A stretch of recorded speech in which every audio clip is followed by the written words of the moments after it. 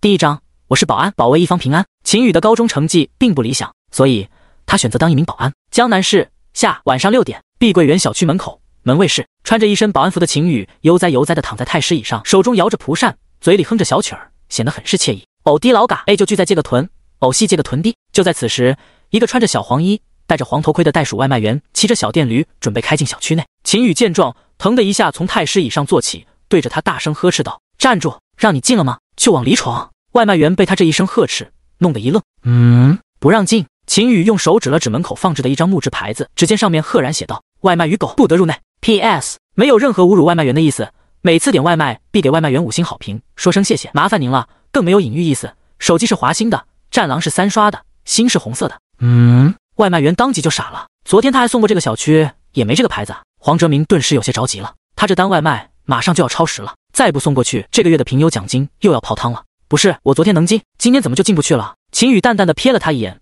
用着三分霸气、三分狂妄以及四分不屑的语气道：“昨天是昨天，今天是今天，在这里我的规矩就是规矩。”你黄哲明一脸气愤，眼前这小子看起来年纪不大，但说话属实，是狂的让人想揍他。而就在此时，只听一声滴滴声，只见又一个外卖员骑着小电驴开进了小区内。秦宇原本想要怒声呵斥，但一看到对方那比他大腿还要粗壮的小胳膊，顿时打消了这个想法，将眼睛瞥向他处，默不作声。黄哲明懵了，你为什么不拦他？呵呵，秦宇冷笑一声，用着一种仿佛看傻子的眼神看着他道：“你以为我傻呀？你看他那体格，我敢拦吗？他不得嗷嗷削我啊！”黄哲明这小子是怎么能将“怂逼”二字演绎得如此理直气壮的？黄哲明深吸一口气，强行将心中即将沸腾的怒火平复了下去。当务之急还是得尽快跟客户解释，可没工夫继续在里跟他掰扯。念及至此，黄哲明也是赶忙拨通了订这单外卖的客户电话：“喂，是林先生吗？我现在已经到你们小区门口了，但你们门口的保安不让我进啊！”我跟他说了没用，他还很狂妄的跟我说：“业主算个勾吧，在这里他的规矩就是规矩，谁来也不好使。”秦宇，好家伙，你这添油加醋、颠倒黑白的本事，秦桧来了都得拜你为师啊！说着，黄哲明便是将手机递到了秦宇的手边，眼神当中还夹杂着一丝戏谑般的嘲弄目光。诺，你们业主让你接电话。黄哲明心中暗暗冷笑，哼，你个小瘪三，得罪谁不好，敢得罪外卖员，就等着业主狠狠批斗投诉你，把你辞退吧。秦宇自然也是看出了黄哲明心中的想法，但却丝毫不慌。一脸平静的接过电话，喂，找我干哈？不行，外卖员骑着电动车容易撞到小区内的行人，现在已经被禁止入内了，你自己下来拿外卖吧。你个臭保安，我是不是给你脸了？你丫的信不信我找人揍你丫的？电话里传来了一个煞气汹汹的男声。我靠，你这人怎么骂人呢？秦宇心里顿时有了几分火气，骂你怎么了？就你一个臭保安，这种社会的最底层的贱民，别说骂你了，我就是骂你全家，你又能奈我何？电话里的男生显得是傲气逼人，优越感十足。秦宇顿时被气乐了，不是保安怎么了？看不起保安是吧？没有保安哪有你妈？没有你妈，哪有你？什么？你还要投诉我？把我嘴剁了？哎呦喂，我可求你赶紧投诉我，剁我嘴好吧？哎呦啊，对对对，我是小废物，你个小垃圾，赶紧给爷爬吧！秦宇一脸不耐烦的挂断了电话，脸上尽是不屑。开玩笑，他老爸可是这个小区安保公司的总经理，他这保安队长的职位就是他老爸给他走个后门拿下的，还能怕被人欺负喽？黄哲明一脸震撼的看向秦宇，这是他第一次见到敢跟业主说话这么豪横的保安。他忽然觉得这个小保安之前对他所说的那些话已经很温柔了。哥们，你牛叉！黄哲明一脸惊叹地对着秦宇竖起了大拇指，随即将外卖放到门卫室窗前的台沿上，便是转身骑着小电驴离开了。秦宇却是面色如常，情绪丝毫没有受到影响，提溜着外卖，便是再度回到了门卫室，躺在太师椅上。与此同时，耳边传来一道机械般的提示声：“叮，成功拦截一位外卖员，力量加一，扮演点加一。”秦宇嘴角微微翘起，他选择兼职来当保安，自然不是脑子被驴踢了，而是因为觉醒了系统。心念微微一动，一道虚拟的信息面板便是浮现在他的眼前。扮演一名优秀的保安，任务内容：一、拦截一百位外卖员，禁止进入小区。当前任务进度十二斜杠一百。二、教训十位不知好歹的业主。当前任务进度零时。三、遇到歹徒全身而退。当前任务进度零一。作为一名穿越者，他胎生到这个世界已经十八年了，每天上蹿下跳，左等右等，等了整整十八年。终于在三天前，在他的十八岁生日之际觉醒了系统。只要扮演各种职业，完成系统的任务要求，就能获得奖励。而系统让他扮演的第一个职业就是保安，保卫一方平安。也因此，他苦苦哀求了自己老爸老妈足足两天时间，在屁股挨了无数顿男女混合双打之后，他们终于是磨不过他，动用老爸安保公司总经理的职务之便，给他了一个保安队长的职位当当，这才有了现在这一幕。今天是他上岗保安的第一天，从下午三点从学校放学到现在，他已经在这站岗三个小时了。而他也不负众望，成功拦截了十二位妄图冲破封锁的外卖员，保卫了碧桂园小区的平安与宁静。看着小区内孩子们那一脸天真的嬉笑打闹，秦宇的脸上也是浮现出一抹深藏功与名的欣慰笑容。孩子们啊，哪有什么岁月静好，不过是有人在替你们负重前行罢了。秦宇心中大义凛然的暗暗想到。当然，他也不是全然没有收获的，拦截了十二位外卖员，也给他提供了十二点的力量值。随即心念一动，又是一道信息面板浮现在眼前。宿主秦宇，境界一星五图，天赋五，属性力量二十二，体力十四，防御十二，敏捷十三，精神力十八。P.S. 正常没有习武的普通人，五维属性都在五点。技能五。秦宇看着自己的个人信息面板，嘴角微微上扬。虽然他的其余属性都平平无奇，但是在力量值上却是超出同阶不少，大概等同于二星五图的力量。等到他成功拦截一百位外卖员，获得一百点力量，到时候力量值足以比肩九星五图，甚至是一星武者。秦宇美滋滋的将眼前的信息面板收起，随即看向桌上的外卖，俊秀的脸庞此刻却是开始冷笑。扮演保安任务第二条：教训不知好歹的业主。第二章秘制小酱料。妈夸的，看不起保安是吧？要投诉我是吧？骂我小废物是吧？侮辱我父母是吧？秦宇冷酷一笑，拆开了眼前的外卖盒，发现竟是一个小汉堡。呵呵，点了小汉堡是吧？看我给你加点秘制调料，请你吃秘制小汉堡。秦宇从抽屉里拿出一瓶经过他特制的混合了芥末、香菜、大蒜、陈醋、鲱鱼罐头等等多达十八种对身体无害的食材混合而成的秘制小酱料。P.S. 平行世界，这些食材混合在一起无毒无公害，除了味道炸裂以外，一点毛病没有，甚至有促变通肠的益处。别问为啥，问就是抽象。随后。他打开汉堡的面包胚，用秘制小酱料在面包胚上非常均匀地涂抹了厚厚的一圈，然后再度将面包胚盖上去，放回外卖盒中，最后重新放到了窗外的台沿上。做完这一切，秦宇再度回到门卫室，把门锁上，随即便是继续躺在太师椅上，装出一副若无其事的样子，美滋滋地刷起了手机。不多时，一个气势汹汹的彪形大汉便是走了过来，对着门卫室的大门狂敲，咚咚咚，开门，给老子开门！你小子刚才不是挺狂的吗？你有本事挑衅我，你有本事开门啊！怎么躲在里面不敢出声了啊？是怕了吗？你个小废物！听着对方的嘤嘤狂吠，秦宇却是没有任何要理会的意思，反倒是直接戴起了耳机，继续自顾自地刷起了短视频。探店酷毙多，真假我来说。今天王丰源酒楼门外喊声震天，门内悠哉悠哉，俨然是两副截然不同的光景。敲了半天，发现秦宇完全没有任何要开门的意思。壮汉也是不屑地朝着门口吐了一口痰。啊呸！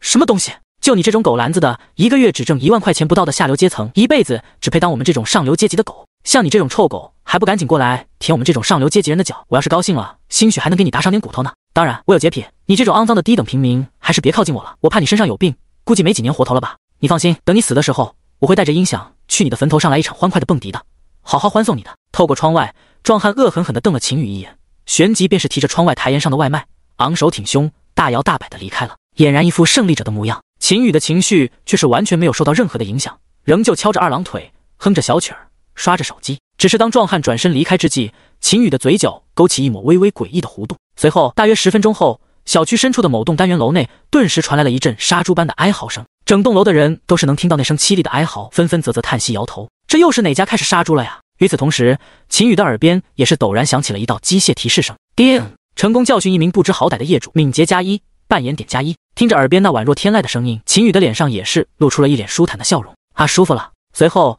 又是两个小时过去，在此期间，秦宇又是成功拦截了七名外卖员。截至目前，拦截成功率高达百分之九十五。只是很可惜的是，后面订外卖的这些业主脾气都很好，很通情达理，没有跟秦宇多逼逼赖赖，就直接下来拿外卖了。这也让秦宇的秘制小酱料没有了用武之地。秦宇继续百无聊赖地刷着手机，然后只见一位头发花白的老奶奶颤颤巍巍的提着一麻袋东西走了进来。秦宇见状，赶忙跑出了门卫室，迎了过去。陈奶奶，我来帮你。陈奶奶闻言，循声抬头看去，布满皱纹的脸上顿时浮现出了一抹慈祥的笑容。原来是小雨啊！秦宇来到陈奶奶的身前，将她背着的大麻袋一把提起。哟呵，还挺沉。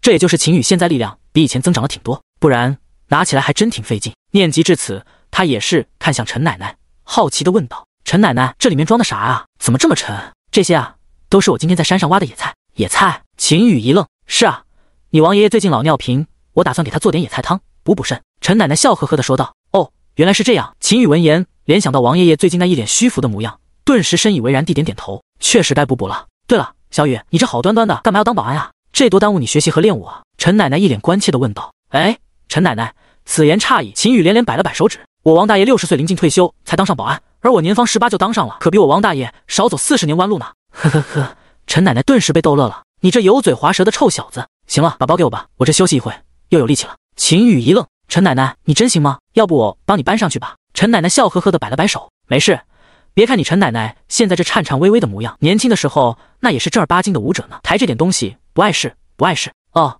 好吧，那陈奶奶你小心点。秦宇点了点头，旋即便又是将麻袋交还给了陈奶奶的手中，跟陈奶奶告了别，秦宇便打算返回门卫室内。然而就在此时，门外两位中年妇女有说有笑的走了过来。秦宇见状，顿时笑着挥了挥手，打招呼道：“妈，李姨才下班啊。”其中一位头发稍短的中年妇女见状，脸上的笑容戛然而止，旋即赶忙用手捂着脸，快步离去。哎，一旁的李姨顿时一愣：“阿敏，跑啥呀？你看那是不是你儿子小雨？”快步朝前飞速行进的陈敏捂着脸低声说道：“不是，你认错人了。天太黑，赶紧走吧。”哦，看着连招呼都没跟他打，就直接飞速离去的二人，秦宇也是一脸无奈的双手一摊，感叹道：“唉，女人啊，就是虚荣。”陈敏推开门，回到家中，面色忧郁。长叹了一口气，坐在沙发上看着报纸的秦啸天见状，有些关心的问道：“还他妈咋了？”陈敏一脸无奈的瘫坐在了沙发上，就像是一条失去了梦想的咸鱼。还能咋的？还不都是因为你那宝贝儿子小雨？秦啸天一愣：“小雨咋了？你说咋了？”陈敏怒瞪着眼睛说道：“你说说，这臭小子也不知道是抽了什么风，好端端的非要去当个什么保安？而且当保安也就算了，还非得在咱们小区当。你说我这以后在咱们邻居和同事面前怎么抬得起头啊？”秦啸天笑呵呵地道：“嗨。”小孩嘛，可能也就图个新鲜。以这小子的耐性，估计过不了几天就不想干下去了。呵呵，陈明冷笑一声，我看这小子可不是图个新鲜。你知道这小子今天干啥了吗？他竟然在小区门口立个牌子，上面写着“外卖与狗不得入内”。你说他这是不是吃饱了撑的？秦啸天闻言一愣，顿时哈哈大笑了起来。我说今天怎么在小区里面看不见外卖员的影子了呢？感情都是这小子的杰作啊！我觉得挺好的。这帮外卖员以前骑着小电驴在小区里横冲直撞的，已经撞过好几次人了。现在立个牌子不让他们进来，我觉得挺好。值得鼓励，还笑还笑。陈敏掐着秦啸天肚子上的赘肉，怒气冲冲地道：“难道你就让咱儿子从此以后当一辈子保安？”秦啸天疼得龇牙咧嘴，有些无奈的苦笑道：“那咋办吗？这小子学习学习倒数第一，练武练武倒数第一，明天的天赋觉醒仪式估计也觉醒不出个屁来。那既然如此，不如当个保安啥的也挺好的嘛。反正以咱俩现在的积蓄，多养这么一个白吃干饭的也没啥负担嘛。”不行，陈敏坚决地摇了摇头：“我是接受不了我儿子一辈子只能当个保安。”说到这里。他又是猛然想起了什么，眼前一亮，看向身旁的秦啸天，低声问道：“对了，你爸不是东南省一把手吗？要不你问问你爸有没有什么逆天改命的天才地宝？”秦啸天轻叹了一口气：“我爸只是东南行省巡使，又不是大夏人皇，哪有什么逆天改命的天才地宝啊？再说了，从小到大那些好玩意，咱爸也不是没给小雨用过，不也没什么用吗？算了，咱儿子啊，这辈子也就是个普通人的命了，咱还是认了吧。”陈敏闻言也是无奈的长叹了一口气，似乎也是认命了。然而就在此时，秦啸天却突然笑着道。哎，还他妈！既然大号废了，要不咱再回炉重造一个，练个小号。陈敏闻言，一脸狐疑的看向对方，就你现在这大腹便便的样，还能行吗？嘿！秦啸天闻言，顿时就是急了，腾的一下站起身。你可以说一个男人丑，也可以说一个男人胖，但就是不能说一个男人不行。说着，他便是撸起袖子，一脸自信地道：“今天我就让你再度感受一下江南汉子的威武雄风。”第三章啊，对对对，桥洞底下盖小被。翌日，江南市第一中学高三五班早读时间，公元二零二二年。全球各地出现虚空裂缝，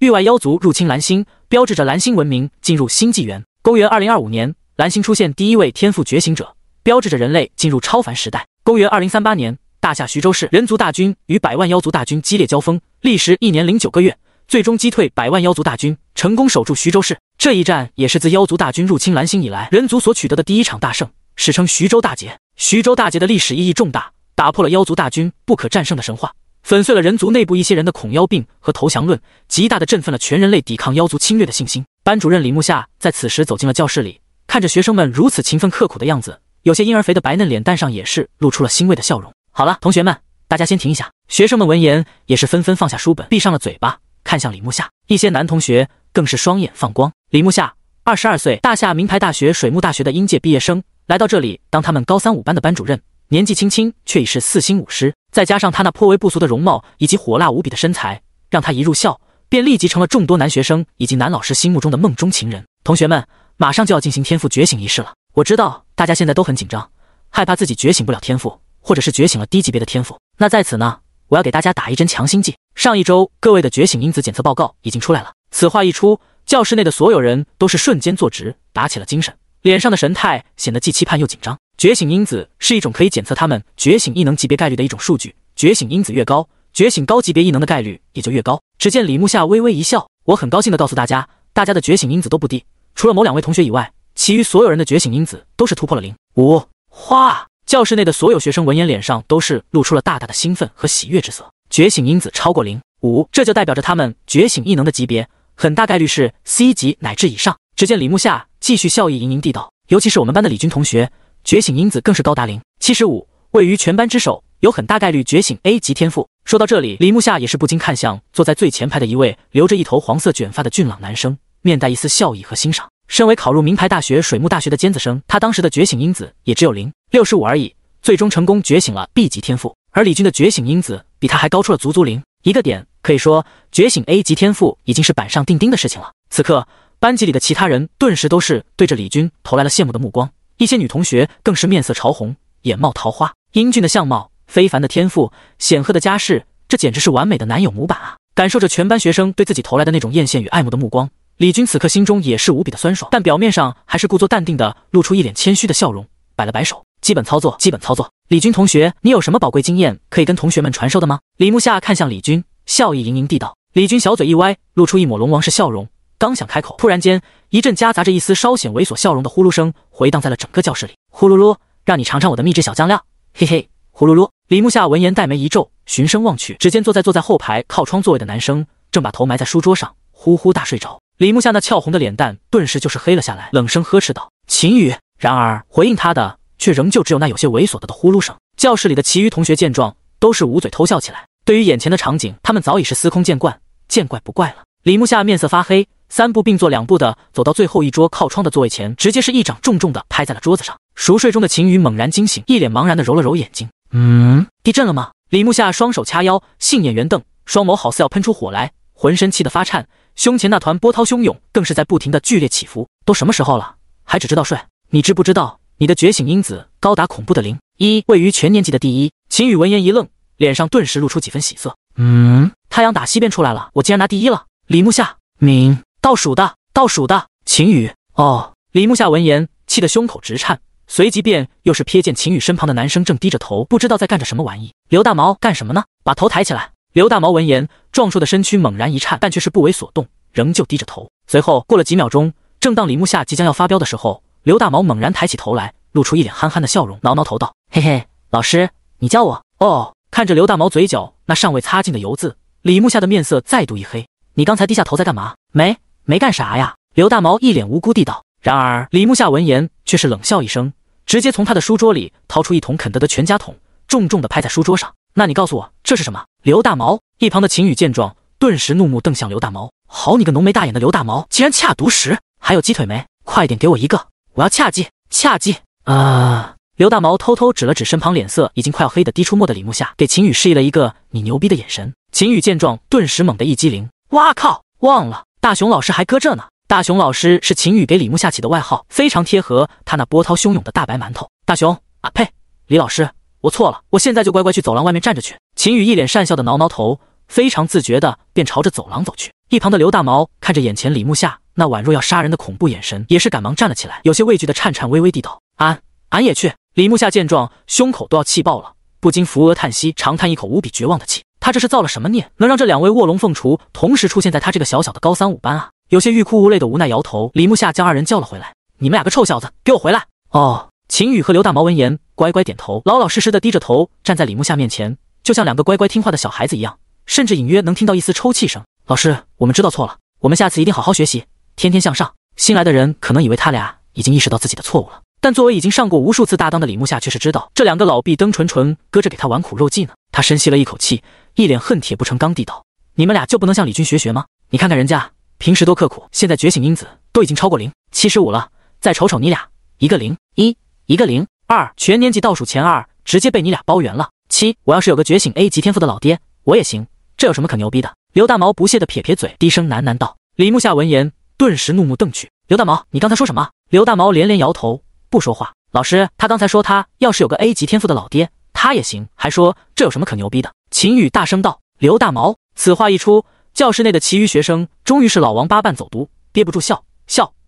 刘大毛顿时怒目瞪向秦宇，眼神疯狂交流。哇靠！你个老六出卖我！秦宇傲娇的抬起头，哼，敢背着我恰独食，就是这个下场。李木夏闻言，顿时气得不打一处来，看向刘大毛，怒斥道：“你管人家拼什么呢？你拼不过，就老老实实的在这坐着。”刘大毛，哦。随后他又是猛然转头看向一旁偷偷憋笑的秦宇，还有你，学习学习不用功，练武练武不用功，成天就只知道吃喝玩乐睡大觉，你再这样下去就要成废人了，你知道吗？难道你对你以后的人生也是这种消极态度？秦宇闻言，一脸无奈的摆摆手道：“大雄啊，呸，李老师，我知道你很急，但你先别急，摆烂非我本愿，实乃现实所迫，哥们也很无奈啊。”李木夏闻言，眼皮狂跳，已经有些忍不住，准备给对方一个大逼兜了。这个臭小子又要搁这扯什么犊子？不过这一次倒是李木夏真的误会秦宇了。秦宇说的确实是实话。刚胎生穿越过来的时候，他是真的打算做个奋斗逼，每天刻苦努力，从此走向人生巅峰的。可遗憾的是，那时候甭管他咋修炼，境界提升的就是嘎嘎慢。别人花十天能积累下来的灵力，对秦羽来说就得小半年。那这还修炼个嘚儿了？直接开摆。不过就在三天前觉醒系统之后，他的这种困扰便是消失了。也能跟正常人一样吸收灵力了。对此，秦羽自然也是明白，先前的问题都是因为这个系统的原因，就跟某位萧姓少年最开始没法积累灵力，都被一位老爷爷吸收走一样。当然，这种事情秦宇自然是不会说出去的。随即，他便打算低头认错。然而，恰在此时，面前却是多出了两道选项：选项一，诚恳认错，并表示从现在开始一定好好学习，天天向上，完成奖励，获得称号大熊老师的乖孩子，大熊老师对你的喜爱度加一。选项二，用着一脸无所谓的摆烂语气道：“啊，对对对。”桥洞底下盖小被，完成奖励。高中历史知识精通。看着这突然浮现的两道选项，秦宇陷入了沉思。他原本就想诚恳认错来着，可这奖励也不行啊，就让大雄老师对自己的喜爱度增加一点。抠抠搜搜的，赶紧给爷爬。秦羽果断选择第二个。只见秦羽一脸无所谓的抠抠鼻嘎，用着极为摆烂的态度，语气中带着一丝小小的俏皮道：“啊，对对对，我以后呀就去那桥洞底下盖着小贝，美滋滋，就是一个字儿，舒坦。”叮，完成选择，获得奖励。高中历史知识精通，鉴于宿主主动加戏，表现出色，额外附赠奖励。高中物理知识精通。死！众人闻言面色皆是一震，满脸震撼的看向秦羽。卧槽，狼灭啊！李木夏此刻已经是气得脑袋上快要冒烟了，胸前那团波涛汹涌，更是宛若海啸一般剧烈起伏，让人不禁担心会不会直接将他身上穿着的那件贴身紧绷的白衬衣给撑爆了。我是一名有素质、有涵养的老师，要冷静，要冷静。李木夏深吸了一口气，不断的平复着胸口的剧烈起伏。呼呼呼。靠！我冷你个妈卖批的进来！秦羽，立刻给我以团成团的方式滚出去！第四章当代大孝子早读结束，天赋觉醒仪式正式开始。高三年级将近一千多名的学生全部来到了操场上集合。江南一中的校长李平站在主席台前，开始宣读他那宛若老太婆的裹脚布一般又臭又长的开幕演讲词。半个小时后，就当全场学生都要昏昏欲睡的时候，演讲终于结束。下面我宣布，江南一中三千零二十一届天赋觉醒仪式正式开始。此话一出，操场上的学生们都是猛然惊醒。正了正心神，终于是到了激动人心的天赋觉醒环节。第一位，高三一班张三。话落，一个长相一看就不是啥好人的男生，便是昂首挺胸的走到觉醒台前，将手掌摸向天赋觉醒石。下一刻，天赋觉醒石内一道不算特别耀眼，但还算有些光芒的土黄色浮现而出。主持人看到后，面无表情的高声说道：“地级元素系天赋抛杀。”张三闻言，心中也是暗暗松了口气。他的觉醒因子只有零二十五，能觉醒个地级天赋已经很不错了。随后，张三走下台，李四继续走了上来。李四觉醒 C 级强化系天赋鸡霸，王五觉醒 D 级动物系天赋小飞犬，老六觉醒 D 级器具系天赋小银针。觉醒仪式继续进行。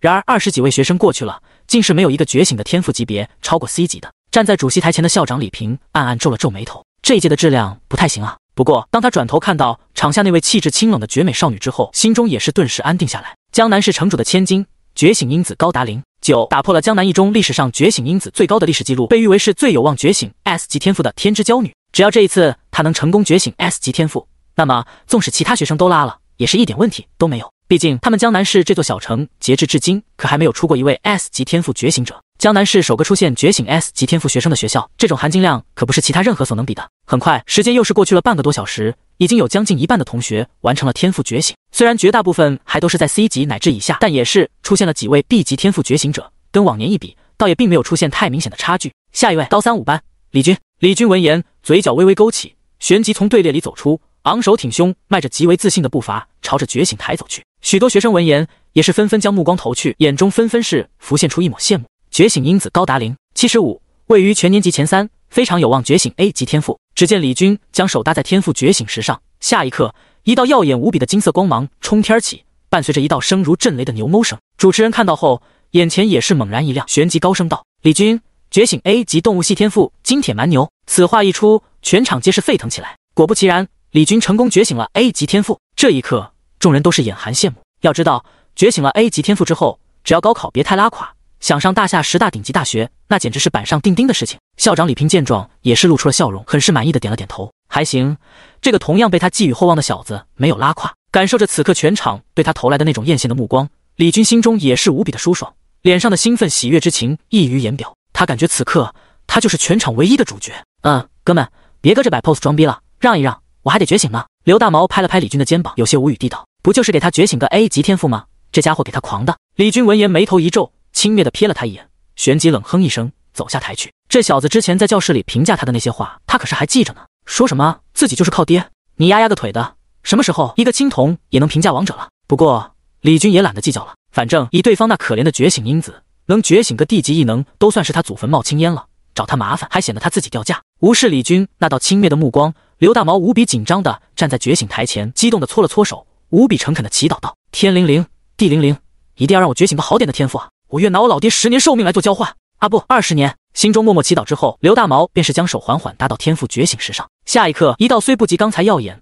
但同样很闪亮的血红光芒浮现而出。主持人见状，顿时一愣，眼中闪烁出一抹惊诧之色。嗯，死！刘大毛。觉醒 B 级，强化系天赋，嗜血狂战。话音一落，整个操场顿时都是沸腾了，所造成的声势甚至要比先前李军觉醒 A 级天赋还要大上无数倍。毕竟李军能觉醒 A 级天赋还在大家预料之中，可这个刘大毛能觉醒 B 级天赋，属实是完全出乎了他们的预料的。在江南一中，谁人不知秦羽和刘大毛这两位卧龙凤雏？一个觉醒因子灵一，一个觉醒因子灵二，包揽全年级倒数前二，能觉醒个 D 级异能，那都算祖辈积大德了。结果现在竟然觉醒了个 B 级天赋，这特某未免有些太离谱了吧？刘大毛看着自己此刻所觉醒的天赋，也是彻底呆住了。卧槽，这么灵！早知道刚才再把寿命往多了说了，说不定直接觉醒 S 级了。刘大毛此刻万分后悔，这生平仅有的机会，他竟然没有把握住，失策呀！但不管如何，能觉醒 B 级天赋，刘大毛也是老开心了。呜呼，爽！起飞！身为刘大毛的班主任李木夏此刻也是懵了，这个被他认为是凤雏的家伙，竟然觉醒了 B 级天赋。他此刻已经是不知道该哭还是该笑了。刘大毛迈着六亲不认的步伐，大摇大摆地走下台来，显得是激动又兴奋，与先前上台那一副紧张担忧的模样相比，俨然形成了无比鲜明的对比。秦羽看向重新走回来的刘大毛，笑着道：“可以啊，大毛，你这属于是直接翻身农奴把歌唱了。一个觉醒因子只有零二的人，却能觉醒 B 级天赋，这种情况甚至是要比出现一个 S 级天赋觉醒者还要少见。”嘿嘿，刘大毛美滋滋地笑着挠了挠头，旋即凑到秦羽的耳边，低声说道：“老秦，我跟你说个秘密。”你可不能跟别人说啊！秦羽闻言一愣，旋即点点头。啥事啊？刘大毛四下张望了一眼，确定没人能听到之后，用着极为神秘的语气低声说道：“刚才我用我老爹二十年寿命向上天祈祷，给我一个好天赋。我怀疑我能觉醒 B 级天赋，就是跟这个有关。”秦宇他懵逼的看着刘大毛，当即冲他竖起了大拇指。好家伙，当代大孝子就是你啊！但随后秦宇便是开始低头思考起来。按照这个说法，二十年寿命等于 B 级天赋的话，那五十年寿命是不是就是 S 级天赋了？自家老爹现在是四十四岁，按照他二星武士的境界，活到个一百岁应该是没啥问题的。也就是说，自己拿出五十年寿命做兑换，自家老爹还能剩个六年寿命。嗯，可以了，够多了，应该能看着自己娶上媳妇，抱上孙子，他这人生基本也算圆满，没啥遗憾了。想到这里，秦宇的嘴角也是勾起一抹微微的弧度来。老爹，对不住了，为了你儿子的前途，借你阳寿一用。阿 T。另一旁，正坐在办公室看着报纸的秦啸天猛然打了个喷嚏，不知道为何，他突然感觉后脖梗凉飕飕的。第五章卧龙凤雏出山了。下一位，林清雪。主持人的话音刚落，整个操场便是瞬间寂静了下来，无数男同胞的目光都是齐刷刷的一转，定格在了那道身姿曼妙的绝美倩影之上。纵使身着有些宽大的校服，却仍旧掩盖不住那玲珑有致的完美身材，脸上不施粉黛，但却洁白无瑕，精致绝美，美眸澄澈而又空灵，宛若从天上下来的仙女一般。令无数少男为之痴迷。林清雪女神这长相真是太牛逼了，我简直想象不出来一个人的长相怎么能完美到这种程度。要是能让我握着林清雪女神那白嫩的小手，就是让我兄弟折寿十年，我都愿意啊！我感觉女神这次肯定能觉醒 S 级天赋，毕竟她的觉醒因子可是高达零九七，觉醒因子零九又不代表一定就能觉醒 S 级天赋。你们这帮舔狗就别搁这歪歪了，嫉妒人家就直说，别搁这当柠檬精。普信女真下头！你在上千双炽热的目光注视下。林清雪一脸平淡的走上觉醒台，伸出纤细而又白嫩的右手搭在天赋觉醒石上。只见天赋觉醒石表面光芒迅速流转，然后下一刻，一道深蓝色的冰寒光芒冲天起，直冲云霄。这一刻，整个操场仿佛都是变成了蓝色的海洋，每个人的头发都是被这耀眼无比的深蓝光芒染成了深蓝之色。哇，好亮，好耀眼，好蓝啊！众人的内心都是不由得感叹道。距离最近的主持人第一时间更是被这耀眼的光芒刺得睁不开眼睛。待到他回过神来，定睛一看，瞳孔顿时骤缩，旋即无比欣喜的高声宣布道：“林清雪觉醒 S 级元素系天赋绝对零度。P.S. 别问校花为啥觉醒的又是 S 级冰系绝对零度，问就是致敬经典。”哗！一瞬间，整个操场都是瞬间哗然。天呐，真是 S 级！众人惊叹出声，看向站在觉醒台上的那道绝美身影的目光当中，充满了震撼与羡慕。校长李平见状，那布满皱纹的脸上也是瞬间浮现出了无比激动而又兴奋的笑容。林清雪果然不负众望，觉醒了江南市第一个 S 级天赋。好，好，好！李平连道了三声好，难掩心中的喜悦之情。死，我女神不愧是我女神啊，就是牛逼！刘大毛无比震撼地道，自己这 B 级天赋跟对方的 S 级天赋一比。那简直就是萤火与皓月的差距。秦羽此刻面色却是没有什么波澜，一脸无所谓地道：“S 级天赋很屌吗？看哥们待会也给你拿一个。”刘大毛闻言，一脸担忧的摸了摸秦羽的额头，又摸了摸自己的，这也没发烧啊？这孩子咋大白天说胡话呢？对此，秦羽只是给他扔去了一个白眼。燕雀焉知鸿鹄之志，告辞。刘大毛看着秦羽潇洒离去的背影，一时之间万千思绪涌上心头，旋即大声说道：“老秦，那是鸿鹄，不是鸿鹄。”秦宇脚步陡然一踉跄，觉醒仪式继续进行。很快便是到了尾声，这期间又是出现了一位 A 级天赋觉醒者，是三班的王浩，觉醒因子甚至比李军还高，仅次于林清雪。觉醒的是 A 级强化系天赋超兽霸体。校长李平见状也是很满意的点了点头。这一次天赋觉醒仪式的成绩很好，尖子生们都是没有拉垮。看了一眼之后的觉醒名单，发现已经没有什么值得注意的尖子生后，李平便是再度坐回了主席台的椅子上，准备做闭幕致辞了。下一位，秦宇，终于到我了。秦宇闻言，嘴角微微一翘。迫不及待地跑上了主席台。虽然他的觉醒因子只有零一，但不知为何，他总有种莫名的自信，感觉这场面是他该装逼的时候了。快看，卧龙要觉醒了！兄弟们，开盘了，开盘了！赌秦羽是觉醒 F 级天赋还是 E 级天赋？有没有一种可能，卧龙也要跟凤雏一样，觉醒个高级别天赋打咱们的脸？哼，你当高级别天赋是大白菜呀？就这么说吧，卧龙要是也能觉醒个 B 级天赋，我直接倒立吃坨浓 shit！场下议论纷纷，但基本大部分还都是等着看秦羽笑话的。秦羽没有理会众人的嘲讽，站在主席台前，也是学着刘大毛先前的举动，搓了搓手，心中默默祈祷：“我与神明画押，赌我老夫五十阳寿，只为装逼一刹。”心中虔诚祈祷完毕，秦羽也是将手直接放在天赋觉醒石上，唰！下一刻，一道耀眼无比的绿色光芒闪现而出，照耀在众人的身上。卧槽，好绿！我靠，兄弟，你头上绿了，你也绿了！死！这么亮的光芒，不会吧？阿 Sir，难道卧龙也要出山了？主持人此刻也是满脸的惊诧。看着天赋觉醒石上闪烁出的那无比耀眼的绿色光芒，有些不敢置信的揉了揉了眼睛，再度定睛一看，嘴巴顿时张大成了大大的 O 型，一口鲜亮的国粹顿时脱口而出。我了个大槽，竟然是 A 级木系天赋复苏之木！死寂，全场死一般的寂静。无数等着看秦羽笑话的人，此刻脸上的笑容都是瞬间僵在原地，目瞪口呆。沃特发，是他们疯了，还是这个世界疯了？秦羽竟然觉醒了 A 级天赋！校长李平腾的从椅子上站了起来，脸上先是震惊。但随即布满皱纹的脸上便是浮现出了宛若菊花般的灿烂笑容来。这他妈今天真是神了！全年级觉醒因子倒数前二，闻名全校的两位卧龙凤雏，今天竟然特么的纷纷上演奇迹了！这简直是小母牛坐飞机，牛逼上天了！然而，身为当事人的秦羽此刻却是没有什么欣喜的表情，反而是有些慌了。他刚才的祈祷真的也就说着玩的，没想到真能成啊！我的妈呀，老爹，我对不起你啊！老爹你放心，我会给你找个嘎嘎好的坟墓，好好安葬你的下划线。第六章，这小子是真该死啊！东南行省巡夜司总部最顶层的办公室内，一位双鬓发白但精神矍铄、眼神宛若鹰隼般锋锐的老人正坐在沙发上，而在他的面前，同样坐着一位身着唐装的老人。老唐啊，什么风把你吹到这来了？秦青山递给了面前唐装老人一杯茶，笑呵呵地问道。唐装老人接过茶杯，微微抿了一口茶，笑着说道：“陛下派我到川渝那边办点事情，途经这里，就想着正好顺路见一趟你这个老家伙了。对了，我记得你孙子今年十八岁，今天应该是他天赋觉醒的时候了吧？你这个当爷爷的，不去看看？”秦青山听到这里，脸上的笑容顿时一滞，无奈的摇摇头，叹口气道：“有啥可看的？觉醒因子灵一，能觉醒个地级天赋，都算是我们老秦家祖坟冒青烟了。”唐庄老人闻言，也是有些遗憾的叹口气：“孩子是个好孩子，就是没有什么修炼天赋，可惜了。不像我那个孙子，花心的很。你看这去年刚上大学，就给我交了二十几个女朋友，搞出好几个重孙来。就算觉醒了个 A 级天赋，能有啥用？”秦青山敏突，他算是看出来了，这老家伙顺道过来看他。这个老朋友是假，过来炫耀他孙子才是真。咚咚咚！就在此时，门外响起一道敲门声。进一位身着黑色西装的中年男子，缓步走到秦青山身旁，俯下身，低声道：“秦巡使，您孙子觉醒了 A 级木系天赋复苏之木。”什么？秦青山瞳孔顿时放大，震惊失神，在原地足足三秒钟，但随即便是回过神来，用着极度夸张的语气大声道：“你是说我孙子觉醒了，集控制和治愈于一身？”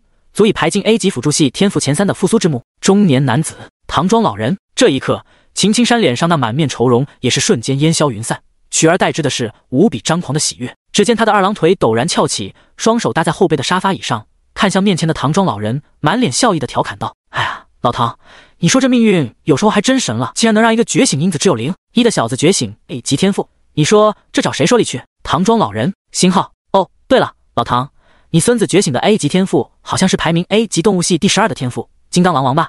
虽然跟我家孙子觉醒的排进 A 级辅助系天赋前三的复苏之木还有些差距，但也算不错了。唐庄老人嘴角猛然一抽，他被眼前这老家伙力压了一辈子，这次还寻思能从他孙子身上找回点场子，却是没想到竟然这么离谱。呃，老秦啊，我还有事，就先告辞了。留下这句话，唐庄老人便是快步离开了。这破壁地方，他是一刻也不想待着了。哈哈，那我就不送了。老唐看着唐庄老人吃瘪快步离开的身影，秦青山哈哈大笑起来。活了大半辈子，但从未有一刻像现在这般舒爽过。另一边，觉醒操场这边已经是陷入了彻底的沸腾。卧槽，这特么在逗我吧？觉醒因子灵一都能觉醒极天赋了，不公平，不公平！这俩倒数前二发达了，那我这倒数第三岂不是老蔫了？呜呜呜！刚才那个说要倒立吃浓 shit 的同学呢？赶紧站出来！对啊，等着看你吃呢。啊，我说的是秦羽，要是能觉醒 B 级天赋的话，我吃。但他现在觉醒的是 A 级天赋啊！嘘。所有人满脸嫉妒的看着站在觉醒台上的秦羽，嫉妒的后槽牙都快要咬碎了。这小子是真该死啊！凭啥呀？看着乐颠乐颠走回来的秦羽，身为他的班主任的李木夏此刻已经不知道该说啥了。今天给他所造成的冲击实在是太大了，属实是小刀拉屁股给他开了眼了。刘大毛看着秦羽，一脸悠悠地道：“兄弟，说实话吧，折了你老爸多少阳寿？呃，五十。”刘大毛六。又过了十几分钟，天赋觉醒仪式也是终于结束。校长李平走上台前。开始进行闭幕致辞。经过了几分钟极为无聊的闭幕演讲之后，李平随即也是笑着高声说道：“下面让我们这一次觉醒 A 级乃至以上天赋的学生上台发表感言。”啪啪啪，伴随着一阵鼓掌声，林清雪、秦宇、王浩、李军四人也是依次走上台来。李平随即笑着道：“下面先让我们这一次觉醒江南市历史上第一位 S 级天赋的林清雪同学发表感言。”芜湖女神，女神，女神！众人都是不禁大声欢呼，喝彩着鼓起掌来。然而。林清雪的脸庞仍旧是那副极为平静的表情，淡淡道：“我没什么好说的。”李平，哈哈，看来我们的林清雪同学已经是有些激动的说不出话来了呢。好的，下面再让我们的李军同学发表感言。下面又是一阵鼓掌喝彩声。李军走上台前，面带笑容的挥了挥手，随即便又是惹来了台下一众迷妹的尖叫欢呼。能站在台前，我很荣幸。三分钟后，又是一阵鼓掌声响起，李军也是微微鞠躬退了回去。好的，下面再让我们的王浩同学发表感言。一身腱子肉，看起来有些憨憨的王浩走上台前，有些紧张地道：“俺俺也不知道说啥，俺就感谢学校和老师的栽培，俺一定会不负大家期待，更加努力的。”好，王浩好样的。台下又是一阵欢呼喝彩。王浩作为一个从农村来的普通家庭的孩子，能走到今天这个地步，他的刻苦和努力，众人都是看在眼中的。所以，对于他觉醒 A 级天赋，大家没有羡慕，只有敬佩和尊重。李平看向王浩的眼中，也是充满了欣慰和欣赏。这孩子的勤奋，他也是看在眼中的。如今能收获好结果，他也是真的很为他高兴。好的，下面让我们有请最后一位的秦宇同学发表演讲。嘘，台下顿时传来了一阵的嘘声。秦宇，第七章，我的巡使爷爷。秦宇站在台前，拿起麦克风，轻咳了下嗓子，旋即开口道：“感谢江南市 TV，感谢东南行省 TV，将来还有可能感谢大夏 TV。”一旁的李平闻言，眼皮猛然一抽，直觉告诉他，这小子可能要给他搞波大的。只见秦宇淡定自若的继续高声道：“当然，我最要感谢的，其实是我的巡使爷爷。”众人。所有人闻言皆是一愣。等一会，什么情况？巡使爷爷是他们理解当中的那个巡使。只见秦宇不慌不忙地从裤兜里掏出一张皱皱巴巴的小纸团，将其摊开，旋即开始照着纸上的字读了起来。众人都看傻了。我靠，这小子竟然还特么提前准备了演讲稿！我的爷爷是东南行省的巡使，对，大家不用质疑，我的爷爷就是现在东南行省的一把手秦青山。哗！此话一出，全场瞬间哗然。我靠，不是吧？秦宇竟然是东南行省巡使的孙子？要不要这么离谱啊？然而，刘大毛此刻却是一脸平静，一旁的李平此刻也是直接给听懵了。这个小卧龙竟然是秦巡使的孙子，怎么从没听他谈起过？虽然他俩确实都姓秦，但按这小子的尿性，不会是这小子搁这瞎掰扯的吧？一想到此，李平的冷汗瞬间唰的冒了下来。造谣大夏药园的身份关系，那可是违法的，要坐牢啊！念及至此，他也是赶忙跑到秦宇的身后，扯了扯他的衣裳。我靠，臭小子，你可别乱说话啊！秦宇闻言一愣，我没乱说啊，我爷爷真是大夏巡使，别胡闹了。李平怒目瞪向秦宇，他就从没听说过秦巡使谈起过他的孙子。孙子，你爷爷来了！顿时，天穹之上传来一道无比爽朗的笑声。众人闻言皆是一愣。嗯，谁在骂人？众人循声抬头看去，只见一位身影自天穹之上飞掠而下，落在主席台上，大笑着拍了拍秦羽的肩膀：“好小子，真不错呀，真给你爷爷长脸。”秦羽一脸无奈：“爷爷，别闹，我这现在正演讲呢。”哦，秦青山闻言一愣，旋即顿时有些尴尬的笑了笑：“哦哦，原来是这样，那你先继续。”说着，便是直接下了主席台，在一旁看着，脸上的笑容从头到尾就没停过。然而这一刻，伴随着这位老人的出现，全场所有人都是彻底不淡定了。看着那位一直大笑着的老人，所有人都是瞬间认出了他的身份来。大夏东南行省巡使，六星五皇强者秦青山死。众人都是不禁倒吸一口凉皮，啊不，凉气。这位平时只能在电视上见到的大人物，如今竟然就这么活生生的出现在他们眼前了，而且还管秦羽叫孙子。这这这！全场所有人此刻都是彻底石化在了原地，目瞪口呆，已然是鸦雀无声。李军此刻看向秦羽的目光当中，已然是充满了震撼。这小子的爷爷竟然真的是东南行省的巡使。要知道。他的父亲虽然觉醒了 A 级天赋，但现在也不过是七星大武师，只是江南市财政司的司长而已。跟这位名震整个东南行省的一把手相比，简直什么也不是啊！脸上一直平静淡然的林清雪，此刻看向秦羽的目光当中，也是罕见的浮现出了一抹诧异之色。李平此刻整个人更是大脑彻底宕机了。他原本以为秦羽是胡咧咧的，没想到竟然踏马是真的。我滴个亲娘哎！你早说你爷爷是东南行省的巡使啊！这一直装个普通老百姓是干嘛吗？扮猪吃虎好玩是吧？李平此刻有些欲哭无泪，脑中正在飞速回忆着自己之前有没有狠狠教训过秦羽之类的。思来想去，也没有发现做过这种事后，李平的心中也是猛然松了一口气，旋即正了正衣裳，将额头上的汗水擦拭了一下，便是快步朝着秦青山走去。只见李平来到秦青山身边，一脸恭敬地道：“秦巡使，有失远迎，还望恕罪啊！”秦青山笑呵呵地摆了摆手：“你是这个学校的校长？”李平闻言连忙点点头，语气变得更加恭敬：“在下李平是江南一中的校长。”嗯，秦青山笑着点了点头。非常满意的拍了拍对方的肩膀，李校长教导有方啊，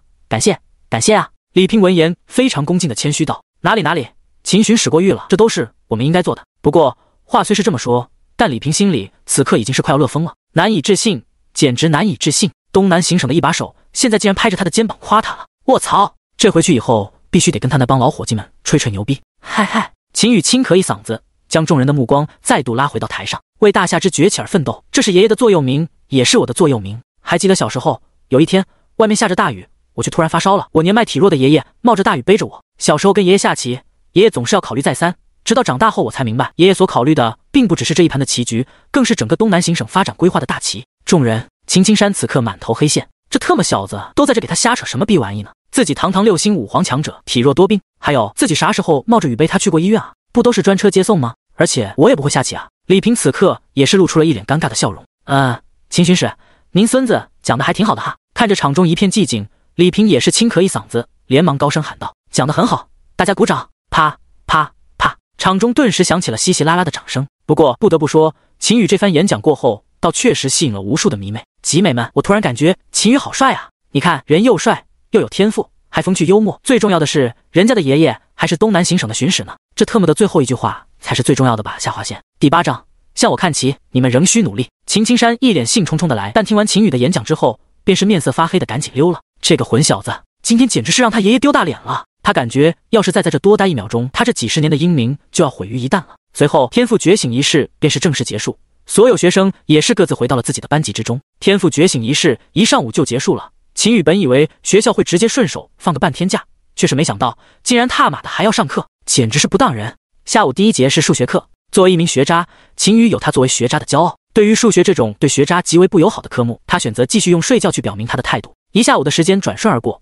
秦宇睡得也很是香甜。到了最后一节课的班会时间，由班主任李木夏主持。李木夏此刻心情极好，对着教室里的众人笑着说道：“首先，我先恭喜一下我们班级的各位同学，觉醒的天赋都不错，尤其是秦宇和刘大毛两位同学，这次更是出乎了我的意料。希望你们俩人从现在开始也是再接再厉，努力奋斗，不要浪费你们的天赋。”说到这里，众人的目光也是不禁向后排的秦宇和刘大毛二人看去，眼中满是羡慕、嫉妒、恨。直到现在，他们都完全接受不了这两个大傻子凭啥能觉醒这么高级别的天赋，这简直是逆天！秦宇和刘大毛二人此刻感受着众人对他俩的那种羡慕、嫉妒的眼神，心中也是无比的酸爽，嘴巴歪的都快翘到天上去了。而就在此时，秦宇的面前又是浮现出了两道选项：选项一，低调谦虚的摆摆手，说这都是踩了狗屎撞了大运而已。完成奖励，谦虚小郎君称号，众人对你的喜爱度加一。选项二，用着一脸狂妄的语气道：“这一切都是我努力的结果，你们还需要努力啊！”完成奖励，高中数学知识精通。秦宇看到后，嘴角不禁微微一抽。好家伙，系统这是非要让他成为全班公敌啊？嘿嘿，那个我讲两句啊。秦宇突然站起身来，背负双手，宛若领导讲话一般，淡淡道：“那个各位小同志们也不要灰心丧气，这一切呢都是我努力的结果，你们要多多向我看齐，以后要好好努力啊。”叮，完成选择，获得奖励：高中数学知识精通。鉴于宿主主动加戏，表现出色，额外附赠奖励：高中化学知识精通。众人，教室里所有人的拳头都是不禁紧握。我靠，我好想打他，咋办？我也是，好想给他个大臂兜啊！兄弟，冷静，他爷爷是大夏巡视。李木夏闻言。面色猛然一黑，这小子搁这说的什么屁话？还全都是你自己的努力的结果。脸呢？你这脸皮咋这么厚呀？秦宇，快坐下！李木夏冷声呵斥道。感受着全班同学那快要把他吃了的目光，秦宇也是赶忙坐了下来，小心脏砰砰直跳。妈呀，哥作死的边缘反复横跳，好刺激！李木夏敲了敲桌子，示意众人安静下来，旋即说道：“今天天赋觉醒仪式之后，学校准备设立一个特训班，只有觉醒 B 级天赋乃至以上的学生才能进入。”我们班共有四位同学入选：李军、秦宇、刘大毛、王天浩。希望这四位同学进入特训班之后也是再接再厉，尤其是秦宇，不要因为觉醒了 A 级天赋就洋洋自得。说着，李木夏便是狠狠地瞪了秦宇一眼。要知道，咱们学校的林清雪现在已经是九星武徒，马上要晋升为武者了。再看看你，现在还在一星武徒打转，你们俩之间的差距有多大？你自己好好反思下吧。至于其余的同学，也不要灰心，好好努力，在高考之中定然也是能取得一个很好的成绩。好，今天班会到此结束，下课。随着李木夏的话音落下，教室内的众人也是开始纷纷收拾书包，准备回家。老秦，今天咱俩不得吃点小烧烤庆祝一下？刘大毛美滋滋的问道。秦宇摇了摇头，不去，我待会还得去当保安呢。啊！刘大毛一愣，你都觉醒 A 级天赋了，还去当保安啊？秦宇白了他一眼，保安队长的含金量岂是一个 A 级天赋能比的？就这么跟你说吧，别说是 A 级天赋觉醒者了，就是一个 S 级天赋觉醒者，想要进我们小区，没有我的许可，那也是根本进不去的。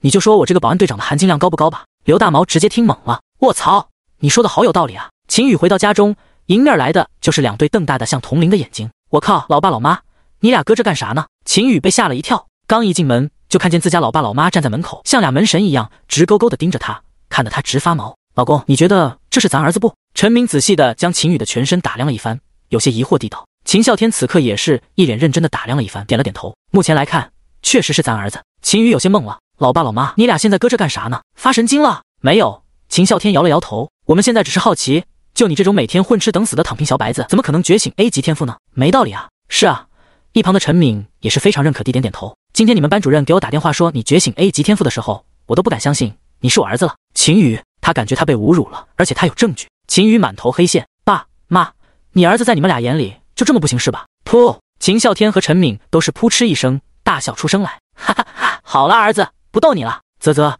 真是没想到啊，儿子。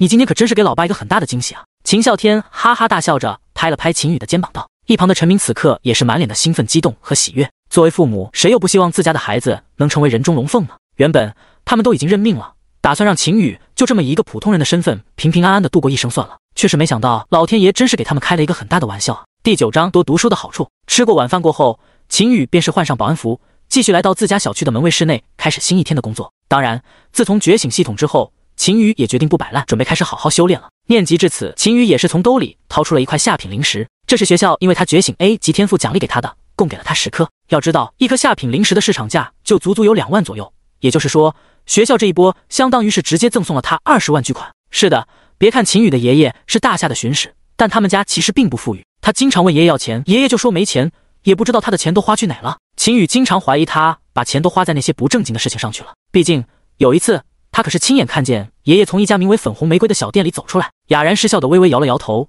秦宇收回心神，随即便是拿起一颗灵石，准备开始吸收灵力修炼起来。手中握住灵石，精神力微微催动，便感觉一股精纯无比的能量从灵石当中涌入进自己的身体里，酥酥的、软软的、麻麻的，好舒服啊！当然，最令秦宇欣喜的便是他现在所吸收的灵力再也不像以前一样吸收百分之一百，其中有百分之九十九都流失掉了。现在他是吸收多少就是留存多少。甚至因为觉醒了 A 级天赋的缘故，吸收灵力的速度比起先前来说也是快上了不止一筹。秦宇感觉自己很快就能突破一星武徒的瓶颈，晋升二星了。就这样，秦宇一边坐在椅子上吸收灵力修炼，一边时刻拦截着准备进入小区的外卖员，时不时的在教训教训不知好歹的业主。日子过得好不快活。转眼间便是到了晚上八点多钟，也到了秦宇快下班的时间。秦宇伸了一个大大的懒腰，嘴角微微勾起一抹笑容。今天修炼进度很是不错，感觉明天差不多就能晋升至二星武徒了，并且。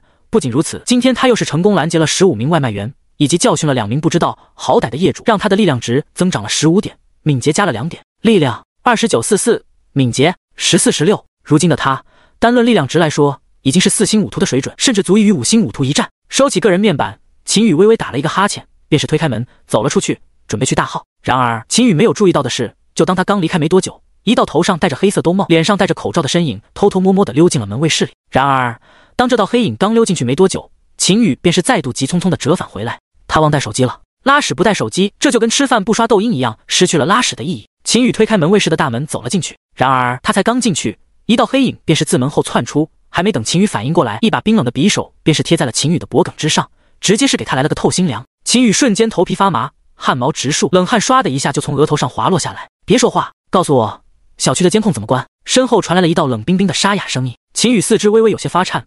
但还是强忍心中的恐惧，缓缓道：“这位大哥，想要关小区的监控，得输密码才行。密码是什么？”秦宇暗暗咽了口唾沫，有些僵硬的开口道：“你得先保证你不杀我，我才能告诉你密码。好，你告诉我密码，我不杀你。我不信，黑衣男，电视里都是这么演的。我一旦告诉你密码，我对你就没用了，那你肯定得把我咔嚓了。”秦宇颤颤巍巍地道：“少废话，你要是再不说，我现在就把你宰了。”身后的黑衣男阴冷的低喝一声，说着便是将手中的匕首再往里贴近了一分，已经是微微嵌入到了肉里。一丝血痕已经是浮现而出，秦宇被吓得猛然一激灵，连忙道：“大哥，你不能杀我啊！我爷爷是大夏巡使，你要是杀了我，那你就是跑到天涯海角，他都能把你抓到的。”呵呵，黑衣男冷冷一笑：“你爷爷是大夏巡使，那我还是大夏人皇呢。一个大夏巡使的孙子，现在却跑这当个臭保安，你搁这糊弄鬼呢？少他妈给我废话，赶紧告诉我密码！”说着，便是将手中的匕首再度往里进入了一分，脖颈之上已经是开始有血液滴落出来。秦宇此刻已经快哭出来了：“大哥，我真没骗你。”我这儿有照片和视频为证。嗯，身后的黑衣男闻言一愣，拿出来看看。秦宇点点头，旋即便是连忙将手机打开，找出他自己与爷爷的合照，递给了身后的黑衣男。黑衣男接过照片，瞳孔顿时骤缩。照片里的赫然便是当今大夏东南行省的巡使，与眼前这小子合照，而且举止还非常亲密，看得出来关系绝对不一般。这黑衣男有些懵了，难道眼前这小子真是大夏巡使的孙子？可没道理啊！既然如此，那他跑这当个保安是个什么操作？扮猪吃虎？看到身后的黑衣男，还是有些不信。秦宇也是连忙提醒道：“后面还有我跟我爷爷的一些视频。”黑衣男闻言，也是连忙点开了之后的视频。果不其然，视频当中，这位大名鼎鼎的大夏东南行省巡使正亲切的管眼前这小子叫孙子。黑衣男此刻彻底傻眼了。众所周知，视频是没法 P 的，也就是说，这小子真的是大夏巡使的孙子。黑衣男现在有些犯难了，毕竟若是这小子真的是大夏巡使的孙子的话，那就算自己将监控都关了，但以这种大人物的通天之能，想要找到自己。那也不过是动根手指的事情，他只是想报仇，但并不想把自己的命也搭进去。感受到身后的黑衣男现在沉默了，好像有些犹豫了。秦宇也是适时开口道：“兄弟，到底因为啥啊？值得你走上法外狂徒张三的道路？难道是为了钱？”黑衣男摇了摇头：“我不是为了钱，我是为了取一对狗男女的命。”说到这里时，黑衣男的眼中也是闪过一抹凛冽的杀气，双拳不禁捏紧。秦宇见状，眼眸泛起一抹金光，旋即便是再度开口道：“兄弟，听你这话，感觉是有点故事啊。”要不你跟我说说，或许我能以合法的途径帮你解决。毕竟我爷爷可是大夏巡使，在东南行省这一亩三分地上说的话还是管用的。黑衣男闻言，眼中闪过一抹犹豫，但最终还是点点头。事实上，他也不是傻子，就算对方是大夏巡使的孙子，可自己现在已经拿着刀架在对方的脖子上，等到事后不找自己的麻烦已经算不错了，又怎么可能帮自己解决？不过他并不在乎这些了，他这两年实在是过得太痛苦了，他心中的伤痛、愤怒、绝望无人可以倾诉，跟这小子诉说一下。也算是将自己长久以来所憋闷的痛苦发泄一下，好吧，那我就跟你说说好了。我原本是一个军人，一直在前线打仗，可后来因为一次战斗身负重伤，境界滑落下来，再难寸进，便是从前线退役了。可当我回到家中，我才发现我老婆早就带着我的全部财产跟一个男的跑了。我找了这对狗男女足足两年时间，才终于被我打听到他们现在就居住在这个小区里。所以，我今天打算把他们俩都杀了报仇。说到这里时，黑衣男的双眸也是陡然泛红，语气变得很是激烈。他在前线整整打了十年仗。所有的工资都是上交给了自己的老婆，结果回到家才发现自己的老婆早就带着他的钱跟另一个男人跑了。那种绝望、愤怒、窒息的感觉，他这辈子都不会忘。秦宇听完后也是一脸的同情，但随之脸上的面色便是变得有些怪异。兄弟，我能问一下，你跟你老婆结婚了吗？黑衣男闻言一愣，废话，我都管他叫老婆了，能没结婚？秦宇，呃，那你有没有听说过一种法律叫做破坏军婚罪？黑衣男，嗯，破坏军婚罪，这是什么玩意？秦宇。兄弟，冒犯的问一下，你是什么时候参军的？黑衣男，我十四岁就去前线打仗了。秦宇轻叹了一口气，怪不得不知道这书你是一天也没读过呀。公元两千三百二十八年，大。夏立法规定，明知是现役军人的配偶而与之同居或者结婚的军人配偶与第三者同处十年以上二十年以下有期徒刑，并且处以大量罚款给予当事人作为补偿。秦宇开始缓缓给黑衣男科普起了大夏的律法来，这也多亏系统给他奖励了高中历史精通，不然他其实也不知道这玩意。果然，多读书还是有用的呀。这是秦宇第一次体会到了多读书的意义。黑衣男此刻听着秦宇给他的科普，整个人直接是傻了。他是万万没有想到，想要制裁这对狗男女竟然这么简单。他突然感觉自己就像个二逼。看着黑衣男这一脸懵逼的模样，秦宇也是给他指了条明路：明天你就去法院起诉他们吧。你这情况基本上是一告一个准，到时候巡夜司会帮你好好教训这对狗男女的。黑衣男有些懵逼地点点头，明明白了。秦宇拍了拍他的肩膀，以一种过来人的姿态轻叹一口气道：“以后啊，还是得多读书，书中自有黄金屋啊。”黑衣男闻言，此刻也是万分的激动。眼中第一次浮现出了名为希望的光芒，他朝着秦宇深深的鞠了一躬，脸上满是感激之情。秦宇却是不在意的摆了摆手，示意对方可以离开了。告别了黑衣男，秦宇也是再度坐回自己的太师椅上，旋即心念微微一动，手中便是浮现出了一道绿色光芒，紧接着便是贴到自己的脖颈之上。只见在绿色光芒的治愈下，脖颈之上的那道血痕也是很快便是恢复如初。不愧是 A 级天赋，效果就是杠杠的。秦宇暗暗感叹道。而就在此时，耳边又是响起了一道提示声：叮。遇到歹徒，成功全身而退，防御加二十，获得被动技能优秀保安的敏锐感知。秦宇闻言微微一愣，倒是没想到巧合之下，竟然是将第三个任务条件完成了。旋即，他便是打开这个被动技能的详细介绍：优秀保安的敏锐感知。作为一名优秀的保安，你拥有可以提前感知任何危险的敏锐直觉，帮助您能够从危险当中安全逃离。秦宇看着眼前技能的详细介绍，脸上的神色顿时变得很精彩。这特么不就是见闻色霸气吗？以后有了这个被动技能，他以后再也不用担心被老六阴了。哈哈。嗯，好像他就是最阴的老六哦。那没事了。秦宇美滋滋的吹着口哨，收工回家。今天白嫖到了一个见闻色霸气，爽。第十章，秦宇转性了。第二天，秦宇继续去上学。刚一进教室，就看到刘大毛那张憨憨的脸正冲自己傻笑着。秦宇走了过去，笑着问道：“咋啦？什么事这么高兴？你中彩票了？”“No, oh no！” 刘大毛一脸兴奋的摇了摇手指：“老秦，你看这是啥？”秦宇闻言循声看去，只见刘大毛的手中提溜着一个车钥匙。这是车钥匙。秦宇双眸陡然放光，没错。刘大毛笑嘻嘻地点点头道：“昨天我觉醒了 B 级天赋，我爸一高兴，直接斥巨资给我买了一台爱玛。怎么样？待会中午下课后带你兜兜风去。”秦宇，呃，小电驴，嗯，打扰了，告辞。虽然秦宇和刘大毛他们被分配到了特训班，但那只是在下午的实战格斗课，上午的理论知识课还是在原来的班级上的。第一节课还是数学。大致翻看了一眼数学课本，秦宇的嘴角勾起一抹龙王式微笑。前两天做完各种系统给的选择题之后，他现在已经是将除了语文以外的其余高中的所有理论知识课全部弄精通了。毫不夸张的说，现在直接让他参加高考，单论理论知识考核，除了语文以来，其余他都是能拿满分。所以上午的理论知识课对现在的他来说只是睡觉时间。秦宇趴在桌子上，盖起小被，将窗户的窗帘微微拉起，遮住刺眼的阳光，便是很快进入了甜美的梦乡。数学老师似乎也是司空见惯，也懒得理会秦宇。自顾自地讲起课来，而秦宇这一睡就是一上午，一直到第四节的历史课，才被担任历史老师以及兼任班主任的李木夏拍着桌子喊了起来。秦宇睡眼惺忪地揉了揉眼睛，嗯，到饭点了吗？走，大毛干饭去。李木夏面色一黑，呵斥道：“秦宇啊，秦宇，你还真是冥顽不化。你昨天我告诫你的那些，你这都是当耳旁风了吗？我都说了多少遍了，不要以为侥幸觉醒个高级别的天赋就万事大吉了。我告诉你，在高考里，若是你文化课不过关，修炼境界不过关。”那你就是 A 级天赋也考不上好大学。秦宇一脸诚恳的低头道歉道：“老师，对不起，我昨天学习学到太晚了。”噗嗤，一旁的刘大毛一个没憋住，笑出了声来。秦宇要是能学习，那母猪都会上树了。李木夏显然也是不相信秦宇的鬼话，冷哼一声道：“哦，你说你昨晚学习了？那我问你，你昨晚学的什么？”秦宇眼珠子滴溜溜的一转，旋即义正言辞地道：“当然是学习由我们最可敬和最可爱的李老师所教的历史了。”少给我耍贫嘴！李木夏冷冷道。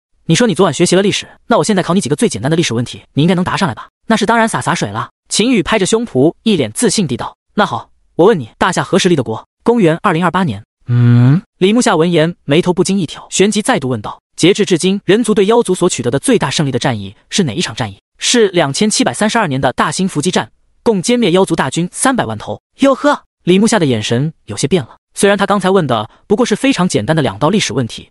属于是正常普通高中生都能回答上来的问题，可对于秦宇来说，这绝对是超纲题。倒是没想到，竟然让他答上来了。难道他昨晚真的在学习？李木夏决定给他上上难度了。大兴战役是我国所遭受到的第一次惨败战役，请分析这场战役的失败原因。这个问题的原因有很多，纵使是一些学习很好的尖子生，都很少能全答上来。当然，李木夏也不指望秦宇能全答上来，他但凡能答出来一半，今天就饶了他，不罚他抄写课本了。秦宇闻言，嘴角一歪，龙王微笑再度重出江湖，一副我要装逼了的气质油然而出，旋即下一秒，他便是开始淡定自若的开口道：“大兴战役惨败的原因主要有以下六点。”秦宇滔滔不绝的讲述着，甭管是老师讲过的还是没讲过的，都是事无巨细的说了出来，甚至比某些参考书上的标准答案还要更标准。李木夏此刻直接听得整个人都麻了，一双明亮的美眸瞪得比灯泡还大。下一刻，几滴滚烫的泪水便是自他的瞳孔当中滑落而出。天可怜见啊！他这辈子都没有想到，有朝一日能看到秦宇将他提出的问题回答得如此倒背如流，真是老天爷开了眼啊！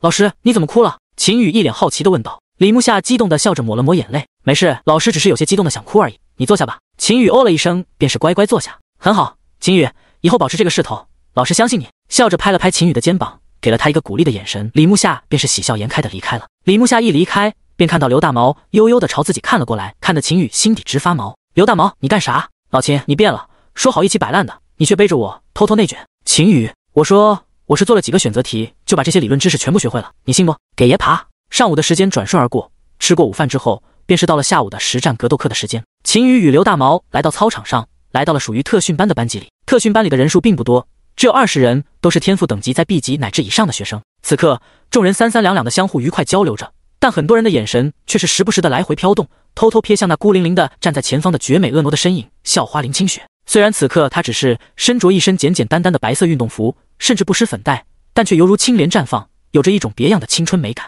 尤其是那种淡然清冷的气质，更是激起了无数男生心中的那种征服欲。很多人此刻都在心底里歪歪：若是能将这等冰山女神拿下，使其在自己的怀里娇羞笑语。那绝对是足以令世界上所有的男人都兴奋到发狂的场面。当然，这种事情他们也只敢在心底里歪歪，真要让他们鼓起勇气上前搭讪，是不敢的。而就在此时，秦宇和刘大毛走进了队列当中，看到二人走了过来，众人的眼神当中都是闪过一抹鄙夷之色，直接是将他们二人当成空气忽略掉了。虽然他们两人的天赋跟他们一样，身着秦宇的天赋比在场中人的绝大部分人都高，但这并不影响他们鄙视这两人。毕竟，他们都是靠着自己的努力，一点一滴的将自己的觉醒因子抬起来的。如今能觉醒个高级别的天赋，是他们努力的结果。可这两人算什么？凭什么一点也不努力就能跟他们觉醒一样级别的天赋，甚至还要比他们还高？他们心里很不服气，也因此，众人此刻看向秦羽二人的目光自然是相当不爽了。第十一章，跟校花交个朋友。老秦，咱俩好像被孤立了。刘大毛挠了挠头，一脸憨憨地道。秦羽却是面色不变的傲然道：“没事，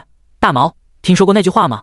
牛羊才成群，猛虫总独行。呃，是猛虎吧？没啥区别，反正都是动物。”秦宇不在意的摆了摆手，道：“就在此时，他的面前浮现出了两道选项。选项一，站在场中央，大喊道：‘所有人向我看齐！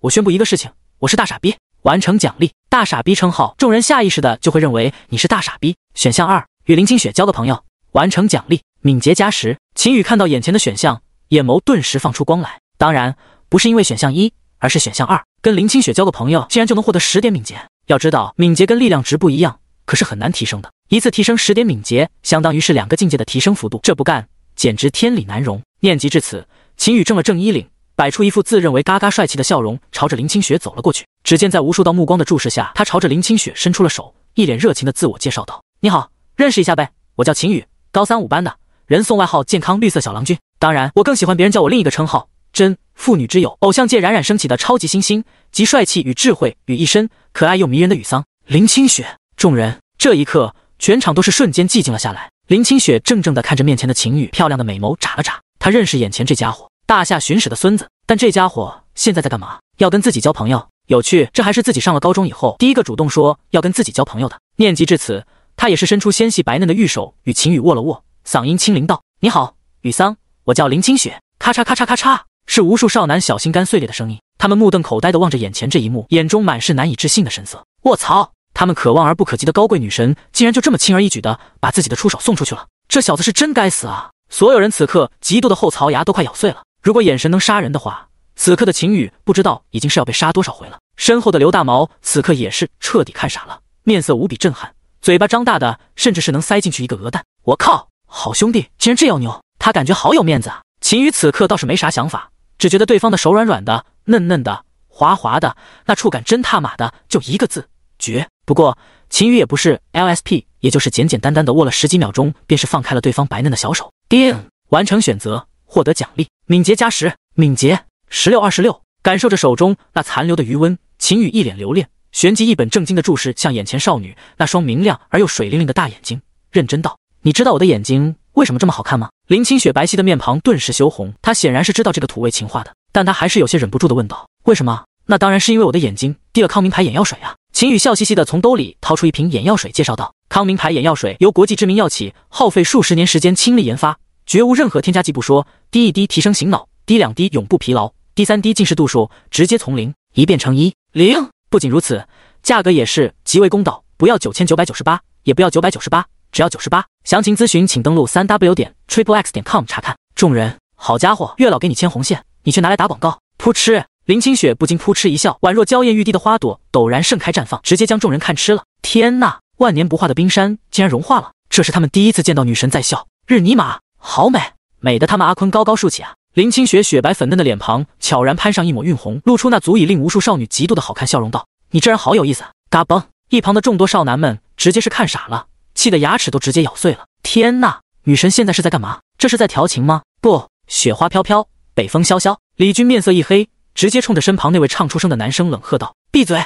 说着，他便是走到了秦宇的面前，以一种假惺惺的姿态，假模假样的劝诫道：“秦宇，不要打扰人家了，没看到人家已经不耐烦了吗？”说着，便是转头看向林清雪，露出自认为帅气的歉意笑容，伸出手道：“我叫李军，是高三五班的班长，不好意思啊，这是我们班同学，多有冒犯，还请见谅。要不说李军这小子心眼子多呢。”简单的两句话下来。便是将他自己的身份直接拔高到了秦宇之上不说，还将自己演绎成了一个为同班同学细心考虑的贴心班长。然而还不等林清雪回话，一旁的秦宇便是有些不屑的抠抠鼻嘎道：“李军，你知道我太奶奶为什么能活到一百零八岁吗？”李军一愣：“为什么？因为他从不多管闲事。”李军，别胡闹了，秦宇，这不是在班级里，你这样成何体统？李军摆出一副班长的威严，呵斥道：“没关系啊，我觉得他挺有趣的，我们聊得挺愉快的。”就在此时，林清雪却是捂嘴轻笑着开口道：“李军的面色陡然一僵，伸出的手直接是僵在了半空当中，嘴角猛然一抽，有些尴尬的笑了笑。原来是这样，那我就不多打扰了。”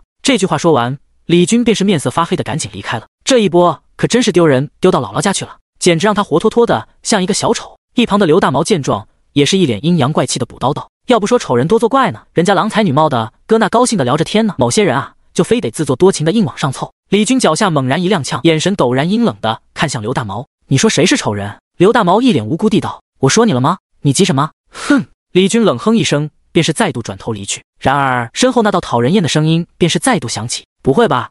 不会吧？你不会以为我说的真不是你吧？怎么这么没有自知之明啊？”李军猛然转过头去，阴狠的眼神死死地盯着刘大毛，气得牙齿咬得嘎嘣作响：“你找死干嘛？”刘大毛故意装出一副极为夸张的吃惊模样：“你还要揍我呀？”我兄弟的爷爷可是大夏巡使，你敢揍我一个看看？你李军只感觉一口老血气得憋在胸口里，愣是被气得说不出话来，一张发黑的小脸憋得通红通红的。第十二章，我不是废物，我是白子。看来你们都很有活力嘛。就在众人因为秦羽调戏他们的女神而气得咬牙切齿的时候，一道中气十足的声音在他们的身后陡然响起。众人循声回头望去，只见一位身高足有两米二的彪形大汉正一脸笑眯眯地朝着他们走来。这位大汉的四肢肌肉极其发达，臂膀上的肱二头肌比在场所有人的大腿。还粗，尤其是那一身精湛而又恐怖的胸肌，感觉都快将他那身紧身的军绿色 T 恤撑爆了。整个给人的感觉充满了爆炸性的力量和血气，活脱脱的像一个人形泰坦。每走一步，感觉地面都会跟着一颤。众人看着这位缓步而来的巨型壮汉，都是不禁暗暗吞咽了口唾沫，心中不禁升起一丝恐惧的感觉，好强的压迫感。只见这位壮汉来到众人的面前，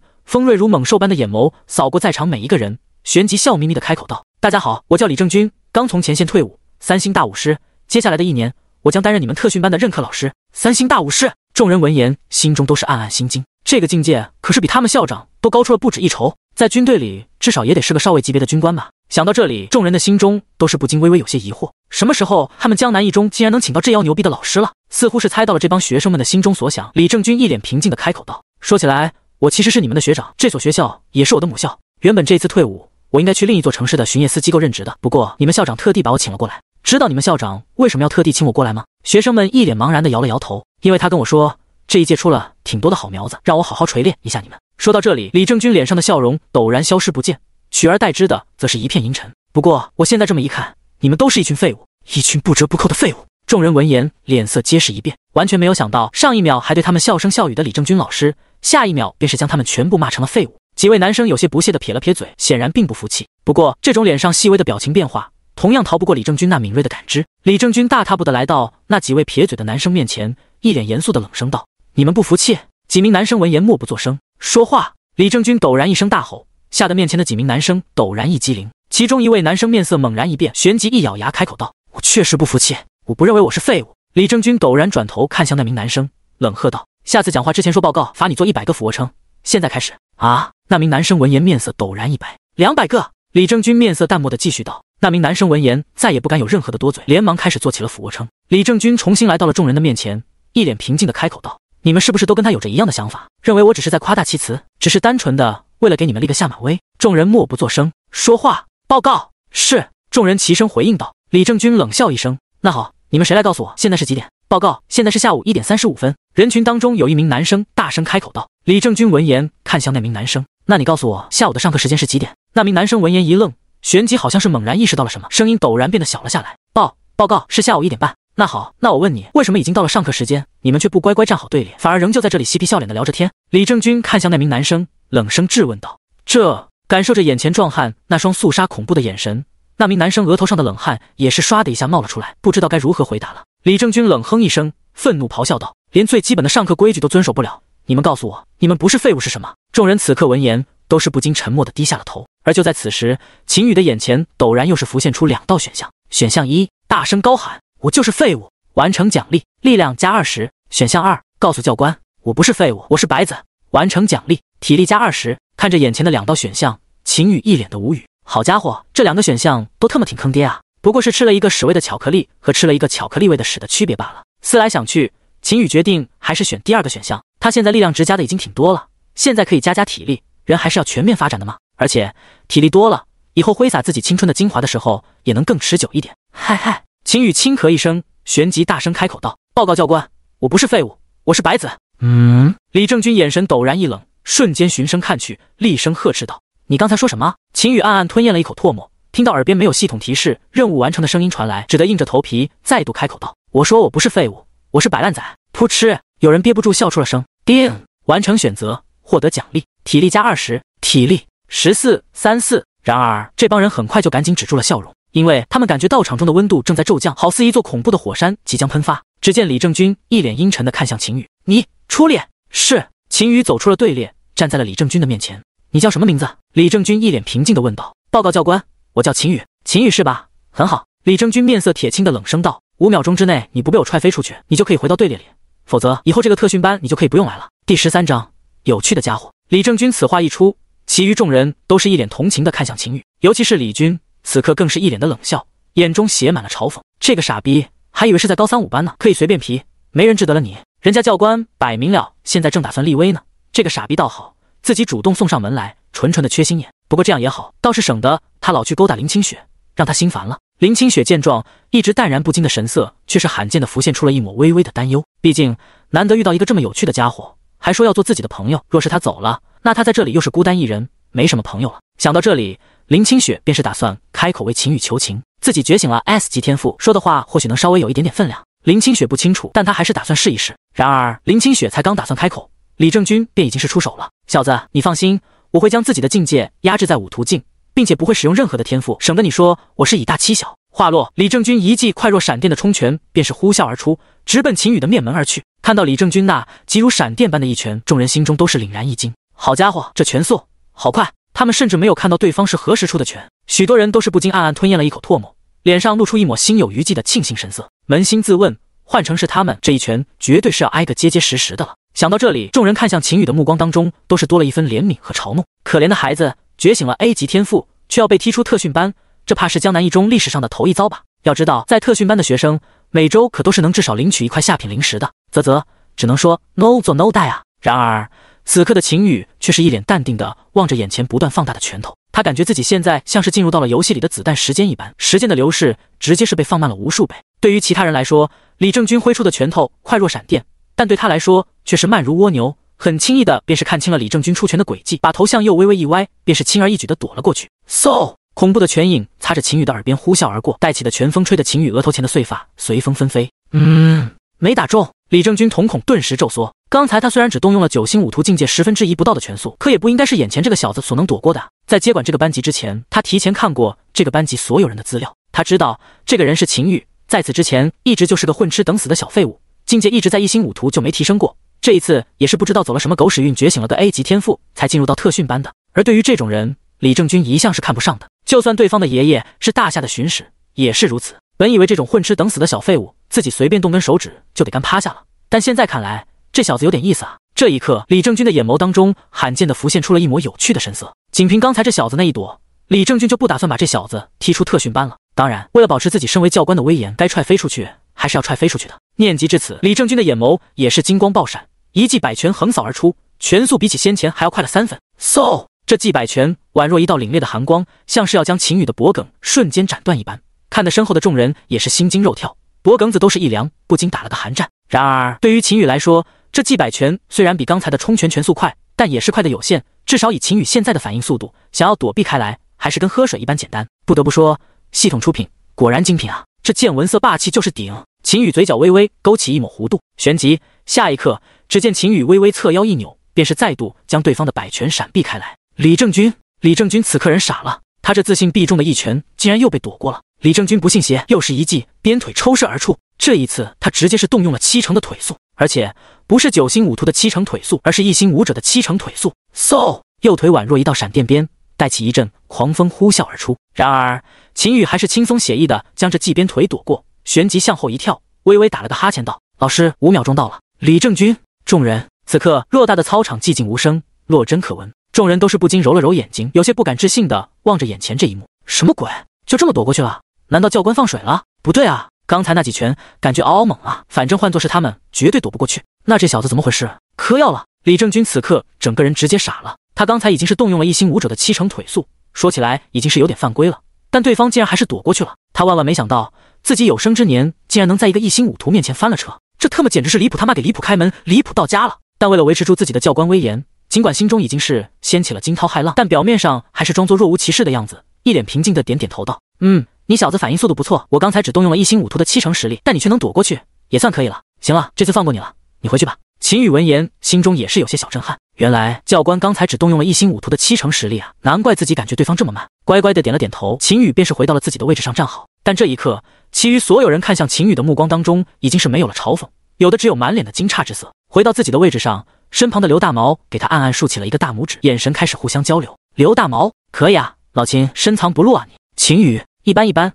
世界第三。刘大毛，你这反应速度咋练的呀？教教我呗。秦宇，可以先 V 我五十，看看诚意。刘大毛一旁的林清雪此刻也是满脸好奇的看向秦羽。身为九星五图的他，李教官刚才那几下，他虽然有自信能躲过去，但是想要像秦羽刚才那样如此的轻松写意，还是有些费劲的。他也是很好奇，明明境界只有一星五图的他，为何反应速度会这么快？看着秦羽那足以令无数少女心动的英俊侧颜，林清雪的美眸当中也是泛出了一丝异样的光彩。这个家伙。还真是够有趣的呢。第十四章哦，这该死的俯卧撑！报告教官，我做完了。那位被罚着做两百个俯卧撑的男生也是满头大汗的，终于做完。李正军微微点头，归队吧。是。看着面前二十人整整齐齐的队列，李正军也算是微微满意的点了点头。现在这才算是稍微有点样子。接着他便是微微一笑，道：“下面开始我们今天的第一项训练任务，一千个俯卧撑。现在开始。”那名刚做完二百个俯卧撑的男生听到这句话，面色陡然煞白，直接差点给他干吐了。他才刚刚吭哧瘪肚的做完二百个俯卧撑，现在还来一千个。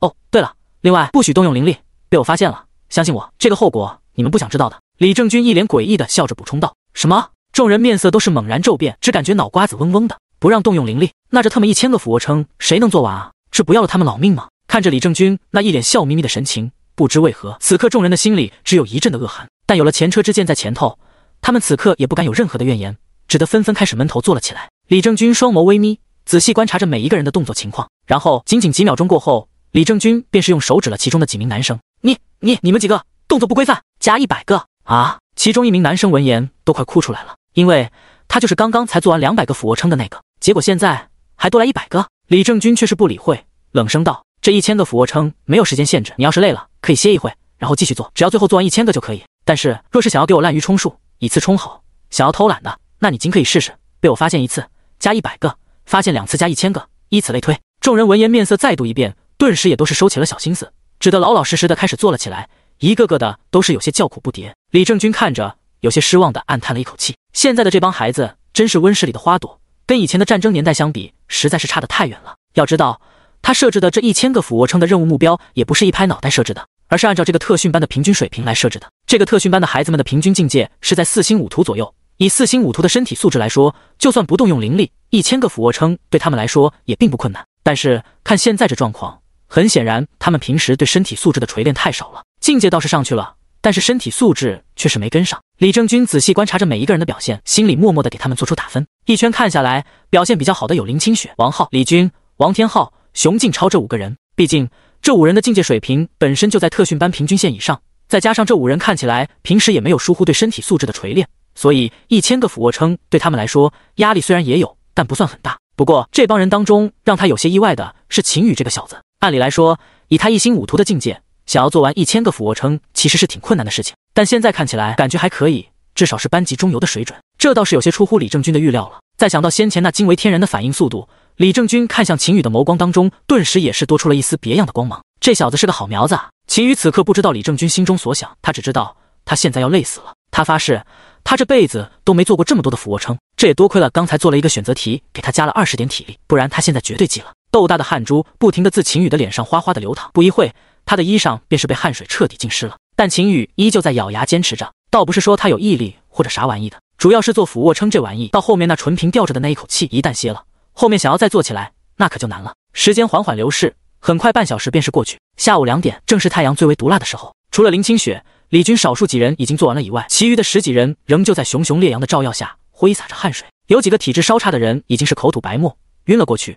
随后便是被抬上了担架，送往了医务室。九十九万八千九百九十九，一千。做完最后一个，秦宇心中紧绷的那口气也是瞬间断裂，整个人就宛若一滩烂泥一般，瞬间瘫软在了操场的草坪之上。他感觉自己现在快飞升了，眼前全是小金星在打转。微微转头瞥了一眼身旁的刘大毛，得，这家伙比自己还惨，跟头死猪一样。趴在地上一动不动，秦宇怀疑现在就是把他抓走烤了吃了，他也不会动弹一步。你没事吧？就在此时，秦宇的耳边一道好听的清灵嗓音响起。秦宇抬起头，一张精致绝美的面庞浮现在他的眼前。与此同时，两道选项浮现在了他的面前。选项一，一脸平静地说：“我没事，只是没吃香蕉的问题。”完成奖励，大秦老师称号。你的嘴巴的硬度将会比别人硬百分之十。选项二，用着正统的英伦翻译腔的语调道：“哦，这位美丽的小姐，瞧瞧你都说了些什么。如果你觉得我现在……”这副比失恋的汤姆猫还要更为颓废的样子，像是没事的话，那么我只能说你开心就好。完成奖励，体力加十，并瞬间恢复所有体力。看着面前浮现出的两道选项，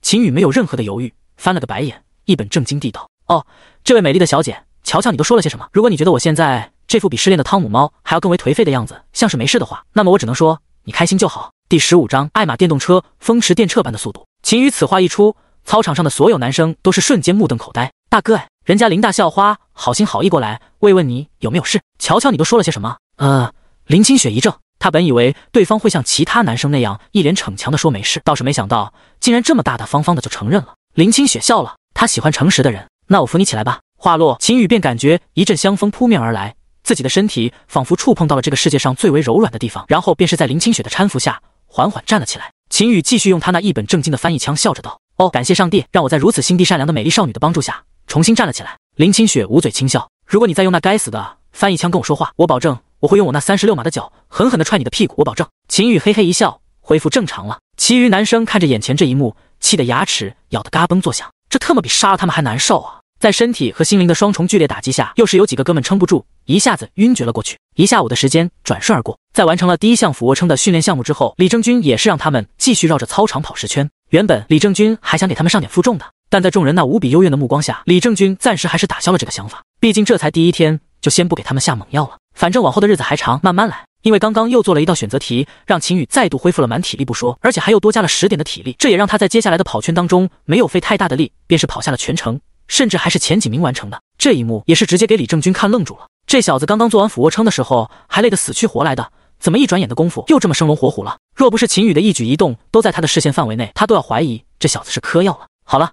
今天就先到这里，大家今天的表现都还算可以。我收回之前的话，你们不是一群废物。”李正军笑着说道。众人闻言，脸色也都是顿时一喜，但紧跟着后者的下一句话，便是再度让他们的面色再度垮了下来。你们不是废物，你们只是一群啥啥都不行的小菜鸟而已。众人，这特么不还是废物吗？李正军笑哈哈的拍了拍掌。好了，下课。话音一落，众人便是纷纷回到了自己的教室里，收拾好书包，各回各家，各找个妈了。秦宇搀扶着一瘸一拐的刘大毛来到了校园的停车棚内。这也得亏刘大毛今天骑了一辆爱玛电动车，不然以他现在这状态，估计只能是爬回家了。秦宇骑上了电动车，拍了拍身后的座位，大毛坐。嗯，大毛乖乖点头，便是坐在了后方的座位上。大毛，抓紧我，我是开快车的，容易把你甩丢喽。好嘞。刘大毛闻言点点头，旋即双手瞬间死死抱住秦宇的腰，直接是勒得秦宇有些喘不上气来。啊，也不用抱这么紧哦。秦宇拧动车把手，嗡嗡嗡嗡嗡嗡，看起来小巧无比的小电驴，在此刻却是爆发出了宛若野兽般的轰鸣声，如同一台即将出笼的猛虎。下一刻，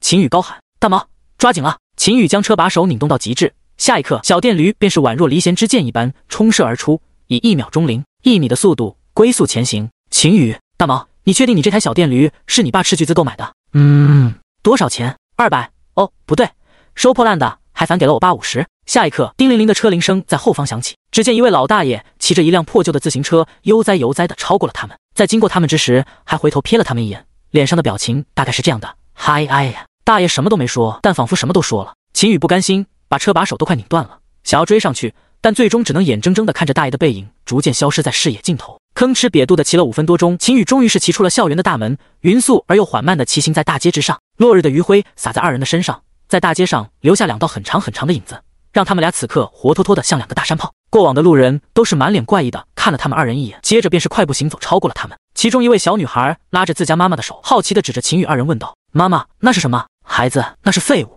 哦，另一边一处偏僻的小胡同内，两位身着黑袍、头上戴着兜帽的黑色身影蹲守在一处犄角旮旯。面色都是有些不耐烦。大哥，他们不是三点就放学了吗？结果这都快五点了，这两小子咋还不来啊？其中一人出声道：“不急，我已经提前踩过点了。这条道是他们回家的必经之路，只要回家，肯定要经过这个胡同的。今天说不定是他们老师拖堂了，咱们再耐心等一会。”靠，拖堂的老师都该死！他上小学的时候，有个老师就非常爱拖堂，所以当他成为神使会成员的那一刻，干的第一件事情就是把那个老师宰了，叫他老拖堂，活逼该！就在此时，远处一道滴滴声传来。一道身影骑着小电驴自远处驶了过来，来了。两道黑衣身影见状，都是瞬间屏息凝神，眸光陡然闪过一抹寒光。然而一分钟过去了，这台小电驴竟然还没有进入胡同。嗯，其中一人一愣，微微探出头去一看，发现这台小电驴还在缓慢驶来的路上。操，这特么什么破车，这么慢！黑衣身影暗暗怒骂道：“他可算是知道这俩小子今天为啥这么晚才到这个胡同了。就这破逼车，他那一百二十多岁的太爷爷拄着拐杖走，都比这小电驴快。”暗暗平复了下情绪，两道黑衣身影也是开始再度耐心等待起来。反正两个小时都等了，也不差这一会儿。第十六章有老六，又是十多分钟过去，就在两个黑衣人等的心态都快要爆炸的时候，这台小电驴终于是吭哧吭哧的快要驶进小胡同了。两位黑衣人此刻都快要哭了，他们执行了这么多次的暗杀任务，就没有哪一次像今天这样折磨人的。为了弥补他们今天的精神内耗，他们俩决定待会逮到这两个小兔崽子，必须狠狠折磨他们俩一下，不然难解他俩心头之恨。秦宇驾驶着小电驴，即将驶入小胡同内。身后的刘大毛此刻早已是打起了呼噜，进入了甜美的梦乡。然而就在此时，秦宇的感知当中却是警兆突生。秦宇面色微微一变，顿时停了车，眼眸泛着一丝谨慎的光芒，望着前方这条他们已经经过了不知道多少次的小胡同。有老六蹲在这里，要阴他们。秦宇盘算了一下，这些天究竟得罪了谁？结果这一步盘算还好，一盘算发现，哟呵，得罪的人还真不少。但想了想，这帮人就算想揍他，应该也不至于对自己下死手才对。可现在自己所感知到的警兆，可是极度危险的感觉，属于是很容易就把命丢了的那种程度。这秦宇心中暗暗盘算。下一刻，他眼珠子滴溜溜一转，计上心来，旋即大声道：“大毛啊，为了庆祝咱俩今天进了特训班，我请你吃肯德吧。”肯德。身后一直熟睡着的刘大毛一听这话，当即就醒了，兴奋点头道：“好呀好呀，我要吃肯德德全家桶。”O J B K。秦宇笑呵呵的回应一声。旋即便是将小电驴掉头，朝着反方向驶去。胡同里两个黑衣人见状，都尼玛看傻了，气得鼻子都歪了，恨不得现在就冲上前去把他俩咔嚓喽。但最终还是理智占了上风，让他们克制住了，没有动手。毕竟前面大街那块有监控，在那动手的话，他俩基本上是跑不掉的。大哥，现在该咋办？等老子今天就不信了，这两个小逼崽子吃完啃的还不回家。另一人捏紧了拳头，咬牙切齿地道。另一边，秦宇骑着小电驴，载着刘大毛。以风驰电掣般的闪电速度一路疾行，最终来到了距离此地最近的巡夜司大门面前。嗯，刘大毛一愣：“老秦，你来这干啥？不是说请我吃肯德吗？”秦宇翻了个白眼：“吃个勾吧，咱俩刚才差点戒了。”说着，便是大踏步的走进了巡夜司的大门。刘大毛听得一脸迷糊的挠了挠头，但也是跟着秦宇走了进去。刚一进去，秦宇便是对着两位身着巡夜司工作制服的巡夜人道：“巡夜人叔叔，我要举报，有老六埋伏我们。”嗯，两名巡夜人闻言皆是一愣，一脸疑惑的看向秦宇。随即，秦宇便是将事情的经过稍作修饰的阐述给了二人。你是说，你感觉到那个小胡同里有人要阴你们？其中一位巡夜人一脸好奇的问道。嗯，秦宇点了点头。可你有没有亲眼看到？你怎么知道胡同里就一定有人要阴你们？这是我身为老六的敏锐直觉。秦宇一脸理所当然地道。巡夜人叔叔，你们要是当老六阴人阴多了，你就能感知到有些地方是有老六的气息的。秦宇自然是不可能将自己拥有系统奖励他见闻色霸气的事情说出去，所以也只能胡咧咧一个还算合理的理由。M，至少在他这里，这个理由还算比较符合逻辑。巡夜人，噗嗤，其中一个巡夜人憋不住笑了。秦宇疑惑地看向他，巡夜人叔叔，你笑什么？那位巡夜人摇了摇头，道：没什么，就是想到开心的事情。另一位巡夜人也是一脸憋笑地道：好了，这位同学，你说的我们已经知道了，之后我们会去调查的。话落。便是摆了摆手，显然是打算将秦宇他们打发走了。秦宇自然也是看得出来，对方现在根本不信自己所说的。无奈之下，他也只能使出最后一招。我爷爷是大夏巡使。嗯，两名巡夜人闻言眉头都是一皱。小同学，这个玩笑可不能乱开啊！秦宇摇了摇头，没骗你们，我爷爷真是大夏巡使。说着，便是拿出了手机，找出自己与爷爷的合照，递给了眼前二人。两名巡夜人接过来一看，瞳孔顿时骤缩。只见合照中的老爷子，赫然便是当今大夏东南行省的巡使秦青山。而旁边的那位少年，此刻就站在他们面前。多年的办案生涯，让他们能一下子判断出眼前的这张照片根本不是 P 的。这两名巡夜人都有些懵了。下一刻，两名巡夜人的脸色都是一变，旋即其中一位巡夜人一脸郑重地道：“这我要跟我们队长请示一下。”可以。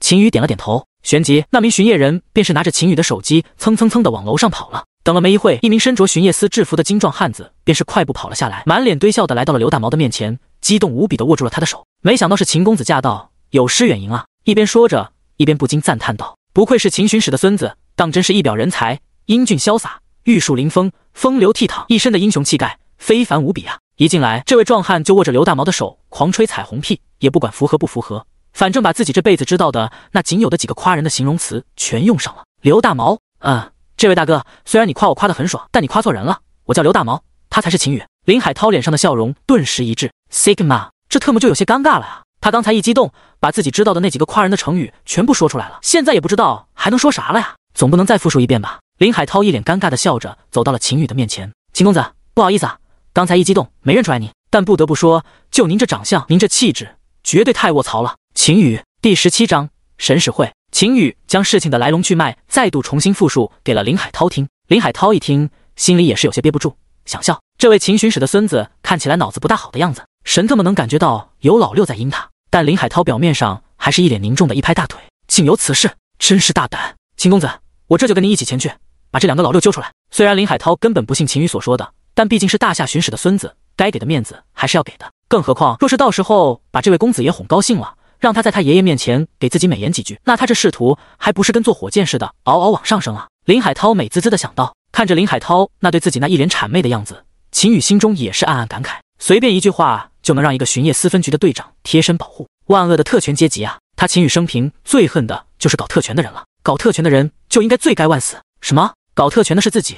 哦，那没事了。随后，林海涛便是跟着秦宇二人朝着那道小胡同走去了。路上，秦宇也是让林海涛隐藏起来，不然那帮老六看到林海涛在他们旁边，说不定就直接跑了。又是一个多小时过去，秦宇骑着小电驴载着刘大毛，再一次慢悠悠的来到了胡同口内。此刻，蹲守在这里的两名黑衣人都快睡着了。听到耳边传来的滴滴声，其中一人也是猛然惊醒，旋即连忙摇了摇身旁的人：“大哥，快醒醒！这两个小兔崽子来了！”什么？另一人闻言也是猛然惊醒，激动的都快要哭出来了。这两个小逼崽子可算是被他们等到了。妈了个巴子的，今天不把他们好好折磨一番，都对不起他俩今天在这耗费这么长时间的苦苦等待。两双眼睛死死盯着秦宇二人，看到他们骑进了胡同内，二人相互对视一眼，也是瞬间冲了出来。一前一后的将秦宇和刘大毛包围在了中间，两股强悍的威势爆发开来，至少都是高星武者的级别。前方的黑衣人一脸冷笑的看向面前的秦宇和刘大毛，阴冷的眼眸当中满是嗜血和残暴的光芒。呵呵，好小子，可算被我等到。然而他的话还没说完，一道更加恐怖的气息便是陡然爆发开来。只见一道精壮的身影瞬间出现在秦宇二人的身前。黑衣人看到来人，瞳孔顿时骤缩。卧槽，林海涛！两个黑衣人见到突然出现的身影，顿时都傻了，眼珠子都快瞪出来了。江南市巡夜司分局第五分队队长、二星大武师的林海涛为毛会出现在这里？没有任何犹豫，两名黑衣人果断转身就跑。哼，想跑？林海涛面色陡然一冷，心中却是有些暗暗心惊。他万万没想到，这里竟然还真他妈的有人，而且看他俩这打扮，赫然还是邪恶组织神使会的成员。林海涛身形瞬间爆射而出，一股强大的气机直接是牢牢锁定住前后二人，使得他们根本动弹不得。然后三下五除二，便是将他俩全部干趴下去了。拖着二人昏迷的身体，林海涛来到秦宇的面前，眼中有着一丝震撼和激动的光芒。他们巡夜司也一直在追查着神使会的踪迹，但这帮下水道的老鼠们实在是太狡猾了，根本很难找到突破口。倒是没想到，今天阴差阳错的，竟然一下子抓了俩，这可是大功一件啊！想到这里，他也是看着秦宇，无比感激地道：“秦公子，万分感谢你的举报，让我们巡夜司抓到了两名神使会成员。”秦宇也是没想到，这次阴他俩的老六竟然是神使会的人。一想到这里，他就是感到万分的庆幸。这得亏有了系统奖励的见闻色霸气，让他提前感知到了危险，不然今天他和大毛他俩说不准还真就记了。一想到这里，秦羽就有些恼火的给那两个黑衣人的脸蛋上挨个踹了一脚。你奶奶个腿低，放着那么多的天才不去暗杀，却跑来杀他们两个废物，纯纯吃饱了撑的是吧？啥是神使会啊？一旁的刘大毛一脸迷惑地道。秦羽怒气不争的拍了拍他的脑袋，叫你上课认真听讲，非要睡大觉。神使会是一群自诩为神明使徒的邪恶组织，与妖族狼狈为奸。干着背叛人类的丑陋勾当，在大夏属于是人人胆诛之的存在。可是上课睡大觉次数最多的不是你吗？刘大毛有些委屈的嘟囔道。秦宇却是不理会，反而是转头看向林海涛，一脸的大义凛然地道：“林队长不用谢，协助你们巡夜司抓捕神使，会是我们每个大夏公民应尽的责任。”林海涛一听，心神顿时受到了震动，不愧是秦巡使的孙子，瞧瞧这觉悟，这格局就是高。当然，如果您非要感谢我们的话，那给点奖金也行，不用给多，百八十万的就差不多了。林海涛。好吧，他收回刚才的话。林海涛嘴角微微一抽，勉强挤出一丝笑容，道：“秦公子，您放心，奖金肯定是有的，但估计不会有这么多。毕竟这两人看起来应该也就是神使会的普通成员。那能奖励多少钱啊？大概五万，才五万。”秦羽一脸失望的撇撇嘴：“能再多给点不？”林海涛眼皮猛然一抽，嘴角微微抽搐：“你特么当哥菜市场买菜呢，还搁这讨价还价？呵呵，秦公子，你可真幽默。”林海涛勉强挤出一丝笑容，地道：“我们巡夜司都有一套专门的奖赏规则，不能随意发放的。”哦，随后秦宇二人便是跟林海涛告别，骑着小电驴继续往回家的路走去。回去的路上，后座的刘大毛一脸好奇的问道：“老秦，你是咋感觉出来他们搁那埋伏咱的呀？”秦宇回头瞥了他一眼，一脸傲然地道：“不都跟你说了吗？这是我当了多年老六的直觉。”七刘大毛撇了撇嘴，显然是不信的。要是他那个老六的直觉真那么准的话，也不至于跟他一起开黑玩大逃杀的时候，次次被伏地魔偷鸡了。第十八章，这不是演习。老大，大雄和二雄被巡夜司抓走了。一间稍显昏暗的大厅内，一名手下急匆匆地跑过来道：“什么？”坐在主位上的陈天霸面色顿时一惊，他是神使会江南市分部里第十五分队的小队长。这一次，他接到上级任务，让他们小队去暗杀两个刚觉醒高级别天赋的学生。原本他以为杀两个刚觉醒的学生不过是有手就行的事情，便也没太在意，随便派两个手下就去干这件事情了。却是没想到，这么简单的事情竟然都能被条子抓走。老大，大雄、二雄两兄弟被抓走了。巡夜司的人肯定会审问他们，那咱们现在这个秘密基地的位置岂不是要暴露了？手下有些惊慌地道：“不慌。”陈天霸摆了摆手，面色不显慌乱，反而很是淡定。大雄、二雄跟我干了十来年，是我的心腹，对组织还是很忠诚的，一时半会应该还不会泄露咱们的位置。趁着咱们的位置还没有泄露的期间，我们尽快转移就好。手下闻言也是稍稍有些安心了下来。大雄、二雄对老大的忠诚，他也是看在眼中的，确实应该不至于这么快就背叛。然而就在此时，门外却是响起了一阵杂乱的脚步声。众人皆是一愣，紧接着便是听到门外传来了一道威严无比的声音。里面的人听着，你们已经被彻底包围了，立刻放弃抵抗，缴械投降，争取宽大处理。陈天霸手下，陈天霸看了一眼手表上的时间，气得只想骂娘。这特么，他俩才被抓了多长时间啊，就把他们全卖了？转眼间五天时间便是过去。这几天，秦羽白天上课，晚上当保安，除了将自身的境界成功晋升为二星武徒以外，以及拿到由巡夜司发放的十万元奖金以外。倒也是没有再出什么其他的事情，扮演一名优秀的保安。任务内容：一、拦截一百位外卖员，禁止进入小区。当前任务进度八二一百。二、教训十位不知好歹的业主。当前任务进度十分之九。三、遇到歹徒全身而退。当前任务进度一一。坐在门卫室的太师椅上，看着面前的任务面板，秦宇也是满意的点了点头。大概只需要再给他两天时间，扮演任务差不多就能完成了。也不知道到时候能给他一个什么奖励，希望能给他一个可萌可欲的小姐姐，最好还是能腿完年的那种。嘿嘿嘿。秦羽心中美滋滋的想到，旋即便又是打开了自己的个人面板。宿主秦羽，境界二星武徒，天赋复苏之木 A 级，属性力量九十四，体力四十四，防御三十二，敏捷三十三，精神力二十四。主动技能五，被动技能优秀保安的敏锐感知。别看他现在只有二星武徒，但因为有了系统的缘故，导致他现在的各项属性值都是远超二星武徒的水准，尤其是这个力量值。更是堪比九星武徒。秦羽觉得现在他能一拳把林清雪揍得嗷嗷哭，也不知道那么一个高冷的女神，要是嘤嘤嘤哭起来会是什么样的，那场面一定得老爽了。秦羽心中邪恶的想到。而就在此时，一道有些嚣张的声音在他的耳边响起：“把门给老子打开！”秦羽循声一看，发现是个小平头送外卖的，旋即淡淡道：“你瞎啊？没看到门口的牌子写着送外卖的不能进去？”嘿，我这暴脾气。这个小平头一听，顿时就怒了，撸起袖子来到秦羽的面前，一副要揍他的架势。你丫的，信不信我揍你？给你数三个数，赶紧把门给老子打开！三二。小平头才刚说到二。秦羽便是一脸不耐烦，直接将他推倒在地，让他狠狠地摔了一个大屁股墩。毕竟秦羽现在拥有着九星武徒的力量，寻常的普通人自然是顶不过他。小平头疼的龇牙咧嘴，捂着屁股颤颤巍巍地站了起来，看向秦羽的目光当中有着一丝畏色。这小子看起来瘦瘦弱弱的，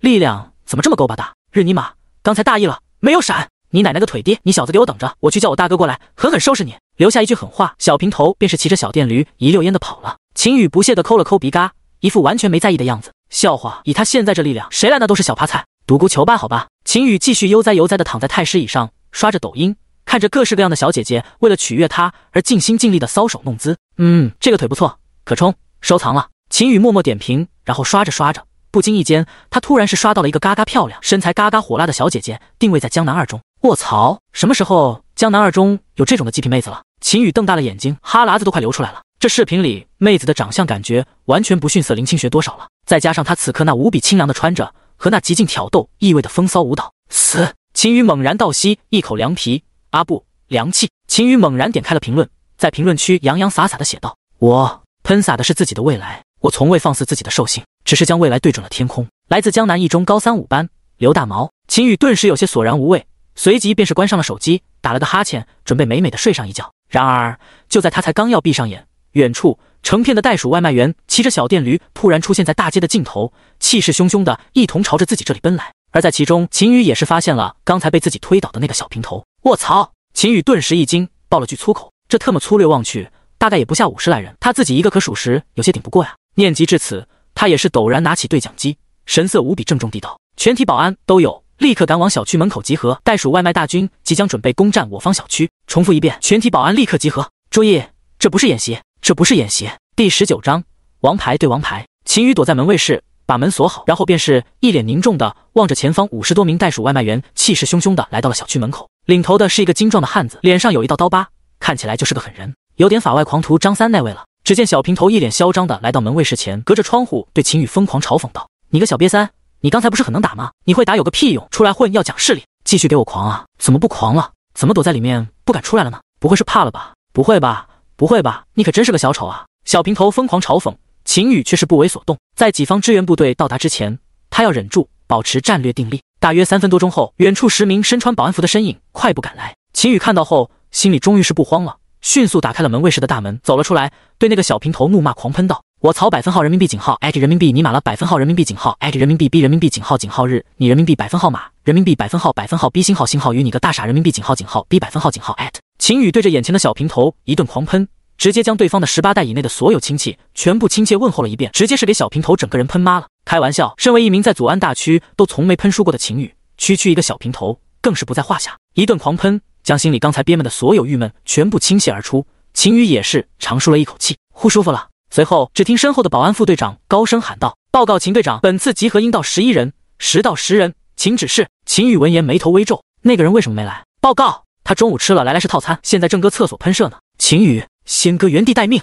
是，呵呵，这一幕直接是给大门外的刀疤脸看笑了。不过是一群臭宝而已，搞得跟尼玛特种兵似的，搁这吓唬谁呢？嘴里叼根华子，刀疤脸一脸不屑的来到秦宇面前，居高临下的俯视道：“小逼崽子，就特么是你欺负我小老弟的是吧？是你爹？咋了？”秦宇也是丝毫不虚，直接对道：“呵呵。”刀疤脸一阵冷笑，阴冷的眼眸泛出一丝凶厉的寒光。小子，你敢再说一遍吗？一遍。秦宇冷冷道：“我再说一遍了，怎么了？你能奈我何？”刀疤脸，你特么搁这搁这呢？别他妈跟我俩搁这扯犊子！今天你要是不给我小老弟磕头道歉，那今天这事就过不去了。秦宇轻蔑一笑：“你想怎么过不去？”哼！刀疤脸冷冷一笑：“你今天要是不道歉的话，我以后天天搁门卫室门口放闹钟骚扰你，不让你睡个好觉。”死！秦宇瞳孔陡然瞪大，不禁倒吸一口冷气。好歹毒的想法，这家伙果然是个狠人。秦宇心中第一次产生了动摇，不让他上班的时候摸鱼睡觉，这对他来说简直堪比满清十大酷刑。而就在此时，秦宇的面前浮现出了两道选项：选项一，乖乖认怂，磕头道歉，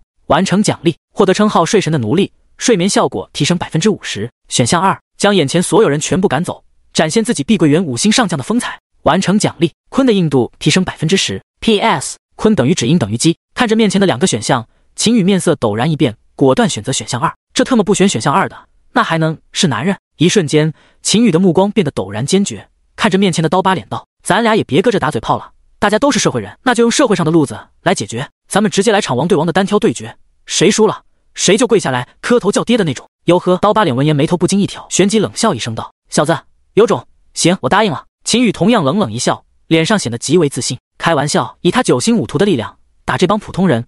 那就跟爸爸打儿子一样，他要是这都能输，他当场找块豆腐撞死。秦宇朝前一步迈出，紧接着便是听到对方道：“对了，提前告诉你一声，我是一星武者。”秦宇闻言，朝前迈出的脚步瞬间收回，面不改色地道：“王大爷，出列！”话音一落，身后一位年近七十的老爷子便是颤颤巍巍地走出了队列。秦宇一脸信任地重重拍了拍王大爷的肩膀：“王大爷，这场单挑交给你，有没有信心拿下？”众人，所有人都懵了。特么的，说好王牌对王牌，结果你现在让一个七十多岁的老爷子出战，这特么在搞毛啊！秦宇心中此刻也是有些无语，他也不想这样，但谁特么能想到一个臭送外卖的能特么是一星武者啊？你说说你一个武者干点啥不好，非得去送外卖，这不纯纯给武者群体丢脸吗？没有武者之魂的东西啊呸！有可嗨嗨，有信心！王大爷重重的咳嗽一声，面色无比虚弱的回应道：“刀疤脸，就这老爷子，他感觉都不用他动手，一阵风吹过来，估计都得把他干倒了。”他转头看向秦宇，顿时有些被气笑了。小子，你特么玩我呢？秦宇却是面色不变的淡淡道：“江南江北一条街，打听打听谁是爹。实话告诉你，我们这位王大爷可是一位五星武者，年轻的时候可是制霸这一整条街的靓仔。”什么？刀疤脸闻言一愣，心中暗暗心惊。他完全没有想到，眼前这个看起来弱不禁风的老爷子，竟然是一个五星武者。想到这里，刀疤脸也是陡然收起了心中的轻视之心。虽然对方看起来年纪很大，身体不咋行。但毕竟境界在这，自己还是得小心一些，免得翻车。事实上，秦宇确实也没说谎，王大爷的的确确是一个五星武者。不过，秦宇还有一句话没说的是，王大爷现在疾病缠身，什么高血脂、高血压、高血栓、糖尿病啥的，反正该得的、不该得的病他都得了，身体老差了，属于是搬袋大米都得走两步歇十步的主。第二十章 A 型血的父母，B 型血的儿子。此刻，碧桂园小区的门口，王大爷与刀疤脸相峙而立，场中一股无形的肃杀气氛弥漫。微微有些凝重，王大爷此刻也是不复先前的虚弱，浑浊的眼眸在此刻却是泛出一丝金光，五星武者的气势陡然爆发而出。小伙子，你现在认输还来得及。王大爷一脸高人风范地道，感受着这股有些强悍的气势，刀疤脸心中也是微微有些凝重，但还是面色阴冷道：“大爷，谁输谁赢还不一定呢。”哼！王大爷闻言，笑呵呵的无奈摇头：“何必呢？我这一手响狗十八掌，仅凭你是挡不住的。”刀疤脸眼眸微微一眯，双手抱拳：“大爷，请赐教。”好。王大爷大喝一声，双臂缓缓伸展开来，呈太极图案环绕，场中顿时无风自动，一股极为强悍的威压陡然弥漫开来。感受着这股恐怖的威压，刀疤脸的面色也是陡然骤变。这种程度的威压，果然是个高手。只见下一刻，王大爷双眸陡然一凝，原本颤颤巍巍的身形，此刻却是宛若灵猴一般敏捷，身形瞬间消失在原地，右手画掌，朝着刀疤脸怒拍而去。狂风呼啸而过，隐约间甚至还能听到一声凌厉的犬啸之声。刀疤脸心中陡然一惊，连忙抬臂封挡，然后。下一刻，咔嚓！王大爷面色陡然一僵，急冲的身形在即将靠近刀疤脸的一刹那戛然而止，用着颤颤巍巍的沙哑语气喃喃道：“哟，扭了。”然后只听嘎嘣一声，王大爷便是直直瘫倒在地面上，口吐白沫，不省人事。刀疤脸，秦宇脸上顿时露出无比夸张的震惊神色，连忙跑了过去，搀扶起王大爷，用手探了探后者的鼻息，面色顿时骤变，大声喊道：“妈呀，杀人了！”刀疤脸，Sigma，我靠，我啥也没干啊，是他自己把自己腰扭到的。刀疤脸一脸无辜的举起了双手，有些惊慌地道：“你们都看到了吧？我没碰着这位老爷子，得给我作证啊！”刀疤脸看向自己身后的小弟们，想要让他们给自己作证，却发现身后早已是空荡荡一片，小弟们早他妈骑着小电驴全跑光了！操，这帮没义气的东西！刀疤脸心中怒骂一声，便也是脚底抹油，赶紧骑上小电驴溜了。待到这帮人走后，一直昏迷不醒的王大爷也是陡然睁开了眼眸。那帮人都走了，秦宇笑了笑：“都走了。”小鱼子，你王大爷这演技怎么样？秦宇竖起了大拇指，高。实在是高，哼！记住了，你大爷终究是你大爷。叮，拦截一位外卖员，力量加一，扮演点加一。叮，拦截一位外卖员，力量加一，扮演点加一。叮，拦截一位。就在此时，接连不断的系统提示声在秦宇的耳边响起。毕竟刚刚对方有五十来人，结果现在全被吓跑了，自然也算成是成功拦截。力量九四幺幺二。叮，成功拦截一百名外卖员，获得技能小铁拳来喽。小铁拳来喽！在出拳前喊一句“小铁拳来喽”，下一次出拳的力量可以提升一百倍。冷却时间十秒。咒力量提升幅度可以由宿主自己任意操控。看着眼前的技能介绍，秦羽的瞳孔顿时瞪得比铜铃还大。卧槽！力量提升一百倍，这特么简直是小母牛到南极，牛逼到了极点啊！秦羽算了一算，他现在的力量值是一百一十二点，提升一百倍的话，这一拳的力量就相当于是一万一千多点。死！秦羽不禁倒吸一口冷气，一万一千多点的力量值，已经相当于是五六星大武士的攻击力了。这特么的还有谁？秦羽忍不住的在心中狂嚎。如此一来，他现在只要再教训两个不知好歹的业主，就能彻底完成扮演保安的任务了。不过秦宇也不着急，最迟明天他应该就是能完成了。随即美滋滋的送走王大爷，秦宇便是继续回到门卫室，倚靠在太师椅上，拿出手机和纸抽，今儿的高兴，再求导一遍。第二天，秦宇走进教室，看到刘大毛此刻一脸的愤怒。大毛，咋啦？谁惹你生气了？秦宇一脸好奇的问道。别提了，也不知道是哪个王八犊子，用着我的名号在抖音上发了四行诗，大概意思就是说，老子要实名开导，我认你妈买个香蕉皮呀！现在学校论坛上全是嘲笑老子的，说老子是一个什么手淫诗人，老子的一世英名全他妈被毁了。最好别让我逮到这王八犊子，不然我非扒了他的皮，抽了他的筋。秦宇，老秦，你咋沉默了？啊，心疼你，今天我请你吃肯德吧。呜，好兄弟，爱你。很快，上课时间到。秦宇看了眼第一节的课程是生物课，他们高中的文化课总共有六科：数学、语文、历史、化学、物理、生物。之前通过做一系列选择题，他已经将数学、历史、化学、物理都学精通了，就差语文和生物了。这得赶紧出发两个选择题，把这两科补齐呀！秦宇心中暗暗想到。生物老师是一个秃顶的老爷子，叫蔡壮，一进教室就是满脸怒容的看向秦宇：“秦宇，你给我过来！”秦宇闻言一愣，乖乖走了过去。只见蔡壮将一张考试卷子砰的一声拍在桌子上，怒斥道：“我执教四十多年，就没见过像你这样如此逆天的学生，请你教教我，你是怎么能在一张有着二十道判断题、二十道选择题的情况下打一个大鸭蛋的成绩的？特么的，你就是全部瞎选，判断题全选对，选择题全选，也不可能打鸭蛋吧？”蔡壮此刻脑袋快要气冒烟了。这次月考，他就是特地考虑到秦宇这小子那稀巴烂的水平。为了不让他打一个个位数的成绩，才将判断题和选择题的数量往上加了一半。本以为这样这小子的成绩能突破个位数，却是没想到个位数突破是突破了，但特么的是反向突破。这次直接给他考个大鸭蛋。秦宇闻言，面色却是陡然严肃，郑重道：“蔡老师，你可以质疑我的学习能力，但不能质疑我的学习态度。我对这次测验很认真，没有一道判断选择题是我瞎选的，都是我认真思考后才选的。”蔡壮闻言，气得都快吐血了。他这次倒是希望秦宇是全部瞎选的了，至少这样代表着这小子还有救。结果。你却告诉我，你这特么都是认真思考后选的，能特么准确无误的避开所有的正确答案，这简直已经不是一个正常人类能干出的事情了。蔡壮捂着胸口，感觉高血压快上来了。他用手指了指其中的一道判断题，快要气疯了似的质问道：“其他题我就先不说了，你先告诉我下这道题，你是为什么会答好？已知父母双方都是 A 型血，他们生出的孩子可以是 B 型血。你告诉告诉我，凭什么两个 A 型血的父母能生出一个 B 型血的孩子？咋地？这孩子基因突变了呀？”哈哈！教室内的众人闻言都是不禁哄笑了起来。两个 A 型血的父母能生出一个 B 型血的孩子，这特么就算没学过生物知识，用脚丫子想也知道是不可能的吧？而就在此时，秦宇的面前浮现出两道选项：选项一，诚恳认错，并保证下一次一定考双位数的成绩，完成奖励。蔡壮的秃头顶开始长毛。选项二，找出一个反例，证实自己的判断没错，对到蔡壮无言，完成奖励。高中生物知识精通。看到眼前的两道选项，秦宇也是有些无语。蔡壮的头顶的地中海长不长毛，跟他有毛关系？赶紧爬！想到这里。秦宇也是一脸质疑地道：“蔡老师，你怎么知道两个 A 型血的父母生不出一个 B 型血的孩子？”蔡壮闻言都快被气乐了。来，你现在要是能给我找出一个 B 型血的孩子，双方父母都是 A 型血的，我现在就给你磕头叫爹。呃，蔡老师，咱们班就有一个呀。嗯，蔡壮一愣，秦宇用手指了指坐在教室后排的一个身材有些矮胖的男生：“咱们班的张小胖就是啊，他是 B 型血，但他父母都是 A 型血。”蔡壮，众人，张小胖，第二十一章，颜值才是王道。张小胖哭了。哇哇大哭的那种。这道判断题，他是继秦宇之后全年级唯二的答错这道判断题的人。他此前一直认为两个 A 型血的父母是能生出 B 型血的孩子的，毕竟他自己就是个最直接的证明。但他万万没想到，原来两个 A 型血的父母根本他妈的生不出 B 型血的孩子。这一刻，张小胖瞬间就是意识到了什么：他父母中的其中一人定然不是他的亲生父母。张小胖的世界观在此刻瞬间崩塌了。蔡壮此刻也是始料未及，彻底懵逼了。他万万没想到。普普通通的一道判断题，竟然炸出了一个如此惊天的密文啊！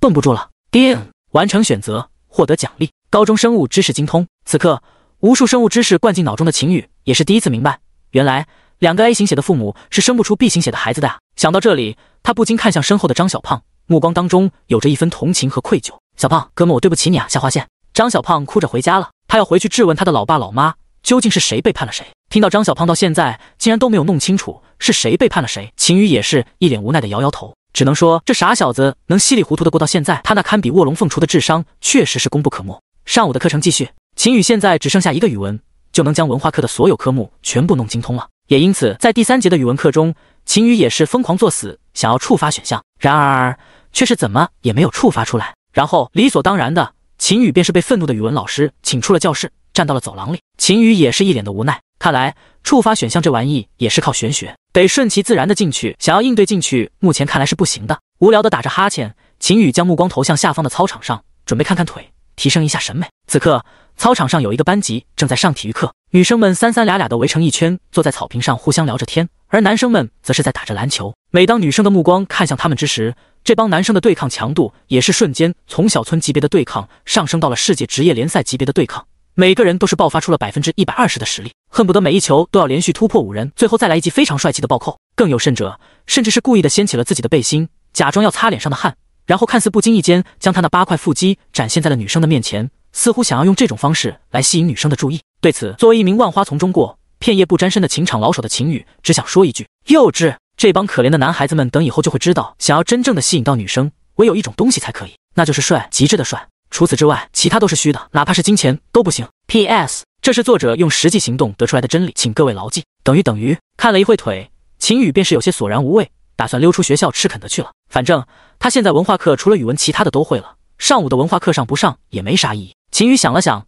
旋即点开手机，给刘大毛发去了一道微信消息：“大毛，听说 K.F.C 跟 vivo 最近联名出了一款新手机。”过了没几秒。刘大毛便是回了消息：K F C 与 vivo 的联名手机，没错，叫肯德德疯狂星期四 vivo 五零。刘大毛，速速给爷爬！戏弄了一下刘大毛，秦宇也是美滋滋的收起了手机，来到校门口。此刻校门口为人进出的大门紧闭着，为狗爬出的小洞敞开着。秦宇作为堂堂正正的七尺男儿，自然不可能钻狗洞。来到呼呼大睡的门卫大爷面前，秦宇轻轻摇了摇他的肩膀：“大爷，大爷，醒一醒，干啥？”被摇醒的大爷一脸不耐烦，有些火气地道：“那个大爷，麻烦把门打开呗。”门卫大爷上下打量了秦宇一眼，看到他身上穿着的校服，面色顿时一冷。现在还是上课时间，你一个学生想出校？你哪个班的？我告诉你们老师，大爷，大家都是文明人，你看这玩意行不？秦宇嘿嘿笑着，把手微微摊开，显露出一张红钞的一角。门卫大爷见状，眼前陡然一亮，脸色也是瞬间缓和下来，喜笑颜开的点头道：“你这玩意行啊，可太行了。”说着，门卫大爷便是按动了手中遥控器的按钮，一直紧闭的大门也是在此刻缓缓打开。秦宇微微一笑。将手中的红钞迅速的递到了门卫大爷的手中，然后下一刻便是以一种迅雷不及掩耳盗铃之响叮当之势，迅速跑出了校门口，并使出了吃奶的劲，嗷嗷狂奔离去。看到秦宇这架势，门卫大爷心里顿时咯噔一声，连忙看向手中的红钞。只见红钞的上面清清楚楚的刻印着几个大字：天地冥币银行。门卫大爷，卧槽，你个小兔崽子，敢给你爷爷冥币！秦宇此刻已经跑出了老远，来到大街上，秦宇悠哉悠哉地吹着口哨，直奔肯德的走去。毕竟今天可是疯狂星期四。二十九九元能吃八个蛋挞呢。秦宇刚欲推开门走进去，然而一对俊男靓女却在此时从他身后经过，直接把秦宇的小雀雀看愣了。男的就不用说了，虽然有点小帅，但跟自己一比，还是差了十万八千里。主要是这位女同学脸蛋清秀柔美，却偏偏生出一双桃花眼，再加上那前凸后翘、曼妙无比的动感身材，妥妥的纯欲系天花板。什么锦川俚语啥的，跟她一比，简直是啥也不是。而这女生，秦宇也是一瞬间就是认出来了。就是昨天自己刷抖音刷到的那个江南二中嘎嘎漂亮的小姐姐，现在一看，虽然长相上比起视频当中稍微逊色了一点点，但这身材可是要比视频上火爆了不止一筹啊！哦，sexy，秦宇的鼻血快要流出来了，好大，好白，好想十一。第二十二章，我愿意。小萌，这次市里组织的比武交流赛，你若是转学进入我们九中，跟我一起组队的话，没有人能是我们对手的。那个有些小帅的男生快速的跟在这位身材嘎嘎顶的小姐姐身边，像个狗腿子似的，一脸讨好的说道。不过，对于眼前男生的讨好，张小萌却是满脸厌恶，很是不耐烦地道：“陈毅，我已经说得很清楚了，我不需要，请你不要再继续纠缠我了。小萌，别这样，毕竟咱们俩未来都是要成为夫妻的人了，一起组队也是天经地义的事情啊。”呸！谁要跟你成为夫妻？那是你爷爷跟我爷爷在我还很小的时候定下的娃娃亲，我可从来没同意过。小萌，你知道的，这由不得你。一旁的秦宇见状，直接是乐了，旋即直接是从兜里掏出了一堆瓜子，摆出一副看好戏的表情，一边看着一边磕了起来。不出意外的话。这个男的应该是第一个反派角色，这个女的应该是第一个疑似女主的角色。按照正常情况来讲，这种时候他就应该得屁颠屁颠跑过去，一把拦住了陈毅的无理行为，然后引起争端，惹得陈毅对自己的仇视报复，之后自己再一次次地打他脸，让他身败名裂，引得张小萌对自己的好感，最终抱得美人归。这种剧情都写烂的套路了，所以他决定到他这里呢，哎，他就偏不过去，他就只在这里老老实实的嗑着瓜子干看，就啥也不干。他看看还能咋继续下去？呵呵，我秦宇但凡动弹一步，我就从这里。叮，心中 flag 还没立完，眼前便是浮现出了两道选项。选项一，就嗑着瓜子，乐呵的看着，当一个热心观众，完成奖励。热心观众称号，以后每当看热闹的时候，兜里都会多出一包小瓜子。选项二，走到男生的面前，拉住他的手，一脸深情的看向他，对他说：“我愿意。”完成奖励，获得大量灵力值，祝能够让你晋升至三星武徒。秦宇看着眼前浮现的两个选项，顿时愣住了。下一秒，他便是收起了小瓜子，毅然决然的朝着陈毅走去。对不起，我也不想这样的，但他给的实在是太多了！秦宇的眼神陡然变得坚定，迈着昂扬的步伐，朝着他们二人走去。此刻，陈毅、张小萌二人看到秦宇朝着他们走来，也是一愣，刚想开口问他有啥事，却只见秦宇根本理都不理张小萌，就是直接一把握住陈毅的手。秦宇那双如墨般深邃的眼瞳，此刻就是如此深情款款的注视向陈毅，轻声却又极其坚定的说道：“他不愿意，我愿意。阿毅，选我吧。”陈毅、张小萌两人都是目瞪口呆，顿时石化在当场。当即，张小萌看向陈毅和秦羽的眼神，就是变得有些古怪起来，似乎是脑中突然想到了什么，心里不由得又是一阵反胃。陈毅脸色也是骤变，当即便是抽开了秦羽的手，怒喝道：“你有病吧？你他妈谁啊？”叮，完成选择，获得大量灵力值，晋升至三星武徒。鉴于宿主表演太过出色，再额外增加十点力量值。秦宇闻言，眼神当中也是有些懊恼，他表演的这么出色，才只多加十点力量吗？靠！早知道刚才再表演的走心一点了，亏了亏了。俗话说。人要脸，树要皮，但对秦宇来说，他向来不知道脸皮为何物。只见秦宇很是自然的笑呵呵的摆了摆手，不好意思啊，认错人了，你们继续。说罢，便是转头就走，只给二人留下了一道潇洒的背影。你站住！你他妈是谁？陈毅回过神来，立马怒声喝道：“在下江南一中高三五班李军，是兄弟就来砍我。”轻飘飘的留下这么一句话，秦羽便是扫了一辆共享单车，骑了上去，朝着远处疾行而去，最终消失在了二人的视野当中。只留下了一脸懵逼的陈毅。陈毅，我真没想到你竟然还是这种人。我回去就跟爷爷说取消婚约，这一回他一定会同意的。张小萌一脸嫌弃、鄙夷的瞥了陈毅一眼，旋即便是直接大踏步的转身离开。不是啊，小萌，你听我解释。陈毅看着同样离去的张小萌，此刻的脑子从来没有过的混乱，他到现在都没有搞懂究竟踏马的事发生了什么事情。李军，我与你势不两立。陈毅双拳紧握，愤声暴吼道。换了一家肯德的店，美滋滋的吃了八个蛋挞以及两个小汉堡之后，秦宇便是骑着共享单车再度回到了学校门口。上午和下午看门的大爷是不一样的，所以这也是秦宇敢如此大摇大摆就走过来的原因。此刻已经到了下午一点二十分，距离下午的上课时间还有不到十分钟。秦宇也是快步朝着操场的集合点赶去。经过这些天在李正军手下的调教，此刻众人来到集合点便是乖乖站好，一句话也不敢说。秦宇来到刘大毛身旁站定，然后只见刘大毛鼻子微微一嗅，眉头顿时一皱：“靠，老秦，你竟然背着我吃肯德？嗯，卧槽，这你都能闻出来？你鼻子属狗的吧？别废话，说好请我吃肯德。”为什么自己一个人偷偷恰独食？呃，待会放学再请你吃一顿，这还差不多。不远处的林清雪看到秦宇走了过来，想要走过去跟他打个招呼，但因为有些社恐，这话却是怎么也说不出来。似乎是察觉到了林清雪的视线，秦宇也是转过头来对上了前者的目光，顿时一愣，旋即笑着挥了挥手：“林大校花，下午好啊！”秦宇笑着大声打招呼道：“对于秦宇来说，社恐不存在的。”听到秦宇竟然这么大声的对自己打招呼，林清雪那白皙的面庞也是陡然羞红呀。他为什么能在这么多人面前喊得这么大声啊？好害羞啊！下下午好，林清雪声音细若蚊蝇的朝着秦宇打了一声招呼，便是赶紧将目光收回，不敢再看他了。其余男生看着眼前这一幕，双拳紧紧捏起，额头青筋直爆，极度的后槽牙都快要咬碎了。吐槽：你们的后槽牙长在你们的嘴巴里，也真是倒了八辈子血霉了。第二十三章有黑幕。叮铃铃，下午一点三十分。上课铃准时响起，李正军龙行虎步的来到众人面前，看到站得板板正正的众人，满意的点了点头。不错，经过几天的调教，这帮小菜鸟们终于算是像点样了。目光一一扫向众人，李正军随即郑重道：“这次市里准备了一场比武交流赛，邀请了江南市排名前八的高中参加，咱们江南一中自然也在列。不过出战的名额只有五个，正是从咱们特训班里挑选。”此话一出，众人面色当中都是浮现出一抹兴奋之色，显然。大家都想是为校出战争光，不过秦宇却是有些无聊的打起了哈欠。对于这个比武交流赛，他是一点兴趣都没有，参加了又没什么好处，谁爱参加谁参加，反正他不参加。哦，对了，在本次比武交流赛里取得排名前三的高校出战的每人至少获得五十颗下品灵石，另外排名第一的高校每人还可以从江南市技能阁中任选一本白银级技能书。什么？秦宇一听，眼前陡然一亮，排名前三的人能得到五十颗下品灵石，排名第一的更是能获得一本白银级技能书。那不好意思了，这个比武交流赛他参加定了。其余众人闻言，眼前也皆是一亮。他们江南一中在江南市的高中里排名前三，那这一次参加，岂不是保底能拿五十颗下品灵石？要知道，五十颗下品灵石可就相当于是一百万啊！这都相当于很多普通家庭几十年的积蓄了。想到这里，众人的眸光都是变得有些火热，显然他们都是很想参加这场比武交流赛。看着众人那充满斗志与热情的神色，李正军也是笑了笑。看来大家对这场比武交流赛的热情都是高涨啊，这很好。不过我要提醒你们的是，这一场比武交流赛，你们的压力其实不小。江南二中、江南九中就不说了，跟咱们学校一个档次的老牌竞争对手。除此之外，像江南五中、江南七中、江南十三中这几个学校，这一次也是出了不少好苗子。你们要是轻敌的话，很容易就要翻车。然而众人闻言却都是不以为然，毕竟抛开他们不说，他们学校可还是有着最大的王牌——觉醒 S 级异能的林清雪。而且更为恐怖的是，这位女神就在前两天成功晋升为了一星武者，成为江南市有史以来最年轻的武者。只要这位女神一出，谁能跟他们学校争啊？似乎是猜到了众人心中所想，李正军有些无奈的笑着道：“这一次你们就别指望着林清雪了。林城主已经发话了，禁止我们学校派出林清雪出战。”啊！众人闻言皆是一愣，不过转念一想，便也是明白。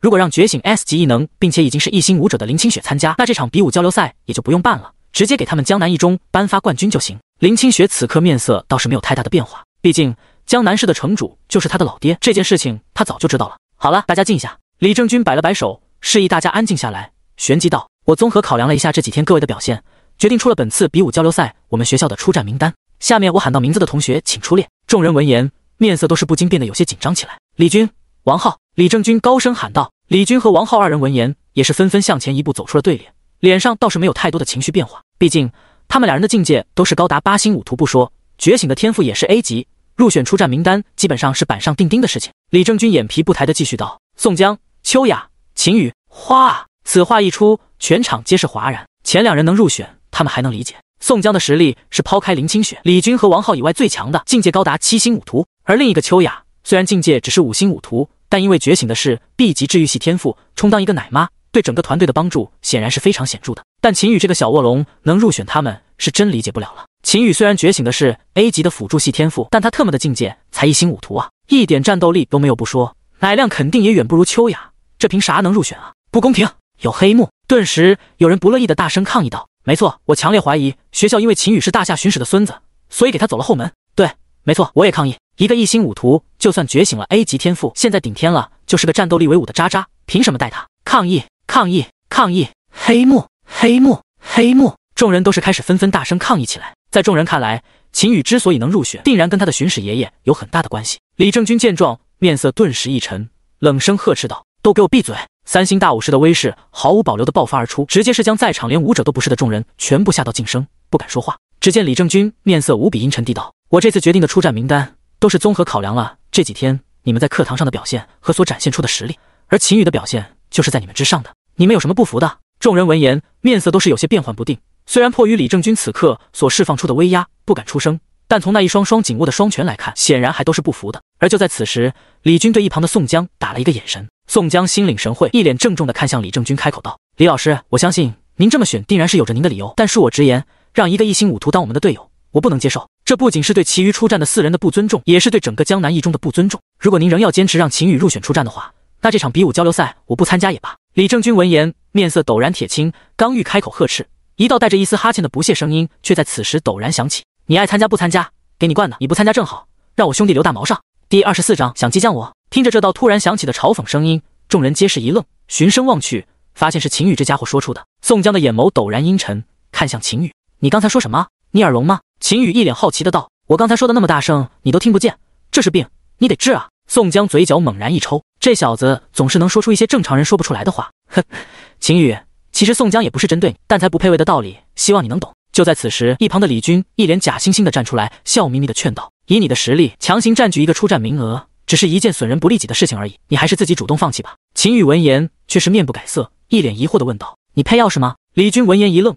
下意识的回答道：“不配啊。”哦。你不配啊？那你跟我在这说个勾吧。秦宇抠了抠鼻嘎，一脸不屑道。李军眼皮猛然一抽，满头黑线。这小子嘴里特么的，能不能唠点正常人才会唠的嗑？虽然天空无语，但李军现在却是直接被秦宇整无语了。小子，别扯犊子了。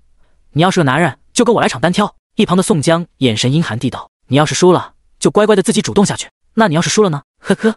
宋江一脸冷笑，虽然这个概率为零，但我若是输了，我也自己主动放弃这个名额，让给你的好兄弟刘大毛。秦宇一听，顿时乐了。他正愁怎么把自己好兄弟大毛也搭上去呢，这小子倒是自己主动乖乖送上门了。你小子就是及时雨，送送将吧。秦羽对此自然是没有任何拒绝的理由，刚想开口答应，眼前却是突然浮现出了两道选项：选项一，接受挑战，完成奖励十点力量值；选项二，主动认怂，拒绝挑战，完成奖励白银级木系技能书木藤缠绕。嗯，秦羽一愣，但下一刻面色便是恢复了镇定，一脸不屑地道：“呵呵，你小子跟我玩激将法呢？哥们，我看三十六计的时候，你还搁那看马卡巴卡呢，想让我上当，做你的白日梦去吧！我偏偏就不跟你单挑，你能奈我何？气死你，气死你！”略。众人，所有人都傻眼了。这小子是怎么能把认怂演绎的如此理直气壮的？这可真是一大群老太婆进被窝，给爷们们都整笑了。顿时，所有人都是对着秦羽大声嘘了起来，脸上极尽鄙夷之色。宋江一听，也是乐了，脸上的嘲笑之色已经是快要溢于言表。虽然这小子主动认怂的选择很明智，但不得不说，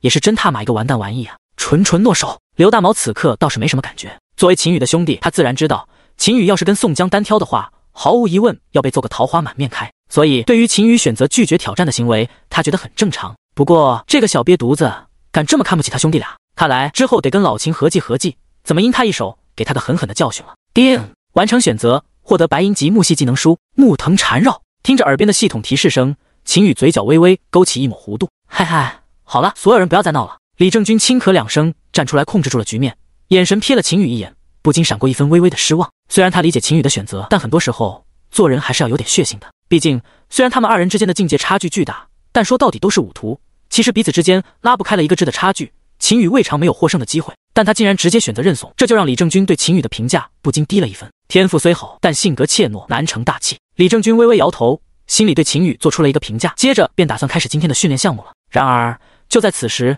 秦羽却突然又开口了：“慢着，我想了想，揍你这个大傻比也耗费不了多长时间，这个挑战我就勉为其难的接下吧。”众人。在场的所有人都是被秦羽这一出搞懵了。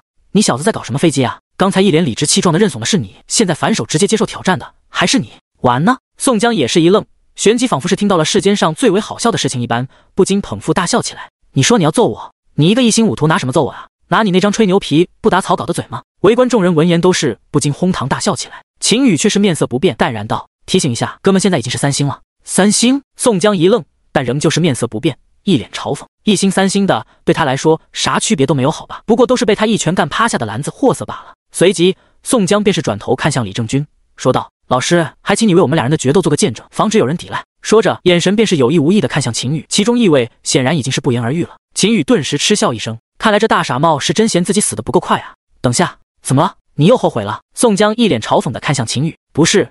秦羽摇了摇头，我是说，咱俩再多加一个赌约，谁输了，谁就在操场裸奔。并且大喊自己的坤坤太小了，死！围观众人闻言都是不禁倒吸一口冷气，好狠的赌约啊！宋江也是没想到对方会玩到这么大，但想到自己根本就没有任何输的概率，顿时冷笑着点头答应下来，没问题。李正军此刻也是从愣神当中回过神来，目光有些惊疑不定的看向秦羽，旋即轻咳一声说道：“那好，既然你们俩人决定好了，那我就批准这场决斗，充当你们的见证人。”宋江和秦羽闻言，嘴角都是不禁一歪，露出一抹龙王微笑，显然他们都是自信的认为这场单挑。自己必定会赢。此刻，在二人的眼中，对方都是妥妥的纯小丑。至于到底谁才是真小丑，就要等比试过后才知道了。啪！欲知后事如何，请各位彦祖们点击使黄色按钮加打赏礼物，敬请期待。第二十五章：三星大于七星。操场上，围观众人都是自发的向后退去，给二人留下了一个方圆近百米的空旷空间。宋江掰了掰手指，指节咔咔作响，脸上的神情显得异常的自信和狂傲。好家伙，这手指给你咔咔掰的，咋的？你骨质疏松啊？秦羽一脸好奇的问道。宋江闻言，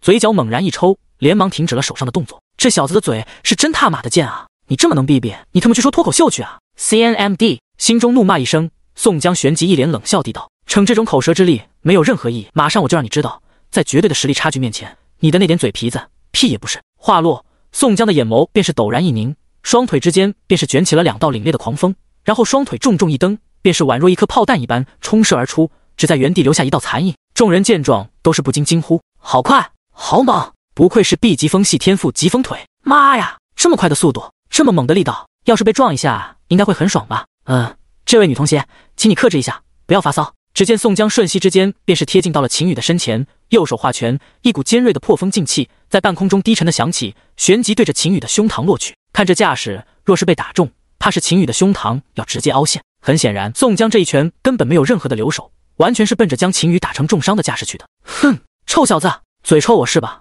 我看这下你还嘴不嘴臭？宋江一脸冷笑。林清雪见状，不禁看向秦宇，美眸当中闪过一抹担忧之色。若是这一拳挨中，少说也要在医院里躺上三个月，这对于快要高考的高三生来说，无疑是非常致命的。然而，秦宇此刻却是面色平静的望着袭来的一拳，不闪不避，反而是高喊一声：“小铁拳来了！”紧接着便很随意的打出一拳，与对方的拳头碰撞在了一起。砰！仅仅是瞬间，宋江脸上的冷笑便是瞬间僵硬，面色瞬间刷白，整个人只感觉被一辆十吨重的重型卡车碾压过来一般，整条右臂瞬间发生了九十度的弯折，一大口鲜血自嘴中狂喷而出。紧接着，整个身形便是宛若一个断线的风筝一般，在半空中划出一道优美的弧线。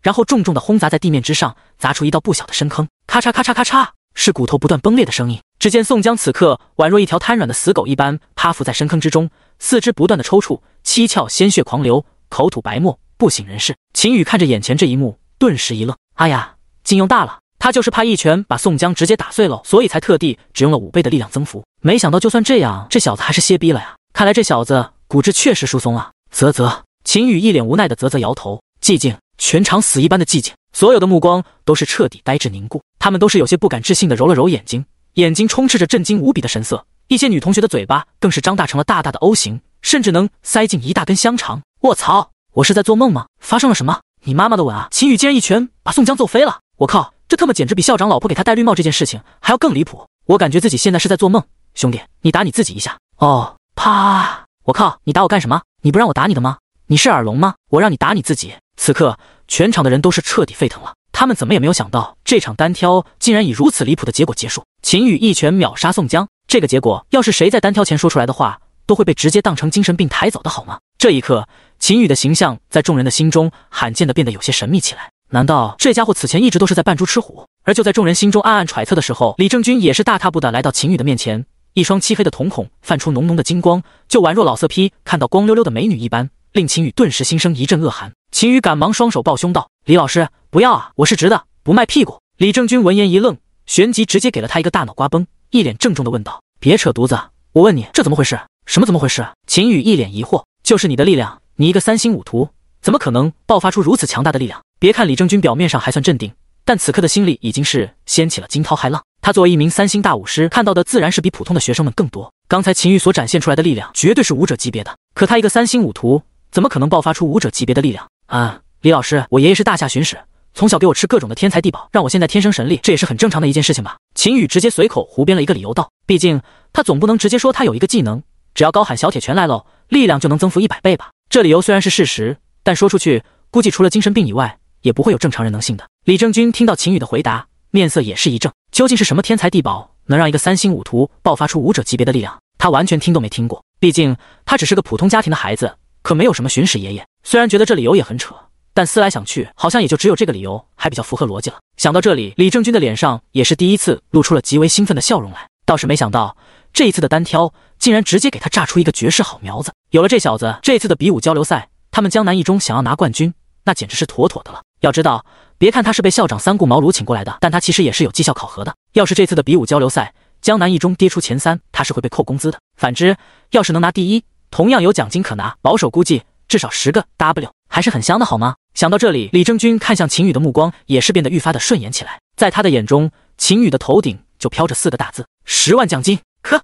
嗨嗨，救救命！我还能抢救一下，快救救我！就在此时，远处的深坑当中，头破血流的宋江颤抖的挥了挥手，声音嘶哑而又虚弱的求救道。李正军闻言，面色顿时一变，卧槽，差点把这小子忘了。念及至此。他也是赶忙朝着奄奄一息的宋江奔去，连忙招呼校医过来。第二十六章，三人撑伞必有掉队烟。一下午的时间转瞬而过，转眼间又是到了放学的时间。下午的实战格斗课上的很是顺畅，没有人再敢对秦宇代表学校出战的事情逼逼赖赖了。毕竟上一个逼逼赖赖的宋江现在已经搁病床上躺着呢，说是没个小半年好不了。要知道，他们现在已经高三了，距离高考只剩下不到一年的时间。结果宋江现在得有半年时间躺在病床上，毫不夸张的说，这小子废了。建议他父母重开。有了宋江的前车之鉴，其余人自然是不敢再找秦宇的茬了，甚至看向秦宇的目光当中，隐约的已经是多了一份敬畏。而托了秦宇的福，刘大毛也是能代表学校出战了。所以此刻刘大毛很开心。教室里收拾完书包的刘大毛满脸笑容的拍了拍秦宇的肩膀：“老秦，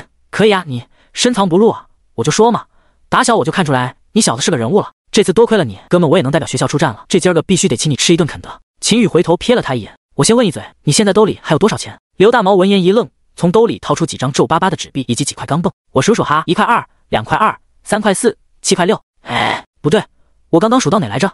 我再数一遍，一块二，两块二。秦宇，好家伙，特么的，总共就这么几块钱。刘大毛能数半天也是个人才，估计 CPU 都快给干烧了吧？秦宇无奈的轻叹了一口气，别数了，你现在手里的总共有十五块两毛二。刘大毛闻言一愣，顺着一数，发现还真是。我靠，老秦，你啥时候数学这么好了？以往你二十以内的加减法不都得算半天的吗？秦宇闻言，嘴角猛抽，满头黑线，这特么黑历史能不能不提了？秦宇轻咳一声，连忙转移话题道：“你现在兜里总共就这点钱，怎么请我吃肯德啊？没事，我的微信余额里还有五块六毛八，加在一起正好二十多块。”能买一个香辣鸡腿堡，到时候你吃三分之二，我吃三分之一就行。刘大毛乐呵呵的傻笑着道：“唉。”秦宇无奈的长叹了一口气，算了，巡夜司给我的五万块钱奖金发了，还是我请你吃吧。啊，这怎么好意思？刘大毛有些羞愧，但随即便是说道：“我要两份超级全家桶。”然而，就在二人背起书包，刚要离开教学楼之时，门外却是突然下起了瓢泼大雨，二人顿时都傻眼了。他俩都没带伞，我靠，这咋整啊？刘大毛面露愁容，没事，我看了一下手机的天气预报，这是雷阵雨。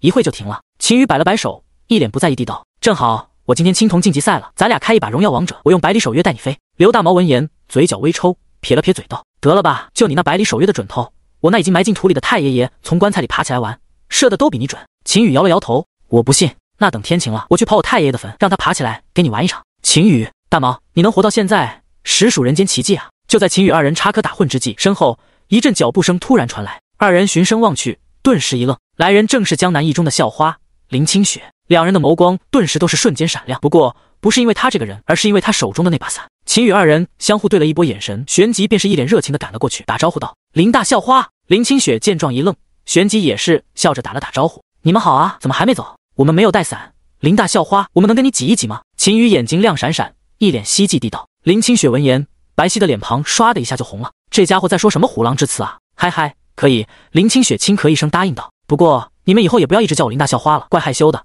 直接叫我名字就好。好的，那我叫你小雪没问题吧？秦宇笑嘻嘻地道：“嗯，没问题。”林清雪笑了笑，面色更加的绯红。不知怎的，听到秦宇叫她小雪，小心脏突然一跳，有一丝异样的感觉涌现。那我也叫你小雪。一旁的刘大毛也是一脸傻憨的笑呵呵地道：“林清雪，你还是算了，直接叫我全名吧。”刘大毛，哦，下划线。随后，秦宇便是凑到林清雪的身旁，从她的手中拿过小伞，撑了起来，一脸阳光的笑着道：“我个高。”我来撑伞吧。林清雪也是被秦宇突然凑了过来，吓了一跳，心里的小鹿正在扑通扑通的不断乱跳，耳根子有些发烫，面色无比羞红的低声轻应道：“好，这是小时候只有看那些甜美的偶像剧才有的美妙情节，没想到有一天竟然也会被他遇上，难道属于他的春天就要来了？”林清雪的美眸顿时放光，然后下一刻，一道无比庞大壮硕的身体便是直接将他挤到了伞外边去。嘿嘿，那俺也进来了。刘大毛一脸憨笑地道：“林清雪生气。”林清雪就这么默默地跟在这两个憨货身后，看着他俩在前面勾肩搭背的撑着伞，互相嬉笑打闹，却把自己这个伞的真正主人全然忽视掉了。校门口，一辆豪华无比的黑色迈巴赫停在这里，一位身着黑色西服的中年管家下了车，姿态优雅的想要为自家小姐开车门，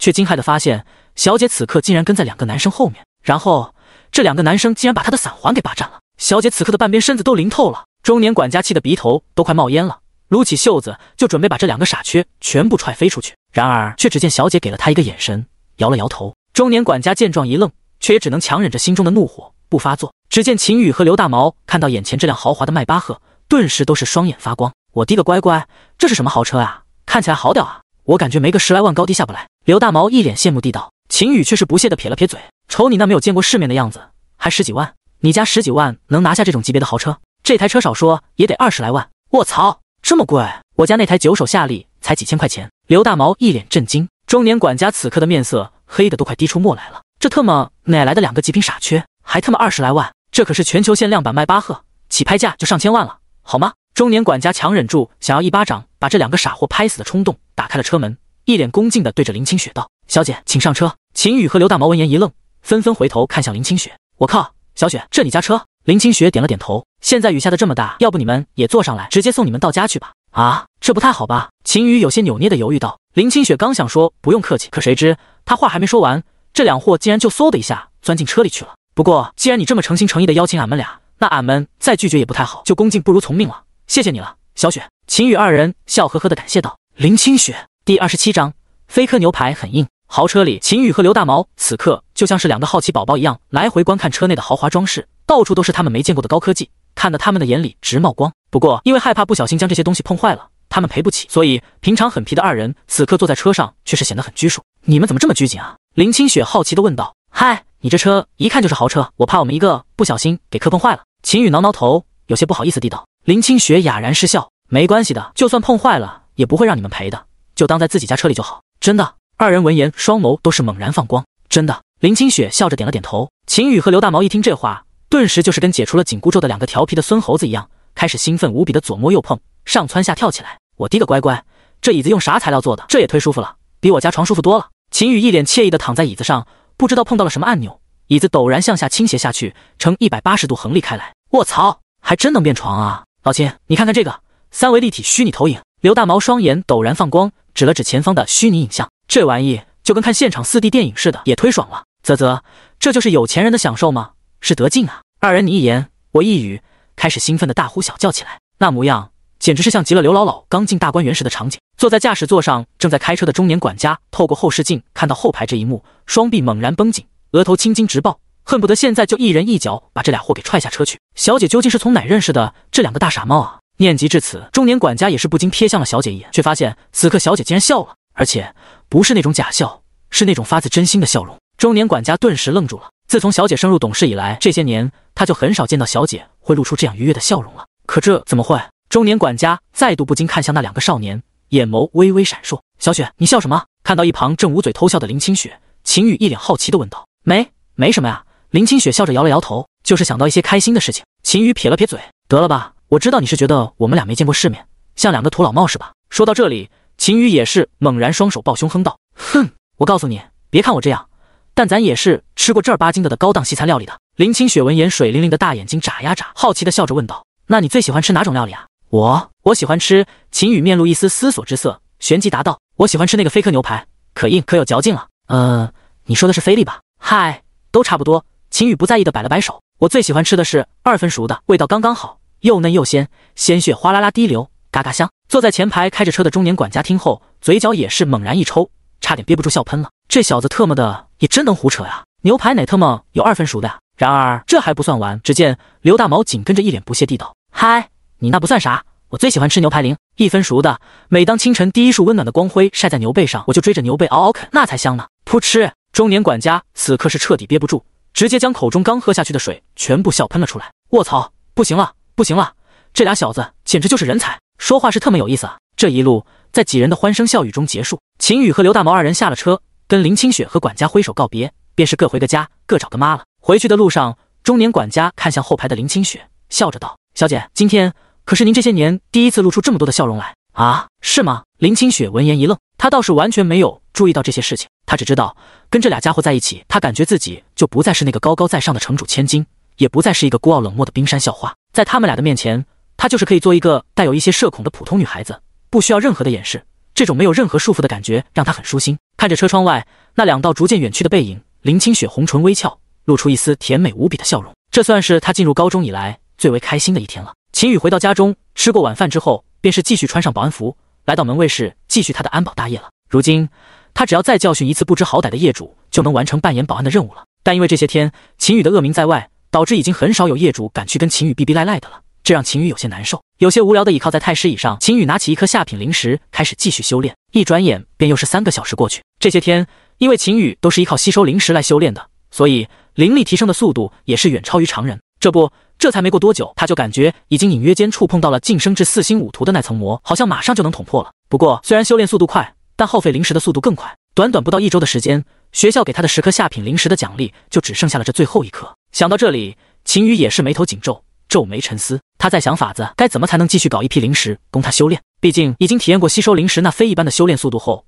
再想让他回归到原先那种最原始的修炼方法是不可能的了。我本可以忍受黑暗，如果我不曾见过光明，但思来想去，秦羽也是想不出个什么好法子来。他现在兜里就五万块钱，只够买两块下品灵石的，根本卵用也没有。自家老爸老妈就更不可能指望了。虽然他俩工作都不错，但年薪加在一起也就才几十来万，根本不是那种能供他用灵石这种奢侈无比的修炼方式进行修炼的家庭。想来想去，秦宇最终只得把主意再度打到自家的巡使爷爷身上。虽然此前一直管他要钱，他都说没有，但秦宇可不相信，身为堂堂大夏巡使，兜里还能真没钱？开玩笑，随便摊一手就得老鼻子钱了。至于不贪，不可能，绝对不可能，这不符合人性。换成是他坐到那个位置，不贪个百八十亿的，都对不起这巡使的职位。第二十八章，相亲相爱一家人。秦宇打开了手机微信，点进了其中一个名为“相亲相爱一家人”的微信小群，这里面有他老爸，有他老妈，还有他爷爷和奶奶。点进微信小群一看，最近一条消息是几个小时前奶奶转发的一条公众号：久坐熬夜加手淫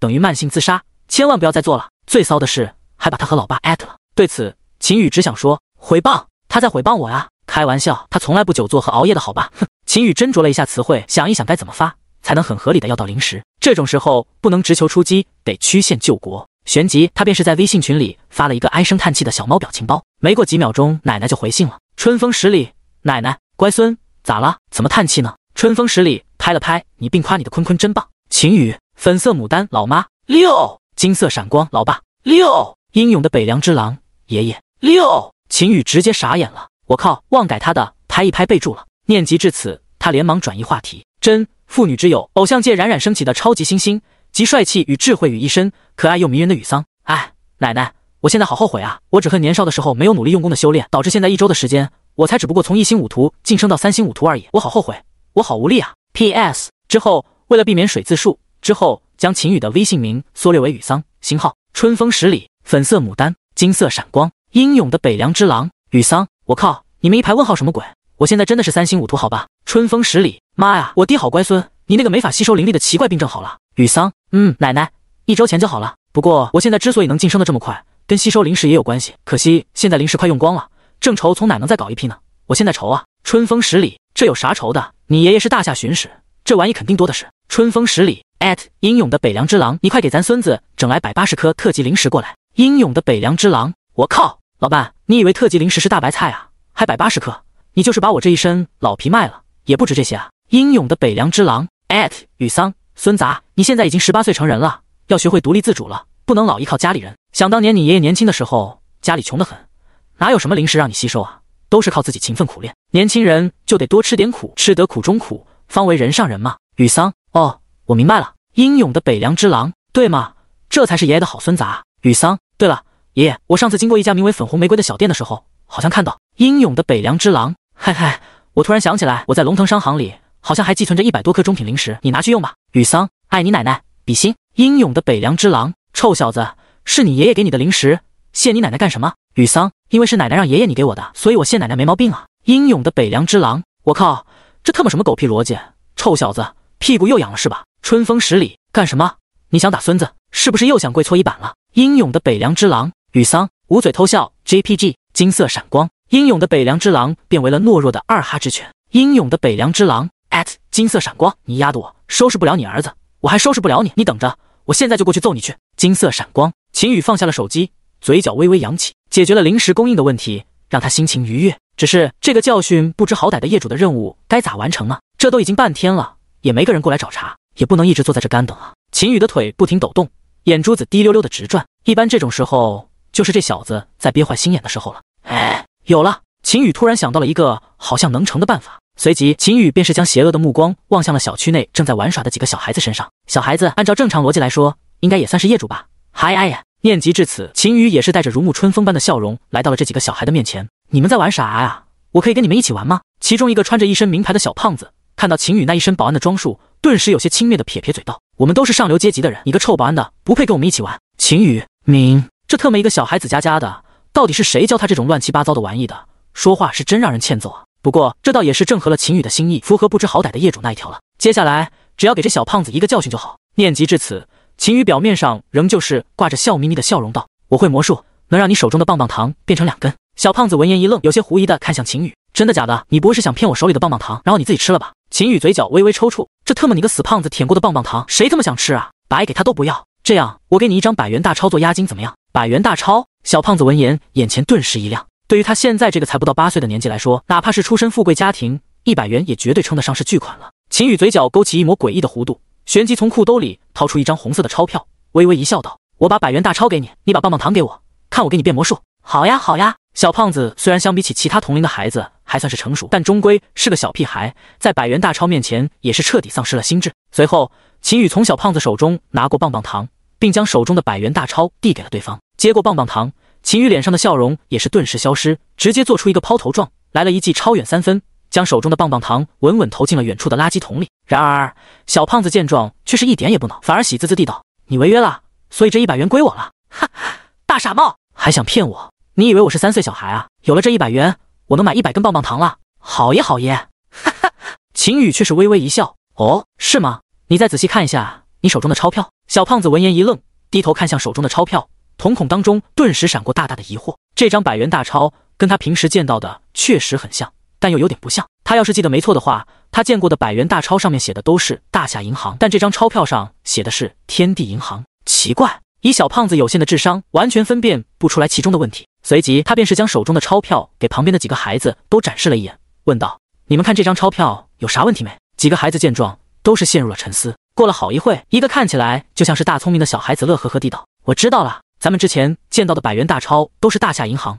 但这张是天地银行，而天地银行一听级别就比大夏银行更高，也就是说，这张百元大钞的含金量比咱们平常见到的百元大钞还要更高。”哦，原来是这样，小孩们都是恍然大悟，秦宇在一旁听的也都是彻底惊呆了。这特么什么狗屁逻辑啊！听到耳边还没有传来系统提示他完成任务的提醒，显然这个小胖子到现在都没意识到他被戏耍了。想到这里，秦宇也算无奈的轻叹一口气道：“你再翻看一下钞票的背面。”背面，小胖子闻言一愣，翻到钞票的背面一看，明晃晃的“冥币”二字印在其上。小胖子的面色当即就是变了，气得一张胖嘟嘟的小脸蛋顿时通红。我靠，你个死骗子，敢给我冥币！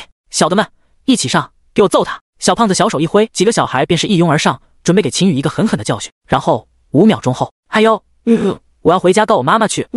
被摔了一个大屁股墩的小胖子，鼻涕一把眼泪一把地，领着自己的小弟们屁颠屁颠的赶紧离开了。与此同时，秦宇的耳边也是终于响起了一道系统提示声：叮，教训一名不知好歹的业主，防御加一，扮演点加一。叮，完成扮演保安任务，奖励评级盘算中。第二十九章，你就拿这个考验干部。叮，完成扮演保安任务，奖励评级盘算中。听着耳边传来的系统提示声。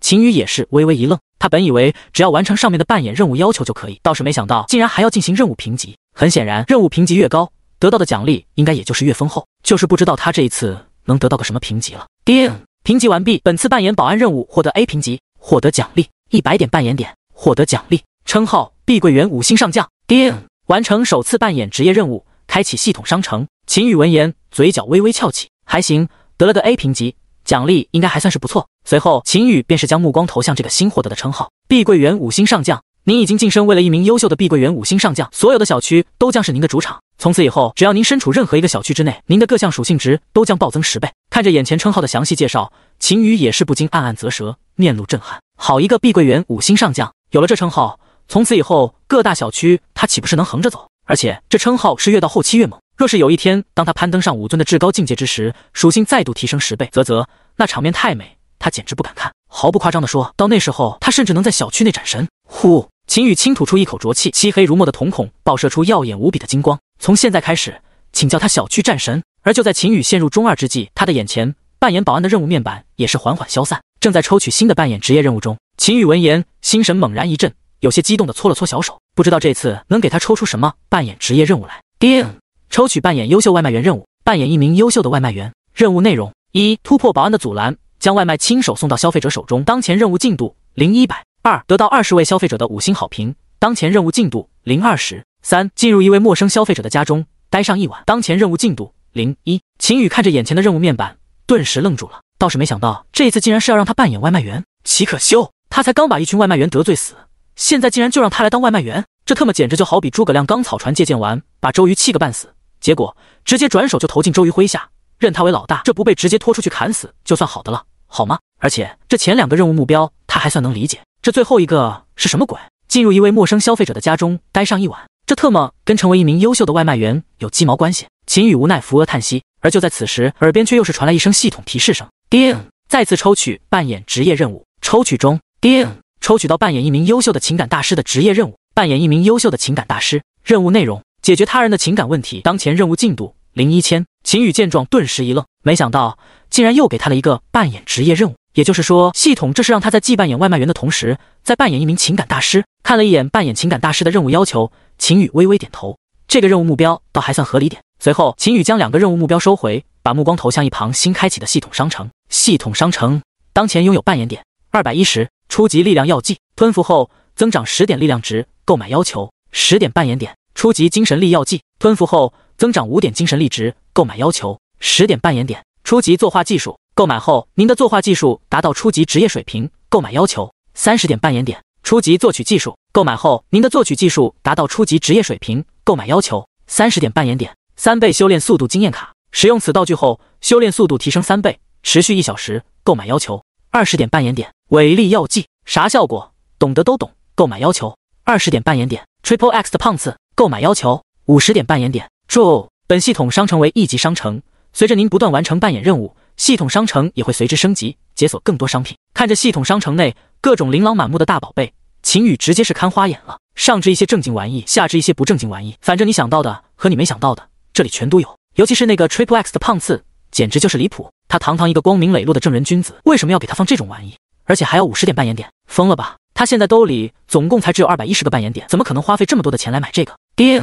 系统商城每日商品随机打折活动已开启，今日随机打折活动抽中商品为 Triple X 的胖次，打一折，只需五点扮演点。秦宇，秦宇不禁冷笑一声，呵呵，你就拿这个考验干部？我问你，哪个干部经受得住这样的考验？请给我立刻来一件！秦宇大手一挥，直接是花费五点半演点购买了一件。顿时，秦宇的手中便是凭空浮现出了一件。秦宇忽然邪笑起来：“不行，现在大庭广众之下，我拿个胖次，岂不是要被人当成变态？”叮！提醒宿主：从系统商城里购买的商品可以放置在系统空间里。靠！你不早说！秦宇心念赶忙一动，便是将手中的胖次收进了系统空间里，等着以后再说。随后，秦宇也是深吸了一口气，收回心神，打开了自己的个人面板。宿主：秦宇，境界三星五图。天赋复苏之木 A 级属性力量一百三十二，体力四十八，防御三十四，敏捷三十五，精神力二十四。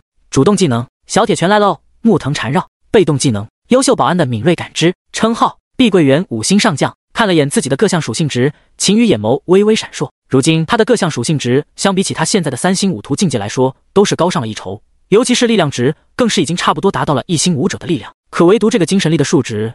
现在却是有些落后了。要知道，对于他们来说，最重要的两个属性，一个是力量值，另一个就是精神力值了。力量值代表的身体素质，而精神力决定的则是天赋的强度和持久力。尤其是对他这种觉醒辅助系天赋的人来说，精神力值更是非常关键的。不仅奶量会变得更大，也能更加持久。想到这里，秦羽心中也是有了决断，将一半的扮演点用来购买初级精神力药剂上，然后将另一半的扮演点用来购买三倍修炼速度经验卡。叮，花费一百点盲盒点购买十瓶初级精神力药剂。叮。花费一百点盲盒点购买五个三倍修炼速度经验卡，一瓶初级精神力药剂可以提升五点精神力。秦羽将这十瓶初级精神力药剂全部吞服而下，直接是让他的精神力值暴涨了五十点。精神力二十四七四，如今秦羽的精神力值高达七十四点，已经是堪比七星五图了，算是将他目前唯一的短板也给补齐。第三十章，今日我为碧桂园五星上将，是时候到了该卸任的时候了吗？秦羽看着自己身上穿着的这身保安战袍，漆黑如墨的瞳孔当中闪过一抹复杂之色。既然扮演保安的任务完成了。他身上的这身保安战袍也确实到了该脱下的时候了。犹记得一周前，他穿上这身战袍，意气风发，是要守卫碧桂园小区的平静与安宁。如今他确实做到了。秦羽双手背负身后，傲然挺立于小区大门口。狂风吹拂而过，吹得他的战袍猎猎作响。他面色平静，气势如渊，犹如一根定海神针，阻挡着一切来犯之敌。肩上的保安肩章在阳光的照射下，更是熠熠生辉。我叫秦羽，今年十八岁。今日我为碧桂园五星上将。卧槽，太燃了！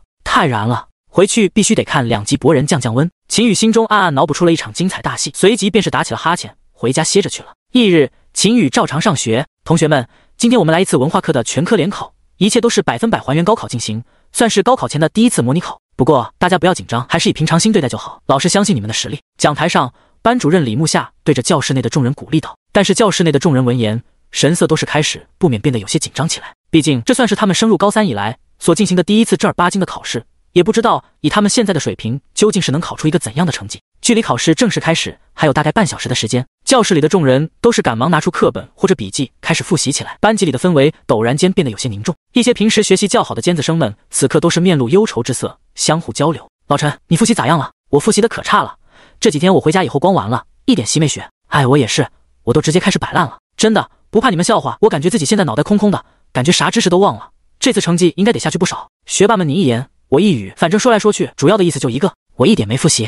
当然，对于学霸们的这种鬼话，其余人已经是一个字都不会相信了。考前一个个都说没复习，打算开摆了。结果考完之后，成绩一个比一个的高，全是一群心机 boy girl。老秦，你复习没？刘大毛看向一旁的秦宇问道。复习？秦宇双手一摊，不屑一笑道：“我怎么可能复习？我这辈子都不可能复习的，好吧？”呼，那就好。刘大毛闻言大松一口气，拍了拍胸脯：“这次咱哥俩继续稳定发挥，你当倒数第一，我当倒数第二。”嘿嘿。秦宇、大毛，这次哥们可能要一飞冲天了。嗯。刘大毛一愣，顿时有些紧张起来：“你别吓我啊，老秦，你不会真背着我偷偷学习了吧？”秦宇笑而不语，显然是默认了。刘大毛心态顿时崩了：“我靠，你个坏小子，说好一起到白头，你却偷偷焗了油啊！”秦宇无奈的拍了拍他的肩膀。兄弟，对不住了，哥们怕是要先你一步飞升了。不，雪花飘飘，北风萧萧。半个小时后，考试正式开始。本次考试时间总共四个小时，而他们则需要在这四个小时之内答完数学、语文、历史、生物、物理、化学这六科卷子。这一切都是完全按照高考的模式来进行的。考验的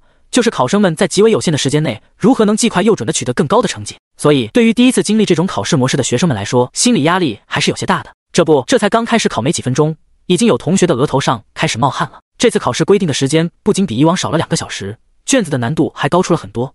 哪怕是一些尖子生们，此刻也是有些压力山大了。然而，对于已经获得了除语文以外其余五科高中知识精通的秦宇来说，眼前的这些卷子那简直是简简单单、洒洒水的事情。几乎每看一个题目，他的脑子里便是直接冒出了正确答案，就跟尼玛抄书一样。这也导致秦宇写的飞快，仅仅用时不到一小时的时间，便是将除了语文卷子以外的其余五张卷子都答完了。至于语文卷子，他扫了一眼，第一个问题“汉皇重色思倾国”的下一句是什么？看完后，秦宇冷酷一笑，笑死，根本不会。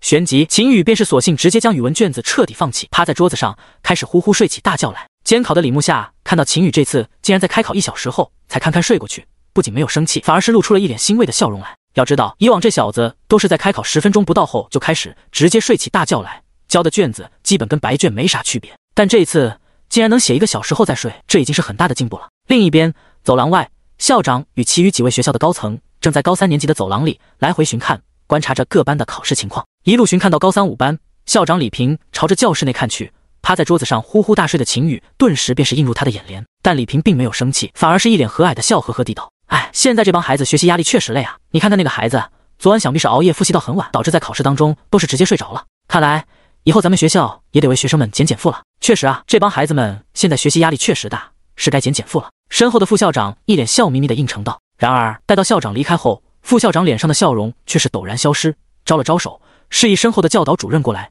淡淡道：“马主任，这班什么情况？怎么考试期间还能有学生睡觉呢？提醒一下，让他别睡了。”“好嘞，好嘞。”马主任连忙点头应和道。随后，待到副校长走后，马主任的脸色也是陡然一沉，朝着教室内的李木夏冷声道：“李老师，出来一下。”李木夏闻言一愣，走出了教室。“主任，有什么事吗？还有什么事？”马主任冷笑连连。直接用手指了指坐在后排正呼呼大睡的秦宇，你个班主任怎么当的？考试期间就让他这么呼呼大睡，你干脆让他把床也给搬教室来的了，赶紧把他叫醒，真是太不像话了。第三十一章，龙王笑容重出江湖。四个小时的考试时间转瞬而过，结束铃声响起。然而，对于教室内的一些人来说，此刻才是他们八仙过海、大显神通的时候。许多学生趁着交卷、教室内有些混乱之际，开始左顾右盼，赶忙互相抄起答案来。此前四个小时内没动几个字的一些差生们。此刻却是下笔如有神，写得飞快。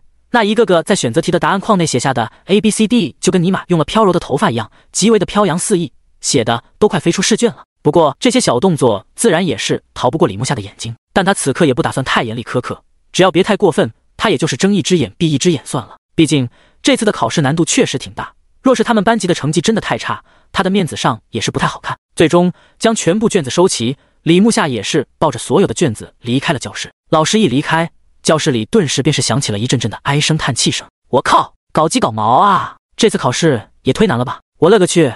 以往还有几个送分题，但今天我愣是没找到一个全这么难的批报啊！完了完了，我感觉我这次连三百分都达不到了。我爸估计得用他那七匹狼腰带抽死我！普通学生们唉声叹气，满脸惊慌，反倒是差生们脸上的表情没有什么变化。毕竟对他们来讲，无论考得简单还是难，他们都不会。对他们来说，倒不如考得越难越好，这样能把那些普通学生们也拉下来，他们的排名或许还能上去。而另一边，班级里几个学霸围在一起，此刻正互相对着答案。我历史第一题到第十题是 opt p l i d a 丽君，你的呢？我的跟你差不多，就第八题不一样。我的也是。几个学霸相互对着答案，发现这一次大家答的都大差不差，心中顿时都是暗暗松了一口气。还好，虽然这次考试很难，但他们的发挥都没有失常。而就在此时，秦宇凑了过来：“呀，你们对答案呢？我也对对看啊！”几名学霸闻言，嘴角都是微微抽搐，面露一丝不屑：“你个倒数第一的大混子，有什么可对答案的呀？”然而没过多久，秦宇的一句话便是将他们全部弄破防了。“哎呦，我的答案跟你们差不多哎！”秦宇嘿嘿笑着道。轰隆隆，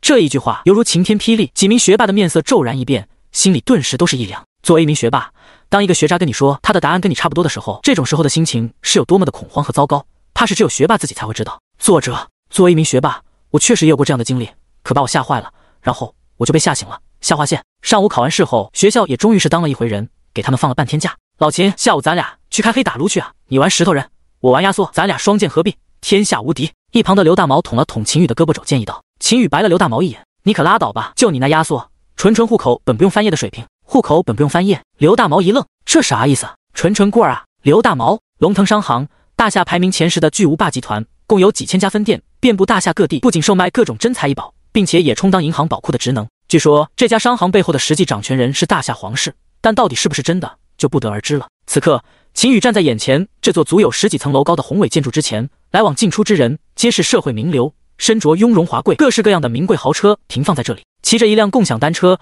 穿着一身普普通通的高中校服的秦宇，在此地倒是显得有些格格不入了。唉，希望待会不要再出现那种所谓狗眼看人低的烂俗情节了。虽然表面上这么说，但秦宇的心中却是有些隐隐的期待。我要装逼，我要装逼，我要装逼！嘴角勾起一抹微微的弧度，秦宇旋即便是背着书包，在几名护卫稍显诧异的目光下，大摇大摆地走了进去。刚一进门，便只觉得一阵清爽的凉风吹拂而过。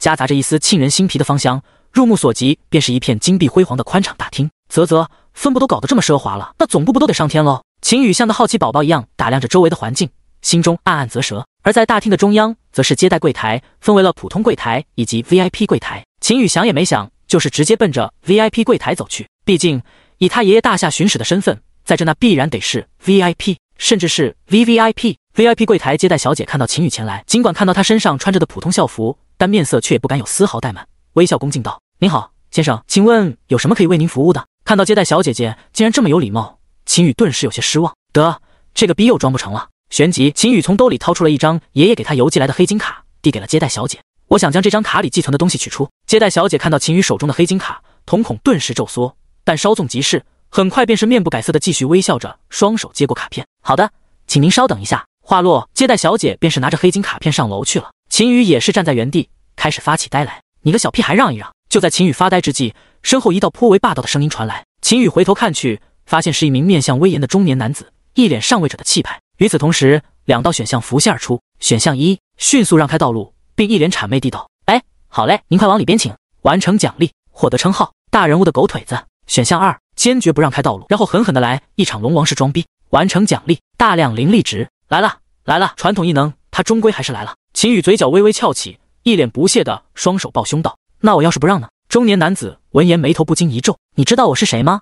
你是大夏人皇的儿子，不是？连大夏人皇的儿子都不是，你跟我在这拽尼玛呢？”中年男子闻言顿时气乐了：“合着按你这意思，除了大夏皇室的人以外，其余人你都不放在眼里了呗？你以为你爹是大夏巡使啊？这么鸡巴狂！”而就在此时，大厅内其余众人也是注意到了这边的情况，看到中年男子后，都是暗暗惊呼出声：“我靠，那不是李司长吗？李司长是谁？李司长你都不认识？江南市财政司司长。”七星大武师李天霸，卧槽，这不是平日里难得一见的大人物吗？听着耳边众人传来的议论声，秦宇也是微微一愣。李天霸这名字有点耳熟啊！哦，想起来了，这不李军他爹吗？看到秦宇面露一丝恍然，中年男子也是有些无奈的轻蔑一笑：“小屁孩，现在知道我是谁了吧？你快让开吧，我还有事，就不追究你刚才的无理行为了。”然而秦宇却仍旧是不为所动，一副老神在在的模样的待在原地。李天霸的眼眸陡然阴沉了下来，这小屁孩敬酒不吃吃罚酒是吧？说实在的，以他现在这种身份，实在是懒得跟一个小屁孩计较，那太掉价了。但这小屁孩一而再、再而三的挑衅他，这就让他有些忍不了了。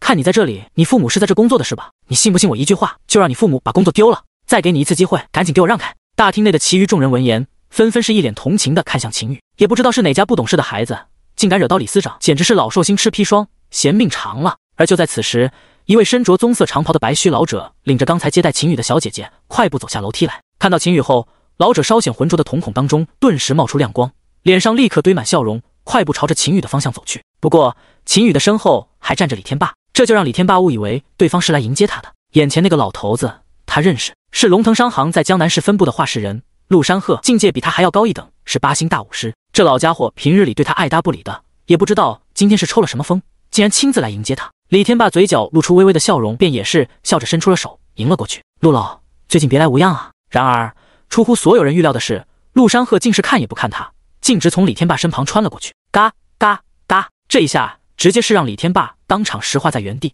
伸出的右手也是停留在半空中，尴尬的不知所措。而陆山鹤这一举动，自然也是引起了围观众人的疑惑。随后循着他的脚步看去，却赫然发现他来到了那位身穿校服的帅气小伙的面前，停住了脚步。只见陆山鹤对着秦羽微微一躬，神情无比恭敬地道：“恭迎秦公子驾临，老朽有失远迎，还望恕罪啊！”哗，全场顿时哗然。秦羽嘴角一歪，龙王笑容再度重出江湖。第三十二章，再度偷袭。这一刻，整个大厅内顿时都是有些沸腾起来。陆山鹤是何许人也？龙腾商会江南市分部的话事人，八星大武师。毫不夸张地说，地位更在李天霸之上。然而，就是这么一位大人物，现在竟然对眼前这个看似平平无奇的高中生行如此大礼。沃特发，这小子莫非是哪里来的豪门世家公子哥？众人此刻议论纷纷，都是开始不禁暗暗猜测起秦羽的身份来。李天霸此刻也傻了，虽然他到现在也不知道眼前这个小子究竟是何身份，但能让陆山鹤都如此卑躬屈膝的，定然是旁人难以想象的大人物。想到这里，李天霸的面色顿时跟吃了屎一样难看，恨不得给自己两个大巴掌。他特么这是踢到铁板了呀！自己也真特么是犯贱，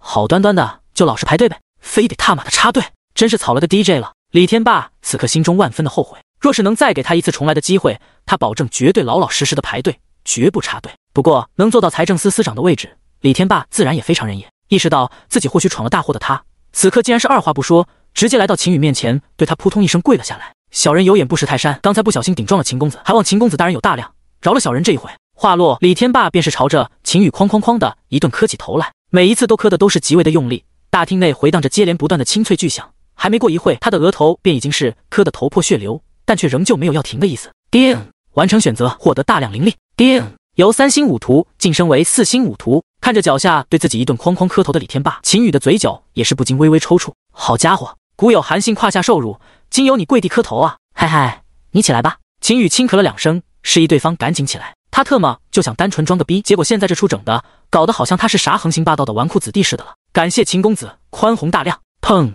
李天霸又是对着秦羽重重一磕，直接是将地面的板砖都瞬间磕碎，万分感谢道。然后他便是打算站起身来，可或许是刚才磕头磕得太狠的缘故，才刚打算站起来，脑子便是一片晕乎，额头上呼呼往外冒血，然后便是瞬间失去了意识，昏迷了过去。卧槽！众人见状都是不禁一惊，狠人啊，能特么磕头给自己磕昏过去的，属实是头一遭啊。快将李司长送进医院！陆山鹤见状，一张老脸也是不禁微微一抽搐，旋即挥了挥手，几名工作人员便是赶了过来，将李天霸抬上担架，送往医院去。随后，陆山鹤便是再度转头看向秦宇，脸上堆笑的恭敬道：“秦公子，这里人多眼杂，不如前往我的办公室如何？”秦宇见状，心中也是不禁暗暗感慨：这特么当官二代是爽啊！随后，他便是跟着陆山鹤上了楼，进入了顶层的豪华办公室内，只留下大厅内的众人望着秦宇的背影，想入非非。一间豪华的办公室内，秦宇倚靠在沙发椅上。两个长得非常带劲的礼仪小姐姐正蹲着给他捶捶腿，而他的后面还站着一个小姐姐给他捏捏肩。房间里弥漫着一股相当快活的空气。而在秦羽的面前，陆山鹤则恭恭敬敬地站着，低头弯腰，一脸殷勤，随即便是双手恭敬地递过来一枚空间戒指。秦巡使昨天已经交代给我们了，说是等您来后，便是将这枚戒指交给您。里面原先总共放置着一百枚中品灵石。秦羽接过空间戒指，顿时有些惊喜地问道：“这个空间戒指我也能拿走？要知道。”哪怕是一枚最普通的空间戒指，价值也以十万计。像眼前这枚戒指，一看制作就是更加精良，少说也得几十万了。陆山鹤笑呵呵地道：“这是自然的。”秦羽闻言顿时一喜，旋即连忙将精神力探查进空间戒指内，只见占地面积足足有上百平。龟龟，占地上百平的空间戒指，这得老鼻子贵了吧？秦羽心中不禁暗暗啧舌，旋即看向场地中央，只见放置着整整齐齐的灵石堆，大致的数了一下，秦羽顿时一愣：“不对啊，数量不对啊。”倒不是少了，而是多了，而且数量足足多了一倍，有二百枚中品灵石。秦羽看向陆山鹤，有些疑惑的问道：“你们是不是放错了？我这里怎么多出了一百枚？”陆山鹤立马笑着道：“没有错的，这多余的一百枚是我们龙腾商行主动赠送给您的，主动赠送给我。”死！秦羽瞳孔顿时瞪大，不禁倒吸一口凉气。龟龟，一颗中品灵石少说也得五万，这一百枚那可就是五百万啊！这龙腾商行竟然就直接白送给他五百万了，这么豪！当然，秦羽也不傻，他知道。对方会做到如此的地步，都是因为自己爷爷的原因。想到这里，秦羽也是不禁再度暗暗感叹一声：万恶的特权阶级啊！秦宇带着二百枚中品灵石以及一枚超高品质的空间戒指，美滋滋的离开了龙腾商行。这一波下来，短时间内他是再也不用为零食发愁了。芜湖直接原地起飞。不得不说，自家爷爷这根大腿确实又粗又硬，让他抱得好舒服啊！Come on，秦宇乐呵呵的骑上共享单车，朝着回家的路骑去，一边骑车一边还乐呵呵的哼着小曲儿。只因你太美，拜拜拜拜拜。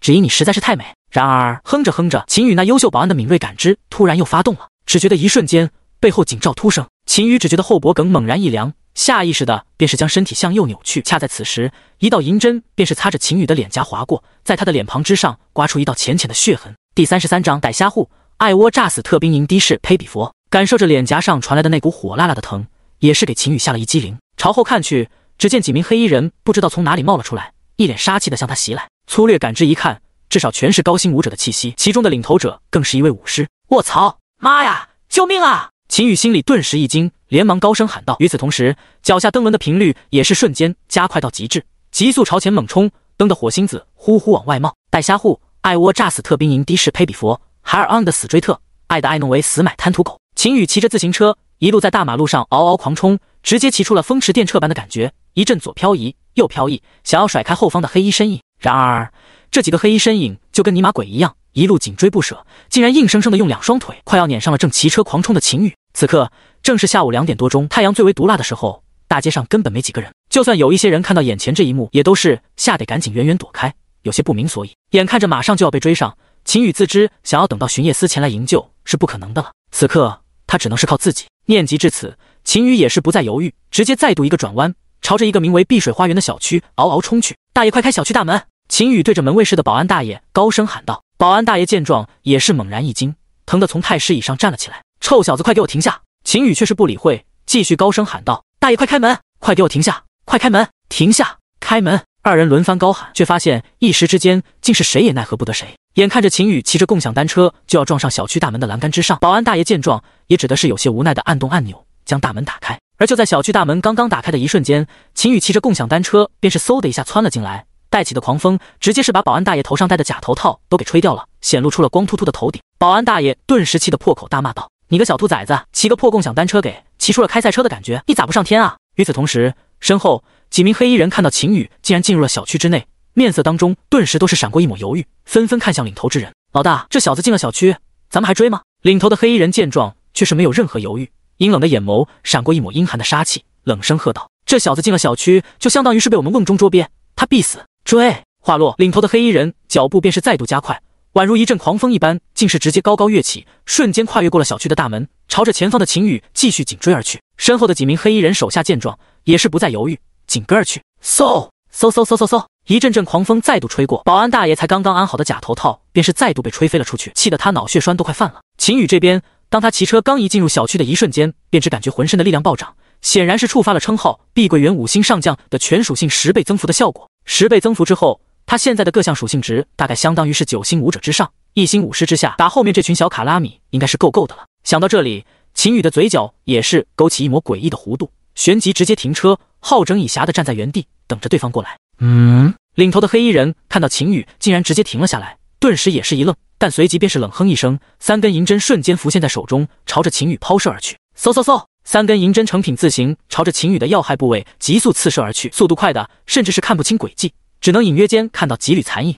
然而秦宇却只是面色淡然的邪魅一笑，将头快速第三连甩，便是轻松的将这三根银针全部躲了过去。领头的黑衣人瞳孔顿时闪过一分大大的诧异之色，自己一个三星武士的全力一击，竟然被眼前这小子如此轻松的躲过去了。而就在此时，身后的几名黑衣人手下也是纷纷赶了过来，直接是将秦宇包围在了里边。拥有了超强实力的秦宇，此刻是心不慌了，手不抖了，面色淡然而又装逼的看向领头的黑衣人：“你们是谁？”然而，领头的黑衣人显然是没有任何回答的意思，大手一挥，几名黑衣人手下便是一同朝着秦宇围杀了过去。秦宇眼眸浮现出一抹金光，心念微微一动，木藤缠绕，瞬间，几名黑衣人的脚下几根粗壮的绿色木藤便是瞬间破土而出，将他们的身体瞬间束缚住，使其摔倒在了地面之上。而伴随着这几名黑衣人的剧烈挣扎，木藤缠绕的也是越来越紧，直接是让他们都是痛苦的哀嚎出声来。仅仅是一瞬间。这几个高星武者的黑衣人便是瞬间丧失了战斗力。秦羽见状，不禁咧嘴一笑，不愧是白银级的技能书，配合上自己的 A 级木系天赋复苏之木，这效果确实是钢棍顶青蛙顶呱呱啊！当然，这也多亏了五星上将称号给他的全属性十倍增幅，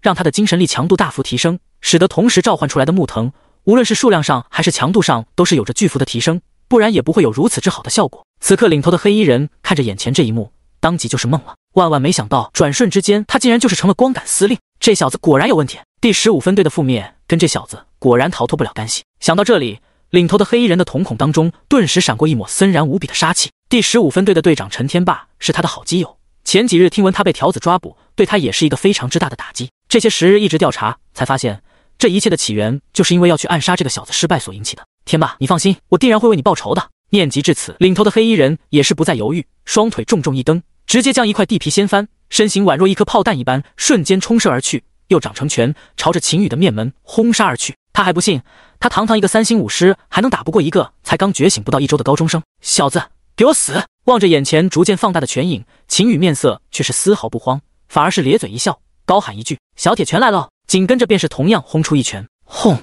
秦羽的右拳与黑衣人的右拳悍然碰撞在了一起，一股无比狂暴的气浪瞬间扩散而出，连带二人所立足的地面也是陡然崩裂开来。咔嚓！仅仅是接触的一瞬间，黑衣人的整条右臂的骨骼便是顷刻间崩碎，瘫软下来。紧接着，整个身体瞬间就是如遭重击，弯曲变形，被轰飞了出去。噗嗤！一大口鲜血喷洒而出，黑衣人重重的跌倒在了地板上，口吐白沫，不省人事。惨状与宋江如出一辙。第三十四章，做火箭般的晋升速度。十几分钟后。巡夜司众人匆匆赶来，看着眼前那躺倒着的一地的黑袍身影，林海涛顿时一愣，面色大变。都是神使会的人。哈喽，林队长，咱们又见面了。秦宇笑嘻嘻的对着林海涛挥了挥手，招呼道：“秦公子。”看到秦宇，林海涛的面色再度一变，有些不敢置信地道：“这这些都是你干趴下的？废话，不是我，还能是你们啊？”秦宇双手一摊，一脸无语地道：“果然，无论是在电视剧，还是在现实，亦或是在小说当中。”这帮维护治安的人，永远都是等事情结束了才会赶来的。自己要是等着他们的救援，估计他现在的坟头草都得有两米高了。卧槽！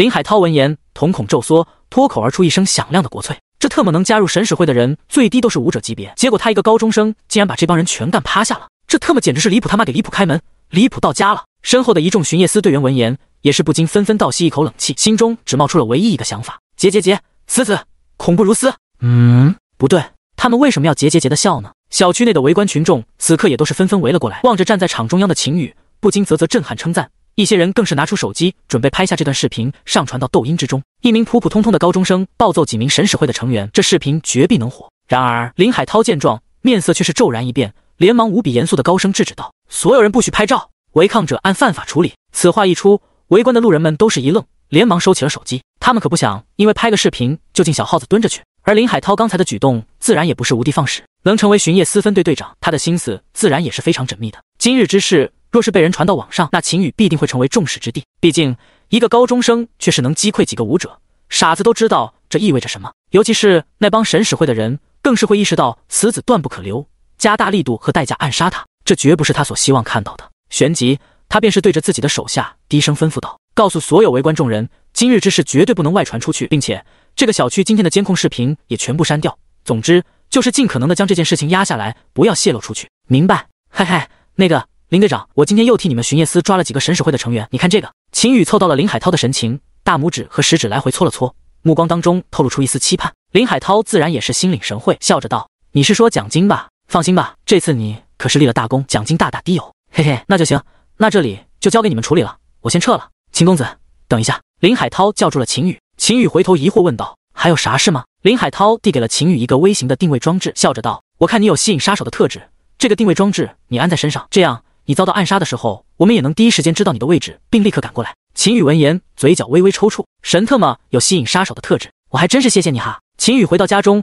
直接是一屁股瘫在沙发上，葛优躺起来。今天从几个穷凶极恶的神使会恶徒当中虎口逃生，并完成绝地反杀，还真特么是有些刺激，肾上腺素嗷嗷飙升啊！只能说，幸亏是昨天刚好完成了扮演保安的任务，得到了这个碧桂园五星上将的称号，不然他今天绝壁是凶多吉少。想到这里，秦羽就是对神使会这帮下水道的老鼠们恨得牙齿痒痒。你奶奶个腿爹！自己一个普普通通的高中生，招谁惹谁了？至于三番五次来搞我吗？那个林清雪还他妈觉醒了 S 级天赋呢，怎么不见你们去搞啊？一群欺软怕硬的狗东西，看哥们觉醒的是辅助系天赋，觉得哥们很软，所以都来搞我是吧？呀，雷嘛，求求你们当个人吧！秦羽叹气，他现在实力还是太弱了。虽然一周时间从一星五图晋升到了四星五图，但实力确实还是太拉了呀。念及至此，秦羽想要快速变强的心也是愈发强烈起来。他掏出一些中品灵石以及三倍修炼速度经验卡，便是打算开始专心修炼起来。不过在修炼之前，他倒是想起了一件事情，关于如何扮演情感大师的事情。旋即，秦羽直接是打开电脑。创立了一个微博号，并花五百大洋给自己做了一个情感大师的官方认证。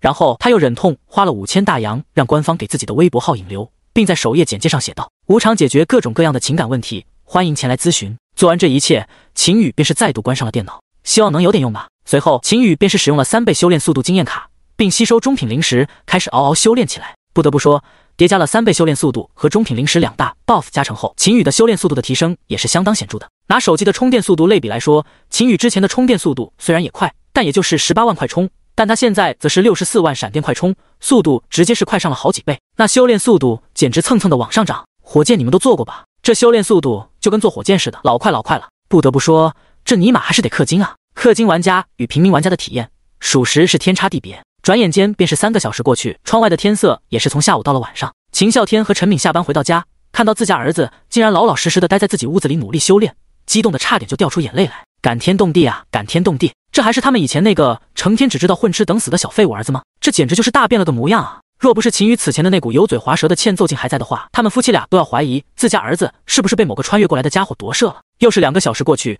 秦羽也是缓缓睁开了眼睛，漆黑如墨的瞳孔此刻却是前所未有的清明。呼，轻轻吐出一口浊气，秦羽大大的伸了一个懒腰，整个身体也是随之爆发出了噼里啪啦宛若炒豆子般的脆响。这是因为秦羽一下子境界提升太多，身体还没有反应过来的原因。宿主秦羽境界七星五图天赋复苏之木 A 级属性力量一百七十二，体力六十八，防御五十四，敏捷五十二，精神力一百零一。主动技能小铁拳来喽，木藤缠绕。被动技能优秀保安的敏锐感知。称号碧桂园五星上将。打开自己的个人面板，秦羽的嘴角也是不禁缓缓翘起。短短不到五个小时的时间，他的境界便是直接从四星五图火速攀升到了七星五图，堪比他人长达数月甚至一年的苦功。这等恐怖的修炼晋升速度，若是传出去，怕不是下一刻秦羽就要被抓走切片研究了。而这自然是多亏了三倍修炼速度经验卡和中品灵石的双重 buff 加成。不过不得不说，虽然他的境界提升速度很快，但是灵石消耗的速度更快。五个小时的时间，直接是干没了他现在灵石储存的十分之一。也就是二十枚中品灵石不说，三倍修炼速度经验卡也是全部消耗完毕。而他现在兜里只剩五点半眼点，是啥也买不起了。体验过了三倍修炼速度经验卡那宛若坐火箭一般的修炼速度以后，想让秦宇再老老实实修炼是不可能的了，这辈子都不可能的了。这就好比吃惯了山珍海味，再让你吃窝窝头加小咸菜，那绝对是吃不下去的了。旋即，秦宇便是打定主意，待会吃完饭之后，便是开始送外卖，挣半眼点。对了，这五个小时过去，也不知道有没有人给自己咨询情感问题。想到这里，秦宇也是再度打开微博。发现自己的粉丝从最初的零个变成了一百多个，这显然就是他此前花费五千大洋让官方给自己引流的效果。只能说，无论走到哪里，氪金永远都是第一生产力啊！不禁暗暗哑然失笑的感叹一声。秦宇随即也是点开自己的私信栏一看，哟呵，倒还真有一人给他发来了一个情感咨询问题了。第三十五章，干净又卫生。吹风的小瓜，你好，大师，我有个情感问题想要咨询你一下。看着电脑屏幕上对方给自己发来的私信，秦宇微微一笑。虽然他从来没有谈过恋爱。一直是条高贵的单身贵族汪，但没吃过猪肉，还没见过猪跑吗？他自认自己的情感经验绝对不亚于那帮海王多少。旋即，秦宇也是一脸自信的在私信栏上写道：“情感大师雨桑，你说。”对方很快回信：“吹风的小瓜是这样的，大师，我跟我女友在一起一年多了，这期间我们很恩爱，几乎没有吵过什么架。但从一周前开始，他对我的态度就是变得忽冷忽热起来。我问他怎么了，他也说没什么，但我明显能感觉到他最近对我的态度变得有些冷淡了。”以前我给他发消息，他都是秒回的，但是现在经常隔了好几个小时才回我，并且晚上六七点钟就说他困了要睡觉。请问大师，这究竟是怎么回事啊？是不是我哪里做的不对，惹他生气了呀？秦宇看着眼前一连串的信息框，顿时沉默了。倒不是这个问题太难了，而实在是太他妈的简单了。这尼玛看女友的一举一动，就差明着告诉这兄弟的脑袋上是一片青青草原了。偏僻这傻兄弟竟然还认为是自己的问题，唉，可怜的孩子啊！秦宇不想太过直截了当的回答出真正的原因，那样估计会把这孩子打击死。心中思索了一番，秦宇想出了一个较为委婉的回答：“情感大师雨桑兄弟，我劝你速速分手。”吹风的小瓜大师，为什么？情感大师雨桑，当你觉得热水器忽冷忽热的时候，那不用多想，一定是有人在跟你共用热水器。这个消息发完后，对方沉默了，足足十多分钟过后，才再度回复了消息：“吹风的小瓜，我悟了，大师，感谢您的指点。”叮，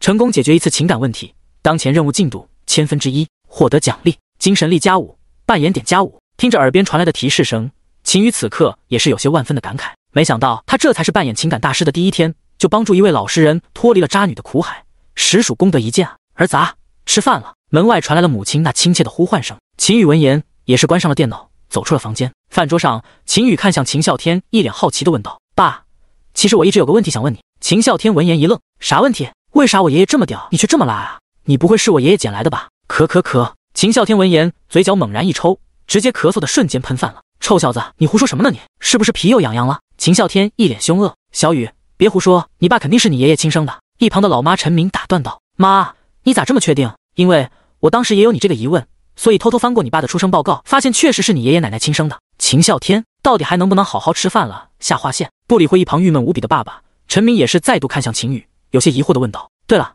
小雨，听你爸说你想去当外卖员？”嗯。秦宇点了点头，陈敏闻言不禁长叹了一口气：“这臭小子也真是不让他省心啊！”一旁的秦啸天乐呵呵地道：“看吧，我就说以这小子的耐性，过不了一周就不想当保安了。你就说我猜的准不准吧？”呵呵，陈敏翻了一个白眼：“是，保安不当了，改去当外卖员了。”秦宇闻言面色陡然变得严肃：“陈敏同志，这我就不得不批评你一下了。外卖员怎么了？职业不分贵贱，劳动最光荣，好吧？不是我批评你个女同志，但你这思想觉悟属实，有待提高啊！”说得好！秦啸天闻言在一旁啪啪鼓掌。唉，陈敏无奈扶额叹息，这爷俩简直是一个模子刻出来的，一个比一个不让人省心。吃过晚饭之后，秦宇也是出门，直奔外卖站点走去。穿上站点发放的外卖服，骑上小电驴，便是开始正式接取订单。没等多久，便是来了第一个订单。秦宇看了一眼，发现这个客户点的是一份麻辣香锅，也是他常点外卖的那一家，叫大胖麻辣香锅。这客户有眼光啊！这家麻辣香锅是方圆五公里内最香的，他也是踩了好几家雷才找到这家宝藏店铺的。随后，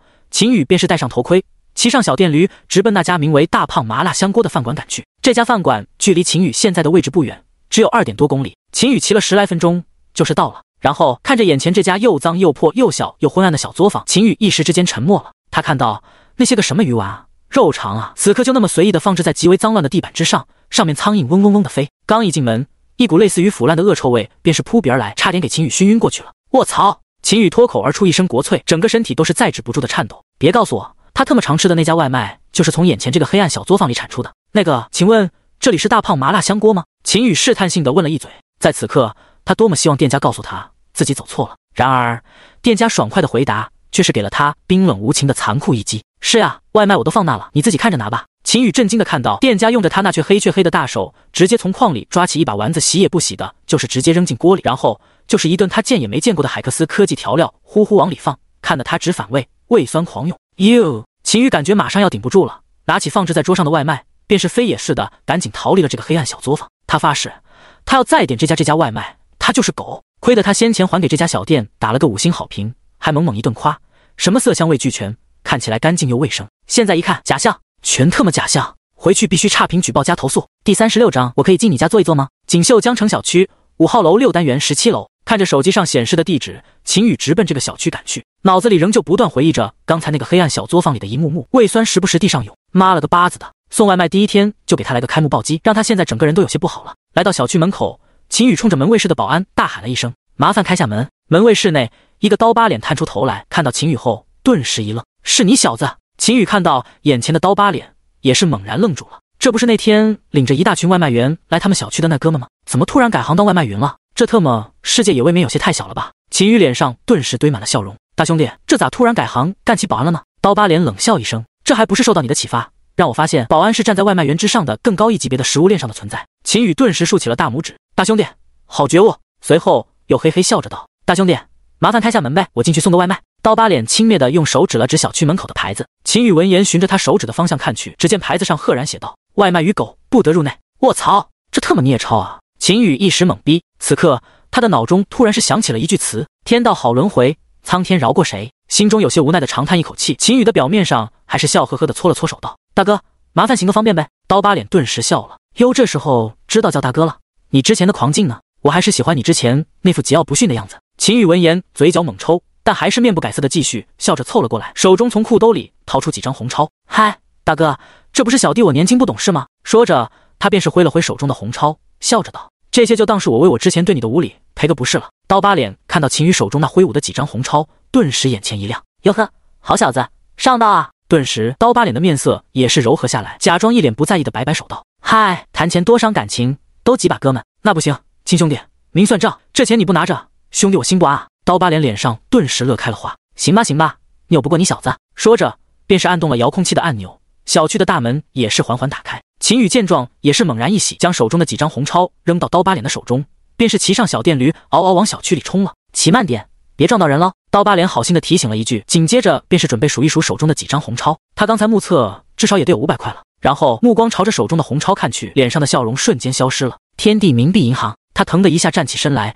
杀气腾腾。我刀呢？秦宇来到小区五号楼六单元十七楼的门前，敲了敲门。你好，您的外卖到了。不多时，一阵脚步声传来，房门缓缓打开，一位穿着轻薄透气的真丝睡衣的漂亮小姐姐走了出来。秦宇看到眼前的小姐姐，眼前顿时一亮，脑子里几乎是一瞬间冒出了几个数字：一百六十五。四十四三六 D，您好，您的外卖。秦宇笑眯眯的将外卖递了过去。小姐姐看到秦宇，也是不禁妩媚一笑。小哥哥，你挺帅的嘛。就在此时，秦宇的面前浮现出了两道选项。选项一，一脸谦虚地道：一般一般，世界第三，获得奖励十点扮演点。选项二，用着三分讥笑、三分薄凉以及四分漫不经心的语气道：哦，女人，你是第一个敢跟我这么说话的人，不邀请我进去坐一坐吗？获得奖励三十点扮演点。秦宇看到后，不禁轻叹一口气。这第二个选项属实离谱，饶是以他那比死猪还厚的脸皮，都觉得这有点太社死了。但没办法，给的扮演点太多了，只能是拼了。心中思绪微微运转，秦宇也是下定决心，深吸了一口气，随即他便是摆出一副三分讥笑、三分薄凉以及四分漫不经心的语气，霸道无比地道：“哦，女人，你是第一个敢跟我这么说话的人，不邀请我进去坐一坐吗？”小姐姐闻言，本是稍显羞涩的面色顿时一变，怒骂道：“死变态！”话落，便是一把抢过秦宇手中的外卖，砰的一声重重的关上了房门。叮，完成选择，获得三十点扮演点。叮，成功送达一份外卖，敏捷加二，扮演点加五。听着耳边接连传来的两道系统提示声，秦宇也是有些无奈的叹息一口。要不是系统非让他做个选择，以刚才这小姐姐的羞涩姿态，自己今天说不定还真有戏在这待上一晚。对了，小姐姐，提醒你一句，以后别吃这家的麻辣香锅了，很脏。秦宇提醒道。门内传来了一道冷冷的怒骂声：“赶紧给我滚！你个死变态！”秦宇面不改色，继续笑着道：“麻烦给我个五星好评哟，亲，滚！”秦宇离开了小区。旋即便是接取新一份订单，开始继续送起外卖。时间匆匆流逝，很快便是几个小时过去，已经是到了晚上十点多钟。秦宇也是准备收工回家睡觉了。这一晚上，他送了十一份外卖，敏捷点增加了二十二点，敏捷五二七四。不过，虽然送了十一份外卖，但他却没有得到一次的五星好评，甚至有好几次差点被客户打死。至于为什么，别问他，得问这个狗系统。神特么不是让他对着客户说：“你长得好像我的第一百零八个前任，请问我可以喊你吗？”就是说。我给你的外卖里放了点秘制小酱料，这种傻逼话，这也就得亏他跑得快，不然今天他高低是不可能平平安安的回到家了。当然，做了这么多次选项，虽然让他被很多人当成了变态，但也是让他又积攒了很多的扮演点。扮演点二百二十二，这是他今天所赚取的扮演点。秦宇将这些扮演点全部选择用来兑换三倍修炼速度经验卡，共获得了十张，估计是足够撑到他晋升为武者了。第三十七章，我是学霸，我摊牌了。一转眼又是三天时间过去，这三天，秦宇白天在学校上课修炼，晚上骑上小电驴送外卖。睡觉前再帮几位老实人解决情感问题，日子倒也算过得充实。宿主秦宇，境界八星五图，天赋复苏之木 A 级，属性力量一百八十五，体力七十二，防御五十六，敏捷一百三十七，精神力一百一十八。主动技能小铁拳来喽，木藤缠绕。被动技能优秀保安的敏锐感知。称号碧桂园五星上将。经过这些天的刻苦修炼。境界再升一阶不说，敏捷也是暴增了六十多点，达到了一百三十七点。毫不夸张的说，秦羽现在的敏捷速度甚至是不亚于一些低星武师了。看着个人面板上自己各项属性值的涨幅，秦羽满意地点点头。江南一中高三五班早自习时间，此刻教室里传来了一阵阵卧槽卧槽卧了个大槽的惊呼声，学生们都是围在黑板前，一脸震惊。只见黑板上张贴着上次模拟考的成绩与排名，不出众人所料，这一次大家的成绩都是下去了很多。以往能上五百分以上的，这次很多都下去了。只有李军一人打了个五百零一分，勉强维持在了五百分以上，这足以见得这次的模拟考的难度是有多高。但这并不是让众人不断喊出卧槽的原因，因为他们班这一次竟然还有个人打了个刚刚好好的五百分的成绩，仅次于李军，而这人不是别人，正是此前一直掉车尾的秦宇。不过这还不是最卧槽的，最最卧槽的是这家伙数学、历史、物理、化学、生物五科通通打了一百分满分，唯独语文一科直接是打了零分，这特么什么概念啊？这件事情的离谱程度，简直要比灰太狼爱上了懒羊羊，但懒羊羊却爱上了光头强这件事情还要离谱上一万倍。而就在这时，秦宇哼着小曲儿，美滋滋的走进了教室。一走进教室，所有人便是瞬间全部围了过来，目光灼灼的盯着秦宇看。秦宇顿时一愣：“我靠，你们干嘛？”秦宇，你老实说，你是不是作弊了？有人忽然问道。作弊？我做什么弊？秦宇疑惑。随即，众人便是给他指了指黑板上的成绩排名。秦宇凑过去一看，面色没有任何的变化，有些奇怪的问道：“这怎么了吗？”我靠！你看你的成绩啊，你竟然打了五百分！我打五百分不是很正常的事情？秦宇双手一摊，一脸奇怪地道。众人嘴角猛然抽搐，这话你是怎么有脸说出口的？少个零，打个五十分倒是很正常的事情。看着众人那一脸怀疑的目光，秦宇顿时有些无奈地道：“拜托，你们这帮人嫉妒心不要这么强吗，还不允许吊车尾翻盘逆袭了。再说了，以我的人品，我怎么可能作弊？大毛作为我的死党，你说以我的人品有没有可能作弊？”刘大毛盯着秦宇，目光悠悠的叹息道：“兄弟，认了吧，自首的话，或许判刑还能轻一点。”秦宇。而就在此时，班主任李木夏一脸严肃的走进了教室。秦宇。出来一下！秦宇一愣，李老师，你不会也怀疑我作弊了吧？李木夏冷哼一声，少废话，赶紧跟我过来！秦宇无奈的摇了摇头，跟着李木夏走出了教室，直奔教导主任的办公室走去。教导主任的办公室里，此刻文化课的六科老师齐聚一堂，看到秦宇走了进来，都是一脸凶恶的看向秦宇，宛若六尊凶神。秦宇坦白从宽，抗拒从严。秦宇，老实说，做没作弊？孩子，听老师一句劝，做人学习可以不行，练武可以不行，但人品绝对不能不行啊！别废话了，这小子简直就是胆大包天！我建议直接给记大过处分。众多老师你一言我一语，对着秦宇便是一脸严肃的审问了起来，直接是把秦宇都问懵逼了。尤其是语文老师，此刻的面色更是黑成了煤炭，指着秦宇的鼻子便是一顿臭骂：“你说说你个臭小子，你要是作弊，你就全作弊嘛！结果其他五科全作弊，打了满分，就他的语文打了零分，这什么意思？谢不纯纯恶心人的吗？”而就在此时，一直沉默不语坐在椅子上的马主任摆了摆手，开口道：“好了。”终归是个孩子，大家不要给这么大的压力嘛。马主任笑眯眯的看向秦宇，秦宇同学，其实老师们也不是不想相信你，但你的进步速度实在是太快了，快到都有些不符合常理了。这确实是让我们一时之间很难相信啊。而就在此时，秦宇的眼前浮现出了两道选项，选项一，一脸无所谓地道：“你们相不相信关我屌事？我又不是你们的爹。”完成奖励五十点扮演点。选项二，一脸平静地道：“本来想以学渣的身份跟你们相处，可换来的却是嘲笑与质疑。既然如此，我不装了，我是学霸。”我摊牌了，完成奖励二十点精神力。看着眼前的两道选项，秦宇直接是毫不犹豫的选择了第二个。只见秦宇不屑一笑，有些无奈的摇头叹气，一脸平静地道：“本来想以学渣的身份跟你们相处，可换来的却是嘲笑与质疑。既然如此，我不装了，我是学霸，我摊牌了。”噗嗤，许多老师闻言一个没憋住，笑出了声。秦宇要是学霸，那母猪都会上树了。马主任也是一脸憋笑的摆了摆手：“这样吧，秦宇同学。”我让各位老师呢，再各自给你出一道跟这次模拟考难度类似的题，只要你现场都答出来了，我们就相信你没有真的作弊。其余老师闻言都是认可的点了点头。事实上，他们也是这么想的。没问题啊，随便出。秦宇一脸自信地道。随后，除了语文老师以外，其余五科的老师便是纷纷各自出了一道题，写在了 A4 纸上，递给了秦宇。秦宇接过 A4 纸，扫了一眼问题：函数 f(x) 等于二 sin x 二派六的最小正周期是？大夏第三任人皇将西北防线收缩的战略目的是什么？造成了什么样的影响？凹透镜的焦距为十二厘米，所成的像等于物长的一半，那其物距和像距皆为多少？胆固醇、脂肪酸、脂肪酶是由相同元素组成的吗？Na2O2 用作呼吸面具的供氧剂涉及氧化还原反应吗？看着这五道问题，秦宇笑了，太简单了，他甚至连想都不用想，这五道问题的答案就是蹭蹭蹭的冒出来。第三十八章，知道你错哪了吗？看完问题之后，秦宇连想都是没想，便是提起笔，在 A4 纸上哗哗的将答案全部写了下来。秦宇答完后，各科老师都是领走了各自写出问题的纸张，一看，顿时都是一愣。历史他答对了，数学也是，生物也是，化学也是，物理也是。五科老师闻言，双眸顿时都是瞪大。难道秦宇真的没有作弊？语文老师马主任见状，此刻也是一脸兴奋的站了起来，拍了拍秦宇的肩膀：“好呀，好呀，秦宇同学，我们江南一中又出来了一位能文能武的人才啊！就是其他科都答了满分，怎么偏偏语文就打了零分呢？”马主任一脸疑惑的看向秦宇：“孩子，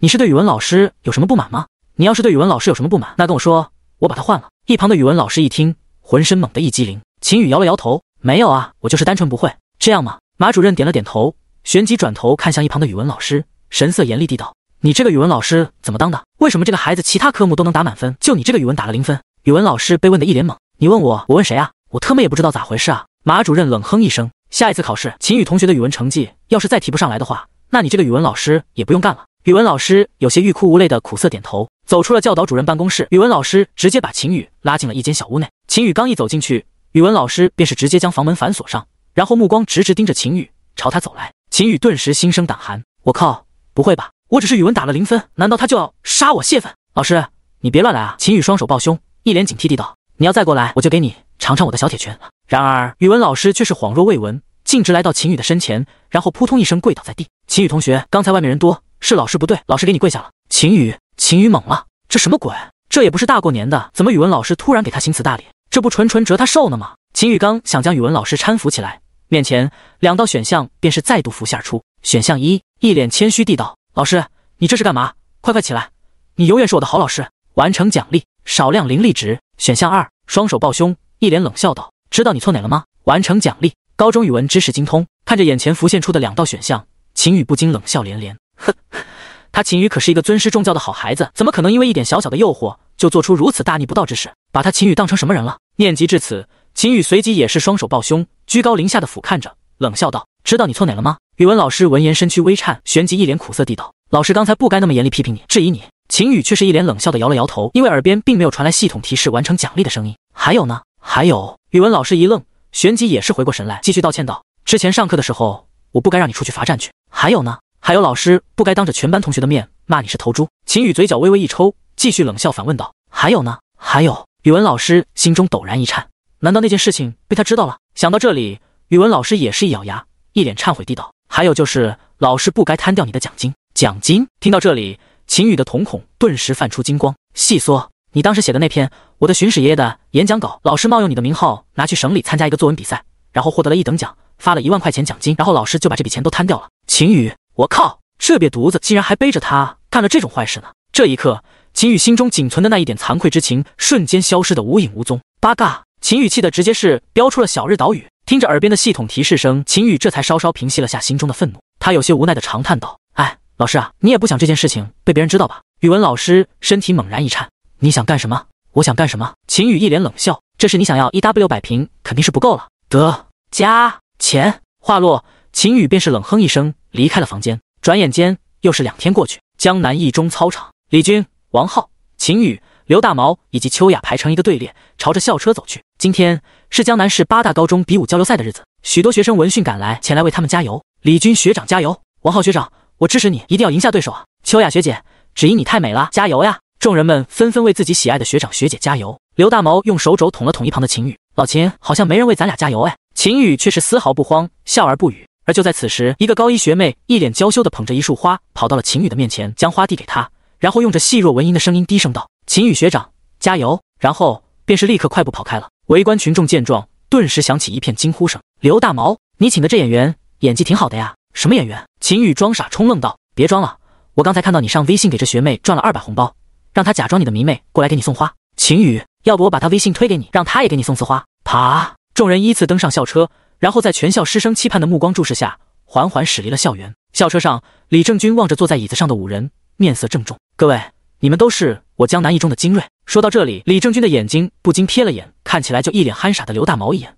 嘴角微抽，连忙补充道：“至少大部分都是刘大毛。”这次比武交流赛，无论是对你们自己还是对学校，都是一场非常重要的比赛。我希望你们竭尽全力拿下一个好成绩。大家有没有信心？有！众人齐声高喊，神情充满了斗志。不过，与其他人那充满斗志的姿态相比，秦宇此刻却是懒洋洋的瘫软在椅子上，打起了哈欠。李正军见状，眉头顿时一皱，但想到前些日子这小子一拳打飞宋江的场景，估计这次的比武交流赛还得多依靠这小子，便也没有多说什么了。为了奖金，他忍了。第三十九章，白花花的银子。很快，校车就是停在了江南市中央竞技馆门前。这是江南市最大的竞技馆，可容纳五万多名观众，也是这次八大高中比武交流赛的比赛现场。透过车窗，秦宇看到此刻的竞技馆外已然是人山人海，乌泱乌泱的排着队等待着入场。我去，竟然来了这么多人！刘大毛一脸惊叹地道：“毕竟是江南市第一次举办这种赛事，自然也是吸引了很多人观看。听说观众席的票价这一次更是炒到了天价，最普通的座位都要一千多。”李正军笑呵呵地说道：“一千多。”秦宇和刘大毛闻言都是不禁一脸震撼的咂了咂舌，就为了看场比赛花一千多块，简直是浪费啊！这尼玛能吃多少顿肯德呀？虽然不是他俩花钱，但光听到这个数字都是不禁跟着心痛起来。白花花的银子啊，全糟践了，真是造孽啊！二人异口同声的叹息道：“众人，这俩人不愧是能从小玩到大的死党，脑回路确实非常人所能及也。”很快，众人便是在官方人员的指引下，经过了特殊通道，进入了竞技馆内。此刻，场馆内已经是有无数观众落座。嗡嗡的议论声不绝于耳，显得是无比的嘈杂。进入场馆之后，秦宇一行人便是与李正军分开了。他们跟随着工作人员的指引，来到了后台的一处通道之中。待会，开幕式开始之后，当主持人喊到江南一中之时，他们便是会从这个通道当中入场。此刻，江南一中的五人神色各异。李军站在最前方，一脸倨傲的双手抱胸，闭目养神，透露出一股浓浓的刻意装逼的味道。而王浩和秋雅此刻则是显得有些紧张，尤其是王浩，作为一个土生土长的农村孩子，这还是他第一次要登上如此之大的舞台。光是望着前方那观众席上数万名的观众，就已经让他的心脏紧张的砰砰直跳。短短不到十几分钟的时间里，更是已经去了好几趟厕所了。而要说此刻在场众人当中最不紧张的，就当属秦宇和刘大毛这俩活宝了。这俩人此刻正一脸兴高采烈地讨论着待会入场的时候要摆什么 pose 呢。而就在这时，通道内一位身姿曼妙的绝美倩影，迈着优雅的步伐走了过来。此人正是林清雪。今天她身穿了一身精致的黑色蕾边长裙，宛若从天而降的黑夜女神一般，绝美而优雅。李军看到眼前的绝美倩影，顿时看得眼睛都吃了，瞳孔当中满是炽热的目光。在这一刻，他甚至恨不得一把冲过去，将她拥在怀里，一顿狂亲。当然，他也仅仅只是在心中歪歪一下而已，是绝技不敢这么干的。毕竟人家的老爹可是江南市的城主，自己要是真这么干了，那无疑是厕所里点灯。找屎死！按捺住心中的那股火热的冲动，李军面带笑容的想要与其打招呼，可谁知林清雪竟然看都不看他一眼，便是直接穿过了他，来到了秦宇和刘大毛面前，笑盈盈的打招呼道：“秦宇、大毛，你们好啊！”秦宇二人看到林清雪后，脸上的神情倒是没有太大的变化，有些敷衍的打了声招呼后，俩人便是继续就该摆什么样的 pose 和喊什么样的口号，陷入了无比激烈的争论之中。我觉得奥特曼变身的那个姿势最帅，放屁，那个太蠢了。我的评价是，不如献出心脏。李军。林清雪，你们在干什么啊？林清雪有些懵逼的看着眼前二人。我们在讨论待会出场的时候该摆啥 pose 才最帅。目前我们有三个方案，一个是奥特曼变身的姿势，还有一个是进击的矮子里那个献出心脏的姿势，最后一个就是宝可梦里火箭队的出场姿势。小雪，你觉得哪个好呢？秦宇一脸期盼的看向林清雪。林清雪沉默了，他这辈子都没想到，竟然会有人在这种场合下在思考出场姿势的问题，这对他来说属实是超纲了。算了，问你也白搭。秦宇摆了摆手。再度回头看向刘大毛，这样，既然咱俩对前两个方案都有人不满意，那就选第三个方案吧，也行。刘大毛点点头，然后这两人便又是兴高采烈的开始对起了词来，完全将林清雪忽略在了一旁。林清雪不禁扶额叹气，一旁的李军看着眼前这一幕，极度的后槽牙都快要咬碎了。他怎么也想不明白，为什么如此高冷的冰山女神会愿意搭理这两个大傻子，简直完全想不通自己比起这俩大傻子究竟差在哪里？难道这就是傻人有傻福吗？而就在此时，舞台之上。主持人那嘹亮的声音陡然响彻了起来。接下来，让我们欢迎江南一中。江南一中的几人闻言都是一愣，旋即瞬间打起了精神，站成了一排，朝着舞台走去。加油，等你们的好成绩！林清雪笑盈盈的为他们加油道：“放心吧，这群小卡拉米，我随便拿捏。”秦宇一脸自信的摆了摆手道：“走在最前方的李军听闻秦宇的狂妄之语，嘴角顿时一抽，他都没自信敢说出这种话，这傻缺现在倒是给他狂起来了。只能说无知者无畏啊！”李军冷笑摇头，随后。在万众瞩目的目光注视下，江南一中五人缓缓走出通道，顿时迎来了全场观众的欢呼和喝彩。主持人那高亢洪亮的声音也是适时的响起。现在从通道里迎面走出来的是江南一中代表队，他们精神饱满，步伐矫健，不抛弃、不放弃是他们的原则，团结奋进、顽强拼搏是他们的信念。希望他们能在赛场上赛出水平，赛出风采，取得好成绩。听着这套介绍词，秦宇额头直冒黑线。这股浓浓的小学运动会入场的既视感是怎么回事？很快，一行五人便是登到了舞台之上，各自站定。工作人员也是立刻递给了他们每人一个麦克风。主持人随即笑着道：“接下来就请你们各自介绍一下自己吧。”李军闻言微微一笑，旋即拿起麦克风，面色泰然自若的自信道：“大家好，我叫李军，也是本次江南一中代表队的队长，希望大家能支持我们。”观众席随之爆发出了一阵阵的喝彩和鼓掌声，一些小女生们更是双眼放光，露出一副副的花痴脸。哇！这个江南一中的队长感觉挺帅的吗？是呀，感觉好 man 哎。紧跟着，王浩一脸紧张的拿起麦克风，声音有些结结巴巴地道：“大大家好，我我叫王王浩。”随后，秋雅也是有些紧张的低声说道：“大家好，我叫秋雅。”主持人笑了笑，看来这两位同学现在有点紧张啊，希望两位也能尽快调整好心态。好的，请最后两位介绍一下自己吧。主持人目光看向最后的秦宇和刘大毛，示意他们介绍自己。秦宇和刘大毛闻言相互对视一眼，点了点头，旋即纷纷是双手抱胸，一脸怪笑道。既然你诚心诚意的发问了，我们就大发慈悲的回答你。秦宇随即站了出来，高喊道：“为了防止世界被破坏。”刘大毛紧跟着站了出来：“为了守护世界的和平。”随后二人齐声喊道：“贯彻爱与真实的邪恶。”我是可爱又迷人的秦宇，我是壮硕又聪明的刘大毛。秦宇和刘大毛双手抱胸，背靠背站立，嘴角高高歪起，露出龙王笑容。全场观众，第四十章，李军，我某某你某某沉默，整个场馆瞬间沉默了。观众席上，李正俊看着眼前这一幕。气得脸都绿了，尴尬的恨不得赶紧找一个地洞钻进去。丢人啊，太丢人了！这俩傻货怎么敢的呀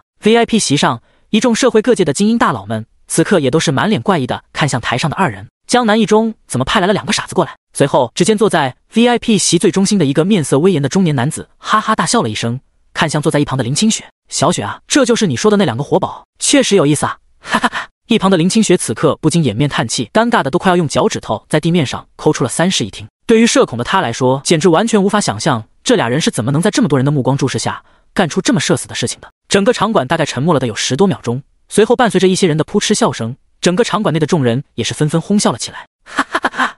卧槽，笑死我了！这俩哥们是猴子请来的逗逼吧？我滴个妈！万万没想到江南一中竟然还出了这么两个人才呢！有没有董哥知道这两人呢？我知道，我妹妹在江南一中上学，这俩人被誉为是江南一中的卧龙凤雏。卧龙凤雏，哈哈，属实没毛病。整个场馆内的火热气氛，因为秦宇和刘大毛二人在此刻直接是被彻底点燃了。主持人此刻站在台上，一脸懵逼。他主持生涯二十多年，就没经历过这种离谱的事情。这俩人不是地球人，是从 M 七八星云来的吧？嘴角微微抽搐，主持人随即也是回过神来，面色尴尬的一笑，呵呵，这两位同学还挺幽默的嘛。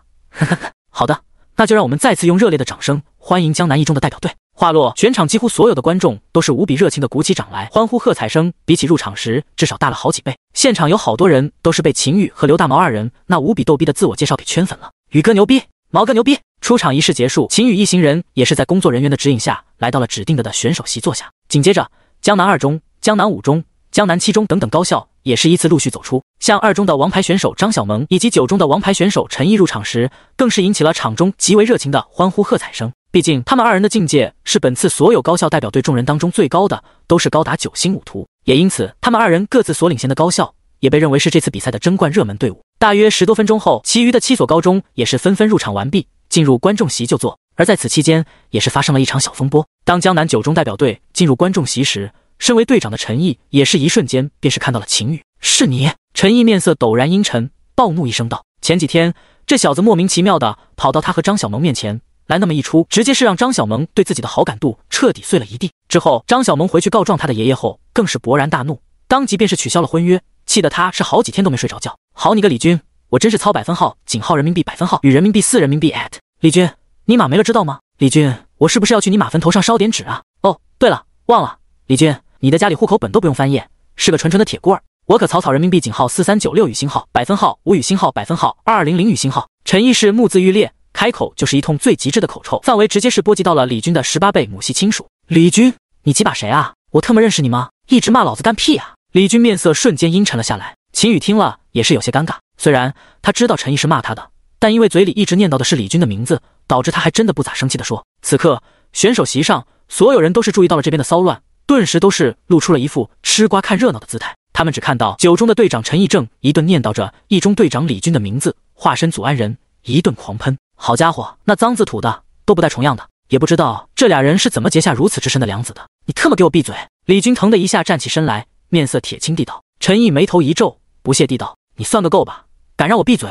李军胸口剧烈起伏，怒气直冲头顶，欺人太甚，欺人太甚啊！瞬间，一道金铁蛮牛的虚影便是浮现在李军的身后，爆发出一声狂暴无比的牛哞声。哟呵，想干架是吧？陈毅不屑冷笑，旋即双拳之中也是陡然浮现出赤色火焰，散发出灼热无比的温度。此刻，两人针尖对麦芒，场中气氛无比的肃杀，俨然有了一点就着的火药桶的架势。而这一幕也是被导播捕捉到了，连忙将摄像机对准这边。顿时，全场所有观众都是通过大屏幕看到了眼前这一幕，不禁纷纷惊呼：天呐，这还没开打，怎么感觉九中的队长？和一中的队长已经是快要干起来了，到底发生了什么？不过就在两人即将开干的时候，几名官方的工作人员连忙赶了过来，将暴怒的二人拉开，平息了这场小风波。李军怒气冲冲的再度坐回到椅子上，面色黑的都快要滴出沫来。他直到现在都想不明白，自己根本就不认识这个该死的家伙，但这家伙却像条疯狗一样对着自己就是一顿猛喷。李军面色阴翳的冷声道：“待会若是碰上了他们九中那个混蛋，留给我，我要干爆他！”一旁的秦宇此刻捂着腹都快要笑闷了。主持人站在台上。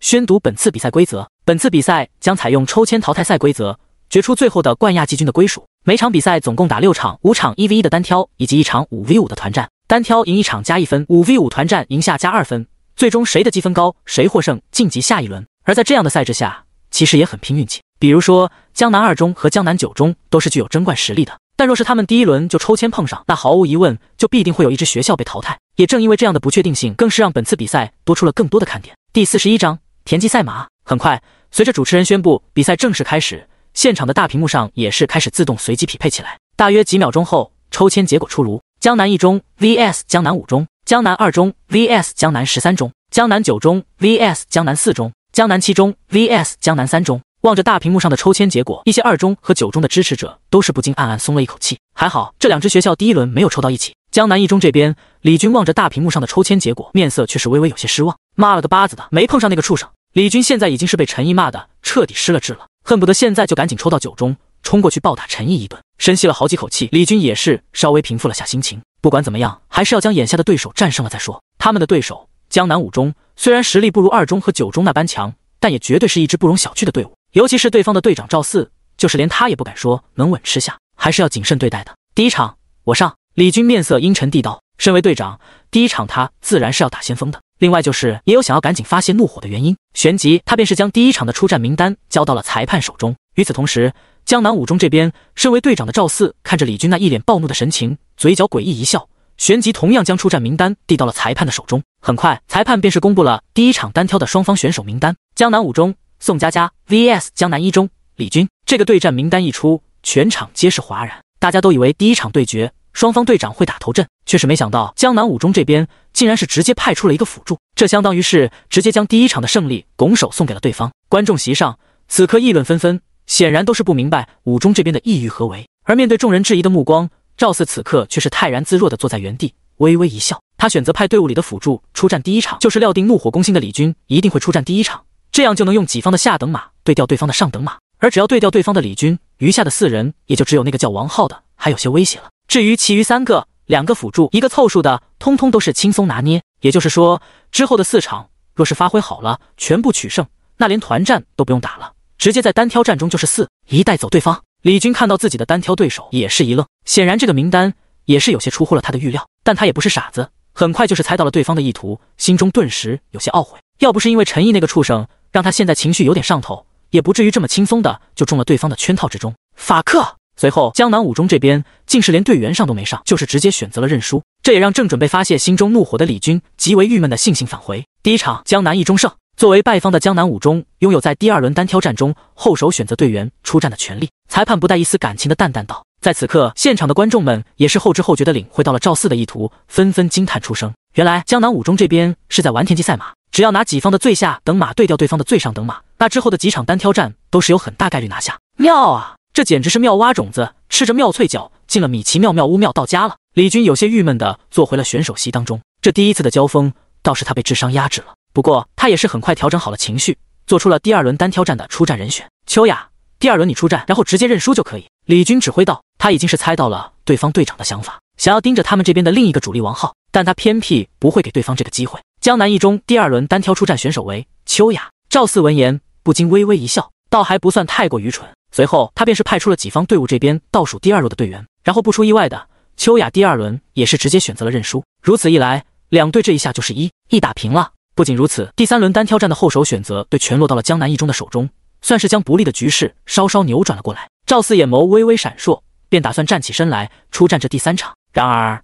就在此时，他忽然看到对方选手席上，王浩此刻面色显得相当苍白，满脸的紧张，身躯更是在不断的发颤。呵呵，赵四笑了，随后他便是再度坐了下去，反而是派出了己方队伍这边的二号队员七星五图的李茂出战。江南五中第三轮单挑出战选手为李茂。李军闻言，眸光微微闪烁。既然赵四没上，那这一场毫无疑问是要派王浩上了。而只要王浩拿下这一场，那无论之后两场的单挑结果如何，他们这边至少有了保底打团战的机会。随后，江南一中这边。王浩便是出战了。此刻，王浩心脏砰砰的直跳，双腿更是不自觉的发软发颤。望着全场那数万名观众的目光，不知为何，王浩此刻心里有一种头晕目眩、想要昏倒的感觉。最终，两方队员都是站在了擂台之上，而伴随着裁判的一声哨响，第三轮单挑也终于是正式开始。然而，王浩这边似乎是因为过度紧张，没有反应过来，第一时间竟是愣在了原地。对手李茂自然不会放过这个大好的机会，瞬间便是朝着王浩迅猛攻去。愣神之间。王浩便是一下子被轰翻了出去，顿时受了不小的伤势，气得坐在观众席上的李军直接是不顾颜面，破口大骂：“王浩，你他妈的在干什么？还手啊！”啊！听着场边来自李军的咆哮，王浩顿时更紧张了，才刚刚站起身来，还没来得及施展天赋技能，便是再度被李茂一脚踹翻在了地面之上，然后紧接着便是被李茂踩在脚底，一顿暴锤，直接是被打的一点还手之力都没有了。看着眼前这一幕，全场观众顿时都是愣住了，纷纷哄笑了起来。我靠，不是吧？江南一中这哥们这么虚的吗？哈哈，卧槽，笑死了！八星武徒被七星武徒这么暴揍的，倒是第一次见到。啧啧，看来今年江南一中要拉了呀。坐在选手席的李军看着眼前这一幕，气得面色铁青，却又无可奈何。他万万没想到，平日里跟他都能打个五十五开的王浩，现在面对一个不过是七星武徒的垃圾货色，竟然是被揍成了这副熊样。这特么这一场要是再输了，那他们江南一中可就真的危险了。李军不禁回头看向最后剩的那两人，刘大毛就不用想了，纯过来送的。至于秦羽，虽然他有击败宋江的战绩，可到时候对上他的大概率是对方的队长赵四，基本上也是没得打。卧槽，他妈的！这么一看，他们江南一中岂不是第一轮就要被淘汰？而且连特么团战都没打，就要被一四横扫。想到这一幕，李军的脑袋顿时也有些晕晕的，感觉有些站不稳了。至于坐在观众席上观战的李正军，此刻更是已经彻底把脸捂了起来。没脸再见人了，这特么今天要是江南一中第一轮就被淘汰了，回去后校长估计得把他生吞活剥喽！砰砰砰砰砰，擂台之上，李茂踩着王浩的脸便是一顿暴揍，在打了不知道多少拳之后，王浩眼皮一翻，也是直接彻底晕厥了过去，彻底丧失了战斗力。第四十二章，请给我狠狠的拱！裁判看着擂台上的一幕，也是不禁摇摇头，随后高声道：“第三轮单挑战，江南五中胜。”第三轮单挑战的结果一出，也是瞬间引起了全场观众的哗然，显然。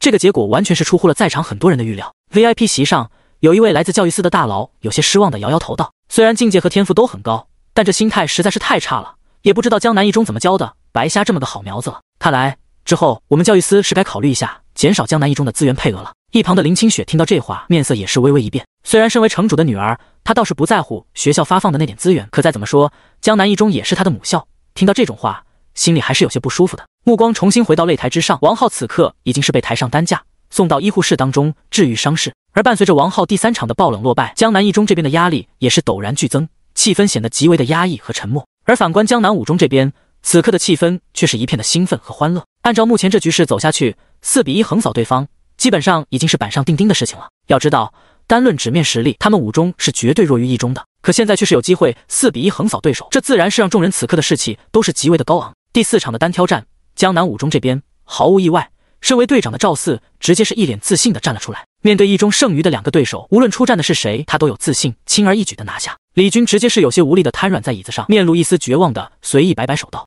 你俩谁爱上谁上吧。”眼下他们被四比一横扫，几乎已成定局。李军也是直接开摆了。唉，刘大毛轻叹了一口气，有些无奈的站起身来，看来是时候到了该我力挽狂澜的时候了。然后他便是被秦羽一把按了下来。你还是坐下吧，这个小卡拉米，我来虐他。秦羽咧嘴一笑，道：“刘大毛认真地点点头，好吧，不要有压力，必要的时候我会出手。”听着身旁二人的谈话，李军已经是有些无力吐槽，心中只想笑。秦羽站了出来，来到了擂台之上。秦羽加油啊！看到秦羽出场，林清雪的美眸当中闪过一抹异样的神采，不禁握紧了拳头，心中为他暗暗加油鼓劲道。林正天自然也是察觉到了自家女儿脸上细微的表情变化，眼神顿时有些怪异的望向场中的秦宇，不知怎的，心里突然升起了一种危机感。一种自己辛辛苦苦养大的小白菜要被一头小猪仔拱走的那种危机感。这小子，林正天的眼眸陡然一眯，他倒是要看看这小子有什么特别之处，能让自家女儿这么上心。擂台之上，赵四看到秦宇竟然走上了擂台，顿时是笑了。其实你不用上来的，直接选择认输就好。在他看来，秦宇作为一个辅助，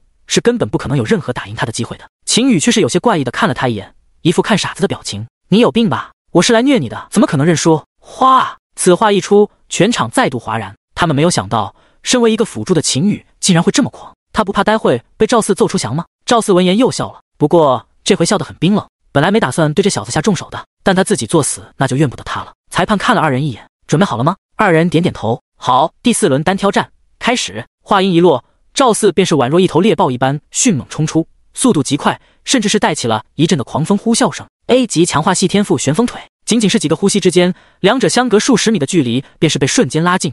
赵四直接是一脚狠狠踹出，直奔秦羽的面门轰砸而去。秦羽面不改色，反而是露出了一丝狡黠的笑意，高声喊道：“小铁拳来了！”紧跟着便是看似很随意的一拳轰出，咔嚓，砰！秦羽的拳头仅仅是在碰撞到赵四右腿的一瞬间，后者的腿骨便是瞬间崩裂开来，然后整个身体便是宛若一颗炮弹一般被轰飞了出去，足足飞出去了上百米远，最终重重的砸到观众席前的围栏墙壁之上，才堪堪停下。直接是轰砸出了一道巨大的深坑。赵四的四肢微微抽搐了一下，紧接着便是口吐白沫，瞬间不省人事。死寂，全场死一般的寂静。全场所有观众都是有些不敢置信的望着眼前这一幕。沃特发，一个辅助选手竟然一拳将八星武徒的赵四轰飞出去了，这特么是什么恐怖怪力啊！一直瘫软在椅子上的李军望着眼前这一幕，更是疼的一下站起身来，目瞪口呆，嘴巴张大的都快塞得进去一个鹅蛋来。眼前这一幕简直跟当时一拳轰飞宋江的场景如出一辙。但问题是，他现在面对的对手是赵四啊，是那个实力跟他都在伯仲之间的赵四，结果就还是这么轻轻松松的被轰飞出去了。这岂不是说这小子现在干自己也只需要一拳？VIP 席上，林正天此刻的瞳孔微微皱缩，望着场下的秦羽，眼眸当中同样是闪过一抹惊诧之色。这不可能，一个觉醒了辅助系天赋的小子，怎么可能拥有如此恐怖的力量？他连忙转头看向一旁的林清雪，无比疑惑的问道：“小雪，这小子的力量究竟是怎么回事？他不是觉醒的辅助系天赋吗？”我也不知道。林清雪摇了摇头，按他所说的是他爷爷小时候给他喂了很多的天才地宝，让他现在拥有了天生神力。他爷爷林正天一愣，哦，对了，爸，忘了跟你说了，他爷爷是东南行省的巡使。扑通，林正天直接是一个没稳住，从椅子上摔倒了下来。VIP 席上的众人纷纷是一脸诧异的看了过来，然而林正天此刻却已经是无暇顾及周围惊诧的目光，声音微微有些颤抖，面色不敢置信地道：“你说什么？你说这小子的爷爷是大夏巡使？”嗯。林清雪点点头，死。林正天顿时倒吸一口冷气，这小子的爷爷竟然是他的顶头上司。瞬时间，林正天看向秦羽的目光便是极为的顺眼了起来。他之前本以为自家女儿要被一头小猪仔拱了，还挺紧张的，但现在一看，那没事了，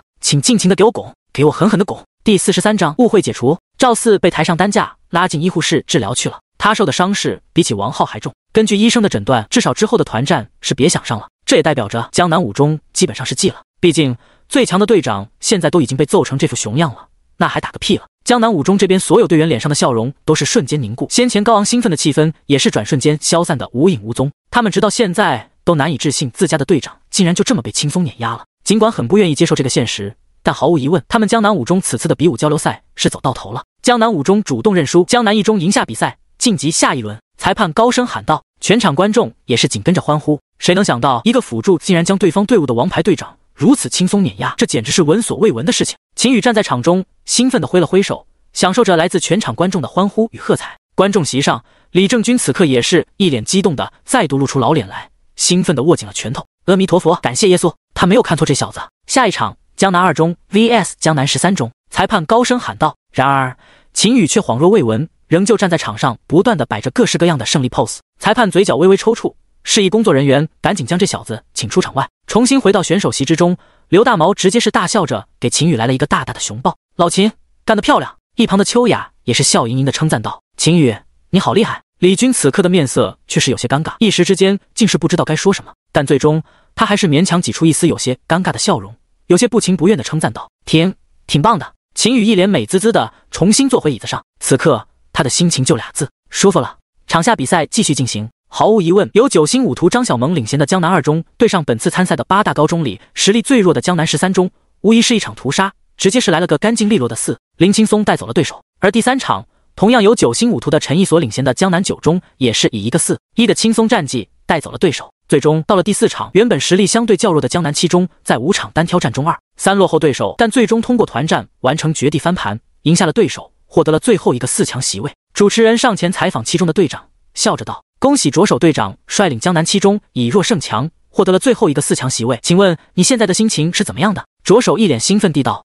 老实讲，我们江南七中在本次参赛的八所高中里，实力是处于最下游的。所以，我们队伍原本对这一场比武交流赛的目标就是打进四强就算成功。如今目标实现，我们全队上下都很兴奋。”观众席上，秦宇听到这句话，不禁扑哧一声笑出了声：“神他妈打进四强就算成功？既然来参赛了，就得奔着拿冠军啊！格局小了。”随后，四强的抽签再度开始，大屏幕上。四所晋级的学校代表队不断滚动，最终缓缓定格。江南二中 vs 江南七中，江南一中 vs 江南九中。哗！这个抽签结果一出，全场观众再度是议论纷纷。毫无疑问，这个抽签结果一出，江南二中直接是保送决赛了。唯一值得一看的就是江南一中 vs 江南九中这一场。虽然江南九中从纸面实力上要远超江南一中，但江南一中作为江南市曾经最顶级的名校，如今虽然逐渐走起了下坡路，逐渐没落，但瘦死的骆驼比马大。未尝没有获胜的机会，至少七三开吧。很快，第一场比赛便是开打。不出众人所料，江南二中这边仍旧是摧枯拉朽的直接四零带走了对手，轻松晋级了最终的决赛。不过江南七中这边也没有任何的沮丧之色，他们已经完成了此前打进四强就算成功的既定目标，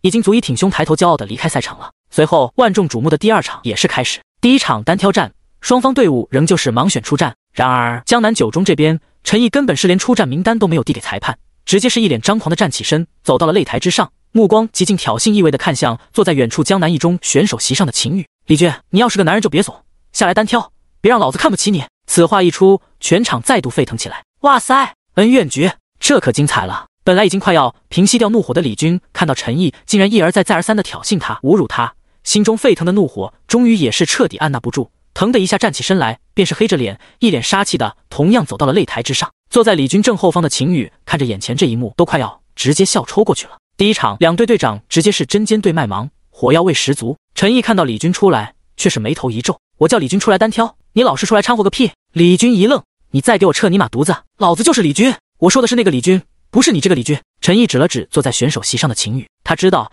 眼前这人也叫李军，不过倒也没多想，就单纯以为这俩人重名而已。嗯，李军顿时有些懵逼了，他特么叫秦宇，叫个屁李军？什么？他不叫李军？陈毅也傻了。俩人这一刻，二人好像恍然明白了什么，脸色顿时都是一变。卧槽，他们被耍了！二人顿时都是通通怒目瞪向坐在选手席上，已经快要笑抽过去的秦宇，气得牙齿痒痒。W C N M D，这家伙怎么勾吧这么贱啊！这一下场上的二人猛然是有些尬住了。你说不打了吧？但气氛都已经烘托到这了，俩人该打还是得打，但怎么就感觉这么别扭呢？旋即，李军也是收回了脸上阴沉的神色，笑呵呵地道：“看来这一切都是误会啊。”确实啊，呵呵呵。陈毅同样尬笑道：“既然这样，那咱也别打个你死我活了，就点到为止好了。”赞同。二人很是和谐的达成了一致。然后裁判一声哨响，比赛瞬间开始。哨音刚落，二人的身形便都是瞬间冲射而出，使出最强的力量朝着对方轰射而去。轰！二人重重轰击在擂台中央，一股股狂暴的气浪扩散而出，二人所立足的地面更是在这一次碰撞的余波之下寸寸崩裂。这一下，二人显然都是没有任何的留手，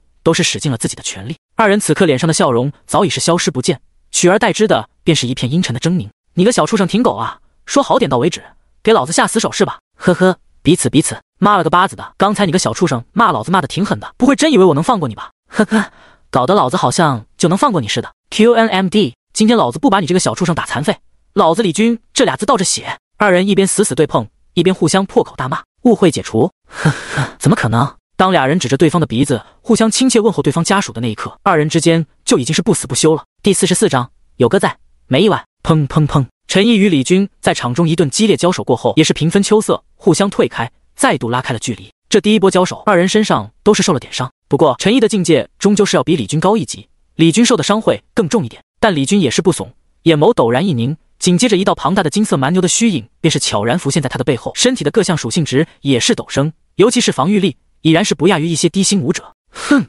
陈毅也是不甘示弱，轻蔑一笑，紧跟着双拳之中便是浮现出熊熊燃烧的火焰。他觉醒的是 A 级火系天赋烈焰火拳，随后。二人没有任何言语，便是再度冲射而出，燃烧着恐怖烈焰的火拳与粗壮无比的金色牛蹄再度重重碰撞在了一起。轰！一股比先前更加狂暴的气浪扩散而出，甚至一些距离擂台靠得稍近的观众们都是感受到了这股汹涌的气浪，面色讶然。两个武徒此刻所爆发出的力量，已然是不亚于两个低星武者的碰撞，而这就是高级别天赋的优势。拥有着极强杀伤力的烈焰之拳与拥有着极强防御力的金铁蛮牛，这是矛与盾之间的交锋，究竟矛戳破盾？还是盾碾碎矛，观战的观众们都是非常期待。二人的面色在此刻都是狰狞到了极点，自身的气血之力更是催动到了极致，都是想要一波带走对手。给我烧！陈毅暴吼一声，双拳之中燃烧的火焰再度旺盛，甚至已经是开始顺着拳头蔓延到了李军的身上，发出滋滋滋的炙烤声响。李军强忍住身体表面传来的那种火辣辣的剧痛，同样也是拼尽了全力，想要通过力量冲破对手。很快，熊熊燃烧的火焰便是覆盖了李军的全身。尽管有着天赋金铁蛮牛的防御保护，但李军此刻全身仍旧是被烧得焦黑。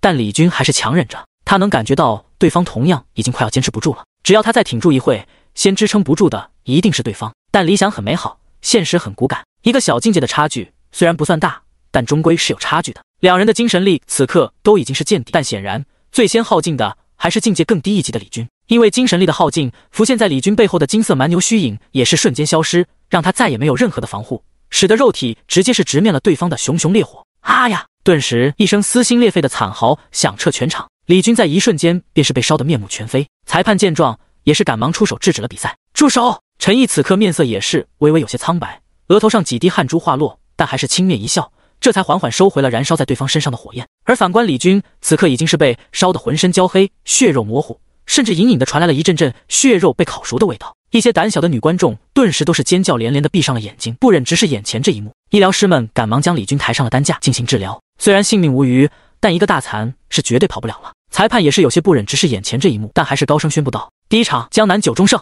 场中的观众们看着眼前这一幕，窃窃私语，议论纷纷。如此一来，江南一中这边王浩、李军两大主力接连折损，这岂不是妥妥地废了？江南九中这边随之派出了出战第二场单挑战的选手，队伍里的二号人物。觉醒 B 级强化系天赋八星五图的陈坤，陈毅给他下达的命令很简单：若是对方那个拥有恐怖怪力的秦羽出战，那他就直接认输；若是其他两个出战，就直接爆锤。而江南一中这边果不其然，秦羽出战了，然后陈坤便是直接缩了回去，我认输。陈坤没有任何心理负担的喊道：“开玩笑，连五中的队长赵四都不是他的对手，自己更不可能是他的对手了。他可不想被那恐怖的拳头挨上一拳，躺进 ICU 里。”秦宇有些无语的摇了摇头。便是再度返回到了选手席上去。他虽然拿了一胜，但在李军和王浩接连被抬上担架之后，想要保底进入团战，那刘大毛这一场就必须拿下。至于秋雅，则是完全不可能的了。毕竟这个小姑娘跟自己不一样，她真的只是个战五渣的奶妈。念及至此，秦宇也是重重拍了拍刘大毛的肩膀：“大毛，交给你了，放心吧，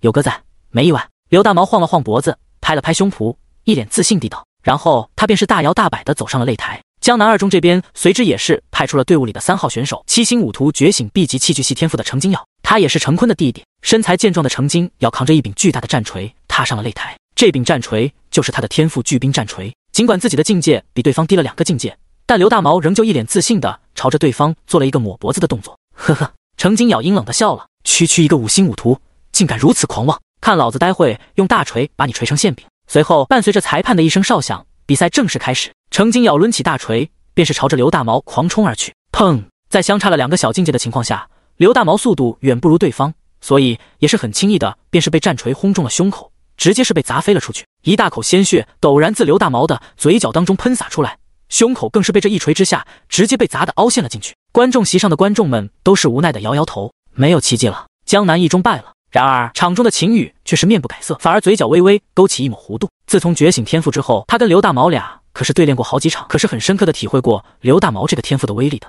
毫不夸张的说，虽然是 B 级天赋，但若是在极限增幅情况下，其威力绝对不亚于 A 级，甚至是足以比肩 S 级的天赋。而至于为什么这个天赋只被评为 B 级，原因也很简单，那就是想要触发极限增幅的条件太苛刻了，唯有濒死状态下才能触发。简而言之一句话，刘大毛这个天赋血量越低，增幅力度越强，就跟狂战士似的。P.S. 今天我上课的时候。看到了一个非常有意思的问题，想跟大家分享一下。这个问题说的是，从前有五个海盗抢劫了一百枚金币，但在如何分配的问题上出现争吵，于是他们决定按照抽签的方式决定出各自的号码，并由一号开始提出分配方案，然后五人开始进行表决。若是有超过半数的人表示同意，那么就按照一号的方案来进行分配；否则的话，就将一号扔进大海喂鲨鱼，然后再由二号来提出分配方案。剩下四人进行表决，仍旧是超过半数同意，那么就实行二号的分配方案。反之，就同样将二号扔进大海喂鲨鱼，以此类推，直到找到每一个人都同意的方案。假设五个海盗都是理性人，拥有超高智商，并且都会严格遵守规则，那么如果可爱又迷人的读者朋友们抽到一号签，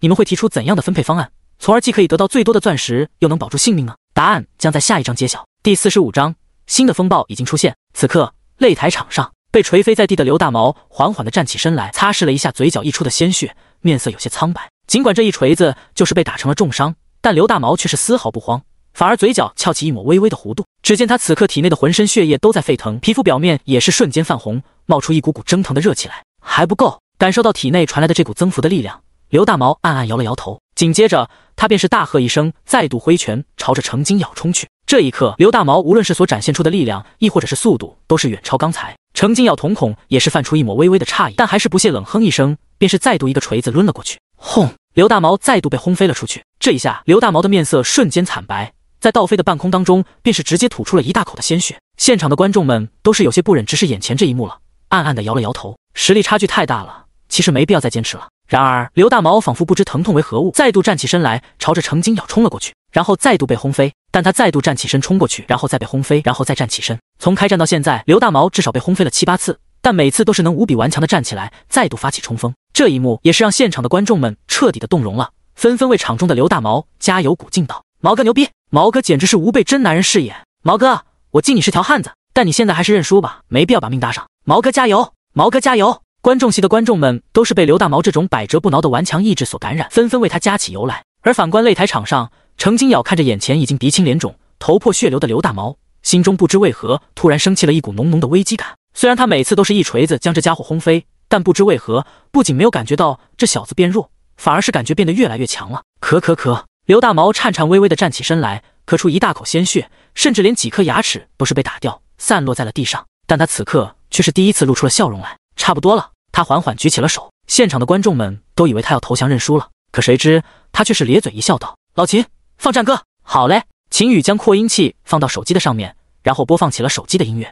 就像阳光穿过黑夜，黎明悄悄划过天边。一阵激昂高亢的音乐通过扩音器陡然传播到了全场众人的耳边。所有人听着这道音乐，都是不禁一愣。不知为何，他们忽然只觉得心里开始有点燃起来了。未来的路就在脚下，不要悲伤，不要害怕。伴随着激昂高亢的音乐响起，刘大毛也是再次发起了冲锋。但这一次，刘大毛的速度却是快的，只像是一道闪电，只在原地留下一道模糊的残影。嗖，好快！程金耀瞳孔骤然一缩，还未等他回过神来，眼前便是陡然浮现出了一颗硕大的拳头。砰！程金咬直接是被瞬间轰飞了出去，整个面庞也是瞬间出现了一道硕大的血红拳印。噗嗤！一大口鲜血陡然自程金咬的口中喷洒而出，面色因为剧烈的疼痛变得扭曲。新的风暴已经出现，怎么能够停止不前？穿越时空，竭尽全力。而恰在此时，背景音乐也是瞬间到了高潮，全场观众的情绪也是彻底被燃起来了。卧槽，好他妈的燃啊！只见场中的刘大毛望着倒飞而出的程金咬，双腿重重一蹬，便是瞬间再度追了过去，宛若一道闪电一般，迅速划破半空。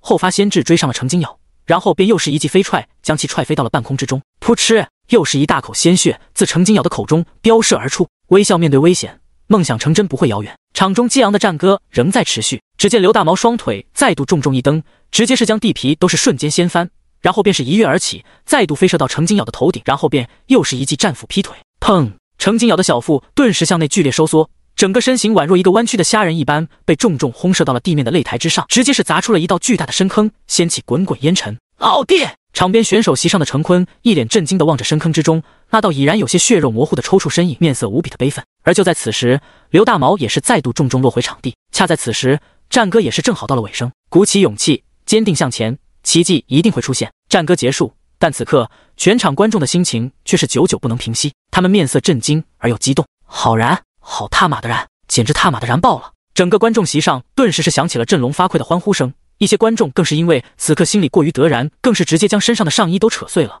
疯狂无比的朝着擂台之上的刘大毛欢呼喝彩。毛哥牛逼，毛哥牛逼，毛哥牛逼！这是什么一种多么疯狂的剧本啊！这是连小说都不敢写出来的奇迹翻盘，但现在就这么真真切切的展现在了众人的眼前，尤其是那首恰到好处的战歌。更是将他们心中激燃的情绪点燃到了极致。VIP 席上的一众大佬们虽然没有普通观众们那么疯狂，但此刻看着场中的刘大毛，也是满脸的赞赏神色。嘿嘿，感受着全场对他的欢呼，刘大毛咧嘴一笑，随即转头看向身后坐在选手席上的秦宇，竖起了大拇指道：“老秦，我给你拿了一身回来，接下来就看你的了。”话落，刘大毛便也是因为失血过多，彻底晕厥了过去。呼，秦宇轻轻吐出一口浊气，平日里有些懒散怠惰的神色，在此刻却是罕见的一本正经了起来。他目光灼灼望着已经被抬上担架的刘大毛，漆黑如墨的瞳孔陡然爆射出金光。辛苦了，大毛，接下来就看我的吧。P.S. 上一张海盗分金币的问题的正确分配方案为九十七零一二零或九十七零一零二。至于推理过程，其实也很简单了，大家从后向前推，挨个带入每个号码的海盗，心里就能知道了。比如说前面三个海盗全部为了鲨鱼，只剩下四号和五号，那么对于五号海盗来说，只要无脑投反对票。那么最终的所有金币都将归属于他一人，而四号则会被喂鲨鱼。这显然是四号海盗不愿意看到的。所以对于四号海盗来说，无论三号海盗提出什么样的方案，他都要投同一票，才能保住自己的性命。同样的，站在三号海盗的角度，因为他知道，无论他提出任何的分配方案，四号都会无脑同意。所以在场中只剩下他们三人之时，他肯定会选择一百零零的分配方案。然后我们继续向前推，当二号海盗还在场之时，因为他知道三号海盗的分配方案。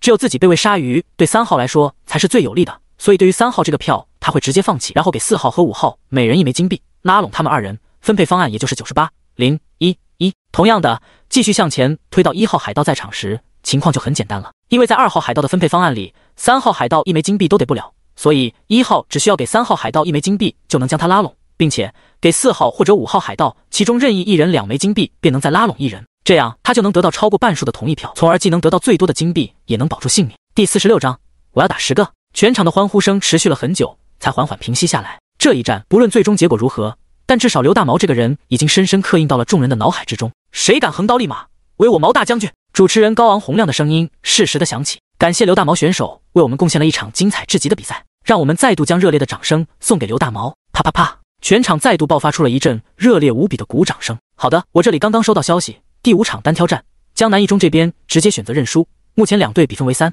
二，江南九中暂时领先，两队将在最终的团战之中决出最后的胜负。现场的观众们闻言，却是有些无奈的摇了摇头，没机会了。江南一中这边只剩下了两人，其中一人还是奶妈辅助，对上江南九中这边的状态完整的四人，根本没得打。只见江南九中这边，其余四人已经是登上了擂台场上，一个个的面色都是阴沉的吓人，显得杀气森森。毫无疑问，己方队员程金咬的惨败，也是彻底将他们激怒了。若是江南一中剩余的两人敢登场，现场的观众们毫不怀疑，这群暴怒的家伙会将那俩人撕个粉碎。现场的观众们以为江南一中会直接选择弃权认输，然而出乎所有人预料的是，江南一中这边竟然真的有人站起来，朝着擂台上走去了。是秦宇。先前一拳轰飞五中队长赵四的一幕，也是让众人印象相当深刻。毫无疑问，单论力量来说，这家伙绝对是本次所有参赛选手当中的 N O 一。但团战不是纯粹力量的比拼，只要五中四人配合的好，跟秦宇打拉扯，就是用墨也能硬生生的磨死他。陈毅看到秦宇竟然真的敢登台，眼眸当中陡然划过一抹寒光，冷冷一笑：“不知死活的家伙，还真敢上来，等着被打成残废吧。”秦宇一脸淡然平静的登上了擂台。至于秋雅，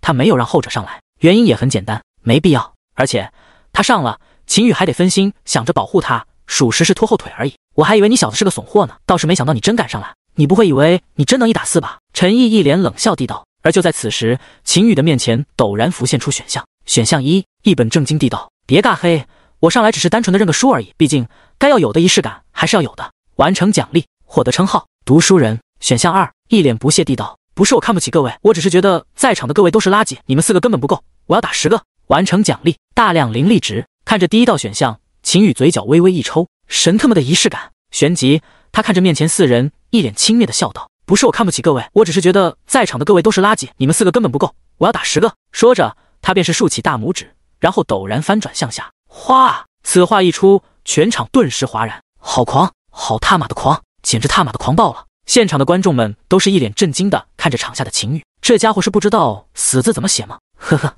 陈毅顿时被气笑了。当一个人的言论太过愚蠢之时，你甚至不知道这家伙是真傻还是在反串。但不管如何，这小子今天死定了。他说的“佛祖来了都救不了他”。陈毅的眼神陡然阴冷，杀气四溢。叮，完成选择，获得大量灵力值，晋升九星武徒。秦宇嘴角微微一翘，面色淡然而又轻松，甚至是有些无聊的打起了哈欠。他转头看向一旁的裁判：“裁判，能不能快点宣布比赛开始啊？我等的花儿都谢了。”裁判闻言，嘴角猛然抽搐，一脸无语。大哥，我现在是在给你反悔的机会啊，不然就凭你这小身板，待会得被这四个人蹂躏成啥样，简直都不敢想。唉，裁判无奈的轻叹了一口气，人生路这么长，你却偏偏选择走捷径，就是菩萨来了也救不了你了。旋即，他也是清了清嗓子，高声喊道：“江南一中 vs 江南九中，团战比拼，现在正式开始。”江南九中这边四人瞬间便是动了，一下子便是将秦羽围了起来，但他们没有进一步的行动，就是这么默默的将其围在中央。陈毅一脸冷笑。小子，为了让你输得心服口服，我会单对单直接碾爆你。秦羽一脸无语，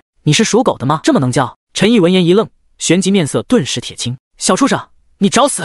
唰，瞬间，陈毅的双拳便是再度浮现出了熊熊燃烧的火焰。但陈毅并没有冲过去，而是隔空便是对着秦羽轰出一记火焰冲击波。陈毅一脸冷笑，小畜生，没想到吧？我还会远程攻击。现场的观众们见状，也是不禁纷纷惊呼出声。没想到刚才陈毅与李军一战，竟然还留了一手。要是刚才对李军便使出这种火焰冲击波，怕是没几个回合，李军就得被干趴下了。然而场中的秦羽却是嘴角微微一翘，面色轻松而又写意。慢，太慢了，就这种蜗牛爬一般的速度，刘大毛那个得了小儿麻痹症的太奶奶来了，都能轻松的躲过去。只见那道火焰冲击波在即将命中秦羽的一刹那，后者将头微微一偏，火焰冲击波便是擦着他的脸颊迅速掠过，带起的炽热狂风吹得秦羽额头前的凌乱随风微微飞扬，却未能伤他一丝一毫。只见火焰冲击波迅速掠过秦羽。直奔他身后的一名江南九中的队员轰射而去。那名队员见状，瞳孔顿时瞪大，面露惊骇，显然也是完全没有预料到会有这种事情发生。卧槽！轰！在猝不及防之上，那名队员也是瞬间被火焰冲击波命中，被轰飞出擂台之上。秦羽顿时大笑着鼓起了掌。六百六十六啊！你这射术确实精湛，我愿称你为痛击我方队友第一人。听着秦羽那嘲讽意味拉满的话音，陈毅面色也是不禁一变。这小子怎么可能躲过去呢？没道理啊，一定是蒙的。念及至此，陈毅也是再度一连发出连续三道火焰冲击波，呈三角之势，同时朝着秦羽轰射而去。陈毅的面色也是在顷刻间有些惨白，脚步陡然一软，有些站不稳。显然，同时连续轰出三道火焰冲击波，对他的精神力消耗也是极大的。但此刻陈毅却是露出了极为自信的冷笑：“我一下发出三个波，这下看你还能怎么躲？”嗯，卧槽！然而心中念头还未闪完，陈毅的瞳孔便是顿时瞪大，目瞪口呆。第四十七章，我要飞高高。此刻，陈毅目瞪口呆，震惊无比的望着眼前一幕。只见秦宇竟是连脚步动都没动一步，只是将头快速第三连甩，便是轻而易举的将这三道火焰冲击波全部躲了过去。嗖嗖嗖，轰轰轰！三道火焰冲击波轰射在秦羽身后的场地之上，陡然炸开。漫天火光纷飞，但秦羽却仍旧完好无损，嘴角微微勾起一抹淡淡的笑容。沃特发，陈毅傻眼了。若是在游戏里，他高低得举报眼前这家伙开脚本了。这特么都能躲过去，简直就是离谱加离谱，离离原上谱。陈毅面色变得陡然有些难看，他现在的精神力已经趋近见底，最多还能发出一波火焰冲击波。要是再没命中，他就真的记了。这让陈毅现在很是犹豫。秦羽一脸疑惑的看向陈毅，双手一摊：“不是吧？这就完了？就这？就这？不是吧？不是吧？”我刚才只是随便口嗨一句，没想到你真这么辣。秦羽仿佛是将嘲讽技能加满，句句真伤穿透加暴击，直戳陈毅心窝窝，让后者的心拔凉拔凉的。既然你没蓝了，那我可要上喽！秦羽邪恶一笑，小铁拳来喽！陈毅面色陡然一变，连忙对着场上其余二人喊道：“快拦住他！”这种时候他已经顾不得什么面子了，要是被这小子近身挨上一拳，他就彻底废废了。其余二人闻言也是迅速朝着秦羽进攻而去，可谁知秦羽竟是雕也不雕他们，双腿重重一蹬。便是宛若一颗炮弹一般，朝着陈毅飞射而出，速度快的简直是不像话。卧槽！陈毅顿时出口一声国粹，这特么离谱的速度！你告诉我，他只是武徒？陈毅顿时有些慌了，对方的速度太快，他手中的火焰冲击波根本是瞄不到他。陈毅深吸了一口气，强定心神，想要瞄准，但这玩意就是这样，心里越慌，他就越瞄不准，甚至陈毅的双手都是开始发抖起来。眼看着秦羽即将贴近，陈毅此刻也是顾不得许多，瞄了个大概的位置，便是再度一记火焰冲击波轰射而去，成败在此一举了。然后他射歪了，不，某种程度上来说也算射正了，只是没有射正到秦羽，而是又射正到了他的队友身上。站在场上的陈坤一个猝不及防，便是被这道莫名其妙射来的火焰冲击波轰翻到了擂台外面的地面之上。陈毅的心顿时凉了半截，啧啧啧，能次次命中队友也是罕见了，你小子还真他娘是个人才。秦羽一脸怪笑，已然是冲至陈毅的面前，紧跟着右拳重重一握，吃我一记上勾拳！啊哒，砰！秦羽一记上勾拳，直接是稳稳命中陈毅的下巴，一瞬间便是将他轰飞出去几十多米高。现场所有观众也是瞬间抬头望天，目光紧跟着望了过去。哇塞，飞得好高高！一个小女孩也是跟着乐呵的鼓起了掌，看向身旁的爸爸：“爸爸，爸爸，我也要飞高高。”身旁的中年男人无奈苦笑：“乖女儿，爸爸要是让你飞高高，你妈妈就得让我下地地了。”只见陈毅的身体一路飞升，一直攀升到了足足得有几千多米高，飞升到了蓝天白云之中，才堪堪停止了继续向上攀升。这一刻。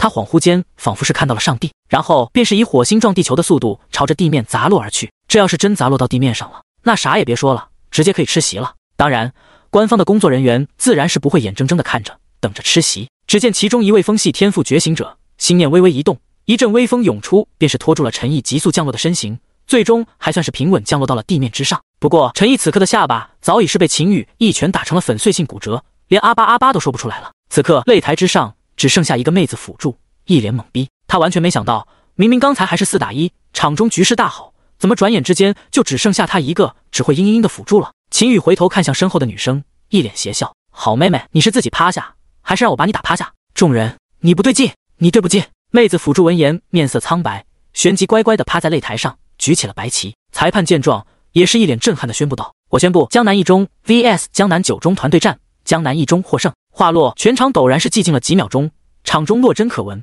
随后便是一瞬间爆发出了比先前任何一场比赛还要更加疯狂数十倍的欢呼喝彩声。难以置信，unbelievable！江南一中这个明明觉醒的是辅助系天赋的小青年，竟然真的一挑四将对方全部干趴下了。要知道，他干的可不是什么一群臭鱼烂虾，而是江南九中这个拥有夺冠实力的顶级强队。然而，就这么轻轻松松的碾压了。此刻，所有人的心中都是冒出了同样的想法：疯了吧？你管这叫辅助？宇哥牛逼！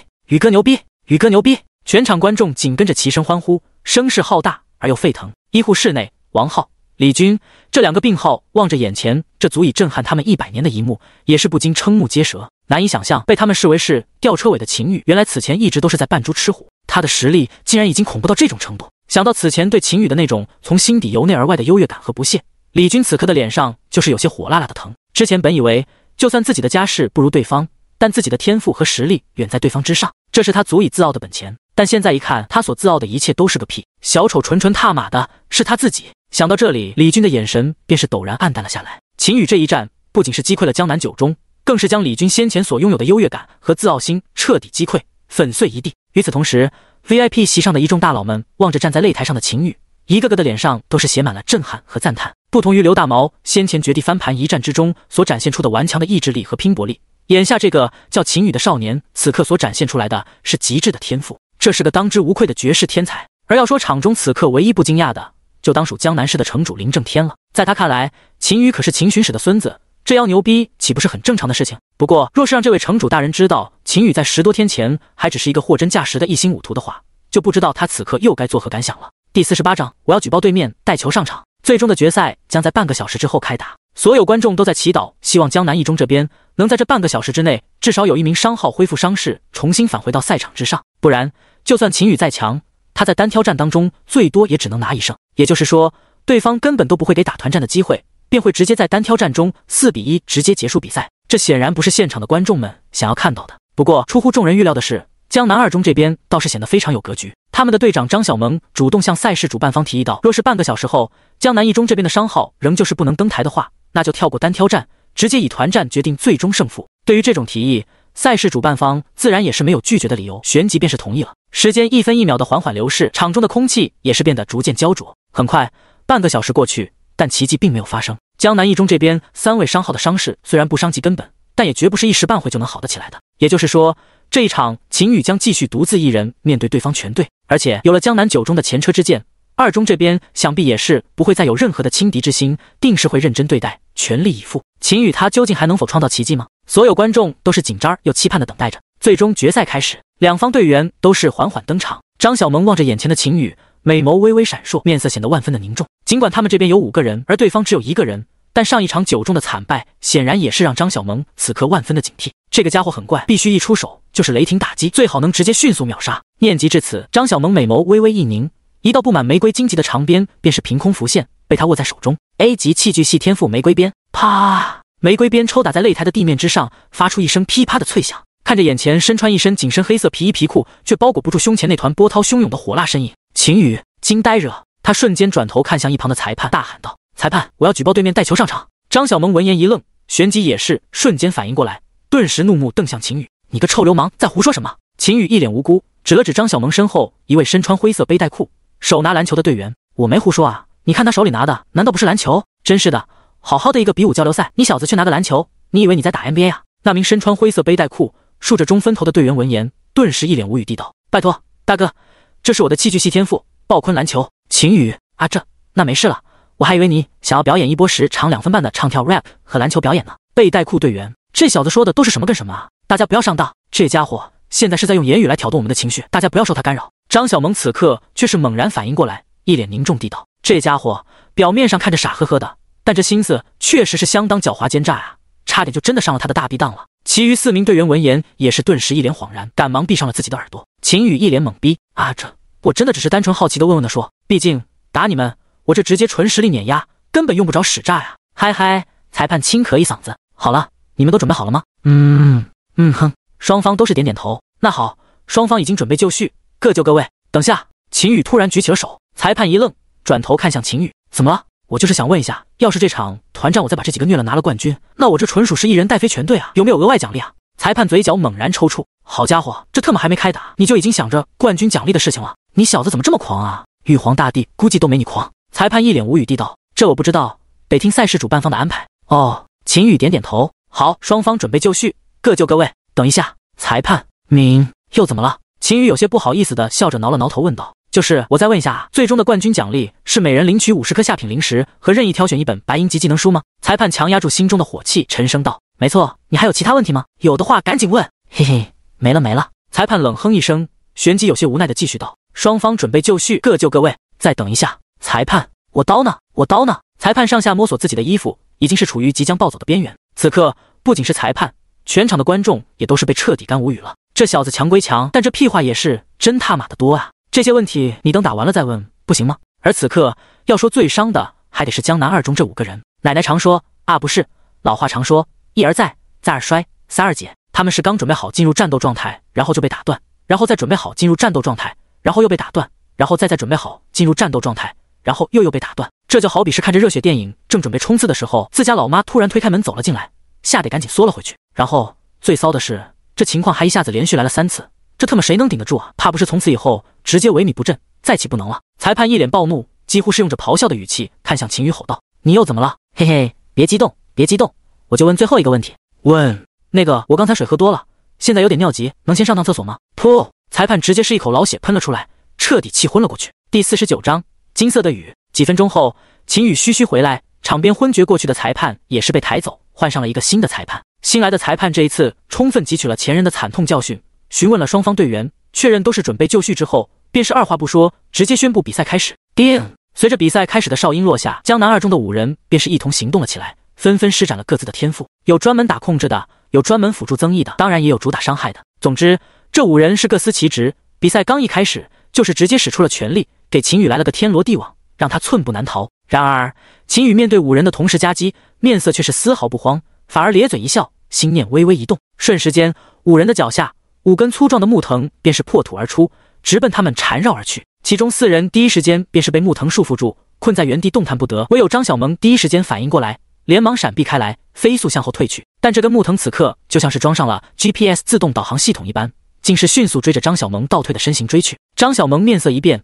旋即也是连忙挥动手中的玫瑰鞭，啪啪啪，玫瑰鞭不断的抽打在奔袭而来的木藤之上，将其轰成了碎片。张小萌止住身形，一脸心有余悸的望向秦宇，万万没想到眼前这个家伙竟然还学会了技能，而且看起来这个技能的级别还不低，至少也得是白银级别的。可这怎么可能？张小萌心中暗暗震惊。他倒不是震惊秦宇拥有白银级的技能书，他震惊的是秦宇竟然能在不到半个月的时间里就学会了一道白银级的技能。毕竟想要学习技能，唯有觉醒天赋才可以。而按照以往的经验来看，纵使是悟性极高的天才，在前期想要快速领悟一本白银级的技能书，少说也得一个多月。而眼前这家伙竟然只花费了不到半个月的时间就领悟了，这太过匪夷所思了。此刻，不仅是场中的张小萌震惊，围观的群众们也都是一脸的目瞪口呆。这家伙怕不是有望打破大夏最年轻掌握技能的记录啊！林正天此刻看向秦羽的目光，那是已经越看越顺眼了。若是在此之前，或许主要还是因为这小子的爷爷是大夏巡使的原因，那么现在就纯粹是因为这小子所展现出的极高的天赋了。这小子绝不仅仅是一头小猪仔那般简单，这是一头有足够的潜力成长为一头猪皇的小猪仔。想到这里，林正天的眼前也是不禁陡然一亮，他仿佛已经看到一头闪耀的朱黄正在冉冉升起。目光再度拉回擂台场中，此刻江南二中这边其余四人因为被木藤缠绕住，动弹不得，所以现在基本上已经是相当于张小萌和秦羽一 v 一。张小萌心中微微有些凝重，不禁握紧了手中的玫瑰鞭，而反观秦羽则仍旧是一脸的轻松和淡然。他无奈的轻叹道。哎，老老实实被我的木藤缠绕住不好吗？非得承受皮肉之苦？嗯，张小萌一愣，什么意思？啊然而话音还未落下，他便是惊骇的看到对方已经是像一道闪电一般朝他急速掠来，快，好快！先前观看秦羽与陈毅一战的时候，感触还不是很深，只是单纯的觉得这家伙的速度确实挺快的。但只有此刻真的在现场直面对方的时候，他才猛然意识到这个家伙的速度何止是挺快，简直是快到爆了。张小萌才刚欲有所行动，对方便已经是贴至身前。作为一个铁直男的秦羽。自然是不会有任何怜香惜玉的想法，他瞄着对方的胸部，便是一拳轰了过去。咚砰，先是一种铁拳触碰到柔软之物的那种咚咚声，紧接着才是砰砰炸响。这一拳之下，秦羽只用了五倍的力量增幅，却仍旧是将张小萌那波涛汹涌的大白馒头一瞬间打扁，然后轰飞了出去。场中所有的男性观众们看得咬牙切齿，这个可恶的家伙专挑对方那里下手也就算了，用的力道还这么狠，这要是彻底打瘪了，他们以后还从哪能看到这么完美的大白馒头？岂可修！八大牙了！一拳将张小萌打飞出去，秦羽随即转头看向身后仍旧被木藤束缚住的四道身影。四人见状，面色都是瞬间苍白，连忙疯狂摇头。尤其是其中一个女队员，更是吓得快哭出来了，连忙开口认输：“我们认输，我们认输。”哗！此话一出，全场瞬间便是彻底沸腾了。难以置信，这家伙竟然真的完成了一打五的壮举，这可真是如同天上降魔主，真是人间太岁神！这个小骚年牛逼！与此同时，主持人那激昂高亢的声音陡然响起：“让我们恭喜秦羽选手！”完成一穿五的壮举，赢下强大的对手，也恭喜江南一中获得本次江南市比武交流赛的总冠军。哗哗哗，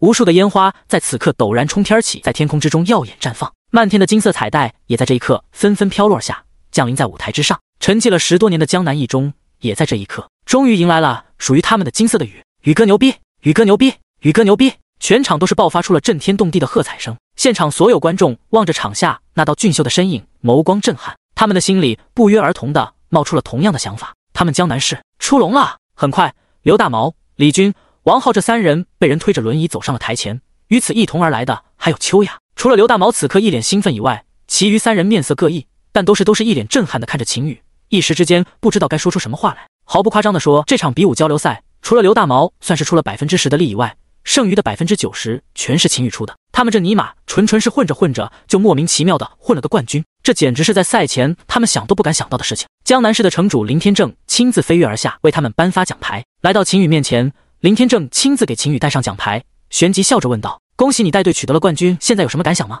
当然有。”秦羽笑嘿嘿的从兜里掏出一张纸团，然后摊开，上面写着密密麻麻的感想词。林正天看到后，嘴角也是不禁抽搐。好家伙，这特么原来感想词已经早就写好了呀！秦宇拿起麦克风，轻咳一嗓子，旋即朗声道：“感谢江南 TV，感谢东南 TV，将来还有可能感谢大夏 TV。”身后江南一中的四人听着这有些熟悉的开场白，面色顿时一变。我的家庭并不富裕，我的天赋也并不好，我之所以能有今天这番成就，与我每天勤学苦练至少长达十五个小时是密不可分的。当然，在此期间，我的父母也是给了我很大的帮助。还记得小时候有一次我生病了，那天外面下着大雨。第五十章，江南一中当之无愧的老二秦宇站在台上。声情并茂的讲了十多分钟，但现场的观众们却并没有任何的不耐烦，甚至很多人都是被感动的潸然泪下。他们万万没有想到，原来这个看起来嘻嘻哈哈、很不正经的男孩子，童年竟然过得这么悲惨。母亲患癌，父亲伤残，全家只靠他一个人打工养活全家。但就算如此，学习练武也没有放下，这其中得付出多少不为人知的艰辛啊！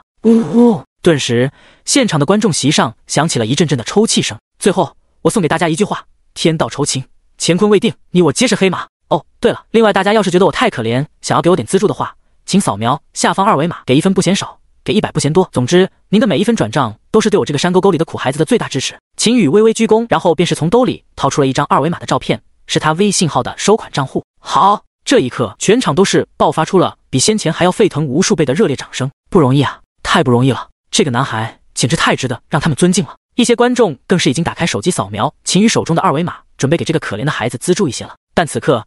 场上的林天正听的却是满头黑线，这小子未免也有些太能编了吧？神特么家庭一贫如洗，要不是知道这小子的爷爷是大夏巡使，他特么还真的差点就信了。他甚至怀疑这小子巴巴这么多，就是为了最后的这一手二维码转账。身后的江南一中的四人也都是彻底惊呆了，日尼玛还有这种操作！很快，颁奖仪式结束，江南一中的五人各领取五十块下品零食之后，便是在官方的工作人员的带领下来到了江南市的技能阁。他们将在这里任意挑选适合他们的白银级技能书。技能阁是一个类似于图书馆的地方，每个书架上都是摆放着各式各样的技能书。而对于他们五人来说，自然是要寻找适合自己属性的技能书。秦羽来到了专门放置木系技能书的区域前，开始仔细查看起来。铁木刺、青铜级木系技能书，树人召唤。白银级木系技能书，草玉树；白银级木系技能书，琳琅满目的木系技能书充斥在秦羽的眼前，但秦羽却都是根本看不上眼，因为就在刚才，林城主亲口跟他说，鉴于他在比武交流赛中的经验表现，特批允许他可以挑选一本黄金级技能书。要知道，黄金级技能书的价值相当之昂贵，比白银级技能书贵出了十几倍，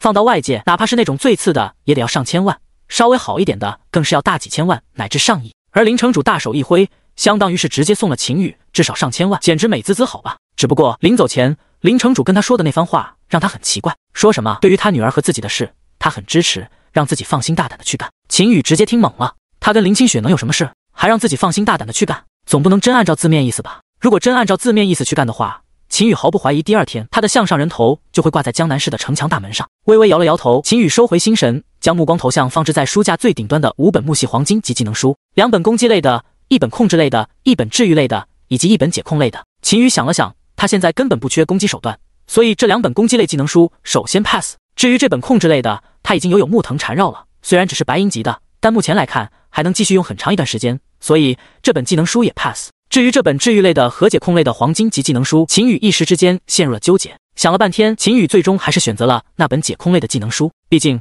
他本身的天赋复苏之木就自带治愈能力，虽然效果肯定没有叠加上治愈系技能那般顶，但至少现在也是绝对足够了。秦羽看向最后一本解控类的技能书的详细介绍：森林进化术，黄金级，可以解控任意的一项负面状态。注解控效果只对不超过使用者一个大境界有效，超过两个大境界，解控效果削弱百分之五十，更以上完全没有任何解控效果。看着眼前技能书的详细介绍，秦羽也是美滋滋地点点头。对于别人来说，想要习得一个技能，可能需要勤学苦练很久，但对秦羽来说，只是在系统商城花费五十个扮演点买个技能入门卷的事情。叮，花费五十点扮演点购买一本技能入门卷，没有任何犹豫。秦羽直接使用技能入门卷，将黄金级别的木系技能森林进化术学会。要知道，哪怕是一个天赋出众的天才，想要习得一本黄金级技能书，少说也得一个月；其余的普通人更是至少半年起步。但对秦羽来说，却只是盯一下的事情。只能说，同为人类，亦有差距。你是普通人，我是挂壁，大家都有美好的未来。学完技能，秦羽也是走了出去。而此刻，刘大毛也是挑选完了技能书。大毛，你挑选的是什么技能书啊？秦羽好奇地问道。嘿嘿。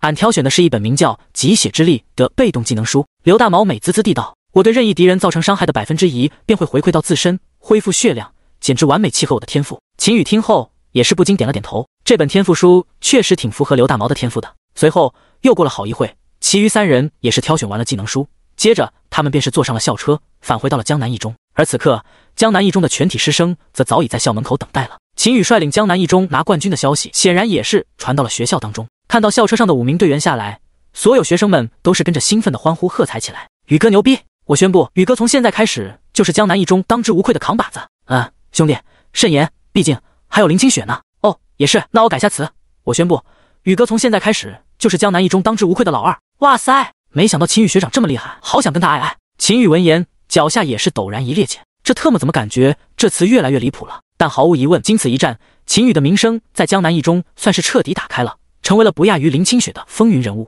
跟在秦羽身后的李军看着眼前这一幕，面容变得有些苦涩。原本这些欢呼应该都是属于他的，有些不甘的握紧了双拳，但最终还是悄然放下。看着眼前秦羽的背影，李军有些无力的垂下了头来。他现在家境家境比不过，实力实力比不过，还有什么可不服的？以后还是老老实实的消停待着吧。回到学校之后，秦宇第一次享受到了皇帝般的待遇是怎样的。好家伙，那一个个水灵灵的小学妹就跟不要钱似的扑向他来，对着他的脸蛋就是一顿猛亲。甚至还有直接扒他裤子的，那场面老刺激了。嘿嘿嘿嘿，学妹们别急，一个一个来。嘿嘿，秦宇趴在桌子上流着口水，美滋滋的说着梦话。秦宇，李木夏站在秦宇的桌前，面色发黑的冷声道：“秦宇没醒，仍旧说着梦话。”李木夏见状，直接一巴掌拍在了桌面上，砰！秦宇猛然一激灵，睡眼惺忪的醒了过来。做美梦了？李木夏冷声问道。嗯。秦宇点头。做完没？做完了。那就出去站着去吧。哦。秦宇擦了擦嘴巴上的口水，乖乖的站到了外面的走廊上去。好吧，刚才的那一切场景都是他梦里的场景，事实上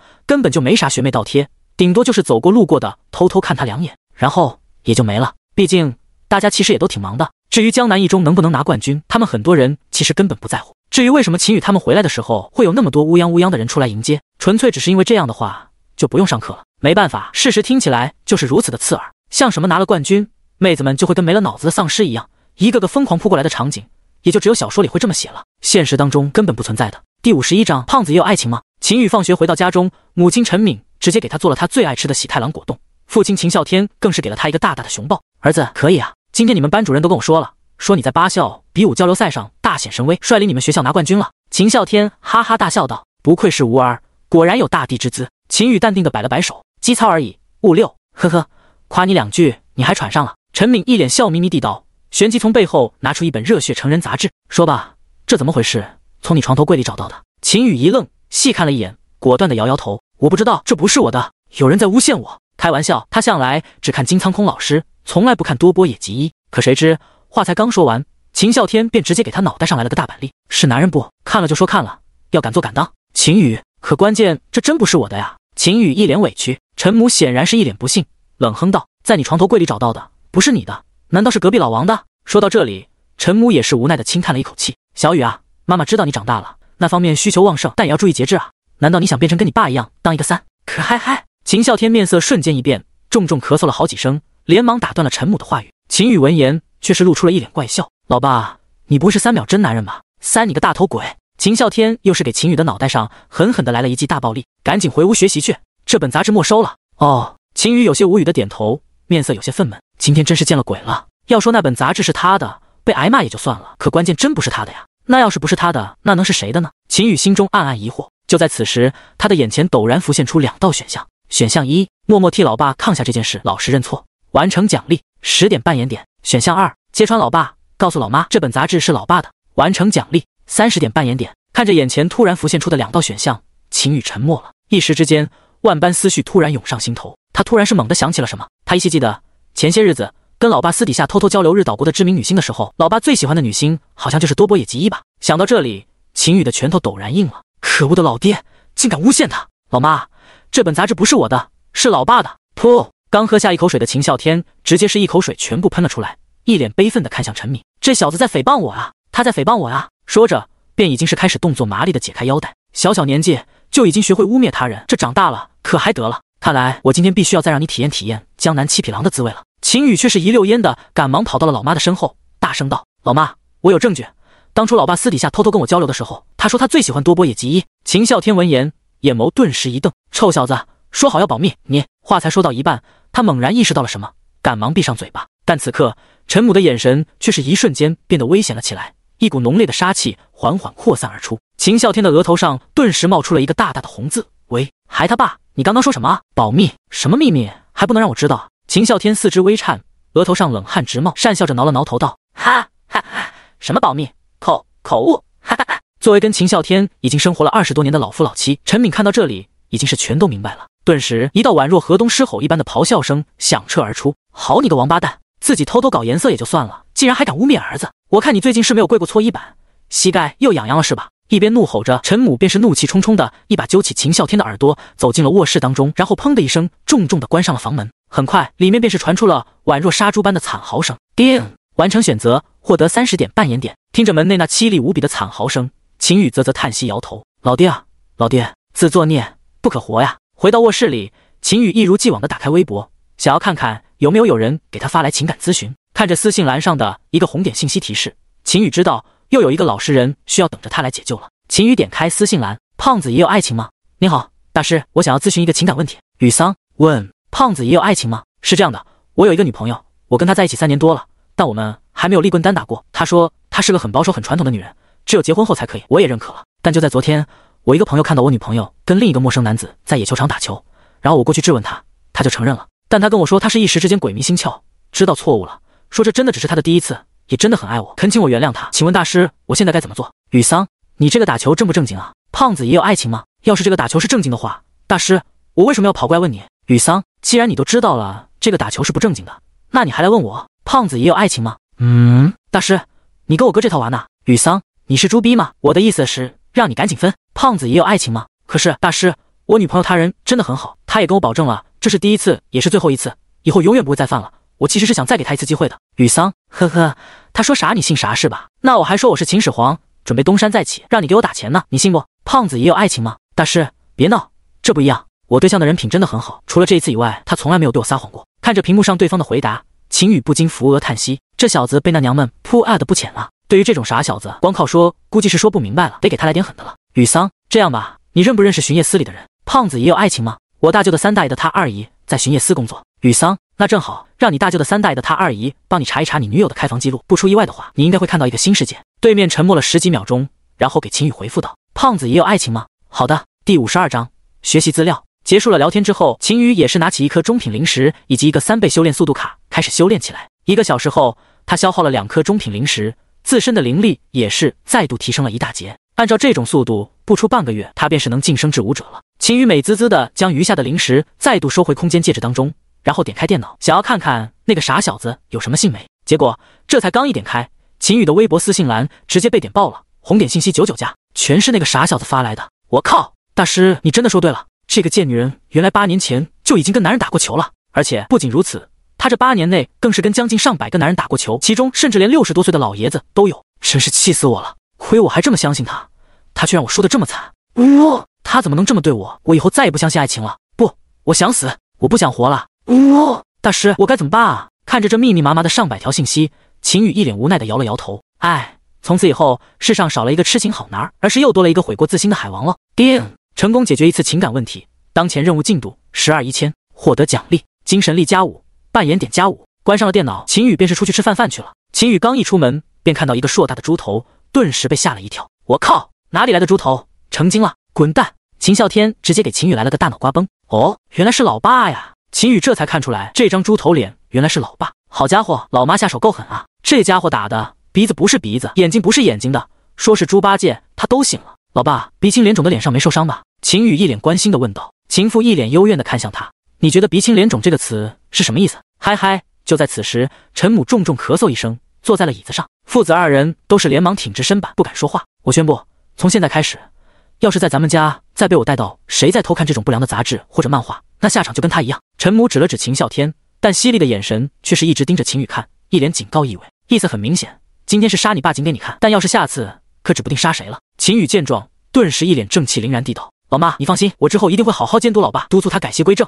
我与黄色不共戴天。哼，这还差不多。陈母冷哼一声，吃饭吧。吃过晚饭后，秦宇趁着老妈不注意，把他一些珍藏多年的碟片资源全部用报纸包好，偷偷抱了出去，来到了刘大毛的家里。刘大毛的家里是密码锁，所以秦宇连门都不用敲，直接输入密码，便是推开门走了进去。此刻，刘大毛的老爸刘东海正坐在沙发上看着报纸，看到秦宇走进来，笑着打招呼道：“小雨来了，手里拿的什么啊？”秦宇顿时一激灵，旋即连忙讪笑着道。刘叔好，这不高三了吗？我给大毛拿来点学习资料。学习资料？刘东海一脸怪异的看向秦宇，这俩小子他可是亲眼看着从小长到大，究竟什么尿性他可是相当懂的。就这么说吧，这俩小子哪怕是把学校炸了，他都相信。可唯独搞学习，他是绝技不信的，不可能，绝对不可能。然而还不等刘东海继续问话，秦宇便是嗖的一下赶忙窜进了刘大毛的房间里。这小子，刘东海一脸无奈的摇了摇头，旋即也是懒得再理会，继续拿起报纸看了起来。秦宇刚一进房间，就看到刘大毛此刻整个人全部盖到被子里。秦宇顿时明白了什么，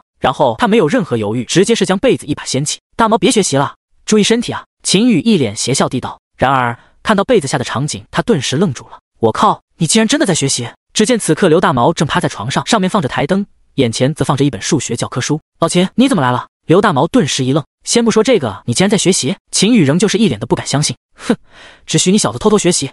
不许我偷偷追赶是吧？看我偷偷卷死你！刘大毛一脸自傲地道：“嗯，道理我都懂，可为什么你在你自己家也要盖着被子偷偷学？”嗯，刘大毛顿时一愣：“对啊，卧槽，我干嘛在自己家还偷偷学？我不纯纯脑瘫吗？”秦宇不说这个了，大毛，这些你先替我保管好。秦宇将手中用报纸包裹住的学习资料递给了刘大毛：“这是什么？”刘大毛好奇地问道：“A 加第二十二个英文字母。”哦，刘大毛闻言一瞬间反应过来，眼前陡然一亮。秦宇一脸慎重地低声道。这些你可以私下偷偷看，但注意千万不要外传，更不要泄露出去。放心，放心。刘大毛拍着胸脯保证道。紧接着，等到秦宇离开后，刘大毛便是迫不及待的将包装报纸打开了，看着里面各式各样丰富多彩的碟片资料，刘大毛一时之间看的眼睛都花了。我滴个妈啊！没想到老秦这小子平时不声不响的，私下里竟然偷偷藏了这么多老师的学习资料。刘大毛此刻已经全然忘却了学习，注意力已经全然被另一种学习所牢牢吸引住了。第五十三章偶遇耗子。离开刘大毛的家里之后，秦宇便是开始继续骑上小电驴送起外卖。一转眼又是几个小时过去，很快到了晚上十一点钟左右。今天的任务进度也很不错，成功送达了十八份外卖，以及得到了两位消费者的五星好评。这种战绩对专业的外卖员来说简直是一坨脓蟹，但对秦宇来说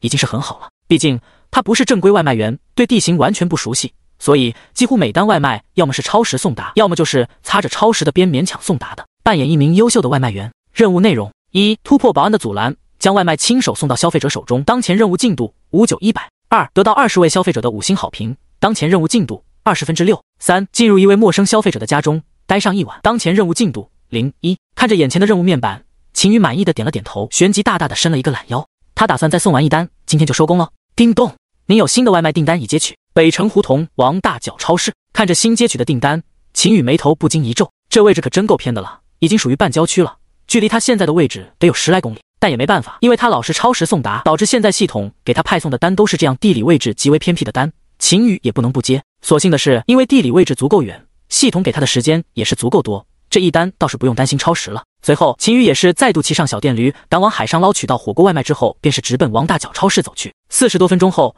秦宇来到了北城胡同这边，因为已经是半夜，这里黑不溜秋的，再加上这里是半郊区，人烟稀少，导致有一种阴气森森的感觉，让秦宇心中有些打鼓。我靠！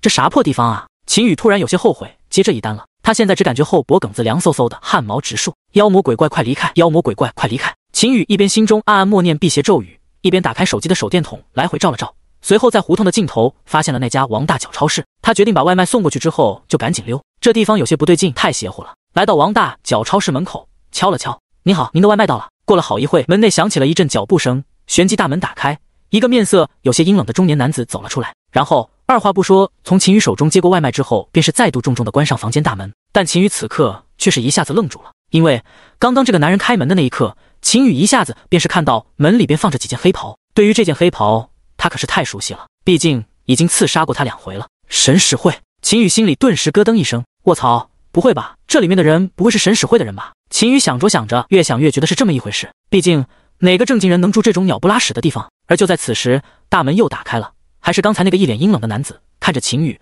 冷声呵斥道：“你怎么还不走？”秦宇一愣，旋即也是瞬间反应过来，微笑着道：“亲，能麻烦你给我点一个五星好评吗？”男子冷冷的瞥了他一眼，滚。话落，便是再度重重的关上了大门。关上大门之后，秦宇脸上的笑容也是瞬间消失，眼中泛着金光。目前还不能百分百证实这帮家伙一定是神使会的人，得再仔细确认一下。想到这里，秦宇又是看向了王大脚超市的两边，都是一栋低矮的平房，看起来已经废弃很久了，根本没人住。念及至此，秦宇也是不再犹豫，来到其中一栋平房的围墙前，纵身一跃，便是翻了过去。翻过墙之后，秦宇蹑手蹑脚的来到了靠近王大脚超市的那边墙壁上，侧耳倾听。很快，一些声音便是陡然响起。妈跨的，十三分队也真他妈的不是东西！他们被巡夜司抓了，结果就直接把他们知道的几个分队的位置全部供出来了。可不是咋地，咱们第九分队原本在城区里待着好好的，结果都是因为这帮狗比，现在只能跟过街老师一样，躲在这鸟不拉屎的地方。都少说两句吧，这种事情也不是你我能决定的。但你们放心，总部那边说了，巡夜司那边有咱们的内人，说是这次的雷霆搜波行动再有个一周时间就结束了。等这段风头过去，咱就能重新回去了。到时候我请大家来一套马杀鸡一条龙。好嘞，老大万岁！老大，我要三个嫩模，才三个，养生呢，我要十个。哈哈，老欧啊，你搞十个，你那身受得了吗？滚你大爷的！听着墙壁那头的不断传出来的交谈声音，秦宇顿时冷笑一声。果然不出他所料，正是神使会那帮下水道的小耗子们。奶奶个腿的，以往都是这帮狗比来埋伏他，现在终于是被自己埋伏到了吧？秦宇那漆黑如墨的瞳孔当中，顿时浮现出一抹凛冽的寒光，杀气四溢。是时候到了该报仇的时候了。秦宇缓缓站起身来，扶了扶脖子，掰了掰手腕。眼神前所未有的冷冽。下一刻，他缓缓从兜里掏出手机，然后果断给巡夜司第五分局的队长林海涛发去了微信：“北城胡同王大脚超市潜藏着神使会的老鼠们，速速来抓！”此刻，江南市巡夜司第五分局内，所有工作人员都是在夜以继日的辛苦工作着，正不断追查着潜藏在这座城市内其余神使会成员的踪迹。以往，这帮老鼠都是相当狡猾，就算偶尔被抓到，但也只是一两个小虾米，根本是什么也不知道。但是现在不同。随着神使会第十三分队以及第十五分队的队长纷纷落网，他们也是从这俩人手里套出了不少的隐秘。短短几天时间内，他们已经靠着这两人说出来的隐秘，端掉了神使会的好几个窝点。但这还不够，按照这俩人所说，神使会在江南市里设置的窝点至少有二十几个，所以他们现在必须每分每秒竭尽全力的追查，争取在这帮老鼠们再度隐藏下去之际，再多抓出几只大耗子出来。第五十四章有探子，林队。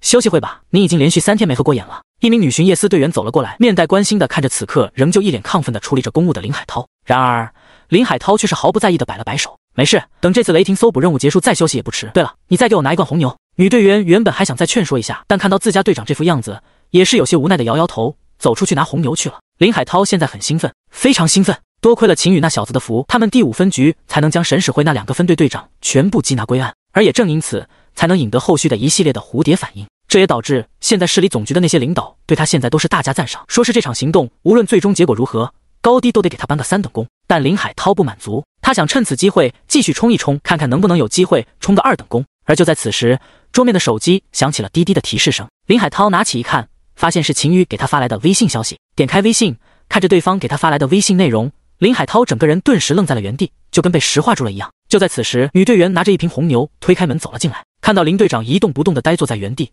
顿时一惊：“妈呀，林队，你怎么了？不会休克了吧？”女队员连忙跑了过去，想要查看林海涛的详情。可他才刚一凑进去，林海涛便是疼的一下站起身来，满脸的激动和喜悦，倒是把身旁的女队员吓了一跳。林队，你看着突然诈尸的林海涛，女队员目瞪口呆，脸色刷白。然而林海涛此刻却是根本顾不得这些，当即神情激动的果断下令道：“即刻召集全局所有队员，随我一同出动，捉拿神使会老鼠！”啊！女队员闻言顿时一愣，但还是很快回过神来，赶快将命令传达了下去。很快，江南市巡夜司第五分局内，一辆又一辆的黑色越野车疾驰而出，发出一声声嗡鸣的咆哮声，掀起漫天的尘土飞扬。此刻，北城胡同王大脚超市内，十几个身影围坐在一起，吃着热气腾腾的火锅。妈呀，还得是海上捞，就是这个味，太香了！以前没发觉这火锅有多好吃，但现在怎么感觉这么香呢？废话，咱都连续吃了多少天大白馒头加榨菜了，现在可不是吃嘛嘛香吗？可惜了。肉点少了，有点不够吃啊！我靠，老李，你特么给我留点肉，全他妈吃没了！倚靠在墙壁上，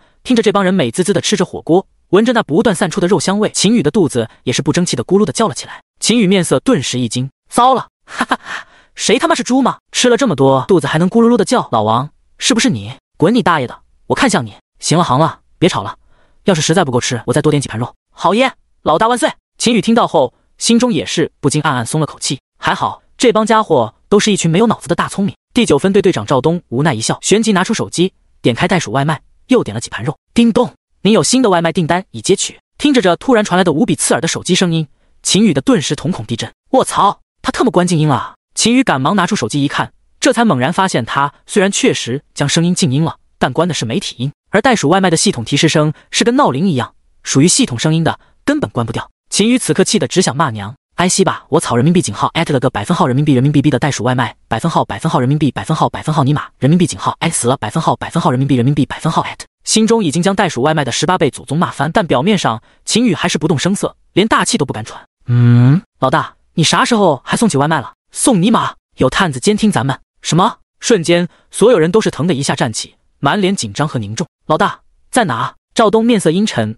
看向靠近隔壁平房的墙壁。他要是没听错的话，刚才的声音应该就是从那里传出来的，应该在那后面。赵东瞬间用手指了一下了那面的墙壁后面，自知已经暴露的秦宇，此刻也是不再隐藏，二话不说，转身拔腿就跑。这一下，这急促的脚步声直接被众人听了个真真切切。日尼玛，还真他妈有探子！砰！有一人直接是拿把铁锤一锤子，便是将面前的墙壁轰翻了过去，显露出了一个已经急冲出平房大门的身影，是那个逼外卖员。有人大声喊道：“追啊！”所有人都是瞬间追了过去，各种各样的远程攻击更是疯狂地朝着秦宇轰射而去。然而在被动技能敏锐感之下，秦宇将这些远程攻击纷纷躲了过去。卧槽，这小子速度好快，我们追不上他！众人面色惊骇，他们最低都是武者，甚至其中更是有三名武师，结果竟然追不上眼前这个小子。别慌，我有控制技能。其中一人连忙站出来。双手迅速结印，朝着秦宇释放而出。土遁牢。话音刚落，秦宇脚下的土坑便是猛然一凹陷，将他两条腿直接是陷了进去，动弹不得。干得漂亮，老王！众人见状陡然一喜。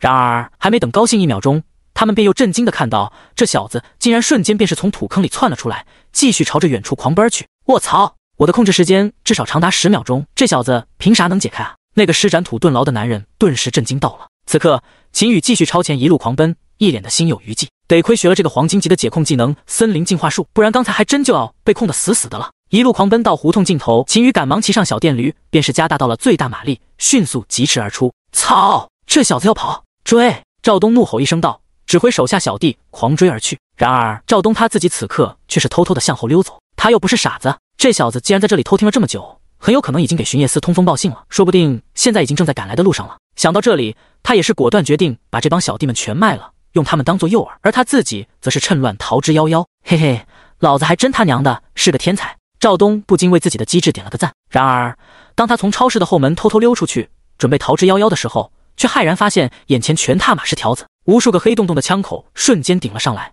吓得赵东整个人顿时石化在了原地。林海涛顿时笑了，没想到他才刚一到地，就逮到了一只大老鼠。赵东此刻有些欲哭无泪，他特么现在才猛然想起来。超市的前门是小道，超市的后门才是大道。下划线第五十五章，来抓我呀，笨蛋！就在沈史辉第九分队队长赵东被林海涛等人逮捕之际，另一边的秦宇此刻则是骑着小电驴在街头迅速穿行，而身后则是十几个彪形大汉不要命的狂奔追来。他只是个武徒，而身后的十几名彪形大汉最低都是武者级别，甚至还有武师。但秦宇却丝毫不慌，因为他们的速度没有自己的小电驴快。此刻，秦宇甚至有闲心打起了电话：“喂，林 Sir 啊，你们究竟还有多久到啊？什么？你们已经到了？”那你直接定位我的位置吧，剩下的小老鼠们现在全追着我呢。放心，我有小电驴，这帮傻货就是跑断腿累死他们也追不上我。你说让我再帮你纠缠一会，你马上到。林 Sir 啊，我只是个普普通通的高中生，这事不太好办啊。我不是说办不了，只是想让我帮你办这事，得加钱。OK，那就这么说定了。秦宇挂断了电话，回头看了一眼，发现这帮傻货好像有点没劲了，他们之间的距离正在逐渐拉大。为了防止对面摆烂不追了，秦宇也是将小电驴的速度跟着降了下来。就刚好卡在对面，只要再冲几步就能追上，却偏偏追不上的极限距离之上，就搁着硬吊着他们。什么叫顶级拉扯啊？战术后养 JPG。此刻追着秦宇的十几名神使会成员都快累懵逼了，眼看着两者的距离正在逐渐拉大，已经有些人开始打起退堂鼓了。但就在他们打算撤退之际，却突然发现眼前这小子小电驴的速度也跟着降了下来。兄弟们，再加把劲！这小子的小电驴好像快没油了，坚持就是胜利。其中的领头者高喊道。身后众人闻言，也只能是硬咬着牙继续追过去。又是追了十多分钟，这一下有很多人是彻底跑不动了，直接是累瘫在了原地。他们只是武者，又不是武圣，体力并不是无限的，更何况是连续高强度冲刺将近小半个小时，能坚持到现在已经属于是极限发挥了。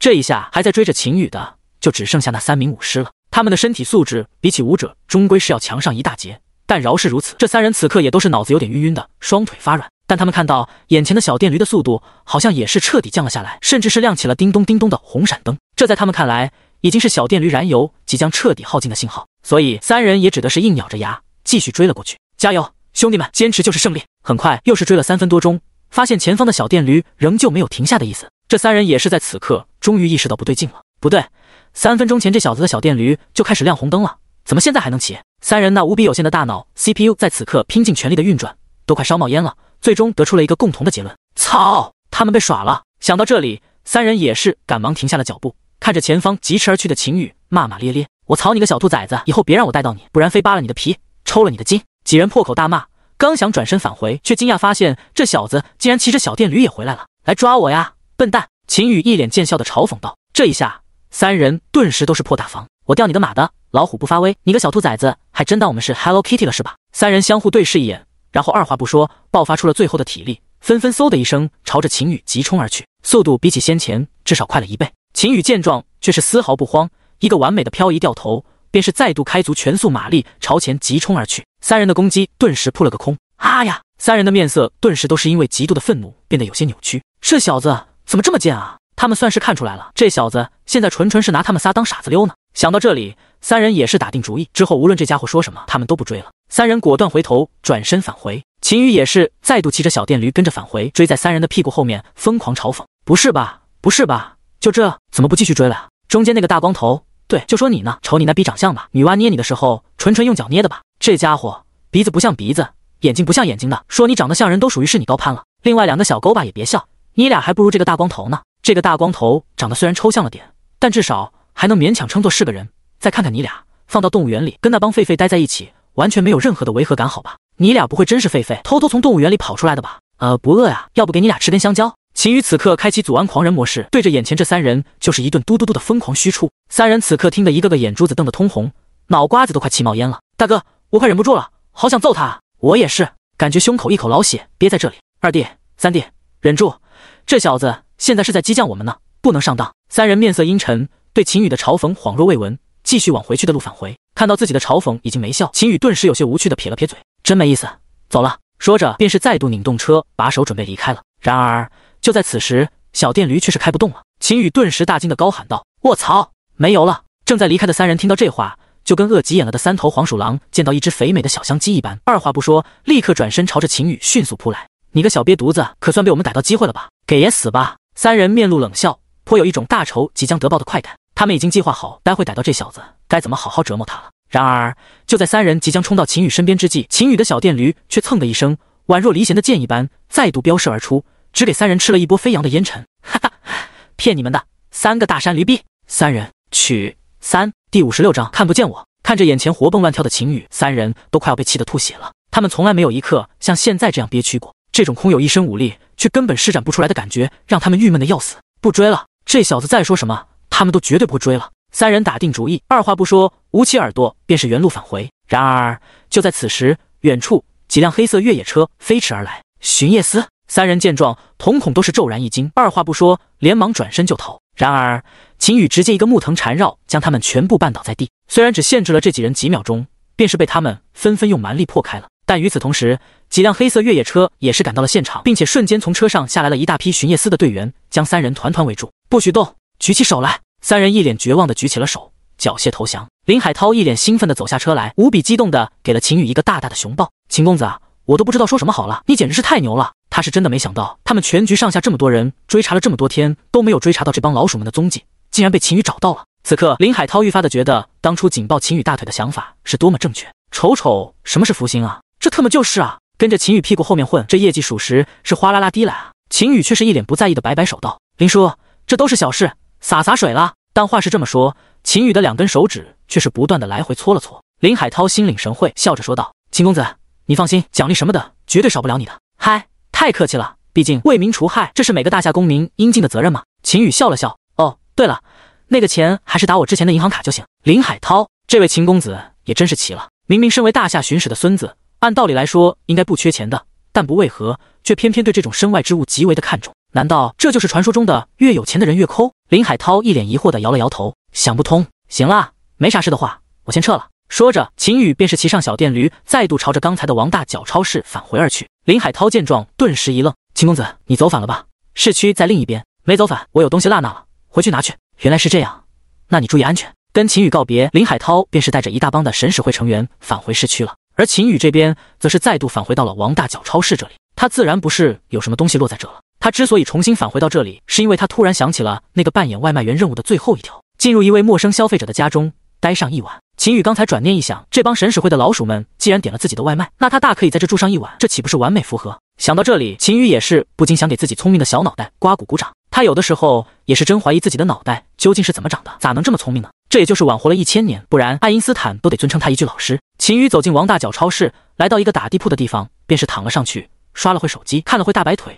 便是美美的睡了过去。翌日清晨，秦宇伸了一个大大的懒腰，缓缓醒来，叮，完成进入一位陌生消费者的家中并待上一晚的任务，获得奖励。主动技能：看不见我，看不见我。低声默念：看不见我，您就会陷入隐身状态九六十二秒钟，冷却时间六小时。咒隐身持续时间随着您的精神力数值的不断提高而延长。竟然是隐身技能！秦宇顿时一喜，脑子里瞬间冒出了一些大胆的，甚至有些行的想法。什么女澡堂啊？校花宿舍了？嗨嗨！秦宇迄今为止做过最后悔的事情，就是当他很小的时候，他妈妈一直领着他去女澡堂洗澡，然后直到有一天，他自己也不知道是抽了什么风，突然跟老妈说：“妈，我现在已经是大人了，我不要再在女澡堂洗澡了。”从此以后，他就再也没进过女澡堂了。一想到当时的场景，他就恨不得扇自己两个大嘴巴子，万分的追悔莫及。老话常说，世上没有后悔药，但是现在老天爷竟然真的给了他一个可以改过自新的机会。虽然现在只能隐身不到十秒钟，但等之后精神力提高了，隐身时间变长了，那岂不是可以？嘿嘿嘿，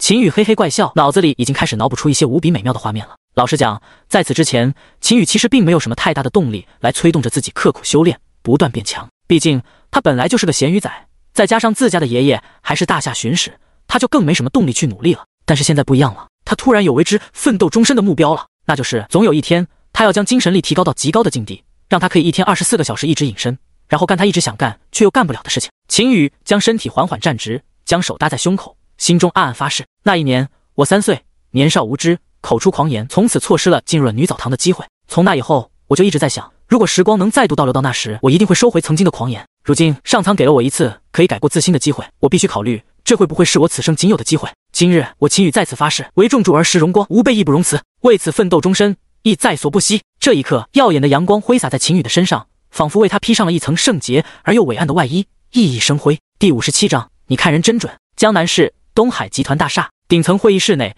集团的高管们此刻正齐聚一堂，开着会议。他们每个人神色凝重，眉头紧锁，沉默不语。会议室内的气氛显得极为沉闷压抑。至于他们此刻为何露出此等难看神色的原因，也很简单，那就是因为他们表面上是东海集团的各大高管，但实则都是神使会江南市分部的管理层，也是第一至第五分队的队长。而这座东海集团大厦，实则也是神使会江南市分部的总据点。只不过明面上这里是一家研制生物科技的公司罢了。而今天。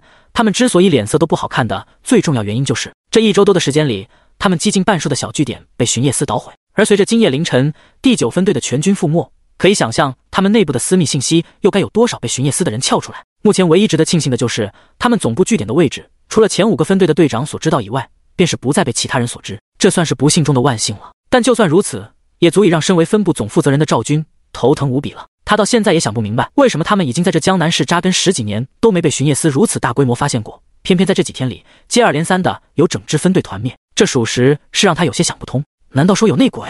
赵军扫了一眼在场的五人，眸光微微闪烁。就算有内鬼，应该也不是他们，不然他们现在的总据点早就被一锅端了。想到这里，赵军的心里也是稍微安定了下来。不管怎么样，只要总据点不被泄露出去，就有东山再起的可能。念及至此，赵军也是果断下令道：从现在开始。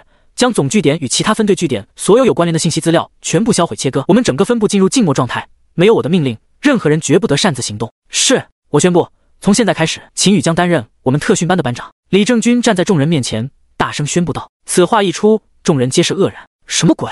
秦宇竟然成了他们的班长？这画风怎么感觉这么诡异啊？虽然在这次八校比武交流赛上，秦宇确实是展现出了超强的实力，率领他们学校夺得了冠军。可跟已经是武者，并且还觉醒了 S 级天赋的林清雪比起来，应该还是差上一筹的吧？怎么看都觉得林清雪比秦羽更适合当班长啊！老师，为什么不是林清雪担任班长？有人出声质问道。对啊，林清雪怎么看都比秦羽更适合当班长吧？没错，俺也觉得，俺也一样。有几人跟着出声附和道。秦宇闻言，转头看向出声的那几人，眉头陡然一挑，这几个小卡拉米竟敢质疑自己。秦宇决定之后要给这几人好好上一课。还不等李正军回答，林清雪便是主动站出来说道：“大家不要吵了，是我自己主动推举秦宇当的。毕竟我本身就不爱言辞，秦宇比我更适合当我们班的班长。”此话一出，众人都是沉默了。既然连当事人都觉得没问题，那他们也没有跟着咋呼的理由了。只是让曾经一个他们根本看不上的全校吊车尾的人，现在过来当他们班长。虽然已经知道秦宇的实力远超他们，但这心里还是有些小别扭的。看着众人脸上那股有些别扭的表情，李正军微微一笑，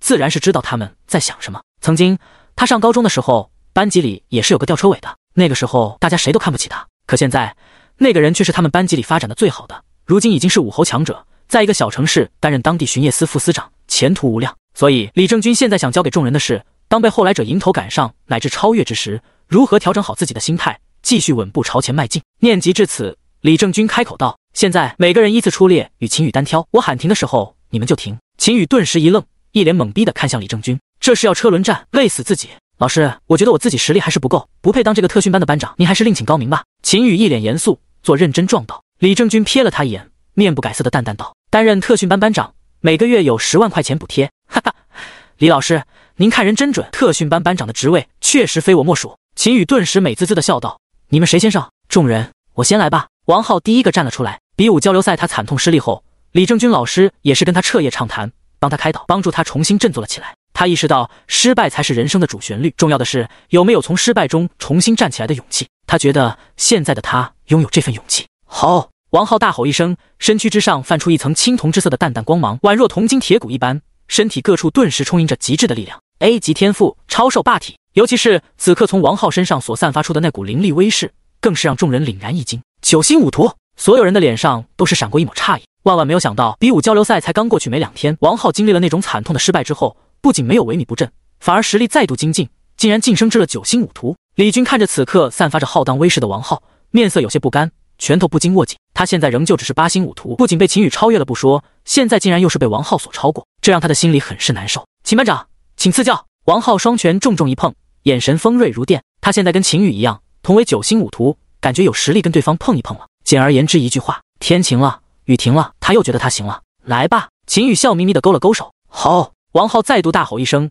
便是气势如虎的朝着秦羽迅猛扑去，砰！然后就是被秦羽直接一脚踹飞了出去。只能说，同为九星武徒亦有差距。毕竟，就算秦羽现在不用任何的技能，单论他现在的各项属性值，就已经是远超九星武徒不知多少，自然是能轻松碾压对方。但王浩也不气馁，一脚被踹飞出去之后，便是立刻站起身来，再度朝着秦羽冲去。然后又是被秦羽一脚踹飞出去，一口鲜血缓缓自王浩的嘴角溢出。被秦羽所连续踹中的胸膛陡然变得是无比的红肿，这也就是秦羽流利了，不然就算王浩有超兽霸体的护甲防御，秦羽也能直接一脚将他踹到 ICU 去。当然，要是再狠心一点，火葬场也不是不可能。但毕竟是同班同学，真要踹进火葬场，那就太夸张了。秦羽也不是那种下手狠辣之人。第五十八章，当然不可以了。王浩重新站起身来，擦拭了下嘴角溢出的鲜血，便是毫不畏惧的打算再度朝着秦羽继续冲去。然而这一次却是直接被李正军叫停了。王浩，还记得我跟你一直强调的吗？李正军一脸严肃地道：“战斗时要多动用脑子。秦羽的力量现在明显要比你高出一大截，你还一直就硬莽着冲，这不是英勇，这只是纯送。”王浩被说的直接是有些惭愧的低下了头。老师，我明白了。嗯，回去好好悟一下吧。下一个，李军闻言向前一步站了出来，他看向秦羽，面色凝重，眼神凛冽。就算他现在比不过秦羽，但至少要做的比王浩好。他已经暗暗给自己定下了一个小目标，至少在秦羽手下撑十秒钟。呼，李军深吸了一口气。下一刻，眼神陡然一凝，爆发出了 A 级天赋金铁蛮牛的威力，朝着秦羽奔袭而来，与王浩先前的那种莽撞的冲锋如出一辙。然而，就在李军即将贴近秦羽之际，却是立刻一个后撤步退开，堪堪将秦羽的一脚侧踹躲了过去。李军的嘴角陡然勾起一抹冷笑，这家伙果然上当了。他心里的小目标也是在瞬间改变，在秦羽手中撑十秒，格局太小，他要直接把对方干趴下。只见李军在后撤步的一瞬间，双腿便是重重一蹬，将地皮瞬间掀翻。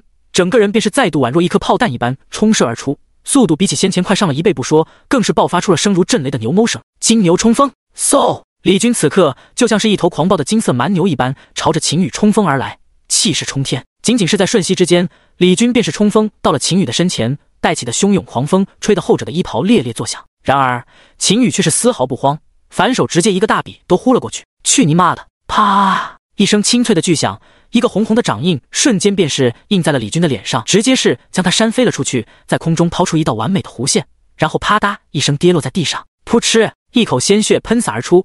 李军脑瓜子嗡嗡的，四肢抽搐不停。哎呀，不小心用大劲了！秦羽装作一脸无辜的表情，惊讶道：“众人，神特么用大劲了，感觉分明就是公报私仇啊！”只见此刻秦羽一脸惊慌的跑了过去，扶起李军的身体，便是一脸担忧的拍了拍他的脸蛋：“你没事吧？你没事吧？你没事吧？”啪啪啪，每说一次你没事吧，紧跟着便是一巴掌拍了过去。李军原本还有点意识的，但被秦宇这几巴掌一拍，直接是被彻底扇晕了过去。秦宇一脸无辜的，直接双手一摊：“跟我没关系哈。”我就用了五分力道，谁能想到这小子这么不抗造？李正军嘴角不禁一抽，连忙招呼校医过来，把李军抬走。他怒瞪了秦宇一眼，警告道：“臭小子，你给我收着点力！”秦宇一脸无奈地道：“好吧，那我下次就只用千分之六的力道好了。”千分之六的力道是什么鬼？众人一阵无语，但此刻看向秦宇的眼神当中，却已然是多出了一抹畏惧。这小子曾经是吊车尾不假，但现在实打实的狠也是事实啊！紧接着，第三个出场的是一个萌萌哒的双马尾萝莉，她是高三二班的李萌萌。嘤嘤嘤，秦羽班长。你可以对我下手轻一点吗？李萌萌眨巴着水灵灵的大眼睛，望着秦羽，楚楚可怜地道。秦羽笑了，当然，谢谢秦羽班长。李萌萌面露喜悦之色，然后便是挥动粉嫩的小拳拳，准备去捶秦羽的胸口。看拳呀！然而李萌萌才刚冲到秦羽的身前，秦羽便是邪笑一声道：“当然不可以啦！”话音未落，便是直接一记快若闪电般的顺拳轰了过去，直中对方胸膛。嗯，平的。这是秦羽出手后心里冒出的第一个念头。紧接着，李萌萌便是直接被轰飞了出去。四仰八叉的瘫倒在地上，眼冒金星，口吐白沫。秦羽双手抱胸，一脸不屑道：“还敢跟我嘤嘤嘤？不知道哥们生平最讨厌嘤怪吗？”所有人顿时都是看傻眼了。没想到秦羽竟然这么变态，连这么可爱的小萝莉也不放过。畜生啊！不对，简直畜生都不如啊！所有人都是一脸心痛的看着小萝莉胸前那本就平坦无比的飞机场。秦羽这一拳让对方那本就不富裕的小白馒头更加凹瘪了进去。随后挑战继续。秦羽又是将特训班的其余人挨个锤了一遍，不过之后他下手的分寸也是轻了很多，基本上也就是打出个轻微伤差不多了。当然，先前那几个出声质疑他的小子，秦羽还是没有放过，下手还是比较重的。虽然不至于像李军那样惨，但至少这一周时间内没人搀扶着，是别想独自上厕所了。此刻，在场几乎所有人都是鼻青脸肿的站在原地，满脸畏色的看着眼前那一直个笑眯眯的男孩。曾几何时，当他们看到秦羽在八校比武交流赛上轻轻松松的完成一打五的壮举，看起来不是很困难。感觉他们上好像也能行，但只有真跟这个家伙打起来才知道，他们上是真他妈的不行。这个逼人力量大的离谱也就算了，反应和速度也是巨狗把快呀！雷嘛，这人开挂了吧？秦羽风轻云淡的站在场中，背负双手，一脸失望的摇头叹息道：“我不明白，到底是我太强，还是你们太弱？为什么你们如此的不堪一击，把我衬托的如此强大？不要这样，这样我会骄傲自满的。”众人明想到一个人的眼神是藏不住的，如果眼神能杀人的话，秦羽此刻怕不是已经被千刀万剐了？求求了！谁能来制裁一下这个小子？太他妈的贱了，受不了了！此刻，所有人都是齐刷刷的转过头来望向林清雪。在众人眼中看来，在场中人中，也就只有清雪女神或许能制裁一下这小子了。清雪女神加油，给我干爆秦羽！清雪女神争取十秒钟内干碎他，让他知道什么叫人外有人，天外有天。清雪女神，只要你能赢下这场比赛，我就跟你约会，任你摆布。滚你大爷的！不要闭脸。第五十九章，从现在开始，这里叫做秦羽广场。林清雪缓缓走了出来，来到了秦羽的面前。秦羽轻笑着道：“小雪儿，我劝你直接认输，毕竟我的小铁拳很硬，你承受不住。”林清雪同样回以微笑道：“行不行？要试过才知道。那我准备上了。”林清雪点点头：“来吧。”话音刚落，秦羽便是快若闪电一般朝着林清雪急冲而出。果然好快！林清雪几乎是在一瞬间同时反应过来，连忙向后退开的同时，几道冰刺凝聚而出，朝着秦羽刺去。秦羽也是只得停止了继续冲刺，连忙左闪右避，将这些冰刺全部避开。木藤缠绕。几乎是在避开冰刺的同一时间，秦羽直接施展木藤缠绕，瞬间将林清雪束缚在了原地，捆缚住了他的双手双脚。秦羽嘴角微微一勾，紧接着便是再度冲射而去，一拳轰出。然而，就在秦羽的拳头即将轰中对方之际，一道巨大的冰墙却突然横亘在他的眼前。砰！秦羽一拳直接是将眼前的冰墙砸出一道碎裂的凹坑，但却并没有砸穿。不得不说，不愧是 S 级天赋，这强度确实杠杠的。而林清雪也是趁此机会挣脱开了木藤缠绕。瞬间闪身来到秦羽的身后，手中凭空凝聚出一道冰刃，挥砍而出。秦羽凛然一惊，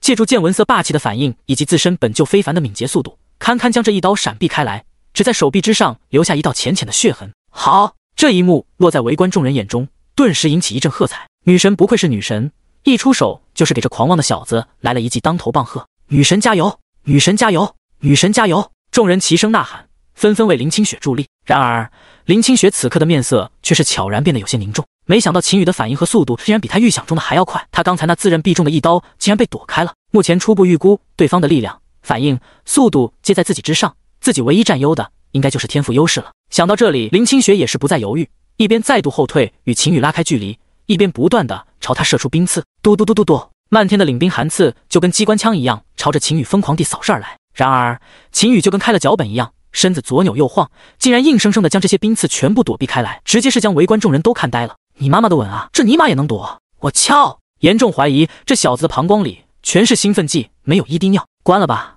没意思。林清雪也是没有想到对方的走位身法竟然这么好，一时之间有些微微的失神。而秦羽自然也是不会放过这个机会，瞬间便是再度贴身而来。小雪儿，战斗当中失神可是大忌哦。秦羽已经伸出那个邪恶的铁拳，准备对林清雪的大白馒头致命一击了。然而，就在此时，林清雪的美眸当中却是顿时闪烁出一抹计划得逞的笑容。冻结吧！一声娇喝，秦羽先前手臂上所刮出的血痕里的一些残留的冰碎，便是瞬间蔓延开来，将他整个人直接冻结成了一个冰雕。林清雪微微一笑，她的冰系天赋绝对零度有一个特性，只要给对方造成一丝伤害，就能在对方的伤口当中残留下一些冰碎，而这些冰碎在她的一念之间，便是能瞬间扩张到极致。这是一个不易被敌人察觉，却非常致命的隐藏杀招。围观众人见状，也是再度爆发出一阵欢呼。还得是清雪女神，就是屌！叫这小子狂，装大了吧？啧啧，还是年轻哦。大秦老师原来就这样，我还以为有多狠呢。我的评价是注意进场时机。然而，就在众人乃至于林清雪都觉得胜券在握之际，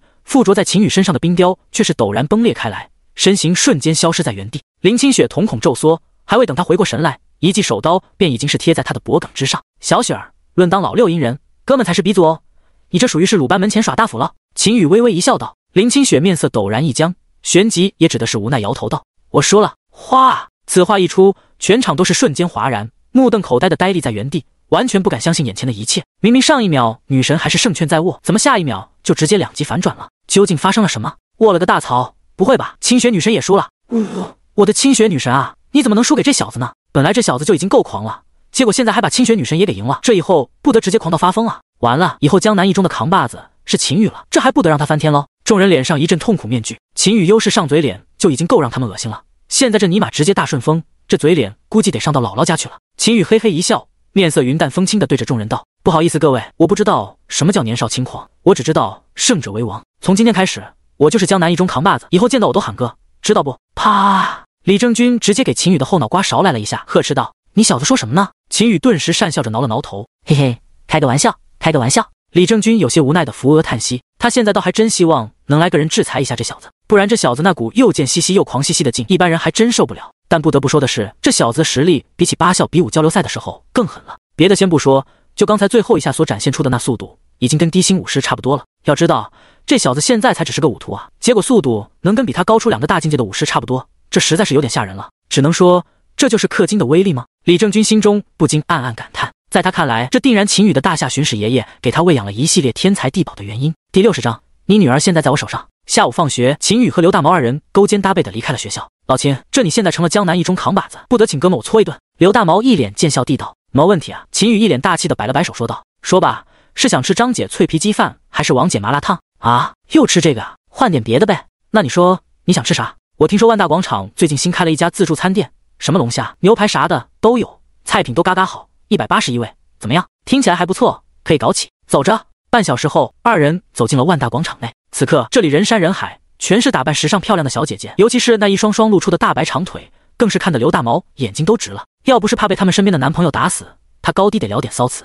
秦羽无奈的轻叹一声，拍了拍刘大毛的肩膀：“大毛，醒醒吧！你看一百遍美女，她们都不是你的；但你看一百遍书，知识就是你的了。该醒醒了。我们的目标是建设祖国。”刘大微微一笑，理直气壮的反驳道：“看妞无乐。”看书无法，闷闷不乐，何要大夏？秦羽六。随后，秦羽二人一路上了五楼。这层楼全是各种各样的餐厅，那家自助餐厅也是在这层楼。然而，他们俩才刚一上到五楼，就看到一个小女孩孤零零的站在原地，眼神茫然而又惊恐，显得有些不知所措。秦宇走了过去，开口问道：“小姑娘，怎么了？”“呜呜我跟我爸爸妈妈走散了。”小女孩哭着鼻子道：“不要急啊，哥哥带你去找你父母。秦宇温柔地抚摸了下小女孩的头发，开口问道：“知道你父母的电话吗？”小女孩楚楚可怜地点点头：“知道我爸爸的，四百四十三四千三百九十六两千二百。”秦宇闻言记下了电话号码，旋即按动手机号码拨通。没过一会，手机便是被接通，里面传来了一个男人的声音，听起来有些焦急：“喂，你是不是有个女儿走丢了？”“对对对。”对面的男人闻言，语气变得陡然激动起来：“不用急，你女儿现在在我手上。”说着，秦宇突然意识到这句话好像有点引人误会，紧跟着补充道：“你应该能明白我的意思，我不是坏人。”对面顿时沉默了。秦宇意识到这句话好像也有点不对劲，立马又补充道：“我的意思是，你女儿现在还是安全的。”对面再度沉默了半晌，良久，声音有些微微颤抖地道：“要要多少钱？”秦宇闻言一愣：“不用给钱，我做好事不留名。当然，你要是硬要给我塞个红包，给个百八十的也不是不行。”哐当！对面的男人听到这句话，手机直接是被吓得掉在了地上。他没有想到对方竟然这么狠，开口就要百八十万。喂喂喂，人呢？怎么突然没声了？男人赶忙将手机拿了起来，无奈的长叹一口气道：“你放心，钱我会给你的。我该去哪里找你？我们就在五层楼梯口这边。你一上来，应该就能看见了。我明白了，请给我一点时间。”嘟嘟，中年男人挂断了电话，一旁的女人赶忙凑了过来，一脸紧张又急迫地道：“老公，怎么？了？是有妞妞的消息了吗？”嗯，中年男人苦涩地点点头：“他被绑匪抓走了，管我们要一百万。”什么？女人的面色顿时一白，双腿一软，一个踉跄没站稳，瘫软在了地上。先别慌，对面绑匪和咱的女儿现在还在这个广场里。中年男人强作镇定道：“你表妹不是巡夜司的人吗？让她赶紧过来吧。对了，让她千万不要大张旗鼓，最好穿着便服来，以防打草惊蛇。”对对对，女人闻言连忙打开了手机，拨通了电话。而另一边挂断了电话之后，秦宇和刘大毛便是领着小女孩待在原地等了起来。等了十多分钟还不见人过来，俩人顿时都是有些不耐烦了。老秦，还得有多久啊？这家自助餐就开到晚上七点，现在已经六点多了，再不去的话，吃屎都赶不上热乎的了。刘大毛有些焦急地道。秦宇此刻也是有些无语，对方说好马上到的，怎么十多分钟了还没来？旋即，秦宇又是拨通了电话。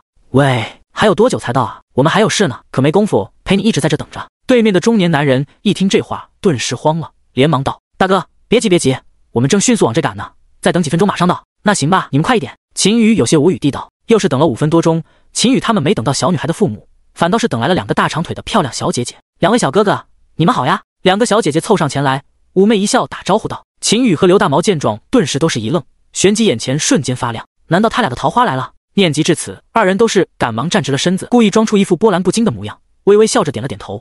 你们好，方便加个微信吗？可以。秦宇二人心里美滋滋的，拿出手机，点开了微信二维码，将手伸了过去，给二人扫。然而就在此时，两位小姐姐身形却都是突然一动，闪身到秦宇二人的身后，瞬间将他们二人制服。不许动，我们是巡夜司的。秦宇二人瞬间一脸懵逼，什么鬼？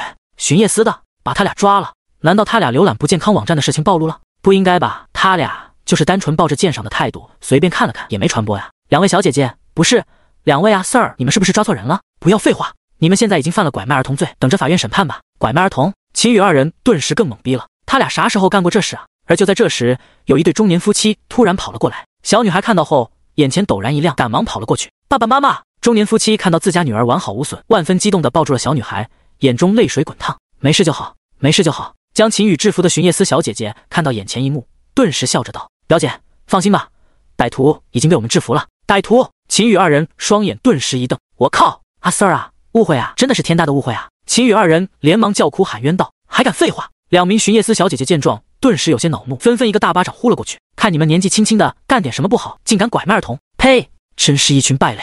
其中一个小姐姐更是直接一口唾沫星子吐在了刘大毛的脸上。在巡夜人眼中，犯罪也是有鄙视链的，而像拐卖儿童这种，绝对是属于被所有人痛恨、鄙视到地底的罪行。刘大毛一脸的生无可恋，对方的唾沫星子有一部分直接溅射到他嘴里了，但还别说，有点甜。而就在这时，小女孩笑嘻嘻的说道：“爸爸妈妈，多亏了这两个哥哥，不然妞妞就找不到你们了。”嗯。众人闻言皆是一愣，什么情况？随后夫妻二人也是连忙问向小女孩事情的经过。听完整个事情的经过之后，所有人顿时都是意识到这是个大乌龙事件，他们都是误会了这两个少年。第六十一章死八婆。两位巡夜人小姐姐听完事情的经过之后，也是一脸歉意的，赶忙将秦宇二人松开。真的不好意思啊，是我们弄错了。秦宇二人此刻都是一脸的愤慨，要是道歉有用的话，要巡夜人干什么？我们要报警？可我们就是巡夜人啊！秦宇二人此刻。秦宇二人都是一脸委屈的蹲坐在原地，用手画着圈圈，气鼓鼓的不说话，活脱脱的像两个受气的小媳妇儿。在众人好说歹说的诚恳道歉，以及夫妻二人各塞了一个一千元的大红包之后，秦宇二人的气才稍微的消了消。这样吧，为了表示歉意，我们俩请你们俩吃顿饭吧。其中一位巡夜人小姐姐有些歉意的说道：“行吧。”秦羽二人撇撇嘴，勉强同意了。我要吃二分熟的汤姆猫，我要吃法式菊节瑞鼠。巡夜人小姐姐，这特么都什么鬼啊？半个小时后，一间高档的西餐厅内，秦羽二人以及两位巡夜人小姐姐相对坐。经过短暂的互相交流，秦羽也是知道了眼前二人的身份。这个胸比较大的小姐姐是江南市巡夜司第七分局的队员李文文，七星武师；而另一个腿比较长的小姐姐则是赵方颖，六星武师，同样是巡夜司第七分局的队员。呀，我好像想起来你俩是谁了。赵方颖突然说道：“你们俩是不是代表江南一中参加八校比武交流赛来着？”哦，你听说过我们的故事？秦羽二人皆是眉头一挑。眼中涌现出一抹笑意，没想到他们俩现在的名声这么大。啧啧，果然是金子在哪里都遮挡不住他们俩那耀眼的光芒啊！你们俩是江南一中的学生？一旁的李文文好奇的问道。没错，那你们认识李萌萌吗？她是我妹妹。秦宇是那个双马尾萝莉吗？哦，你认识我妹妹？秦宇赶忙摇了摇头，不认识，不认识。他今天上午才刚把他妹妹暴揍一顿，下午就遇到他姐姐，这特么未免有些太巧了吧？秦宇不敢说话了，低下头便是开始默默的吃起牛排。这还是他第一次正儿八经的吃牛排，看起来这逼格确实高啊！就是这刀叉啥的他不会用啊。秦宇偷偷的瞥了眼身旁的刘大毛，想要看看这小子咋用刀叉的，却发现这小子已经是完全不顾形象的，直接用手抓着，嗷嗷啃食了起来。擦，这也行！看到这里，秦宇也是不再犹豫，同样用手抓起，大口大口的吃了起来。秦宇二人那一副跟饿死鬼投胎一般狼吞虎咽的模样，也是引来了周围众人的侧目，眼神当中纷纷是闪过一抹鄙夷。哪里来的两个土包子？不过李文文二人却是并不在意，反而还觉得这俩人这副吃相挺傻憨可爱的。哟，这不是小文吗？就在此时，一位身着雍容华贵、打扮精致的女子，搂着一个一看就是一副成功人士做派的男子走了过来。李文文见到来人，眼神当中顿时闪过一抹不易察觉的厌恶。这人叫楚梦，是他的高中同学，为人一直很尖酸刻薄。上学的时候就跟他一直不对付，等到大学毕业之后，这家伙仗着自己有几分姿色，嫁上了他们江南市一个大企业集团的高管，一下子成了阔太。从此以后为人就是更加高傲狂妄了。他是真不愿碰到这女人，但终归是同学，不到万不得已还是没必要撕破脸的。李文文不咸不淡的点了点头，算是打了声招呼。楚梦看着一旁狼吞虎咽的秦羽二人，有些似笑非笑地道：“小文，别告诉我这俩土老帽是你的相亲对象。”李文文眉头顿时一皱，说话放尊重点，他们俩现在还只是学生而已啊！不是吧？你现在已经如饥似渴到连学生都不放过了？楚梦一脸惊讶的捂嘴，故意做出一副极为夸张的表情道。要不我让我老公给你介绍几个优质男吧，毕竟我老公所在的东海集团可是咱们江南市数一数二的大企业，里面的中层随随便便拉出来一个都是年薪百万，这不比你在巡夜司当个小队员，每月拼死累活的，一个月就领那么几千块钱死工资强？这俗话说得好，男怕入错行，女怕嫁错郎，女人嘛，事业什么都可以先放一边，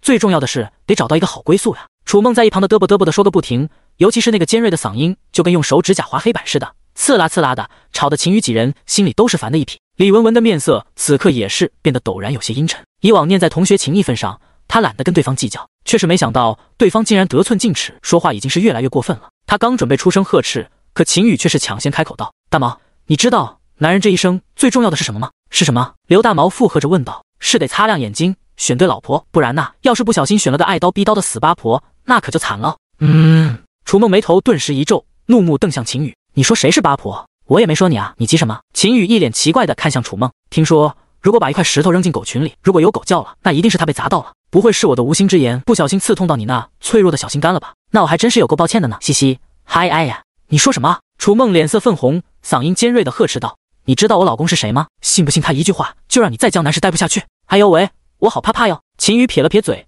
一脸不屑地道：“拜托，大姐，求求你自己照照镜子，就你这逼样，还能找你当老婆的？”那纯纯就是脑子被驴踢了的大怨种，能是个啥大人物啊？你楚梦快被秦宇的话气冒烟了，恨得牙齿痒痒。而就在此时，一旁的中年男子站了出来，眼神阴冷，居高临下的俯视着道：“给你三秒钟时间道歉。”第六十二章，时不时有饼。给你三秒钟时间道歉。听到这话，秦宇顿时气乐了。上一个敢跟他这么说话的，现在应该还搁 ICU 里躺着呢吧？而就在此时，他的眼前陡然浮现出了选项。选项一，一脸谄媚的赶忙道歉道：“哥，我错了。”要不您给我两个大笔兜吧，完成奖励少量灵力值。选项二，直接朝着对方的脸吐一口唾沫，嘲讽道：“你算个够吧，敢叫老子道歉？老子穿开裆裤的时候，你才刚成年吧？”完成奖励大量灵力值。看着眼前的两道选项，秦宇笑了，这特么还用选？啊呸！秦宇直接一口唾沫星子吐到了对方的脸上，一脸不屑的嘲讽道：“你算个够吧，敢叫老子道歉？老子穿开裆裤的时候，你才刚成年吧？”此刻，全场所有人看着眼前这一幕，都是愣住了。他们谁都没有想到秦宇竟然敢这么大胆，尤其是李文文，此刻面色更是有些凝重。她是知道楚梦老公的身份的，江南市龙头企业东海集团的几大高层之一，在江南市里地位极高，一般人惹上他是真的会有大麻烦的。哼呵呵，陈康笑了，被气笑的，已经好久没有人敢如此挑衅他了。上一个敢这么挑衅他的坟头草，应该已经有两米高了吧？陈康面色变得陡然阴沉，杀气腾腾的，便是一巴掌扇了过去。我爷爷是大夏巡使。嗯，陈康瞳孔骤缩，忽扇而去的一巴掌，直接是硬生生的停在了距离秦羽脸蛋不到几公分的距离上。你说什么？陈康一脸不敢置信的看着眼前的少年。秦羽拿出一张他与他爷爷的合照，一脸似笑非笑地道：“我说我爷爷是大夏巡使。”看着眼前合照上的照片，陈康脸色顿时一变，额头上豆大的汗珠唰的一下就是冒了出来。秦公子，小人有眼不识泰山，顶撞了您，还望您大人有大量，原谅我们的无礼。陈康赶忙朝着秦羽鞠躬道歉道，说着便是直接一巴掌扇在了一旁的楚梦的脸上。贱货，赶紧给秦公子道歉！楚梦捂着通红的小脸，一脸的不敢置信。但在自家老公那阴沉到极致的目光压迫下，楚梦还是一脸畏色的朝着秦羽道了歉，然后二人便是赶忙离开了。待到二人走后，李文文和赵方颖都是一脸讶然的看向秦羽。秦羽，你爷爷真是大夏巡使啊！秦羽一脸淡然的点了点头。旋即便是再度坐下，跟刘大毛一起再度淡定无比的吃起牛排来。然而李文文二人此刻却已经是完全没有任何吃的心情了。他们万万没有想到，眼前这个看起来古古怪怪的少年，竟然是大夏巡使的孙子。几人吃过晚饭之后，相互留了彼此的联系方式，便是各回个家，各找个妈了。秦宇回到家中，打开手机，刷刷短视频，发现有人写了一首诗，得到了几十万的点赞。这首诗的名字叫抽抽。我靠在阳台抽烟，我抽一半，风抽一半，我很生气。于是我开始抽风。秦宇看着这首诗，底下的评论都是一阵叫好。秦宇笑了，就这，他也能来一首？旋即，秦宇便是在评论区挥斥方遒的写道：“油饼，我站在走廊上吃油饼，我吃一半，另一半吃不下，只因它太腻。于是叫来坤坤，时不时油饼。”这首诗一发到评论区，果不其然，瞬间便是得到了好多人的点赞。底下的评论也都很有意思。苏珊，时不时油饼，律师函警告：小黑子，露出犄角了吧？你这首诗造了两年半了吧？小黑子睁下头，小黑子香精煎鱼，香翅捞饭，时不时盐。看着各种各样的花活评论，秦宇美滋滋的笑了。随随便便一首诗就能引发如此热议，他还真是个平平无奇的造诗小天才。随后，秦宇又是打开了微博，发现又有一哥们给他发来了感情咨询，一帆风顺。大师，我想咨询一下，就是我有一个朋友，跟他对象打篮球单挑的时候，体力太差，经常打个三五分钟的就打不动了。现在我啊呸，他的女友非常嫌弃他，想要跟他分手，请问我朋友该怎么办？秦羽摸了摸下巴，眼中浮现出一抹稍显怪异的笑意。三五分钟就不行了，这种情况一般建议可以 remake 了。当然，心里这么想归想，但话还是要委婉一些说的。雨桑，一般来说呢，打篮球这项运动吧，是一项非常强调身体激烈对抗的运动，尤其是像男女单打的时候，男生一般来说是主动进攻方，所以在体力的消耗层面上是要比女生多出很多的。但这不是你只能坚持三五分钟的理由。毕竟，根据我国科学研究院的研究显示，男生单打的时间一般来讲在七到十五分钟之间是比较正常的。像你这种只有三五分钟的，肯定是有些短了。我的建议是呢，平时要加强锻炼，尤其是下肢的锻炼，像什么深蹲啊这类的，平时要多练，有助于你刺激雄性睾酮激素分泌，对你的耐力也好，爆发力也好，都是相当有帮助的。然后另一方面呢，饮食也得跟上，像什么牛鞭啊、猪腰子、啊、韭菜啥的，该吃就吃。男人嘛，不怕体力差，就怕体力差还不练，那就彻底废废了。一帆风顺，我悟了，大师。叮，成功解决一次情感问题。当前任务进度十八亿千，获得奖励精神力加五，扮演点家务。做完这些后，秦宇便是关闭了电脑，打算修炼会就洗洗漱漱，然后上床睡觉了。至于送外卖，今天时间太晚，甚是疲乏，就明天继续吧。而就在此时，有人给他发来了一条微信。秦宇点开一看，是那个巡夜司小姐姐李文文，微信名叫文爱。文爱，臭小子，你敢做我妹妹？雨桑，文文姐，此言差矣，这彼此之间切磋，难免有个磕磕碰碰嘛。文爱，道理我都懂。但你小子为什么专挑我妹妹胸部下手？雨桑，胸部，我母鸡啊！你妹妹那里一片平坦，我根本分辨不出来啊！文爱，敏突，雨桑，文文姐，咱这也算是不打不相识。放心，从此以后你妹妹在学校里有我罩着了。文爱，听你的口气，你在你们学校很屌了。雨桑，不是我跟你吹哈，整个江南一中的扛把子正是在下，连校长都得给我三分薄面。文爱，是给你爷爷面子吧？雨桑，嗨嗨，都差不多。文爱，行吧，臭小子，这次就算了，但你下次要再敢。对我妹妹的敏感部位动手的话，哪怕你爷爷是大夏巡使，我也高低给你点颜色看看。雨桑，好嘞，文文姐，您就放一百个心吧，比心 JPG。结束了谈话，秦宇一脸不屑的撇撇嘴，臭女人，狂什么狂？要不是目前还打不过你，我连你那里也揍。秦宇躺在床上，心中暗暗歪歪，只不过也真是奇了怪了，明明是亲姐妹，但那块发育的为何如此天差地别？秦宇疑惑的摇了摇头。也懒得再想，转身便是看起了一本刚刚获得诺贝尔纯搞笑文学奖的，由知名作者橙子和柚子著作的，名为《看不起保安小铁拳来了》的小说。不得不说，这作者写的确实挺好看得，他嘎嘎直乐，笑得他八块腹肌都快练出来了。P.S. 我看到有好多读者在问为什么把优秀保安的敏锐感知这个被动技能说成见闻色霸气，其实我单纯只是个比喻而已，毕竟技能效果相像嘛，更容易让各位读者理解一点。然后字还少，让各位读者因此产生了混淆，我在这里致以最真挚的歉意。第六十三章，我有一个朋友。时间一晃，五天时间过去，秦宇白天在学校上课，晚上送送外卖，偶尔帮几位老实人解决情感问题，日子过得倒也算是充实。宿主秦宇，境界九星五图，天赋复苏之木 A 级，属性力量二百零二，体力八十五，防御六十六，敏捷一百八十七，精神力一百四十八。主动技能小铁拳来喽，木藤缠绕。森林进化术看不见我。被动技能优秀保安的敏锐感知。称号碧桂园五星上将。看着自己的个人属性面板，秦宇也是满意的点了点头。力量就不说了，直接超出同阶一个大境界。现在最为值得称道的是他的敏捷速度，已经是不亚于七八星的武师。等到他将剩余的二十多份外卖送完，敏捷值能直接突破二百点，到时候甚至能与一星大武师比肩。想到这里，秦宇的脸上就是浮现出了一抹大大的笑意。以他现在的属性值，想要上国内最为顶尖的 Top 二大学——帝京大学和龙夏大学，基本上就是板上钉钉的事情了。另外，巡夜司给他的奖金也是在今天到账了，足足有两百万。秦宇这辈子都没见过这么多的钱，到账的时候，他甚至以为自己数错了小数点。要知道，这可是两百万啊！多少普通家庭辛辛苦苦干一辈子都攒不下的巨款，如今却被他一下子揣进了兜里，这让他有种梦幻般的不真实感。他甚至不知道该怎么花才好了。今儿个老百姓啊，真呀嘛，真高兴！秦宇美滋滋的哼着小调。走进了下午的特训班队列当中，老秦，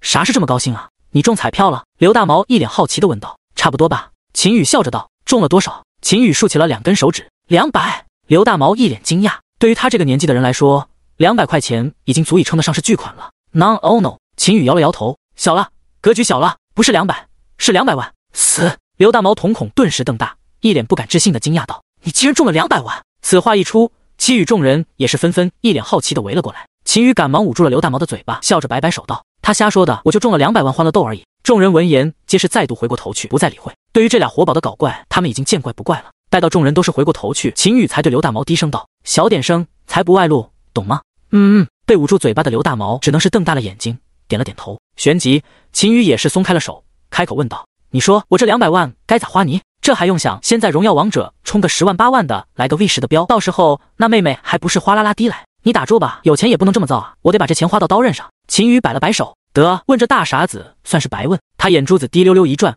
瞥到了一旁的林清雪，心中瞬间浮现出一抹想法，朝他走去。小雪儿，我有个朋友，现在兜里突然有了两百万，你说他该咋花你？林清雪一脸怪异的看向秦宇，你说的这个朋友不会就是你吧？M，你要硬要这么认为也不是不行。林清雪一脸无语，实话实说就行了呗。我堂堂城主之女，还能惦记你那点小钱？今天晚上龙腾商行会举行一场拍卖会。拍卖的东西都挺好，你要感兴趣的话，可以过来看一下龙腾商行的拍卖会。秦宇闻言一愣，旋即眼前陡然一亮，立刻点了点头。好呀，好呀。很快，一下午的时间转瞬而过，秦宇和林清雪约好在校门口集合，一起去龙腾商行的拍卖场。林清雪率先来到校门口，原地等待，引来其余放学的学生们的一阵侧目。看林大校花这样子，明显是在等人，可究竟是在等谁？在好奇心的驱使下，有一大部分人停止了离去的步伐，就停留在原地等着。想要看看能让林大校花等着的人究竟是谁？小雪就在此时，秦宇笑着挥了挥手，跑了过来。看到围在林清雪身边的一大群人，顿时一愣：“我去，你们干哈呢？”围观众人也是没想到，林大校花等着的竟然是秦宇这个曾经的小卧龙。不过转念一想，秦宇现在已经是彻底咸鱼翻身，不仅家境好、学习好、天赋好，长得还很帅。这么一看，能被林大校花青睐，好像确实也没毛病。无视周围众人的目光，秦宇和林清雪二人纷纷扫了一辆共享单车，便是一同骑车离开了。不。雪花飘飘，北风萧萧，咔嚓咔嚓咔嚓。望着二人渐行渐远的背影，无数少男的心彻底碎了。半小时后，二人骑车来到了龙腾商行，但秦宇发现自己的共享单车在停车点死活停不了，就一直说他不在指定的停车位置，想要强行停车，必须交二十元的调度费。这对秦宇来说绝对是不可能的。就算他现在身怀二百万巨款，二十块钱对现在他的来说不过是九牛一毛，也绝不可能。毕竟向来只有他白嫖别人的份，哪有被别人白嫖的道理？这涉及到他的尊严与原则，绝不可能妥协让步。于是他拿出手机，拨打小黄人共享单车的客服电话，准备申诉。您好，欢迎您致电小黄人客户服务热线，查询服务请按一，业务咨询请按二，业务办理请按三，故障申诉请按四，投诉建议请按五，人工服务请按六。秦宇果断按四，车把手故障请按一，车座故障请按二，车链故障请按三，车轮故障请按四，无法扫码请按五。秦宇耐着性子听了半天，到最后他终于是听到了无法停车的故障申诉。旋即赶忙按了与之相对应的井号号键。因为单车发生故障无法停车，请按一；因为软件 AD 故障无法停车，请按二。因为秦宇明是个勾吧？客服什么鬼？来折磨他的是吧？他要转人工。旋即，秦宇直接退回到了最开始的页面，按动了六号键，选择了人工客服。欢迎您致电人工客服，请根据您想要办理的相关业务，按动相应的号码按键。业务咨询请按一，业务办理请按二，故障申诉请按三。想要与客服小姐姐聊天，请拨打幺幺零。秦宇生气。第六十四章，这碗又大又圆。秦宇最终还是屈服了，被迫交了二十元的调度费。当然，这家小黄人共享单车从此也进入了他的黑名单，以后绝不可能再骑了。随后，秦宇和林清雪便是一同走进了龙腾商行内的拍卖会场。此刻，拍卖会场的门口来往宾客络绎不绝。都是江南市社会各界的名流，毕竟唯有持有龙腾商行贵宾卡的人才有资格参加龙腾商行举办的拍卖会。比如说林清雪持有的就是龙腾商行第二个级别的贵宾卡——白金卡，在龙腾商行内的一切消费都打七折。当然，这还是比不过秦宇所持有的黑金卡，这是龙腾商行最高级别的贵宾卡，全场消费能直接打五折。也正是因为秦宇和林清雪二人的超级贵宾身份，所以二人刚一进入拍卖会场内。就是直接被工作人员引进了一间位于二楼的奢华包厢内，与一楼那普通大厅座位的差距感一下子就体现出来了。这还是秦宇第一次参加如此高档的拍卖场，一进来就是像个好奇宝宝一样左顾右盼，啧啧称奇。尤其是包厢内站着的几位嘎嘎板正漂亮的礼仪小姐姐，个顶个都是美女级别。若不是林清雪此刻在身旁，她高低得玩点花活，乐呵乐呵。比如说让他们给自己包个香蕉啥的。不过作为社恐的林清雪显然是不愿意有陌生人在身旁的。一进入包厢。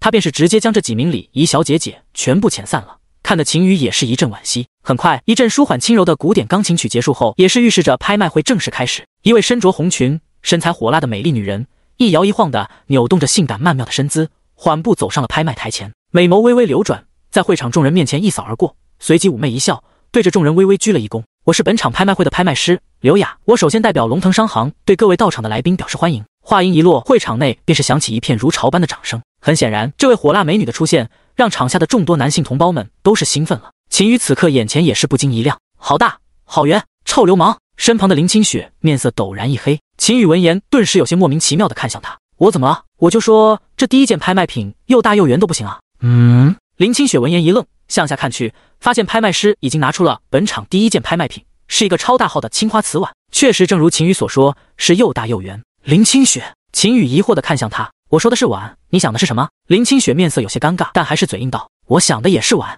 秦宇撇了撇嘴，不诚实。本场的第一件拍卖品是一个青花瓷碗，但这个碗的来历很不简单。一千年前，大夏开国帝君微服私访我们江南市，然后在一家小面馆点了一碗大碗宽面，当时盛面用的碗就是这个碗。刘雅托举着青花瓷碗，笑意盈盈地道，虽然这个碗没什么实用价值，但珍藏价值很高，所以经过我们几位专业鉴定师估值，最终确定起拍价五十万。六十万。话音刚落，便是有人直接出价道：七十万。有人紧跟着出价。正如刘雅所说，这个碗虽然没有任何的实用价值，但这可是大夏开国帝君使用过的碗，这个含金量可就是相当之高了。毕竟大夏开国帝君在大夏人的心目中，那就是近乎于神明般的存在。他们大夏也正是在这位伟人的带领下，才能成功抵御住妖族的侵袭，守住大夏的疆土。此刻竞价声此起彼伏，价格很快就是突破了一百万，听得秦宇也是不禁暗暗啧舌。就这么一个破碗。竟然能拍出一百万，在他看来，这简直是不可思议的事情。换成是他，别说是一百万了，就算是白送给他，他都不要。毕竟这可是一千年前的古旧玩意，谁知道里面既没寄生一些恐怖细菌啥的，拿这碗用来吃饭，他都怕直接毒发身亡。最终，这个由大夏开国帝君使用过的青花瓷碗，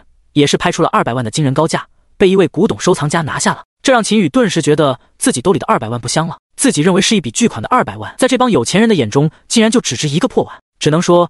有钱人的世界，他确实不懂。随后拍卖继续，一些在外界难以见到的宝贝也是相继摆上台来，彻底点燃了整个会场内的气氛。每件拍卖品的最终成交价都是极为的高昂，最低都没有低于一百万的。秦宇看的也是眼花缭乱，直流口水，但碍于囊中羞涩，只能干瞪眼看着。一直到第十件拍卖品的上场，一个翠绿色的手镯的登场，顿时将所有人的目光全部吸引住了。光是从这个手镯外表流转出的那股淡淡的光芒，就知道此物绝非凡品。墨竹手镯，稀有级装备，有增幅敏捷速度之效果。根据专业人员测评，敏捷增幅效果为增加百分之十，起拍价二百万。刘雅笑盈盈的介绍道。此话一出，原本沸腾火热的现场第一次陷入了寂静。所有人听到稀有级装备的这一刻，眼神当中顿时都是爆发出大大的金芒，充斥着难以言明的火热。墨竹手镯，稀有级装备。秦宇一愣，有些不明所以。看到秦宇一脸疑惑的样子，林清雪也是为他适时讲解道：“我们大夏将所有的装备分为七个品级：不入流级、普通级、精良级、稀有级、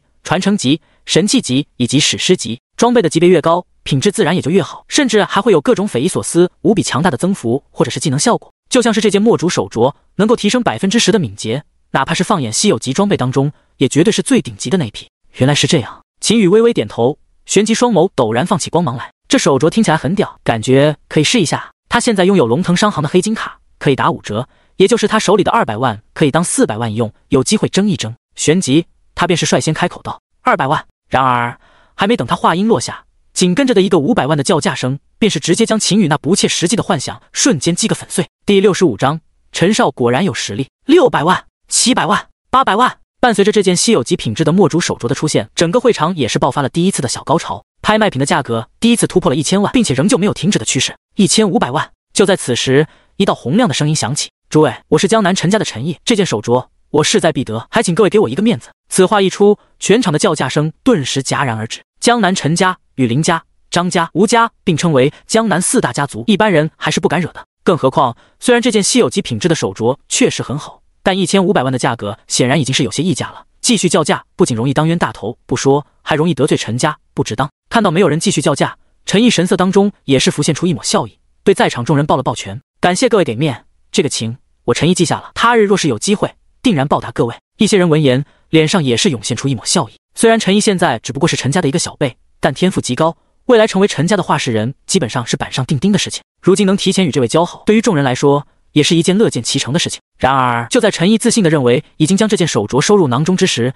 一道刺耳的声音却是陡然响起：“两千万！”哗，全场瞬间哗然。这个时候却突然叫价，这无异于打陈家的脸啊！究竟是谁能这么猖狂？陈毅听到这突如其来的一道声音，也是一愣，但紧接着面色便是骤变。这道声音为何如此熟悉？他连忙走出包厢，循声看去，惊讶的发现。竟然是秦羽，是你！陈毅面色陡然阴沉。正所谓仇人相见，分外眼红。他现在恨不得立刻就冲过去暴揍对方一顿，但最终还是理智占了上风，让他克制住了动手。哟，这不我陈少吗？几天不见，下巴治好了？不啊巴巴了。秦羽笑眯眯的阴阳怪气道。听到这句话，陈毅的面色变得更加阴沉，恨得咬牙切齿。当日在八校比武交流赛上惨败给秦羽的一幕，一直是他心中永远挥之不去的阴影。事后，他还本想找人偷偷给这小子一个教训来着。可调查这小子的背景的时候，才震惊的得知，这小子的爷爷竟然是当今东南行省的巡使。这让陈毅指的是将自己的复仇计划就此作罢。这么些天过去，他的气本来已经快要消下去了，却是没想到今天竟然在这里碰见了他，真特么的晦气！陈毅心中暗暗怒骂。他知道，今天这件手镯他是肯定拿不下了，毕竟对方的爷爷可是大夏巡使，所拥有的雄厚财力绝不是自己的家族所能比的。但就算比不过，稍微膈应膈应，恶心一下，这小子还是能做到的。念及至此。陈毅也是一声冷笑，开口道：“两千五百万。”果不其然，此话一出，秦宇的面色陡然变得阴沉，一脸愤恨的指向陈毅：“你干嘛？”呵呵，他急了，大傻逼，看我不坑死你丫的！陈毅心中连连冷笑，但表面上还是微微一笑，道：“怎么了？我只是正常叫价而已，你不会出不起吧？”哼，谁说的？秦宇一脸愤恨，看起来已经是有点气上头了的激动模样，立刻叫喊道：“三千万！”哗，此话一出，全场再度跟着哗然。三千万买一个稀有品质的手镯。这已经不是有些溢价了，这是纯纯要当冤大头了。众人不禁纷纷抬头看向二楼包厢的位置，一脸看热闹的神态。能在那个位置的人，身份地位是比之他们还要高出一大截的大人物。现在很明显，陈毅跟另一人已经杠上了，可谓是神仙打架，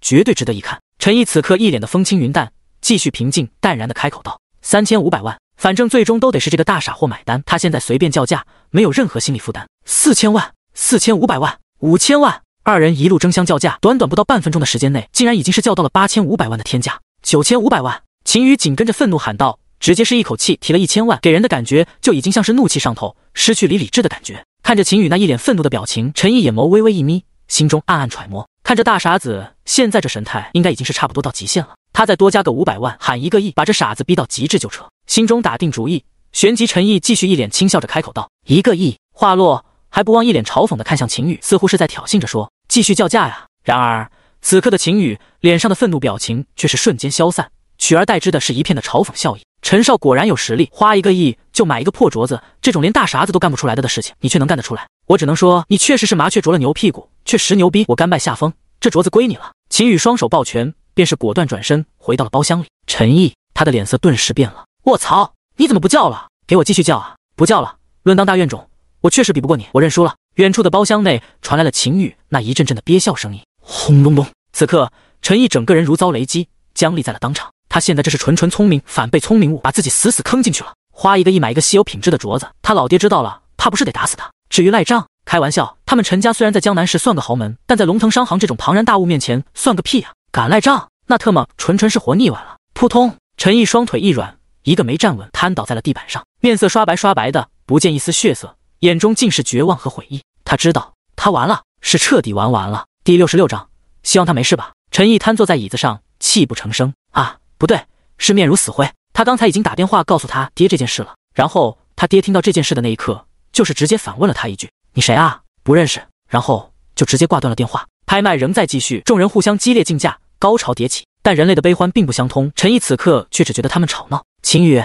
你真的好贱呀！回到包厢后，林清雪一脸认真的对着秦宇说道：“他刚才换位思考了一下，如果自己现在是陈毅，现在怕不是想要杀掉秦宇的心都有了。”秦宇闻言，双手一摊，笑嘻嘻地道：“这波呀，叫做降智博弈。降智博弈。”林清雪微微一愣：“你不懂，我有降智光环，可以使任意与我敌对的生物的智商降低到与刘大毛齐平的水平。”林清雪闻言，直接听懵逼了。虽然听起来感觉很离谱，但莫名的觉得还有些道理。毕竟他有的时候看到这家伙，就感觉脑子跟突然失了智似的。林清雪看着秦宇，一脸认真地道：“虽然，但是你还是好贱啊。”秦宇无所谓的摆了摆手，轻叹一声道：“不说这个了，看现在这情况。”我今天怕是啥也买不起了，毕竟只有二百万。林清雪深以为然的点了点头，确实，当第一件那个青花瓷碗你没有拍下时，你便是错过了本场拍卖会你唯一能拍下拍卖品的机会。秦宇，他又是无奈的轻叹了一口气。台上，拍卖师刘雅此刻端上来了一副棕黄色的拳套，上面刻画着玄奥的纹路，泛出淡淡的光芒。奇袭拳套，稀有级武器，力量增幅百分之十，背后偷袭成功时可以使敌方眩晕，是对方的境界高低，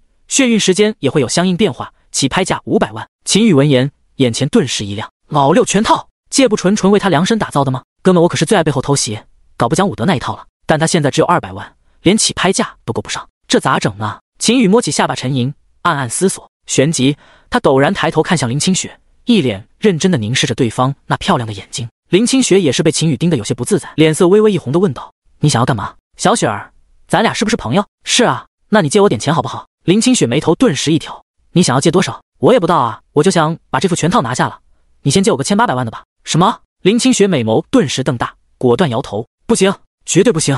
你以为我是白富美吗？秦宇一脸认真的看向她，反问道：难道不是吗？在我心里，我一直当你是全天底下最漂亮、最善良的女人的。林清雪，那不爱斜杠。林清雪的脸蛋唰的一下就红了，就像熟透的苹果一样娇嫩欲滴，耳根子有些发烫。她连忙摆了摆手，好吧，我可以借你，但你必须给我打欠条。嗨，咱俩这关系还用打欠条啊？用。林清雪一脸认真的点了点头。秦宇，哦。与此同时，场下对这副全套的叫价声已经是突破了一千万，并且仍旧在激烈的往上叫。而秦宇这边得到林清雪的应允之后，便是直接高声喊道：“两千万！”然后他便是紧跟着继续高声道：“诸位，我是江南林家的林清雪的保镖，这副全套我家小姐势在必得，还请各位给我家小姐一个面子。”此话一出，全场所有人顿时都是不敢继续叫价了。江南市但凡上点档次的人，谁人不知林清雪是他们江南市城主的女儿？单论起势力来，比起陈毅的陈家还要高出一筹，这个面子，众人自然是不敢不给。最终不出所料的，这副全套也是被秦宇以两千万的低价拍下了。待到秦宇回过头来，只发现林清雪此刻一脸幽怨的看向他。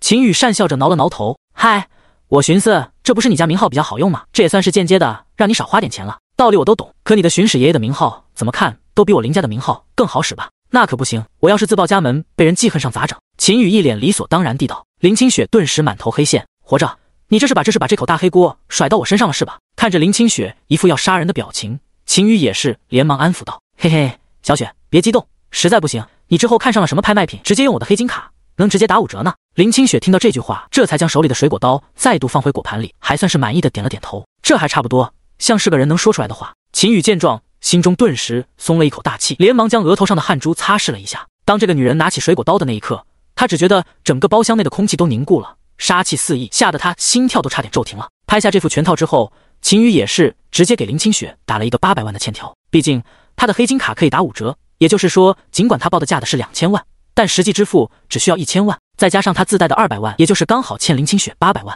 我今年十八，便是拥有负八百万的资产，我骄傲了吗？随后拍卖继续进行，又是过了半个小时之后，拍卖差不多也是进入了尾声。最后的一件拍卖品，一本冰系的黄金级技能书，起拍价一千万。林清雪见到这本书，美眸也是顿时一亮，脸上的神色头一次变得无比的郑重。显然，这一次他就是奔着这本黄金级的兵系技能书前来的。最终，他也是以五千万的惊人高价将这本黄金级的兵系技能书拍下。原本按照正常情况，这本黄金级兵系技能书成交的五千万价格，应该就是本场拍卖会的标王来着。但鉴于有陈毅这个大山炮，所以他那花费一个亿的墨竹手镯，便是自然而然的成了本场拍卖会的标王。但陈毅显然是不知道了，因为就在拍卖会进行到一半的时候。便是突然冲进来了几个怒气冲冲的彪形大汉，架着面如死灰的陈毅，便是拖出了拍卖会场，不知道是去了哪里。秦宇默默的为陈毅送去祝福，希望他没事吧。第六十七章异世相遇，晋级小黄。拍卖结束，秦羽和林清雪二人走到后台支付了价钱之后，便是拿到了各自所拍到的拍卖品。一拿到奇袭全套，秦羽便是爱不释手，立刻戴了上去。戴上去的一瞬间，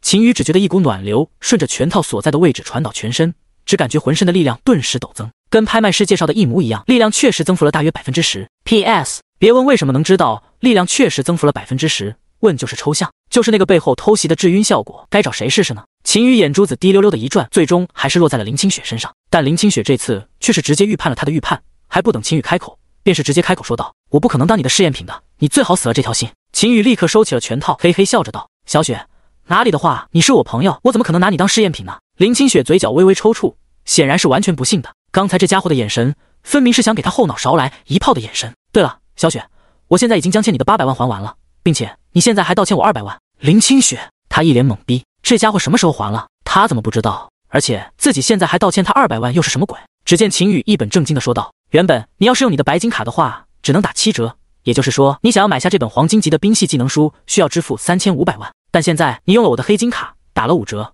所以你刚才实际支付只有两千五百万，也就是说。”因为我的原因，相当于帮你直接省了一千万，这一来二去，可不就是相当于我把欠你的八百万还了，然后你还欠我二百万吗？林清雪听完后，瞳孔顿时瞪大，一副被惊呆了的表情。Oh my god，还有这种操作？最骚的是，他听完后竟然还觉得特么的十分的有道理，他一时之间竟完全无法反驳。可这怎么感觉这么奇怪啊？明明是自己出钱帮这家伙先行垫付了钱，但现在反倒是自己成了欠钱的。林清雪一时之间有些被干迷糊了。秦宇拍了拍林清雪的肩膀，一脸语重心长地道。没关系，都几把哥们。嗯，林清雪美眸顿时一瞪，啊，不是，咱俩是好朋友，我也不为难你。这二百万，你一周时间内还清就行。当然，你要是超时也没关系，再给我点利息就行。利息也不高，每超时一天就多收百分之一的利息。哦，对了，是复利，没毛病吧？利息够低吧？林清雪满头黑线，呵呵，你当我小学生啊？你这利息要是累加起来，都特么比高利贷还要高了。秦宇一脸震惊，我靠，竟然没唬住你！林清雪一脸无语，随即拿出手机，便是给秦宇转账。不多时。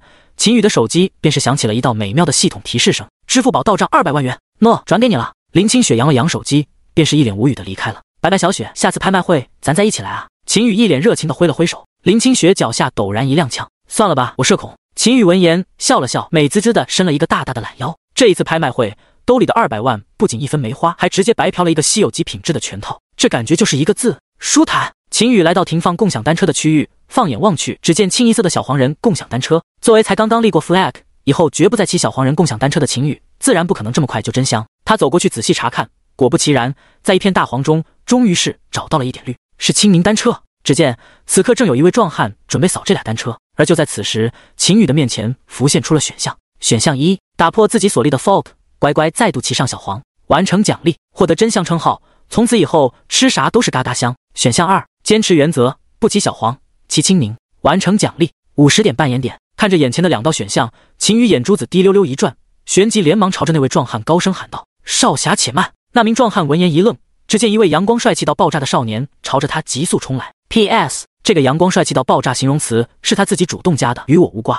你要干啥？壮汉一脸警惕的看向突然冲过来的秦宇，甚至不自觉的护住了裆部。秦宇见状，嘴角不禁微微一抽，道理我都懂，但你特么护住裆部是什么鬼？把我当什么了？秦宇心中一阵无语，但表面上还是满面笑容的凑过来，低声道：“兄弟，最近小黄人单车有活动，只要拨打小黄人人工客服，说一句‘异世相遇，敬骑小黄’，就能免费骑行一次。”啊，真的吗？壮汉闻言，眼前陡然一亮：“真的呀，我骗你干啥？”秦宇笑着拿出手机的通话记录：“你看，我刚刚就打了一通小黄人客服电话，免费骑行了一次。”壮汉看到秦宇的手机上果然有一通拨打小黄人客服的电话，想到应该也不会有人会这么无聊的特地过来骗他，便是直接相信了。兄弟，谢谢你哈，不客气，应该的。秦宇笑着摆了摆手，便是扫了清明单车的二维码，骑车离开了。随后，壮汉便是拿出手机拨通了小黄人的客服热线：“您好，欢迎您致电小黄人客户服务热线，查询服务请按一，业务咨询请按二，业务办理请按三，故障申诉请按四。在耐心捅咕了好几分钟后，壮汉才终于是拨通到了人工客服。您好，我是小黄人共享单车的人工客服，请问有什么我能为您服务的？壮汉神秘兮兮的低声道：“意式相遇，敬其小黄。”什么？您好，先生，我没有听清，麻烦您再说一遍。壮汉的声音稍微提高了一点。我说：“意式相遇，敬其小黄。”人工客服。壮汉顿时有些不耐烦了，再度高声道：“你是不是耳聋啊？我说意式相遇，敬其小黄。”人工客服。傻逼。嘟嘟嘟。第六十八章，那特么是限速六十迈。秦宇美滋滋的回到了家中，推开门一看，发现一位老妇人正坐在沙发上。奶奶，你咋来了？老妇人一看到秦宇。脸上顿时露出了慈祥和蔼的笑容，这不是想我家大乖孙了吗？毕淑敏笑着给了秦宇一个大大的拥抱，随后眼眸突然一凝，惊讶道：“你现在已经是九星五图了？”“是啊，好几天前就是了。”秦宇一脸自傲地点点头。毕淑敏脸上的喜悦之色顿时更甚，称赞道：“不愧是我的好乖孙，奶奶打小就觉得你这小子天赋异禀，果然没看错你。”秦宇闻言顿时嘿嘿一笑，搓了搓手指：“奶奶，这光说多没意思啊！您看这是不是？”毕淑敏顿时笑骂道：“你这臭小子，每次奶奶一来。”你就得从我这钱包里打点主意，嘿嘿，谁让咱奶是个大富婆呢？秦宇赶忙来到奶奶后面，给她捏捏肩，一脸阿谀谄媚的奉承道。毕淑敏笑着摆了摆手，行了行了，这次奶奶之所以来，那可就是特地为奖励你来的，我的好乖孙。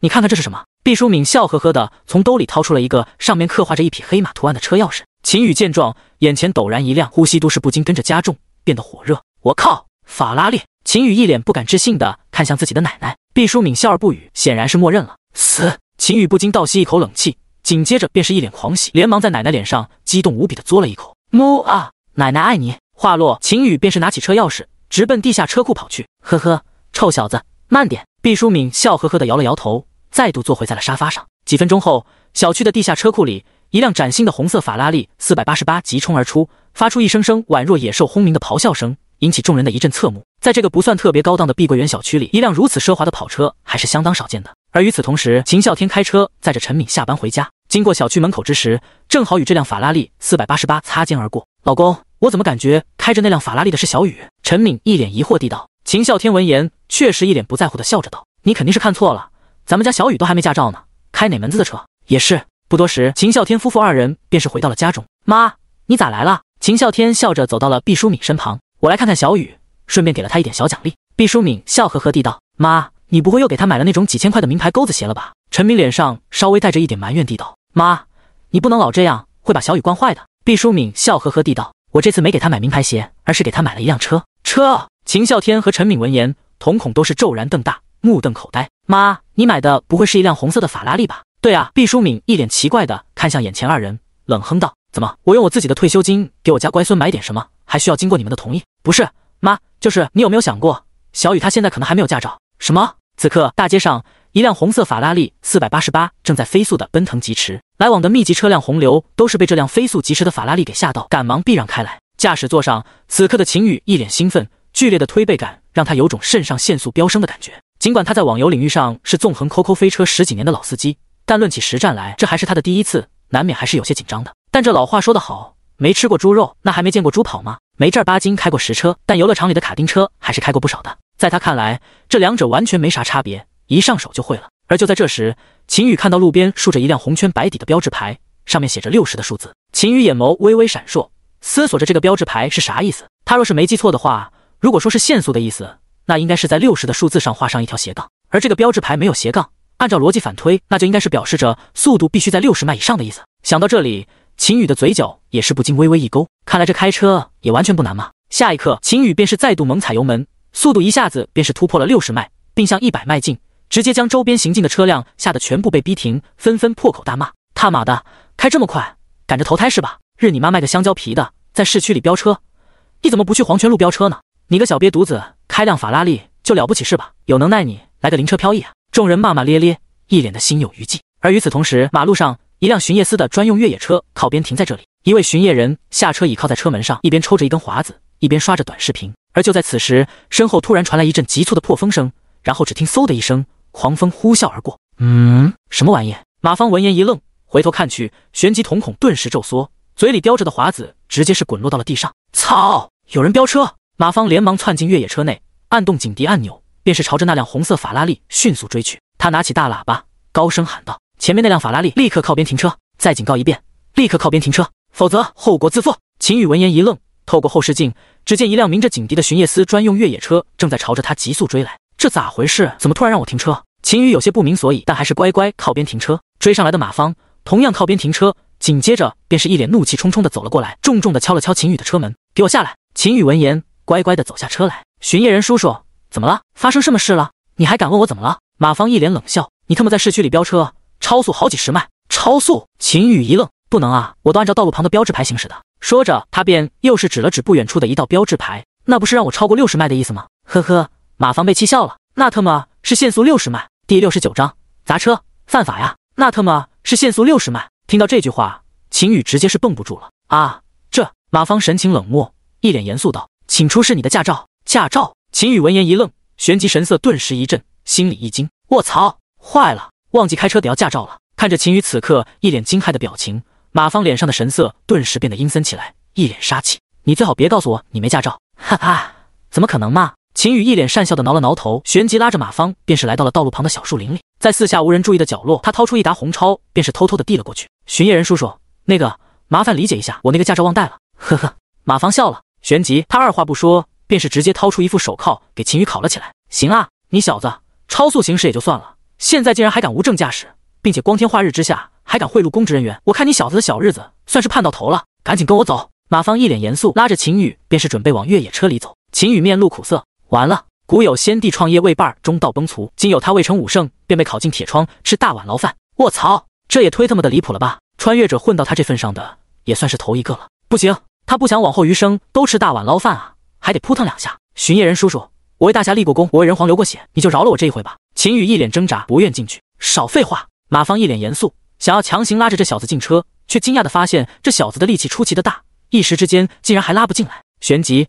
正当他准备掏枪威胁之际，突然间，身前的摩天高楼之上传来了一阵响亮而又刺耳的玻璃碎裂声，紧接着便只见一头庞大的黑影突然自高楼的窗户前撞碎而出，直奔他们这边坠落而来。马芳和秦宇见状，脸色顿时都是骤变，赶忙向后退避开来。轰！仅仅是下一秒钟，这道黑影便是重重的轰砸在了那辆越野车上，瞬间便是将其踩爆不说，整个地面更是被轰砸出了一道巨大的深坑，掀起漫天烟尘。秦宇和马芳此刻都是心有余悸的，连忙起身。看着眼前已经被踩成一团废铁的越野车，都是不禁暗暗咽了一口唾沫。这特么刚才他俩要是进去了，现在岂不是已经成馅饼了？秦宇喉咙不禁咕噜一声。巡夜人叔叔，我这算不算是救了你一条命？马芳此刻却是无心理会一旁的秦宇，看着眼前这头突然从天而降的庞大黑影，也是在第一时间认出了他的身份——二星级妖兽黑爪豹。看到这里，他的瞳孔骤缩，心中顿时万分惊骇。二星级妖兽就类似等同于人族这边的武师级别，而且看这头黑爪豹此刻所散发出的气息，绝对是已经达到了二星级的巅峰。也就是相当于九星武师，甚至半步大武师的级别，绝不是他一个平平无奇的五星武师所能抗衡的。只是让他想不通的是，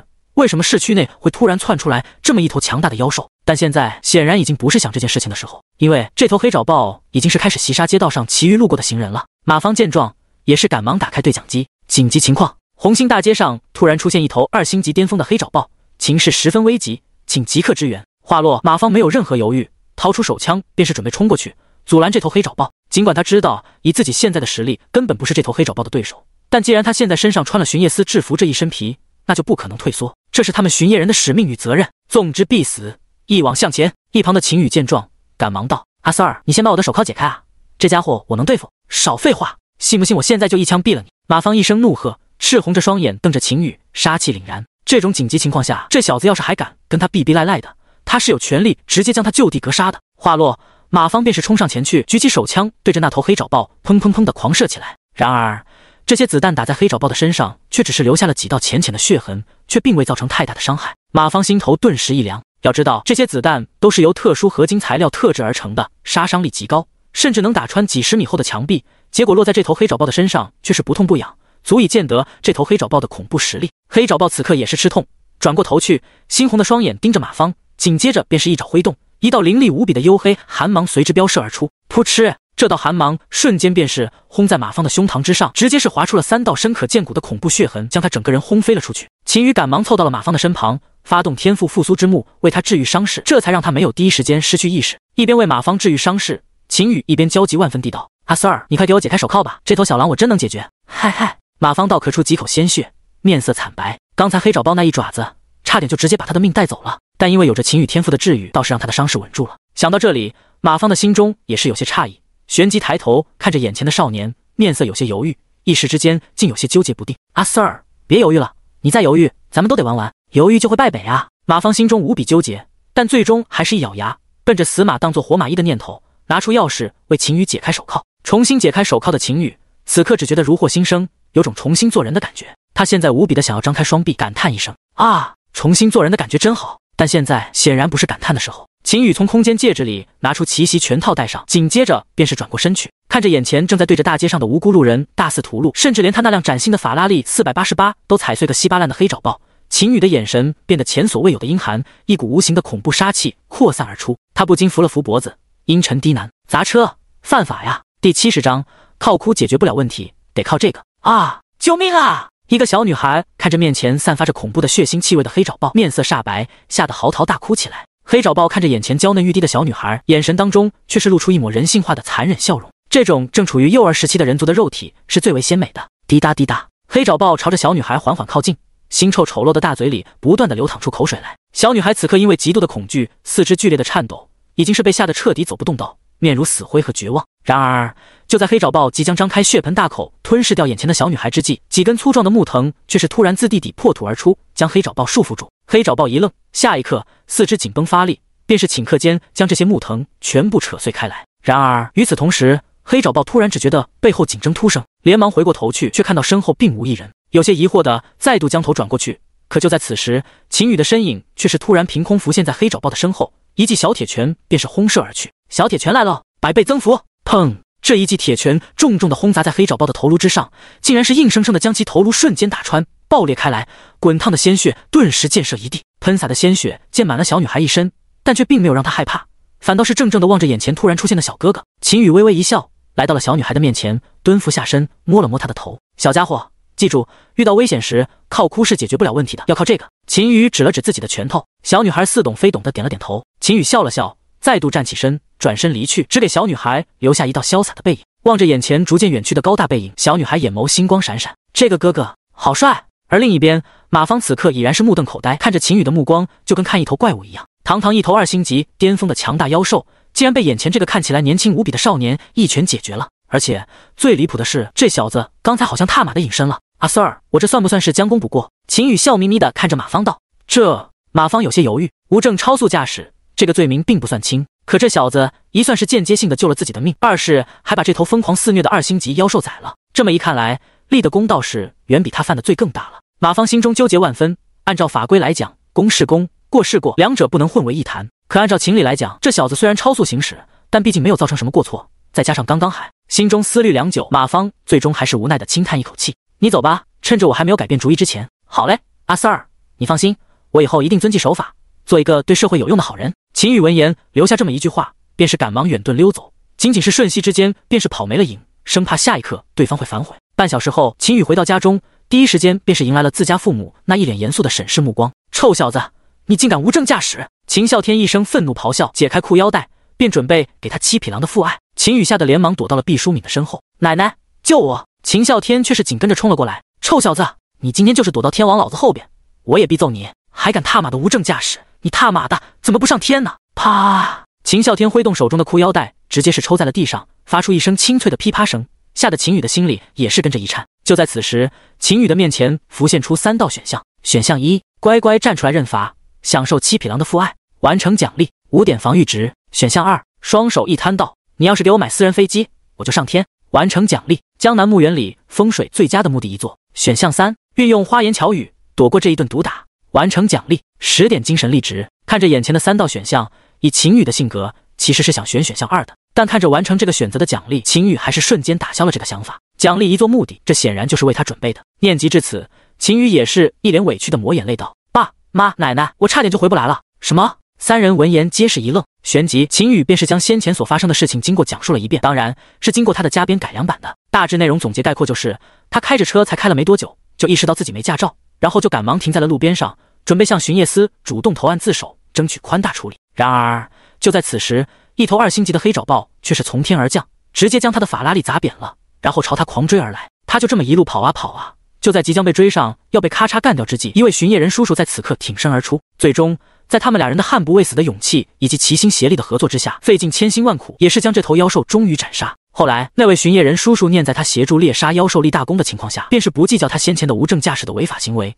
放他回来了。然而，老爸、老妈以及奶奶听完他的讲述，却是根本不相信，他们太懂自家儿子孙子的尿性了。秦啸天一脸冷笑，编，继续给我编，还二星级巅峰妖兽，你怎么不说你直接遇到了妖王了呢？不是，我真没骗你们，我说的真是实话。秦羽此刻有些欲哭无泪，自己这句唯一的真话，怎么偏偏就没人相信呢？而就在此时，电视上却是突然插播了一条紧急新闻。插播一条紧急新闻，就在刚刚，一头二星级巅峰的黑爪豹突然自东海集团旗下的东海生物科技公司的大楼窗户中窜出，落在红星大街上，造成过往行人三死十二伤。所幸，在一位巡夜人以及一位不愿意透露姓名和样貌的少年的通力合作之下，这头黑爪豹也是被就地格杀，没有造成进一步更大的伤亡。目前，东海生物科技公司的负责人陈康已经被巡夜司带走调查，事故原因仍在进一步调查当中。看着电视上突然插播的新闻报道，秦啸天三人顿时都是愣在了原地，一脸懵逼。这小子竟然真的没有骗他们。